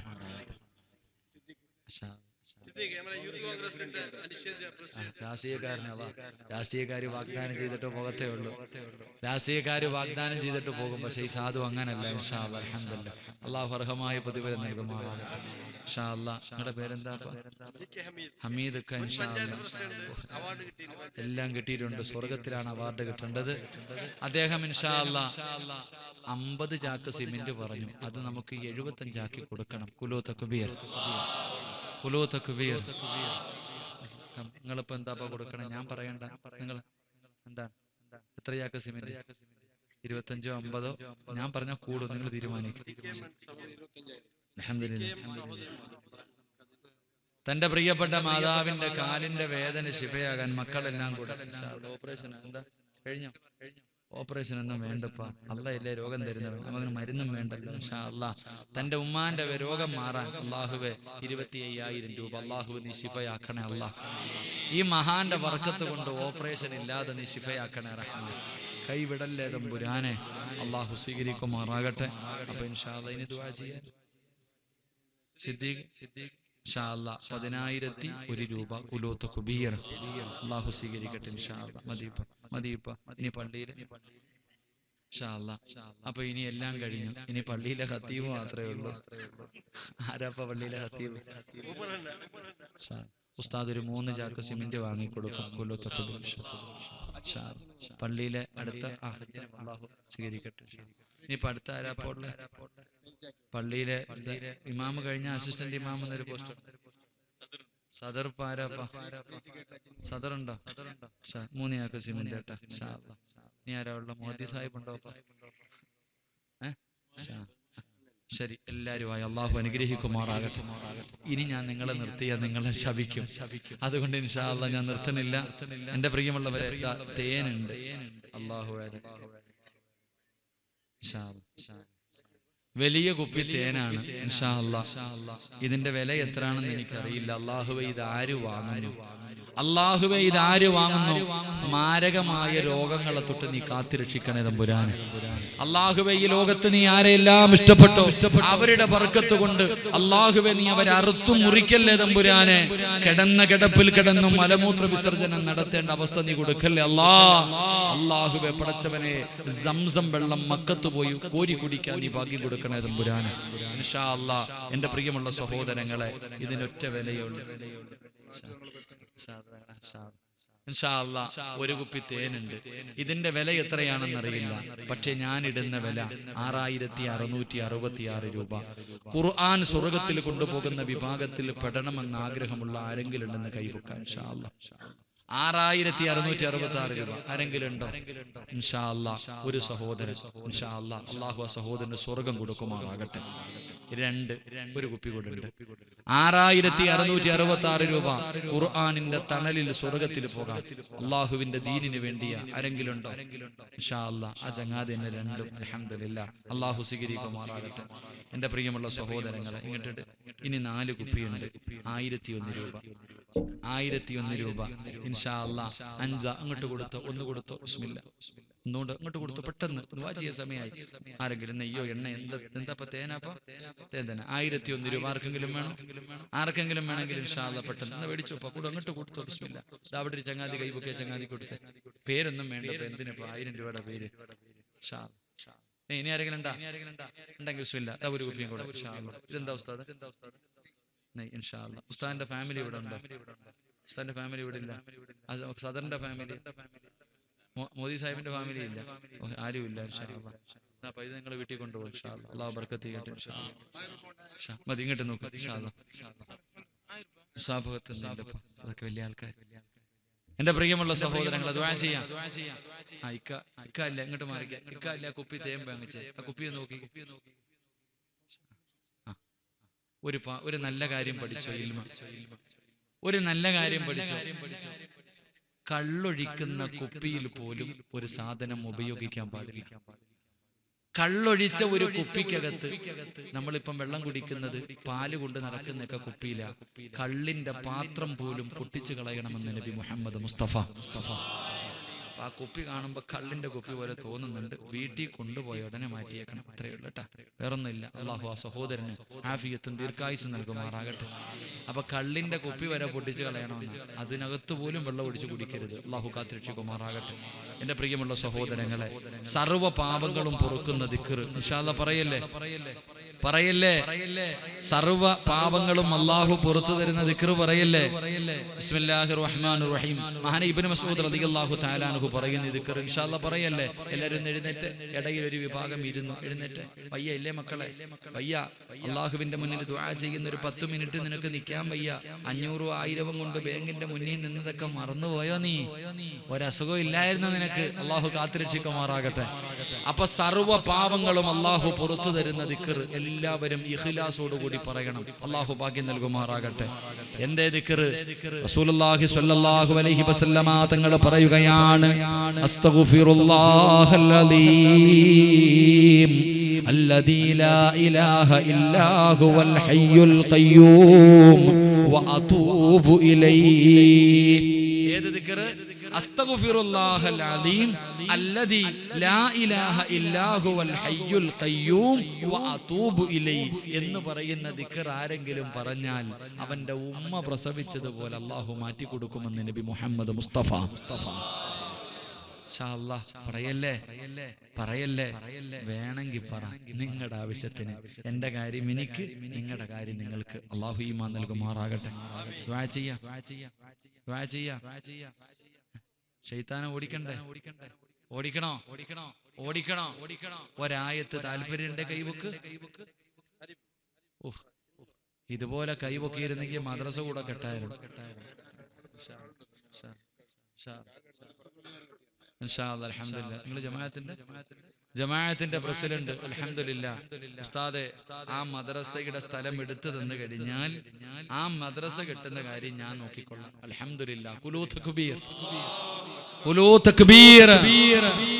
തക്ബീർ കരുണക്കടലായ അല്ലാ സ്വർഗമല്ലാതെ ഈ മനുഷ്യന് നീ ഒന്നും കൊടുക്കല്ലേ തമ്പുരാനെ? ഈ പാവപ്പെട്ടവൻ മരിച്ചു കിടക്കുമ്പോ കാണുന്നവര് പറയണം മരിച്ചാൽ ഇതുപോലെ മരിക്കണമെന്ന് പറയുന്ന രീതിയിലുള്ള ഒരു മരണം കൊടുക്കണേ അല്ലാ അള്ളാഹു അദ്ദേഹത്തിന്റെ വാപ്പയും ഉമ്മയും സ്വർഗത്തിൽ കൊണ്ടുപോകുന്ന മകനാക്കണ റഹ്മാനെ അദ്ദേഹത്തിന്റെ ജീവിത മാർഗത്തിൽ നീ ബർക്കത്ത് നൽകണ തുമ്പുരാൻ സ്വർഗം കണ്ടു മരിക്കാൻ ഭാഗ്യം നൽകണ റഹ്മാനെ. അപ്പൊ സഹോദരങ്ങളെ ഇനി നിങ്ങൾ എല്ലാവരും കൂടെ ആ പൈസ ഒന്ന് കൊടുത്ത് സഹായിച്ച അലഹമില്ല ജാഗ വാങ്ങും. ജാഗ വാങ്ങിയാൽ ബിൽഡിങ്ങിന്റെ പണി പ്രസിഡന്റ് ഏൽപ്പിച്ചിട്ടുണ്ട്. കമ്മിറ്റിക്കാരോട് ഉദ്ഘാടനത്തിന് എന്നെ കൂടെ വിളിക്കണമെന്ന് എനിക്കൊരു അപേക്ഷയുണ്ട് അല്ലാ. അതാകുമ്പോ എല്ലാ റാഹത്തായി അന്ന് പിരിവില്ലായിരിക്കും അന്ന് മൈക്ക് സെറ്റുകാരന് കൊടുക്കാനുള്ള പൈസ മാത്രം ഇൻഷാ അല്ലാ. അള്ളാഹു ഈമാൻ നൽകുമാറാകട്ടെ അപ്പൊ ഒരായ തോതല്ലേ ഓതാവോ? ഓതാവോ? ഒന്ന് ചിരിച്ചോണ്ട് പറ ഓതുവോ? ഇതാരാ പറഞ്ഞെന്നറിയോ? ഈ ആയ തോതിയ ചൈത്താൻ ഇറങ്ങി ഓടുന്ന ആരാ പറഞ്ഞെന്നറിയോ? മഹാനായ സയ്യിദിന അബൂ ഹുറൈറ റളിയല്ലാഹു തആല. ഒരു ജോലി കൊടുത്തു. സതക്കയുടെ മുതലിന് കാവലിരിക്കാൻ. അങ്ങനെ അബൂഹുറേറ തങ്ങൾ രാത്രി സതക്കയുടെ മുതലിന് ഇങ്ങനെ കാവലിരിക്കുമ്പോ ഒരു പ്രായമുള്ള മനുഷ്യൻ ചാക്കിനകത്ത് വാരി നിറയ്ക്കുക. അബൂഹുറേറ തങ്ങൾ കയറി പിടിച്ചു. എടാ കള്ള കൊള്ളാലോ രാത്രി വന്നിരുന്നിട്ട് മോട്ടിക്കയില്ലേ? അബൂഹുറേറ എന്റെ മക്കളൊക്കെ പട്ടിണിയില്ല വലിയ പ്രയാസത്തില. സഹിക്കാൻ കഴിയാതെ വന്നതാ. അബൂഹുറേറ തങ്ങൾ പാവപ്പെട്ടവനാ പട്ടിണിയുടെ വേദന അറിയാൻ വിട്ടുകളഞ്ഞു. പൊക്കോളം പറഞ്ഞു. ഒന്നും വേണ്ട പോ. രണ്ടാമത്തെ ദിവസവും വന്നു പിടിച്ചു. അപ്പൊ പറഞ്ഞു മക്കൾ കരയുന്നത് കണ്ടിട്ട് വന്നതാ. നെഞ്ചത്തടിച്ച് കരയ്യ അപ്പോഴും അബൂഹുറൈറ തങ്ങൾ വെറുതെ വിട്ടു. ഇനി വരരുത് കേട്ടാ. ഇനി ചെയ്താ ഞാൻ വിടൂല. മൂന്നാമത്തെ ദിവസവും അബൂഹുറൈറ തങ്ങൾ നോക്കുമ്പോ ഈ പ്രായമുള്ള മനുഷ്യൻ ചാക്കിനകത്ത് മൊത്തവും സതക്കയുടെ മുതൽ വാര പൊക്കി. ഇനി നിന്നെ ഞാൻ വിടൂല. പ്രവാചകന്റെ മുന്നിൽ കൊണ്ടുപോകും. അള്ളാഹുവിന്റെ റസൂലിന്റെ മുന്നിൽ നിന്നെ കൊണ്ടുപോയി ഞാൻ ശിക്ഷ വാങ്ങിത്തരും മൂന്ന് പ്രാവശ്യമായി. ആ സമയത്ത് ഈ പ്രായമുള്ള മനുഷ്യൻ പറഞ്ഞു അബൂഹുറേറ ഞാൻ നിനക്കൊരു ഇൽമു പഠിപ്പിച്ചുതരാം. അള്ളാഹുവിന്റെ ഖുർആാനിലെ ഒരായത്ത് നീ ഓതിയ. നിന്റെ വീട്ടിൽ ഇന്ന് ഇബിലീസ് ഇറങ്ങി എന്താ പഠിപ്പിച്ചു കൊടുത്തേ? ഖുർആാനിലെ ഒരായത്ത് ഓതിയ നിന്റെ വീട്ടിൽ നിന്ന് ഷെയ്ത്താനിന്റെ ഷെറു മാറും. ഒരായത്ത് പഠിപ്പിച്ചു കൊടുത്തു. പിറ്റേ ദിവസം സുബഹിക്ക് പള്ളിയിൽ പോയപ്പോ റസൂലുള്ളാഹി സല്ലല്ലാഹി അലൈഹി വസല്ലമ തങ്ങൾ ചോദിച്ചു അബൂ ഹുറേറ നീ ആ മനുഷ്യനെ വിട്ടുകളഞ്ഞില്ലേ? നബിയെ എനിക്കൊരു ഇൽമു പറഞ്ഞു നബിയെ. എനിക്കൊരു അറിവ് പറഞ്ഞു തന്ന എന്തേ അബൂ ഹുറൈറ? പരിശുദ്ധമായ ഖുർആാനിലെ ഒരായത്തോതിയ വീട്ടിൽ നിന്ന് ഷെയ്ത്താന്റെ ഷെറു മാറുമെന്ന് പറഞ്ഞ് എനിക്കൊരു ആയത്ത് പഠിപ്പിച്ചു തന്നു. പ്രവാചകൻ ചോദിച്ചു അവൻ ആരാ? ആ ആ പ്രായമുള്ള മനുഷ്യൻ ആരെന്നറിയോ ഇല്ല നബിയെ അത് ഇബിലീസ് ആണെന്ന് നബി മുഹമ്മദ് മുസ്തഫ. ആരാ വന്നത്? ഇബിലീസ്. ഇബിലീസ്. തന്നെയാ പറഞ്ഞു കൊടുത്തത്. ഈ ആയത്തോതിയ ഞാനും എന്റെ മക്കളും പോകുന്നു ആരാ പറഞ്ഞേ ഇബിലീസ് തന്നെയാ പറഞ്ഞു കൊടുത്തത്. അള്ളാഹു ഓതാം ഭാഗ്യം നൽകുമാറാകട്ടെ. പ്രവാചകൻ പറഞ്ഞു അവൻ കള്ളനാണെങ്കിലും പറഞ്ഞത് സത്യമാണെന്ന് നബി മുഹമ്മദ് മുസ്തഫ.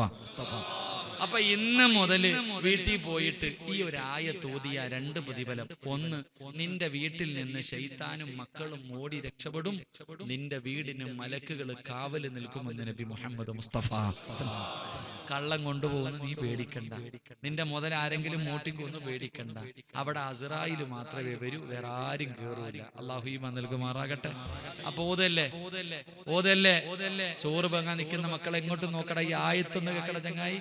ഈ ആയത്ത് ഓതിക്കൂടെ? ആയത്തുൽ കുറിസി എന്ന് പറയുന്ന ഒരു ആയത്തുണ്ട്. അറിയോ അറിയോ? അറിയോ? അറിയോ?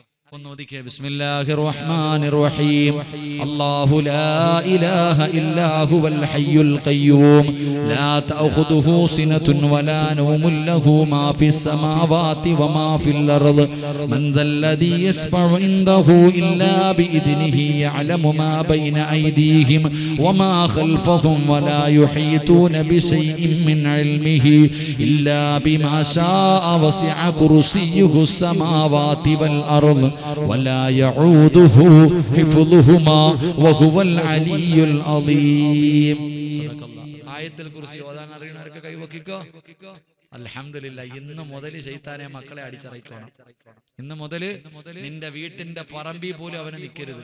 സർവെണ്ണത്തിന് ഇന്നത്തോടെ ഇറക്കി വിട്ടോണം. അള്ളാഹു ഭാഗ്യം നൽകുമാറാകട്ടെ. ആരുടെയെങ്കിലും മനസ്സിന് വേദന ഉണ്ടാക്കുന്ന എന്തെങ്കിലും പറഞ്ഞു പോയിട്ടുണ്ടെങ്കിൽ ഒരു മുത്താല്യമാണ് പൊരുത്തപ്പെടുക. അള്ളാഹു പുറത്തു തരുമാറാകട്ടെ. വിഷയം രണ്ടെണ്ണം പറഞ്ഞു. ബാക്കി നാലെണ്ണം ഇനി കിടക്കുന്നുണ്ട്. ഇൻഷാ അള്ളാഹ് പള്ളിയുടെ മദ്രസയുടെ ഉദ്ഘാടനമായി ബന്ധപ്പെട്ട് വിളിച്ച ആ കൈ മുസാഫകത്തൊന്നും ഇല്ലപ്പ അത് തങ്ങന്മാര് ഞാൻ മുത്തല്ലിന് എന്റെ കൈ പിടിച്ചിട്ട് വേറെ പ്രത്യേകിച്ച് ഒന്നുമില്ല. അൽഹംദുലില്ലാ എന്തായാലും മുസാഫത്തൊക്കെ കഴിഞ്ഞല്ലേ ഇൻഷാ അല്ലാ. എന്തായാലും ഈ ബക്കറ്റ് എടുത്തോപ്പ? നിങ്ങൾക്ക് ആർക്കെങ്കിലും എന്തെങ്കിലും എന്റെ കയ്യെ പിടിച്ച് ഇടാൻ നിങ്ങൾക്ക് ആഗ്രഹം. എന്റെ കയ്യെ പിടിച്ചിട്ടൊന്നും കിട്ടാനില്ല. അതുകൊണ്ട് നിങ്ങൾക്ക് ആർക്കെങ്കിലും എന്തെങ്കിലും ഇടാനുണ്ടെങ്കിൽ ആ ബക്കറ്റ് ഒന്ന് അങ്ങോട്ട് വിട്ടേക്കാം. ഒരു പത്ത് സ്വലാത്ത് പറയും അതിന്റെ ഇടയിൽ ഇടാനുള്ളത് ഇട്ടോണം ഇൻഷാല്ല. സംഘാടകരാരെങ്കിലും ഈ ബക്കറ്റ് പത്ത് സ്വലാത്ത് ഇൻഷാല്ല. ബക്കറ്റ് പിരിവ് ഞാൻ നടത്തിയില്ലല്ലോ അതുകൊണ്ടാണ് ഒരു മനസ്സറിഞ്ഞിട്ട് കയ്യിലുള്ളത് കാരണം എന്തെന്നറിയോ? മുസാഫകത്ത് ചെയ്താൽ പൈസയ്ക്ക് മാത്രമല്ല. മുസാഫകത്ത് ചെയ്താൽ അള്ളാഹു കൈകളുടെ ഇടയിലൂടെ പാവങ്ങൾ പുറത്തു തരുമെന്ന് നബി മുഹമ്മദ് മുസ്തഫ. മുസ്തഫ. അപ്പൊ ആർക്കെങ്കിലും എന്തെങ്കിലും ഉടനെ ബക്കറ്റിൽ ഇട്ടു അള്ളാഹു ബർക്കത്ത് ചെയ്യുമാറാകട്ടെ. സല്ലല്ലാഹു അലാ മുഹമ്മദ്.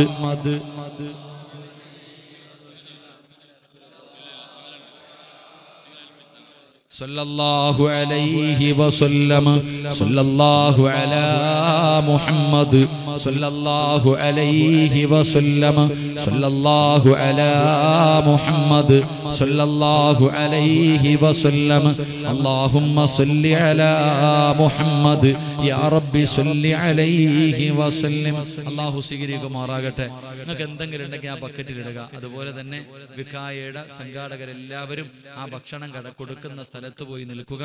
ഈ പരിപാടി കഴിഞ്ഞ് സ്വലാത്ത് പറഞ്ഞ് പിരിയുമ്പോൾ ആ പോകുന്നവരുടെ കയ്യിൽ ഭക്ഷണവും കൊടുത്തു വിട്ടേക്ക. ഇൻഷാല്ല എല്ലാവരും സമാധാനം. നിനക്കുണ്ടെങ്കിൽ അല്ല തരും. നിന്റെ പേരുണ്ടെങ്കിൽ നിനക്ക് കിട്ടും. ഇടിയും ബഹളവും ഒന്നും വേണ്ട. ബർക്കത്തായി സമാധാനത്തോടെ വാങ്ങണം. അള്ളാഹു ഭാഗ്യം നൽകുമാറാകട്ടെ. ദ്വാ കഴിഞ്ഞിട്ടേ കൊടുക്കാവൂ. അതിന് മുമ്പ് കൊടുക്കരുത് ഇൻഷാ അല്ലാ ദ്വാ ചെയ്യാം. നിങ്ങളുടെയൊക്കെ ഒന്ന് പേരുകൾ ആറായിരത്തി അറുന്നൂറ്റി അറുപത്തി ആറ് മൂവായിരത്തി മുന്നൂറ്റി മുപ്പത്തി മൂന്നിലൊക്കെ പേര് പറഞ്ഞവരുണ്ട് കൊടുക്കുക. നിങ്ങളുടെ ലിസ്റ്റൊക്കെ ഇൻഷാ അല്ലാ. അൽഹംദുലില്ലാ അൽഹംദുലില്ലാഹി റബ്ബിൽ ആലമീൻ അല്ലാഹുമ്മ സ്വല്ലി അലാ സയ്യിദിനാ മുഹമ്മദിൻ വഅലാ ആലി സയ്യിദിനാ മുഹമ്മദ്. അൻസിൽഹുൽ മഖഅദൽ മുഖറബ ഇൻദക യൗമൽ ഖിയാമ. കരുണക്കടലായ ദയാലുവായ അല്ലാഹുവേ ഒരുമിച്ച് കൂടലിനെ നീ കബൂലാക്കണേ തമ്പുരാനെ. നിങ്ങൾ പറഞ്ഞതും കേട്ടതുമെല്ലാം ഒരു സ്വാരിഹായ അമലായി സ്വീകരിക്കണേ അല്ലാ ന്യൂനതകൾ മുഴുവനും നീ പുറത്തു തരണേ അല്ലോ. ഈ മകാമിന്റെ മുന്നിൽ നീ ഇഷ്ടപ്പെട്ടവരല്ലാതെ ഒരാൾ പോലും ഇല്ല തമ്പുരാര് ഇന്ന് നിന്നോട് എന്ത് ചോദിച്ചാലും നീ തരുമെന്ന് ഞങ്ങൾക്കറിയാമല്ലോ. ഈ നീട്ടുന്ന കയ്യെ നീ തട്ടിക്കളയല്ല അല്ലോ. ഈ നീട്ടുന്ന കയ്യെ നീ തട്ടിക്കളയല്ല അല്ലോ. ജീവിതത്തിൽ ഒരുപാട് പാപങ്ങൾ ചെയ്ത മഹാപാപികളാട് തൗപ ചെയ്യാമെന്നവരാട് ഈ തൗപ സ്വീകരിക്കണേ അല്ലോ. ആട്ടി ഓടിക്കല്ലേ അല്ലോ. നന്നാവാനൊരവസരം തരണേ അല്ലാ. പടച്ചവൻ ഇവിടെ നിന്നിറങ്ങി പോകുമ്പോൾ സർവ പാപങ്ങളും പൊറുത്തവരായി നിലയിൽ നീ ഞങ്ങളെ യാത്രയാക്കണേ തമ്പുരാര്. അള്ളാഹുവേ പടച്ചവനെ ഞങ്ങളുടെ മാതാപിതാക്കളിൽ പലരും കബറിന്റെ കത്താട മഗ്ഫിറത്ത് നൽകണേ അല്ലോ മറഹമത്ത് നൽകണേ അല്ലോ കബർ വിശാലമാക്കണേ അല്ലോ സ്വർഗ പൂങ്കാവനമാക്കണേ അല്ലോ സ്വർഗത്തിന്റെ കവാടം തുറന്നു കൊടുക്കണേ അല്ലോ ജീവിച്ചിരിക്കുന്നവർക്ക് ആഫിയത്തും ദീർഘായുസും നൽകണേ അല്ലോ അവരുടെ പൊരുത്തം നീ ഞങ്ങൾക്ക് നൽകണേ അല്ലോ. അള്ളാഹുവേ മാരകമായ അറുത്തു മുറിക്കുന്ന രോഗങ്ങളെ തൊട്ട് ഞങ്ങളെ നീ കാത്തിരക്ഷിക്കണേ അല്ലോ. കഷ്ടപ്പെട്ട് സമ്പാദിച്ചത് മുഴുവനും വിറ്റ് ചികിത്സിച്ചാലും മാറാത്ത ഒരു രോഗവും ഞങ്ങൾക്ക് തരല്ലേ അല്ലോ. ഈ ദുനിയാവിലിട്ട് നരകിപ്പിക്കല്ല അല്ലോ. കിടന്ന കിടപ്പിൽ കിടന്ന് മലമൂത്ര വിസർജനം നടത്തേണ്ട അവസ്ഥ തരല്ലേ അല്ലോ.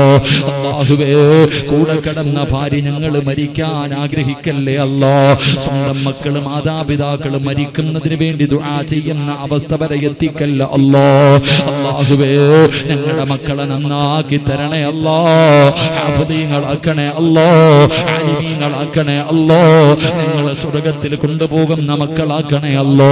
അള്ളാഹുവേ എപ്പ എവിടെ വെച്ചാണ് മരിക്കുന്നതെന്നറിയില്ലോ. ഈമാനോടുകൂടിയുള്ള ഒരു നല്ല മരണം നൽകണേ അല്ലോ. ഷഹീദിന്റെ കൂലി കിട്ടുന്ന മരണം നൽകണേ അല്ലോ. കടക്കാരാക്കി മരിപ്പിക്കല്ല അല്ലോ.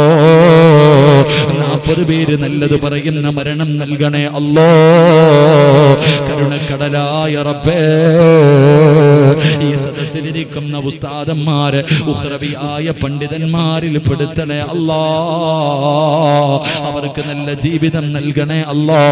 സമാധാനം നൽകണേ അല്ലോ. പടച്ചവനെ ഈ ഒരു മണി കഴിഞ്ഞിട്ടും ഈ സദസ്സിലിരുന്ന് എന്റെ ഉപ്പമാര് നല്ല മരണം കൊടുക്കണേ നാഥാ. ഈ ചെറുപ്പക്കാരെ അനുഗ്രഹിക്കണേ അല്ലോ സമസ്തയുടെ മക്കളാക്കണേ അല്ലോ മഹാന്മാരെ സ്നേഹിക്കുന്നവരാക്കണേ അല്ലോ നന്മയ്ക്ക് കൂട്ടുനിൽക്കുന്ന മക്കളാക്കണേ അല്ലോ നല്ല ജീവിതം നൽകണേ അല്ലോ കരുണക്കടൽ എന്റെ ഉമ്മ പെങ്ങന്മാരെ നീ കൈവിടല്ലറപ്പേ ഒരുപാട് വേദന സഹിച്ചവരാട് ഇനിയും നീ വേദനിപ്പിക്കല്ല റബ്ബേ. അറുത്തു മുറിക്കല്ല റബ്ബേ. കണ്ണുനീര് കുടിപ്പിക്കല്ല റബ്ബേ.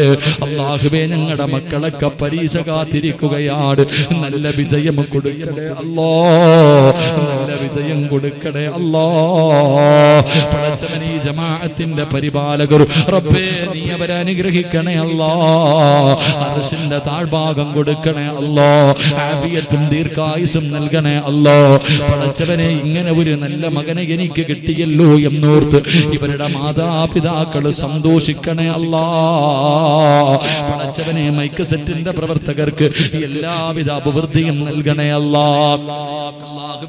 സമാധാനം നൽകണേ ക്യാമറയുടെ പ്രവർത്തകന്മാരെ അനുഗ്രഹിക്കണേ റബ്ബേ. അല്ലാഹുവേ എനിക്ക് ഭക്ഷണം തന്ന കുടുംബത്തിന് സ്വർഗത്തിലെ ഭക്ഷണം കൊടുക്കണേ ഹൗദുൽ കൗസർ കൊടുക്കണേ ആ കുടുംബത്തെ നീ അനുഗ്രഹിക്കണേ അല്ലോ. പടച്ചവനെ ഈ പരിപാടിയുടെ വിജയത്തിന് വേണ്ടി രാപ്പകലുകൾ കടന്ന് കഷ്ടപ്പെട്ടവർക്ക് മുഴുവനും വെള്ളിയാഴ്ച രാവിലെ യാത്ര കൊടുക്കണേ അല്ലാ.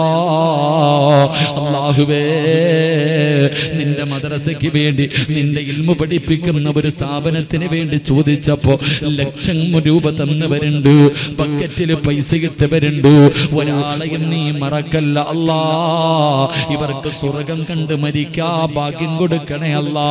കഴബാലയത്ത് ചെന്ന് ഹജ്ജും ഉംറയും സിയാറത്തും ചെയ്യാ ഭാഗ്യം കൊടുക്കണേ അല്ലാ. അല്ലാഹുവേ പടച്ചവനെ എന്റെ കൂടെ വന്ന എന്റെ പ്രിയ സുഹൃത്ത് ഇസ്മായിൽ കാസിമിക്ക് നീ ദീർഘായുസ് കൊടുക്കണേ അല്ലാ. സാലിഹായ സന്താനങ്ങളെ നൽകണേ അല്ലാ. സുൽഫി എന്ന ചെറുപ്പക്കാരന്റെ അള്ളാഹുവെ മനസ്സിൽ ആഗ്രഹം ഹൈറാണെങ്കിൽ മാത്രം നീ നടത്തി കൊടുക്കണേ അല്ലാ. പടച്ചവനെ ഉനീസ് എന്ന കൂട്ടുകാരൻ അനുഗ്രഹിക്കണേ റബ്ബേ. ആഫിയത്തും ദീർഘായുസും നൽകണേ അല്ലാ. പടച്ചവനെ ബംബ്രാണയിലുള്ള എന്റെ പ്രിയപ്പെട്ട സഹോദരങ്ങൾ അനുഗ്രഹിക്കണേ അല്ലാ. കേസിൽ നിന്ന് രക്ഷപ്പെടുത്തണേ അല്ലോ. പ്രയാസങ്ങളും തടസ്സങ്ങളും മാറ്റണേ അല്ലോ. ആരെല്ലാം ഇവിടെയെല്ലാം വെച്ച് ദുആ കൊണ്ട് വസീയത്ത് ചെയ്തോ? എല്ലാവരുടെയും ഹലാലായ മുറാദുകൾ നീ ഹാസിലാക്കി കൊടുക്കണേ റബ്ബേ. അല്ലാഹുവേ പെട്ടെന്നുള്ള മരണങ്ങൾ അപകട മരണങ്ങൾ ദുർമരണങ്ങൾ ഞങ്ങളെ നീ കാത്തിരക്ഷിക്കണേ അല്ലാ. മയ്യത്ത് പോലും നല്ല നിലയിൽ കുളിപ്പിക്കാൻ കഴിയാത്ത അവസ്ഥയിൽ നീ ഞങ്ങളെ മരിപ്പിക്കല്ലേ തമ്പുരാരെ.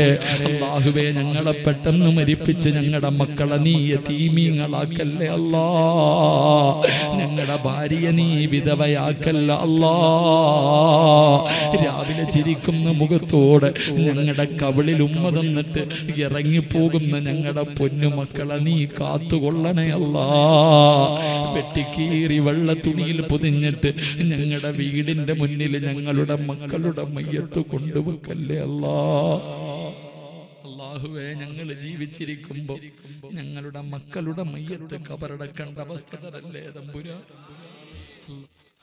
അള്ളാഹുവേ നിന്റെ മുന്നിൽ ഉയർത്തുന്ന ഈ കരങ്ങൾ മരിക്കുവോളം ആരുടെ മുന്നിലും നീട്ടി യാചിക്കേണ്ട അവസ്ഥ തരല്ലേ അല്ലാ പിരിവെടുത്തിട്ട് കുടുംബത്തെ പോറ്റേണ്ട അവസ്ഥ തരല്ലേ റബ്ബേ? അള്ളാഹുവേ ഒരാളുടെ മുന്നിലും നീ ഞങ്ങളെ നാണം കെടുത്തല്ലേ അല്ലാ? ഇസ്സത്ത് നിലനിർത്തി തരണേ അല്ലാ? ഇസ്സത്ത് നിലനിർത്തി തരണേ അല്ലാ? ഞങ്ങൾക്ക് ആർക്കും നീ അഹങ്കാരം തരല്ലേ അല്ലാ? ഒരുപാട് നേരം കൊണ്ട് ഞങ്ങൾ ഇവിടെ നിൽക്കുകയാണ്. നാളെ ഞങ്ങളെ പരലോകത്ത് നിർത്തി ഉരുക്കല്ലേ അല്ലാ? സ്വർഗം കിട്ടാൻ ഈ നിന്നതൊരു സബബാക്കണേ റബ്ബേ. അള്ളാഹുവെ ഭക്ഷണം വെക്കുന്നവർ ഭക്ഷണം വെക്കാൻ സഹായിച്ചവർ ഭക്ഷണത്തിനുള്ള സാധനങ്ങൾ കൊടുത്തവർ എല്ലാവരെയും നീ അനുഗ്രഹിക്കണേ തമ്പുരാനെ. എല്ലാവരെയും നീ അനുഗ്രഹിക്കണേ തമ്പുരാനെ. ഈ നാട്ടിലെ സൗഹാർദ്ദം നീ നിലനിർത്തി കൊടുക്കണേ അല്ലാ. ഈ മഹാന്റെ പൊരുത്തം കൊണ്ട് ഞങ്ങളെ നീ കൈവിടല്ലേ അല്ലാ. ഞങ്ങളെ കൈവിടല്ലേ അല്ലാ. പടച്ചവനെ എന്റെ മനസ്സിന്റെ ഉള്ളിൽ ഒരു നല്ല ആഗ്രഹമുണ്ട്. ഹൈറാണെങ്കിൽ നീ സാധിച്ചു തരണേ അല്ല. വഴികൾ തുറന്നു തരണേ അല്ല. എന്റെ പ്രിയപ്പെട്ട ഉപ്പയുടെ മണ്ണറ നീ മണിയറയാക്കണേ തമ്പുരാനെ. എന്റെ ഉമ്മച്ചിക്ക് ദീർഘായുസ് കൊടുക്കണേ തമ്പുരാനെ. എന്റെ കൂടപ്പുറപ്പുകൾ അനുഗ്രഹിക്കണേ തമ്പുരാനെ. എന്റെ ഭാര്യയെ നീ സാലിഹത്തായ ഭാര്യയാക്കി തരണേ അല്ല. എന്റെ സിനാനിനെയും നഈമിനെയും നീ ഹാഫിളീങ്ങളാക്കി തരണേ അല്ലാ. ഈ ശബ്ദം നിലനിർത്തി തരണേ തമ്പുരാനെ. അഹങ്കാരം തരല്ലേ അല്ല അഹങ്കാരം തരല്ലേ അല്ലാ വന്ന വഴി മറക്കുന്നവനാക്കല്ലേ അല്ലാ. പടച്ചവനെ ഒരുപാട് രോഗങ്ങളുണ്ട്. നീ അറുത്തു മുറിക്കല്ലേ അല്ലാ. ശിവ നൽകണേ തമ്പുരാനെ. പടച്ചവനെ മരിക്കുന്ന കാലം വരെ പണം ചോദിച്ചു വാങ്ങിയിട്ട് വയലു പറയേണ്ട ഒരു ഗതികേട് തരല്ലേ അല്ലാ. നിന്റെ ദീനിനെ വിറ്റിട്ട് ജീവിക്കേണ്ട ഒരു ഗതികേട് തരല്ലേ. അള്ളാഹുവേ ഈ പറയുന്ന കാര്യം എന്റെ ജീവിതത്തിൽ ചെയ്യാനുള്ള ഭാഗ്യം കൂടെ തരണേ റഹ്മാനെ. അള്ളാഹുവേ ഈ ദുആ സ്വീകരിക്കുമെന്ന് ഞങ്ങൾക്ക് ഉറപ്പാണ്. ഞങ്ങളെ വെറും കൈയോടെ മടക്കി കളയല്ലേ അല്ലാ ഈ നീ സ്വീകരിക്കണേ തമ്പുരാനെ. ഈ ദുആയ സ്വീകരിക്കണേ തമ്പുരാനെ. ഒരു പൊന്നുമോ പറഞ്ഞു ഉസ്താദേ എന്റെ ഉമ്മ രോഗിയാണ്. ഇന്ന് വഴുത് കേൾക്കാൻ കഷ്ടപ്പെട്ട് ഞാൻ ഇവിടെ വരെ വന്നു. ആ പൊന്നുമോന്റെ ഉമ്മയ്ക്ക് നീ ശിവ കൊടുക്കണേ അല്ലാ അള്ളാഹുവെ അവന്റെ ഉമ്മയുടെ രോഗം മാറ്റി കൊടുക്കണേ അല്ല. പടച്ചവനെ ഈ നീട്ടിയ കയ്യ നീ വെറുതെ മടക്കല്ലേ തമ്പുരാനെ? അള്ളാഹുവേ ഇത് അവസാന ദുആക്കല്ലേ അല്ലാ. ഈ രാത്രി അവസാന രാത്രി ആക്കല്ലേ അല്ല. ഈ മജിരിസ് അവസാന മജിരിസ് ആക്കല്ലേ അല്ല. ഇന്നിവിടെ നിന്ന് പിരിഞ്ഞു നാ അല്ലാഹുവേ ഇനി ഞങ്ങൾ ജീവിതത്തിൽ നീ ഒരിക്കലും കണ്ടില്ലെങ്കിലും നിന്റെ സ്വർഗത്തിൽ വെച്ച് കാണാൻ ഭാഗ്യം തരണേ അല്ല. അള്ളാഹുവേ പടച്ചവനെ हैं അടുത്ത ആഴ്ച ഉമ്രയ്ക്ക് പോകണമെന്ന് ആഗ്രഹമുണ്ട്. റബ്ബേ എന്നെ നീ എവിടെ എത്തിക്കണേ അല്ലാ. അള്ളാഹുവേ ഈ സദസ്സിൽ ഒരുമിച്ച് കൂടിയ ഞങ്ങളെ മുഴുവനും നീ ഹജ്ജും ഉംറയും സിയാറത്തും ചെയ്യാൻ ഭാഗ്യം നൽകണേ തമ്പുരാനെ. ഹത്തീബ് ഉസ്താദിന്റെ ഹജ്ജ് യാത്ര നീ ഹൈറിലാക്കണേ അല്ലാ. അവിടെ ചെന്ന് ദുആ ചെയ്യുമ്പോൾ മറക്കാതെ ഞങ്ങൾക്ക് വേണ്ടി ദുആ ചെയ്യാറുള്ള ഓർമ്മയും ഭാഗ്യവും കൊടുക്കണേ അല്ലാ. അള്ളാഹുവേ ഇന്നിവിടെ നിന്ന് പിരിഞ്ഞു.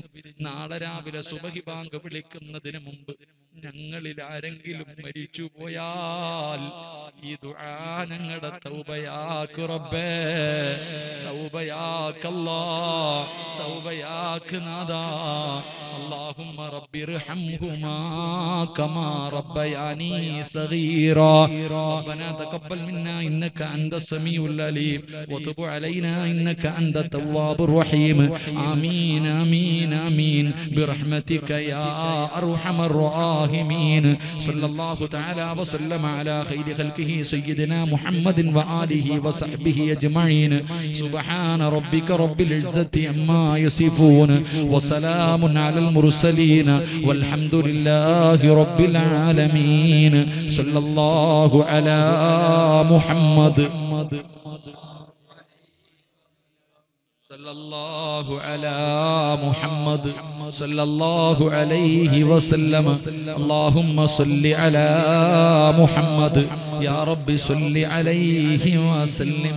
എല്ലാവരും ദുആ ചെയ്യുക എന്ന വസീയത്തോടെ സമാധാനത്തോടു കൂടി നിങ്ങൾക്ക് എല്ലാവർക്കും ലഭിക്കും.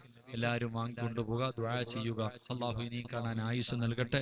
ആഖിറു ദുആനാ അൽഹംദുലില്ലാഹി റബ്ബിൽ ആലമീൻ. അസ്സലാമു അലൈക്കും വറഹ്മത്തുള്ളാഹി തആല. ಕೆ ಎ ಹತ್ತೊಂಬತ್ತು, ತೊಂಬತ್ತೈದು ತೊಂಬತ್ತೈದು ಕಾರನ್ನು ಅಲ್ಲಿ ಸಿರಣಿ ಕೊಡುವ ಸ್ಥಳದಿಂದ ಆಚೆ ಕಳುಹಿಸಿಕೊಡ್ಬೇಕು ಅಂತೇಳಿ ವಿನಂತಿಯನ್ನು ಮಾಡ್ತಾ ಇದ್ದೇವೆ. ಒಂದು ಕೀ ಬಿದ್ದು ಸಿಕ್ಕಿದೆ. ಯಾರಾದ್ರೂ ಕಲಕಂಡವರಿದ್ರೆ ಪಡ್ಕೊಳ್ಬಹುದು ಪೇರಡಕ ಒಲುಲ್ಲಾಹಿ ದರ್ಗಾ ಶರೀಫ್ ಗುರು ಸಮಾರಂಭದ ಸಮಾರೋಪ ದಿವಸವಾದ ಈ ದಿವಸ.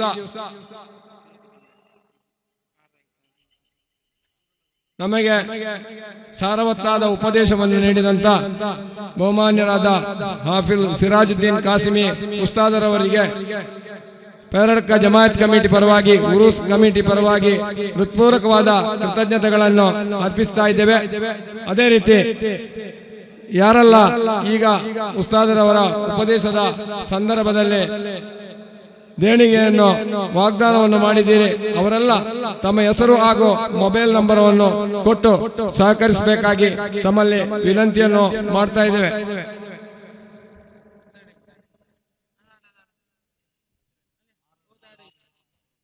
ಪೇರಡ್ಕ ಒಲಿಲ್ಲಾಯಿ ದರ್ಗಾ ಶರೀಫ್ ಗುರು ಸಮಾರಂಭದ ಪ್ರಯುಕ್ತ ನಡೆಯುತ್ತಿರುವ ಈ ಕಾರ್ಯಕ್ರಮದ ಸೀರಣಿ ವಿತರಣಾ ಕಾರ್ಯಕ್ರಮ ನಡೀತಾ ಇದೆ.